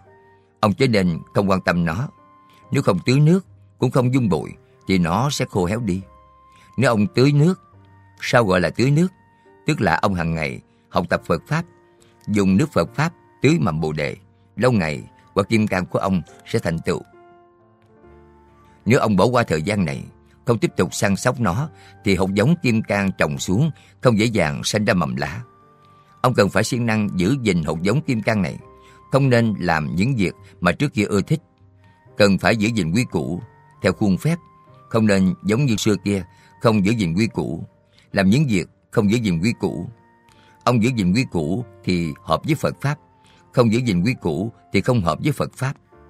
Cho nên chúng ta làm người nhất định phải giữ gìn quy củ, phải y chiếu theo quy củ mà làm, không nên quá phóng vật buông lung, không nên quá lãng mạn mơ mộng. Đây là điều kỳ vọng của tôi đối với mỗi người. Trong thời gian nghỉ hè này, giải bộ kinh Lăng Nghiêm chắc chắn là như lời nói, nhất lịch nhĩ căn, vĩnh di đạo chủng. Lỗ tai một khi nghe được đạo lý của kinh điển này thì có chủng tử bồ đề vĩnh viễn ở trong miếng ruộng bát thức của ông. Chú thích một Thiên mệnh chi dị tiền Xuất tánh chi dị tiền Tiền giả giả Bất khả tu du ly giả Khả ly phi tiền giả 2. Bản Đơn vị đo trọng lượng của anh Mỹ Một bản bằng 0,9072 cân 3. Chúng ngộ phong đao Thường thẳng thẳng Giả nhiêu độc dược Giả nhàn nhàn 4 Thần vật tính nhữ ý, nhữ ý bất khả tính. 5. Về ba loại ý sanh thân, Kinh Lăng già quyển 3 giải thích ba loại ý sanh thân là tam mùi lạc chánh thọ ý sanh thân, giác pháp tự tánh tánh ý sanh thân, chúng loại câu sanh vô hành tác ý sanh thân. Tam mùi lạc chánh thọ ý sanh thân là Bồ Tát địa thứ ba, thứ tư, thứ năm khi tu tam mùi, chứng đắc cái vui chân không tịch diệt, phổ nhập tất cả Phật sát, tùy ý vô ngại. Giác pháp tự tánh, tánh ý sanh thân là Bồ Tát Địa thứ tám giác ngộ hiểu rõ bản tánh của tự tánh, tất cả chư pháp như quyển như quả. Đều không có gì. Dùng vô lượng thần lực phổ nhập vào tất cả Phật sát. Nhanh chóng như ý tự tại vô ngại. Chủng loại câu sanh vô hành tác ý sanh thân là Bồ Tát Địa thứ 9, thứ 10. Giác tri tất cả pháp đều là Phật pháp. Nếu đắc bột thân thì vô lượng thân đồng thời xuất hiện như bóng trong gương. Tùy các chủng loại mà được câu sanh, tuy hiện ra đủ thứ cảnh tượng mà không có tạo tác. 6. Lục hợp, trên dưới và bốn phương, thiên hạ vũ trụ. 7. Trung hủy, ở giữa sắc ấm và thọ ấm, tiến thối cả hai đều khó. Hai niệm đều hủy bỏ, tiến tới cũng không được, vì chưa có thể phá được thọ ấm, thối lui cũng không xong, vì sắc ấm đã diệt, đã mất chỗ ở cũ, nên rơi vào giữa hai ấm sắc và thọ. 8. Phù tưởng Tư tưởng hư vọng không thật. Kinh Viên Giác nói, thọ mệnh chúng sanh đều là phù tưởng. 9. Bạc thực Khí đen đến gần bước bách gọi là bạc, che đầy sự tinh diệu gọi là thực. Tức này gọi là nhật thực, nguyệt thực. Mà nhật là dương tinh, nguyệt là âm tinh. Mỗi mũi đều có khí tinh hoa, quang minh. Chiếu soi ban đại khắp nơi Lúc bạc thực, không thể chiếu soi khắp nơi, nên chiếu thẳng trên mặt đất, thì các thứ kim ngọc chi thảo, lân phùng quy hạt hấp thụ được khí đó, thì có thể sống lâu, có thể dưỡng nuôi cái tinh hoa của mình. Nên Kinh nói, Kinh thiên dạng niên, bất tử di linh, trải qua ngàn vạn năm không chết thì thành linh. 10. Châu Công, con vua Giang Dương, em vua Võ Dương, từng giúp Võ Dương việc vua trụ nhà thương mà dựng nên nhà Châu. Châu Công giúp anh mình trong việc cai trị, định chế độ lễ nhạc và đặt ra nghi thức trong các việc quan, hôn, tang tế. Vũ Dương chết, thành Dương tuổi còn nhỏ do Châu Công giúp tránh công việc triều đình. 11. Thanh nhiễu Thanh là kinh thanh, nhẹ trong, không giống như sự thô trọng, tô nặng của tượng ấm. Nhiễu là nhiễu động, không có trừng trạm của thức ấm. Kinh Phật Đảnh Thủ Lăng Nghiêm giảng giải, Hòa Thượng Thích Viên Anh 12. Ngưng minh Đứng lặng, lặng trong sáng suốt 13.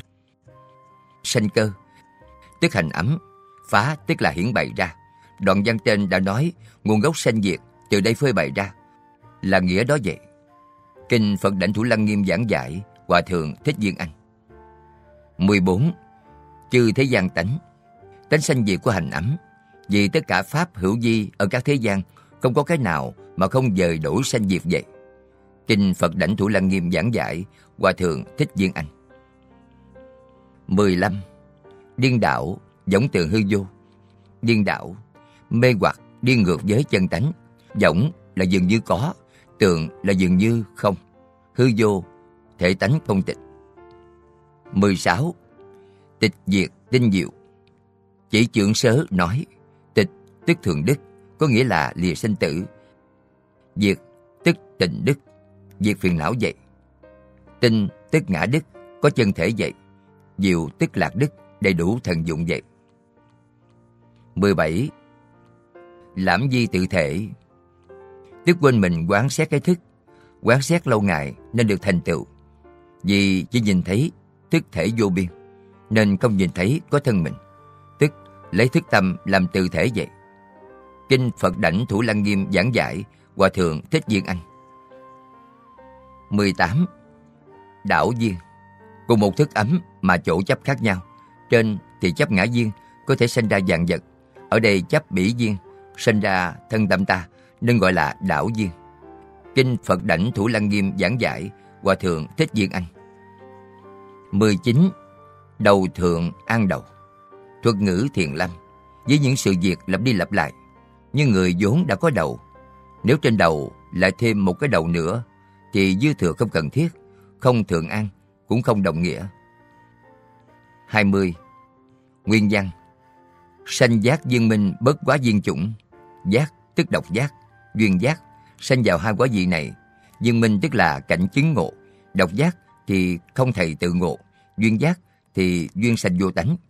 Bèn chấp cho là lý duyên, trí minh, tức cho là chân cảnh niết bàn mà không thể dung hợp, quá giải vượt qua. Chỗ ngộ, chỗ chấp vẫn là dòng giống định tánh. Kinh Phật Đảnh Thủ Lăng Nghiêm giảng giải Hòa Thượng Thích Viên Anh 21. Nguyên văn Nghinh nhận như giải Vấn đề chính đã được giải quyết thì những vấn đề có liên quan cũng theo đó mà giải quyết dễ dàng. 22. Thuận ích và di tổn. Thuận theo đó thì ích, gọi là lạc thọ. Nghịch đó thì tổn, gọi là khổ thọ. 23. Hư minh. Vì hư rỗng không, nên có thể chứa nạp, thuận nghịch. Minh nên có thể biết được khổ lạc.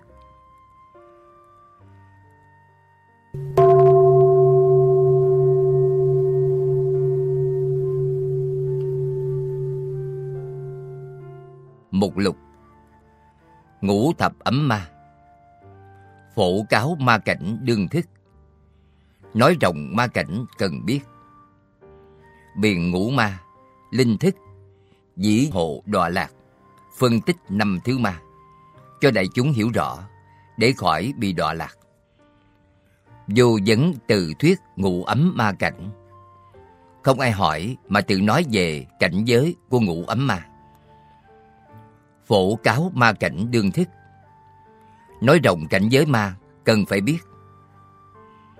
F1 Tối hậu, chân từ bất tận. Sau cùng, lòng từ bi vô tận. F2 Tường tiêu di tế ma sự. Nêu rõ ma sự di tế. F3 Sắc linh đế thính hứa thuyết.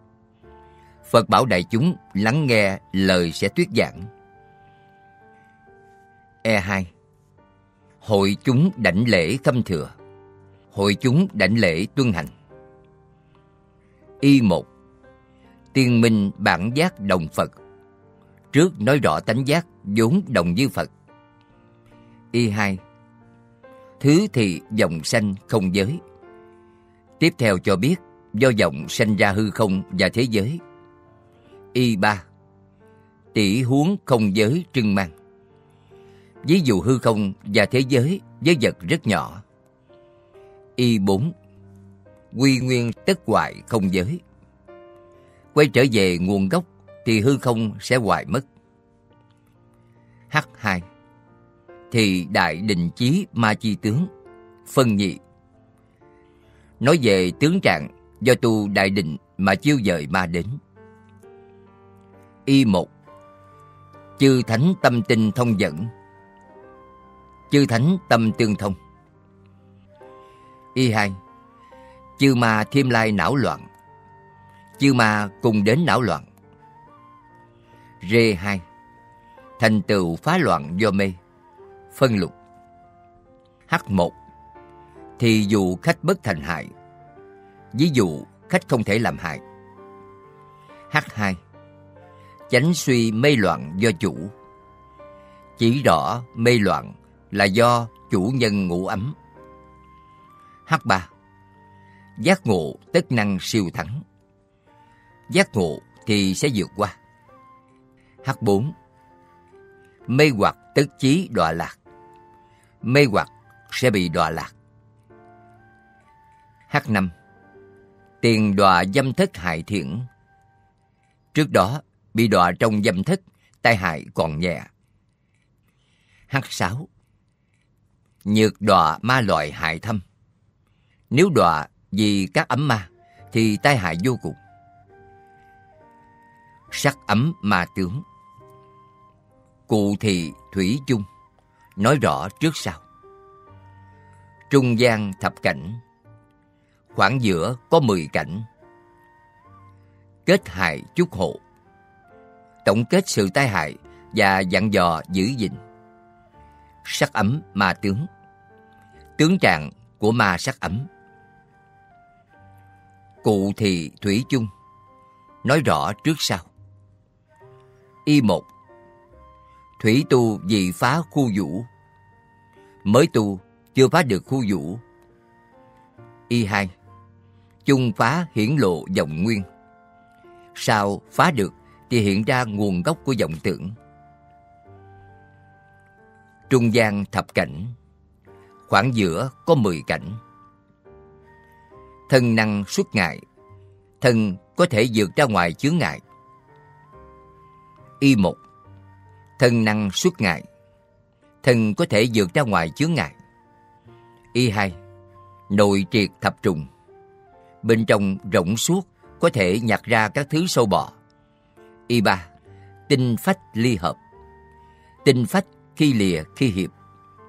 Y bốn Cảnh biến Phật hiện Cảnh thay đổi Đức Phật hiện ra. Y năm Không thành bảo sắc Hư không thành sắc bảy báo. Y sáu Ám trung kiến vật Trong bóng tối thấy các sự vật. Y bảy Thân đồng thảo mộc Thân giống như cây cọ. Y tám biến kiến vô ngại, cái thấy cùng khắp, không ngăn ngại. Y chính, giao kiến giao văn, nghe xa, thấy xa. Y mười, dòng kiến, dòng thuyết, thấy dòng, nói dòng. Kết hại chút hộ, tổng kết sự tai hại và dặn dò giữ gìn. Y một, thị nhân giao hộ, khai thị sắc ấm và tâm giao xen lẫn nhau. Y hai, mê tắc thành hại. Mê sẽ sanh thành sự tai hại. Y ba, chúc linh bảo hộ, dặn dò bảo hộ. Thọ ấm ma tướng Cụ thị thủy chung Nói rõ trước sau Trung gian thập cảnh Khoảng giữa có mười cảnh Thọ ấm ma tướng Tướng trạng của ma thọ ấm Cụ thị thủy chung Nói rõ trước sau. Ri một. Nếp tiền sắc ấm tầng tướng. Trạng thái chấm dứt của sắc ấm trước. Ri hai. Trạng thì thọ ấm khu vũ. Nói về cảnh giới của thọ ấm. Y hai. Chung phá hiển lộ dòng nguyên. Sao phá được thì hiện ra nguồn gốc của dòng tượng Trung gian thập cảnh, khoảng giữa có mười cảnh. Không một, ức kỷ bi sanh, đè nén quá độ nảy sanh tâm bi lụy. Di một, phát đoan hiện tướng, ban đầu hiện tướng. Di hai, chỉ danh giáo ngộ, chỉ ra cái tên dạy cho giác ngộ. Di ba, thị mê tết trụy. Chỉ rõ mê lầm thì phải đọa lạc. 02 Dương kỷ tề Phật, Nâng mình ngang với Phật. Di 1 Phát đoan hiện tướng. Ban đầu hiện tướng. Di 2 Chỉ danh giáo ngộ, Chỉ ra cái tên dạy cho giác ngộ. Di 3 Thị mê tất trụy Chỉ rõ mê lầm thì phải đọa lạc. 03 Định thiên đa ức. Định thiên lệch sinh ra nhớ nhiều. Di 1 Phát đoan hiện tướng. Ban đầu hiện tướng. Di 2 Chỉ danh giáo ngộ. Chỉ ra cái tên dạy cho giác ngộ. Di 3 Thị mê tất trụy. Chỉ rõ mê lầm thì phải đọa lạc. 04 Huệ thiên đa cuồng. Huệ thiên lệch phát cuồng. Di 1 Phát đoan hiện tướng. Ban đầu hiện tướng. Di 2 chỉ danh giáo ngộ. Chỉ ra cái tên dạy cho giác ngộ.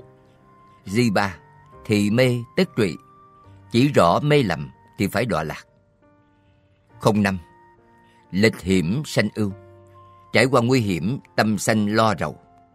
Di một Phát đoan hiền tướng. Ban đầu hiện tướng. Di hai Chỉ danh giáo ngộ. Chỉ ra cái tên dạy cho giác ngộ. Di ba Thị mê tất trụy. Chỉ rõ mê lầm thì phải đọa lạc. 06 Giác an sanh hỷ, Tâm an ổn sanh ra vui mừng. Di một, Phát đoàn hiện tướng, Ban đầu hiện tướng. Di hai, Chỉ danh giáo ngộ, Chỉ ra cái tên dạy cho giác ngộ. Di ba Thị mê tất trụy, Chỉ rõ mê lầm thì phải đọa lạc. 07 Kiến thắng thành mạng. Cây thấy thù thắng, thành ra kiêu mạn. Ri 1 Phát đoàn hiền tướng.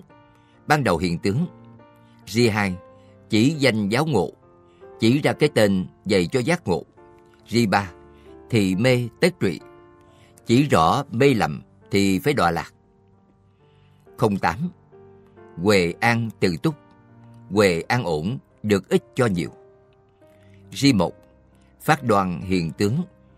Ban đầu hiện tướng. Di 2 Chỉ danh giáo ngộ, Chỉ ra cái tên dạy cho giác ngộ. Di 3 Thì mê tất trụy, Chỉ rõ mê lầm thì phải đọa lạc.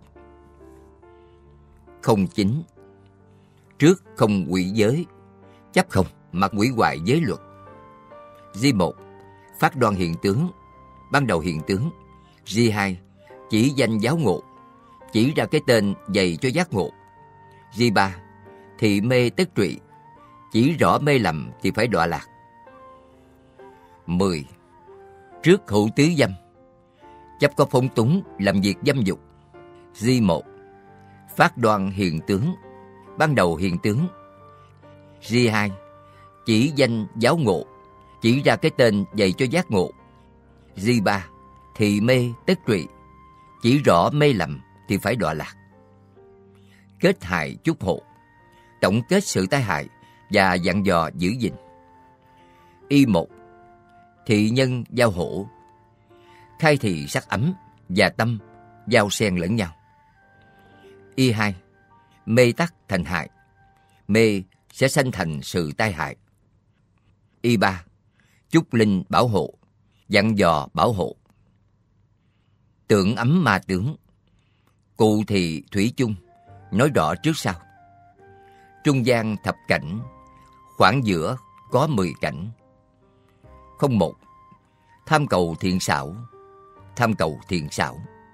Không hai, Tham cầu kinh lịch, Tham cầu kinh lịch. Không ba, Tham cầu khế hợp, Tham cầu phù hợp.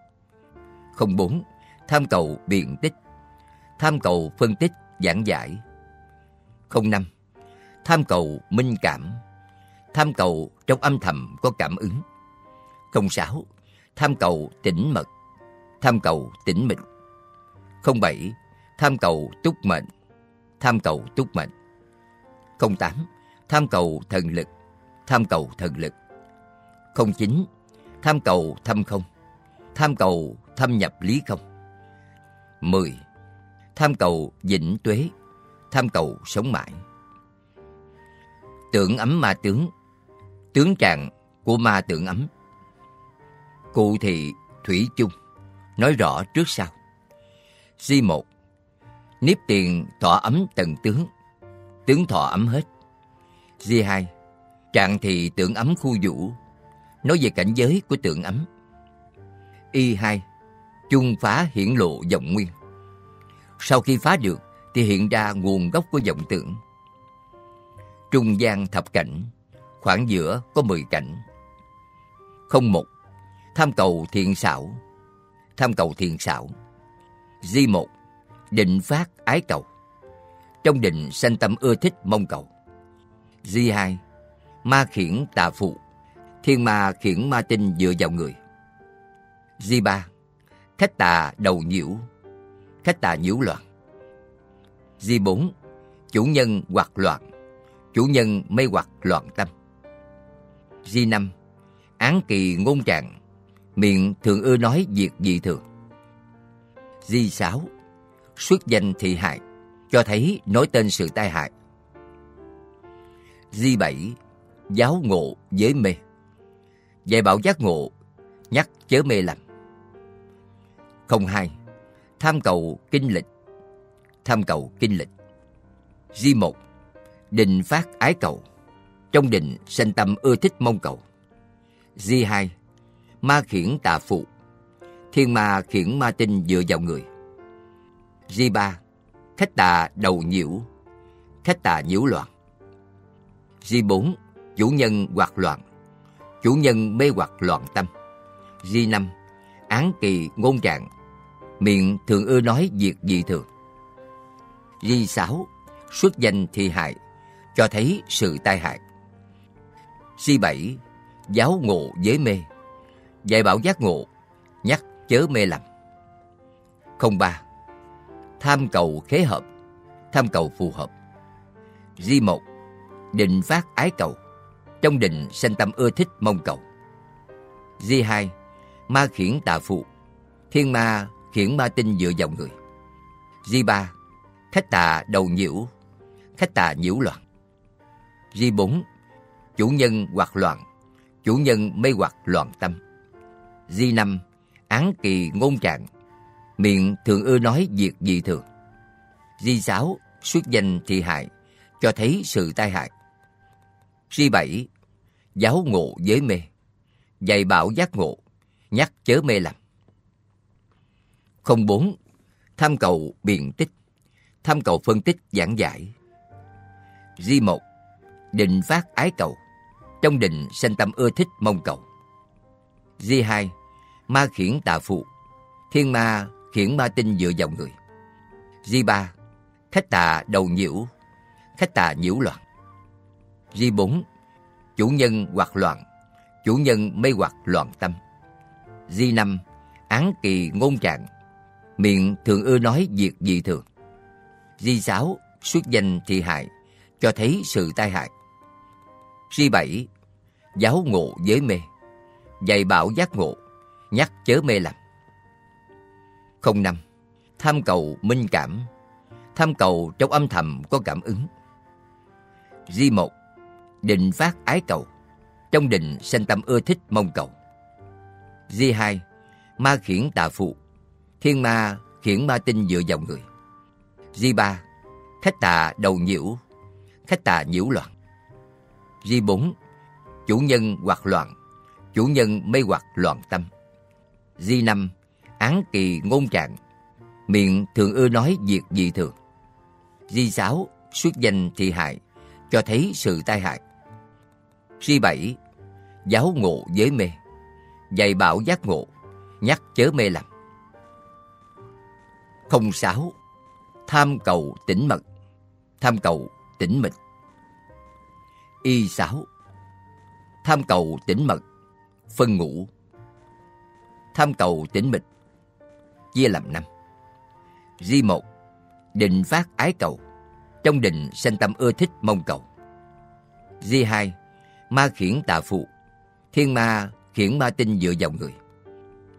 Di ba, tà hoặc sự ngôn, nói ra những việc tà ma mê hoặc. Di bốn, xuất danh thị hại, cho thấy sự tai hại. Di năm Giáo ngộ giới mê Dạy bảo giác ngộ, Nhắc chớ mê lầm 07. Tham cầu túc mệnh Tham cầu túc mệnh Y 7. Tham cầu túc mệnh, Phân ngũ Tham cầu túc mệnh chia làm năm Di 1. Định phát ái cầu Trong định sanh tâm ưa thích mong cầu Di 2. Ma khiển tà phụ Thiên ma khiển ma tinh dựa vào người Di ba Tà hoặc sự ngôn Nói ra những việc tà ma, mê hoặc Di bốn, Xuất danh thị hại, Cho thấy sự tai hại Di năm, Giáo ngộ giới mê, Dạy bảo giác ngộ, Nhắc chớ mê lầm 08. Tham cầu thần lực, Tham cầu thần lực Y 8. Tham cầu thần lực, phân ngũ, Tham cầu thần lực, chia làm năm Di một, Định phát ái cầu Trong định sanh tâm ưa thích mong cầu. Di hai, Ma khiển tà phụ Thiên ma khiển ma tinh dựa vào người. Di ba, Tà hoặc sự ngôn Nói ra những việc tà ma mê hoặc. Di bốn, Xuất danh thị hại Cho thấy sự tai hại. Di năm, Giáo ngộ giới mê Dạy bảo giác ngộ Nhắc chớ mê lầm. 09. Tham cầu thâm không? Tham cầu thâm nhập lý không? Y chính Tham cầu thâm không? Phân ngũ. Tham cầu thâm nhập lý không? Chia làm năm. Di một. Định phát ái cầu. Trong định sanh tâm ưa thích mong cầu. Di hai. Ma khiển tà phụ. Thiên ma khiển ma tinh dựa vào người. Di ba. Tà hoặc sự ngôn. Nói ra những việc tà ma, mê hoặc Di 4.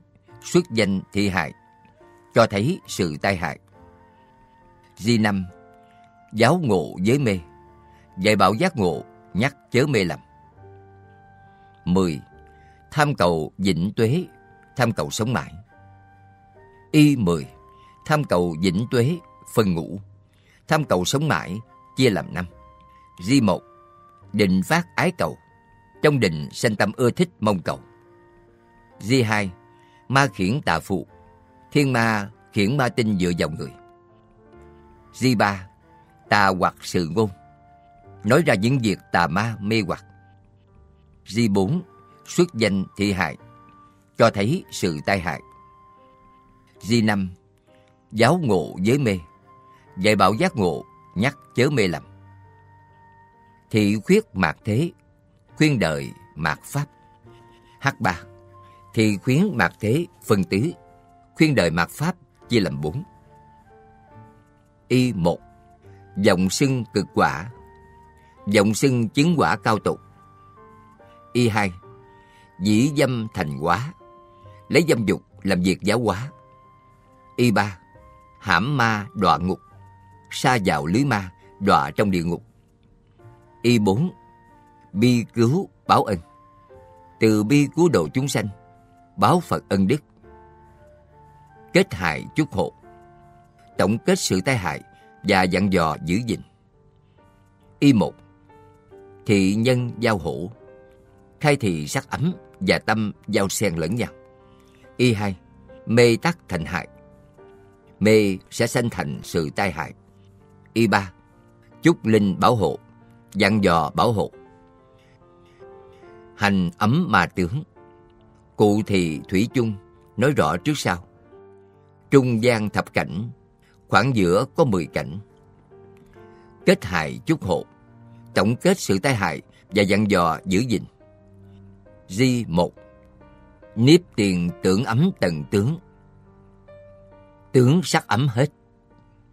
Di hai Trạng thì hành ấm khu vũ. Nói về cảnh giới của hành ấm. Y hai. Chung phá hiển lộ dòng nguyên. Sao phá được thì hiện ra nguồn gốc của dòng tưởng. Trung gian thập kế. Khoảng giữa có mười kế. Không một. Nhị chủng vô nhân. Hai loại công nhân. Di một. Tiêu do thị trụy. Nói nguyên nhân đọa lạc. Di hai. Tường thích kỳ tướng, Phân nhị. Giải thích rõ tướng trạng chia làm hai. L1 Cứ kỹ kiến lượng.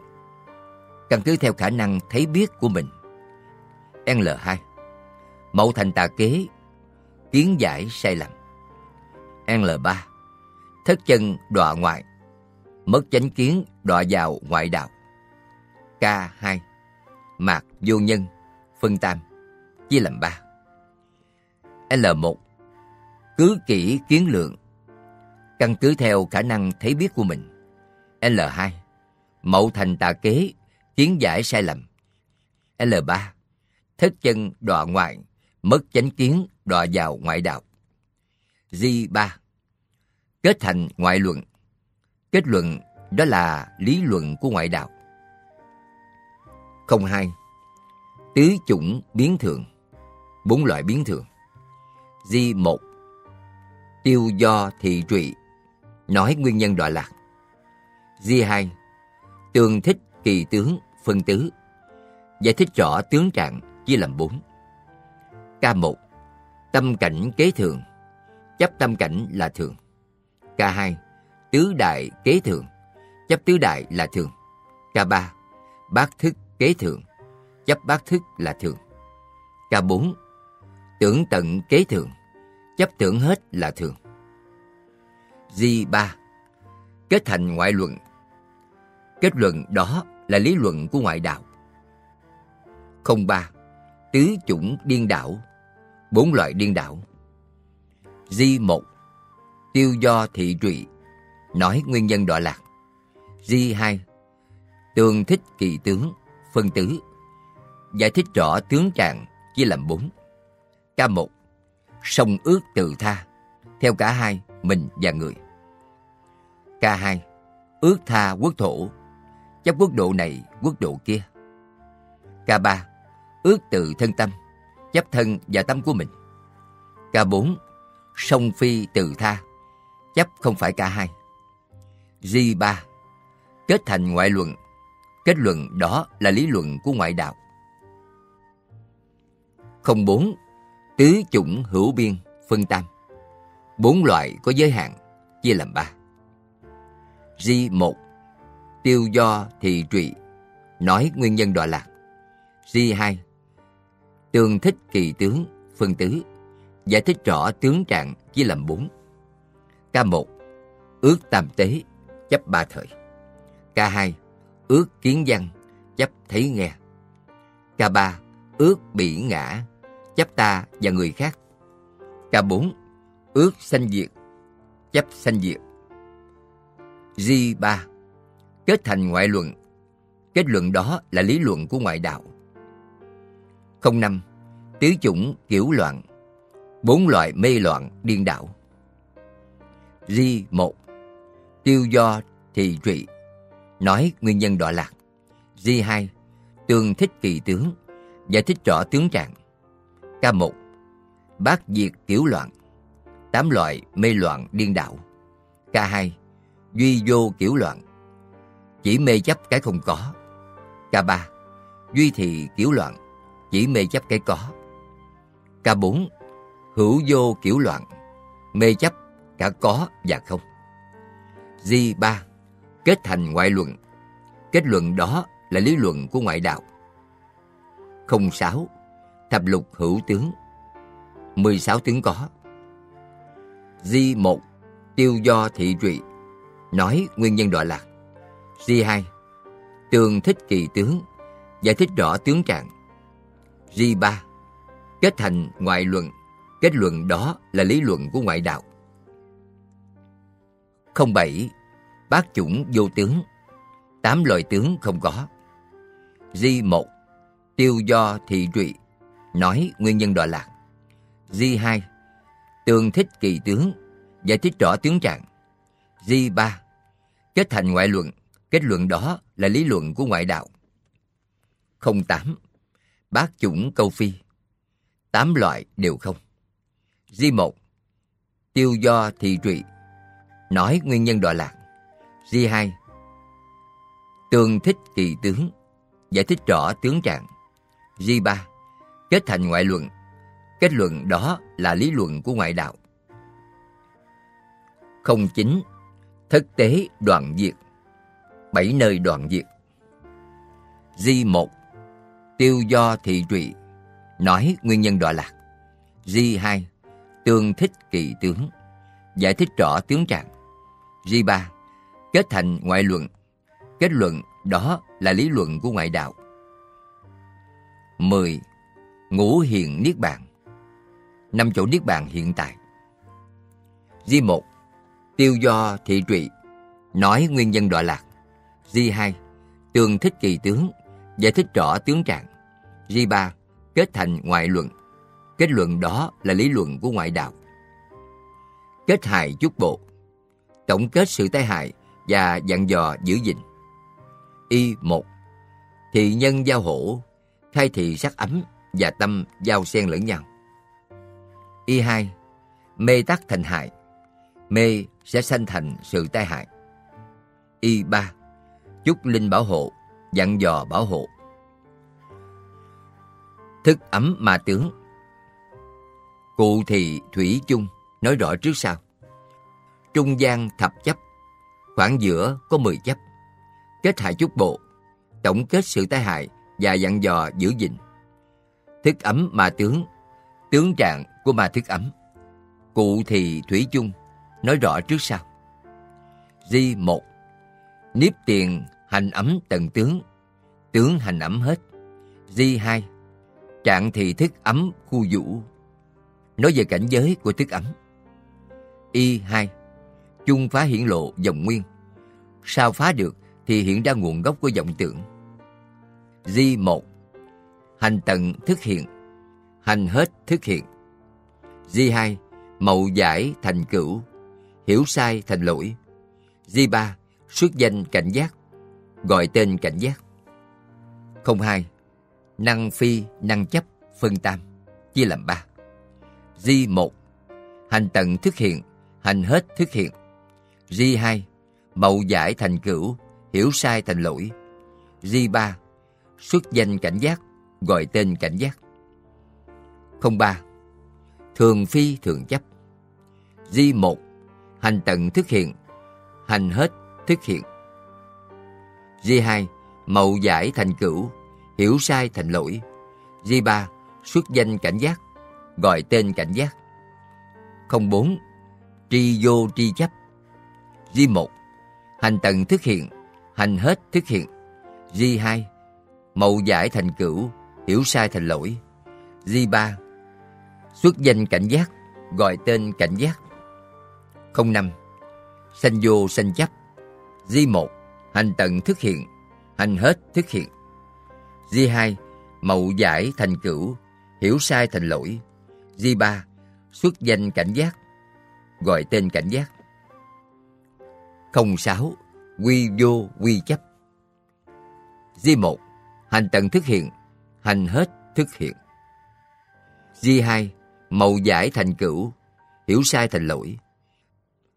Di ba, xuất danh cảnh giác, gọi tên cảnh giác. Không bảy, tham phi, tham chấp, chấp tham và không tham. Di một, hành tận thức hiện, hành hết thức hiện. Di hai, màu giải thành cửu, hiểu sai thành lỗi. Di ba, xuất danh cảnh giác, gọi tên cảnh giác. 08. Chân vô chân chấp Di một Hành tận thức hiện, hành hết thức hiện. Di hai Mậu giải thành cửu, hiểu sai thành lỗi. Di ba Xuất danh cảnh giác, gọi tên cảnh giác. Không chính Định tính thanh văn Di một Hành tận thức hiện, hành hết thức hiện. Di hai, mậu giải thành cửu, hiểu sai thành lỗi. Di ba, xuất danh cảnh giác, gọi tên cảnh giác. 10. Định tính bích chi Di một, hành tận thức hiện, hành hết thức hiện. Di hai, mậu giải thành cửu, hiểu sai thành lỗi.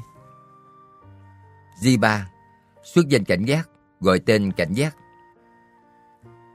03. Kết hại chuốc hộ Tổng kết sự tai hại và dặn dò giữ gìn. Y một, Thị nhân giao hổ, khai thị sắc ấm và tâm giao xe lẫn nhau. Y hai, Mê tắc thành hại. B. Sẽ sanh thành sự tai hại. Y ba, Chúc linh bảo hộ. Dặn dò bảo hộ. Kết thị siêu chứng hộ trì. Kết luận khai thị hộ trì và chứng đắc. H1. Chư Phật tiên chứng. Chư Phật trước kia đã chứng. H2. Thức tận sở siêu. Thức hết siêu chứng. H3. Duyên chứng cực quả.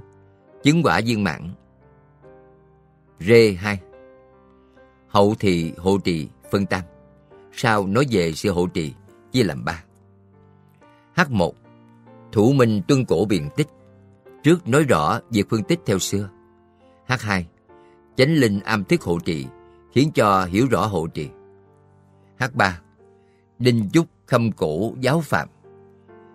Dặn dò nên dân theo lời dạy xưa. Nhân thỉnh trùng minh ngũ ấm sanh diệt. A Nan niếp tiền thỉnh vấn. A Nan tiếp tục thưa hỏi. Như Lai cụ đáp tam vấn. Như Lai trả lời đầy đủ ba câu hỏi. Đáp sanh khởi vọng tưởng, trả lời vọng tưởng sanh khởi.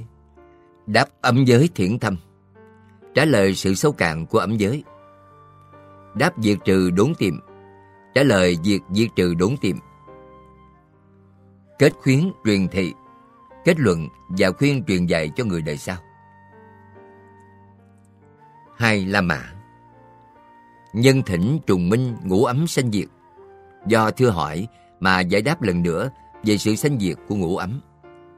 Một, A Nan niếp tiền thỉnh vấn. A Nan tiếp tục thưa hỏi. E một, Niếp tiền thỉnh vấn tiếp tục thưa hỏi. Như Lai cụ đáp tam vấn. Như Lai trả lời đầy đủ ba câu hỏi.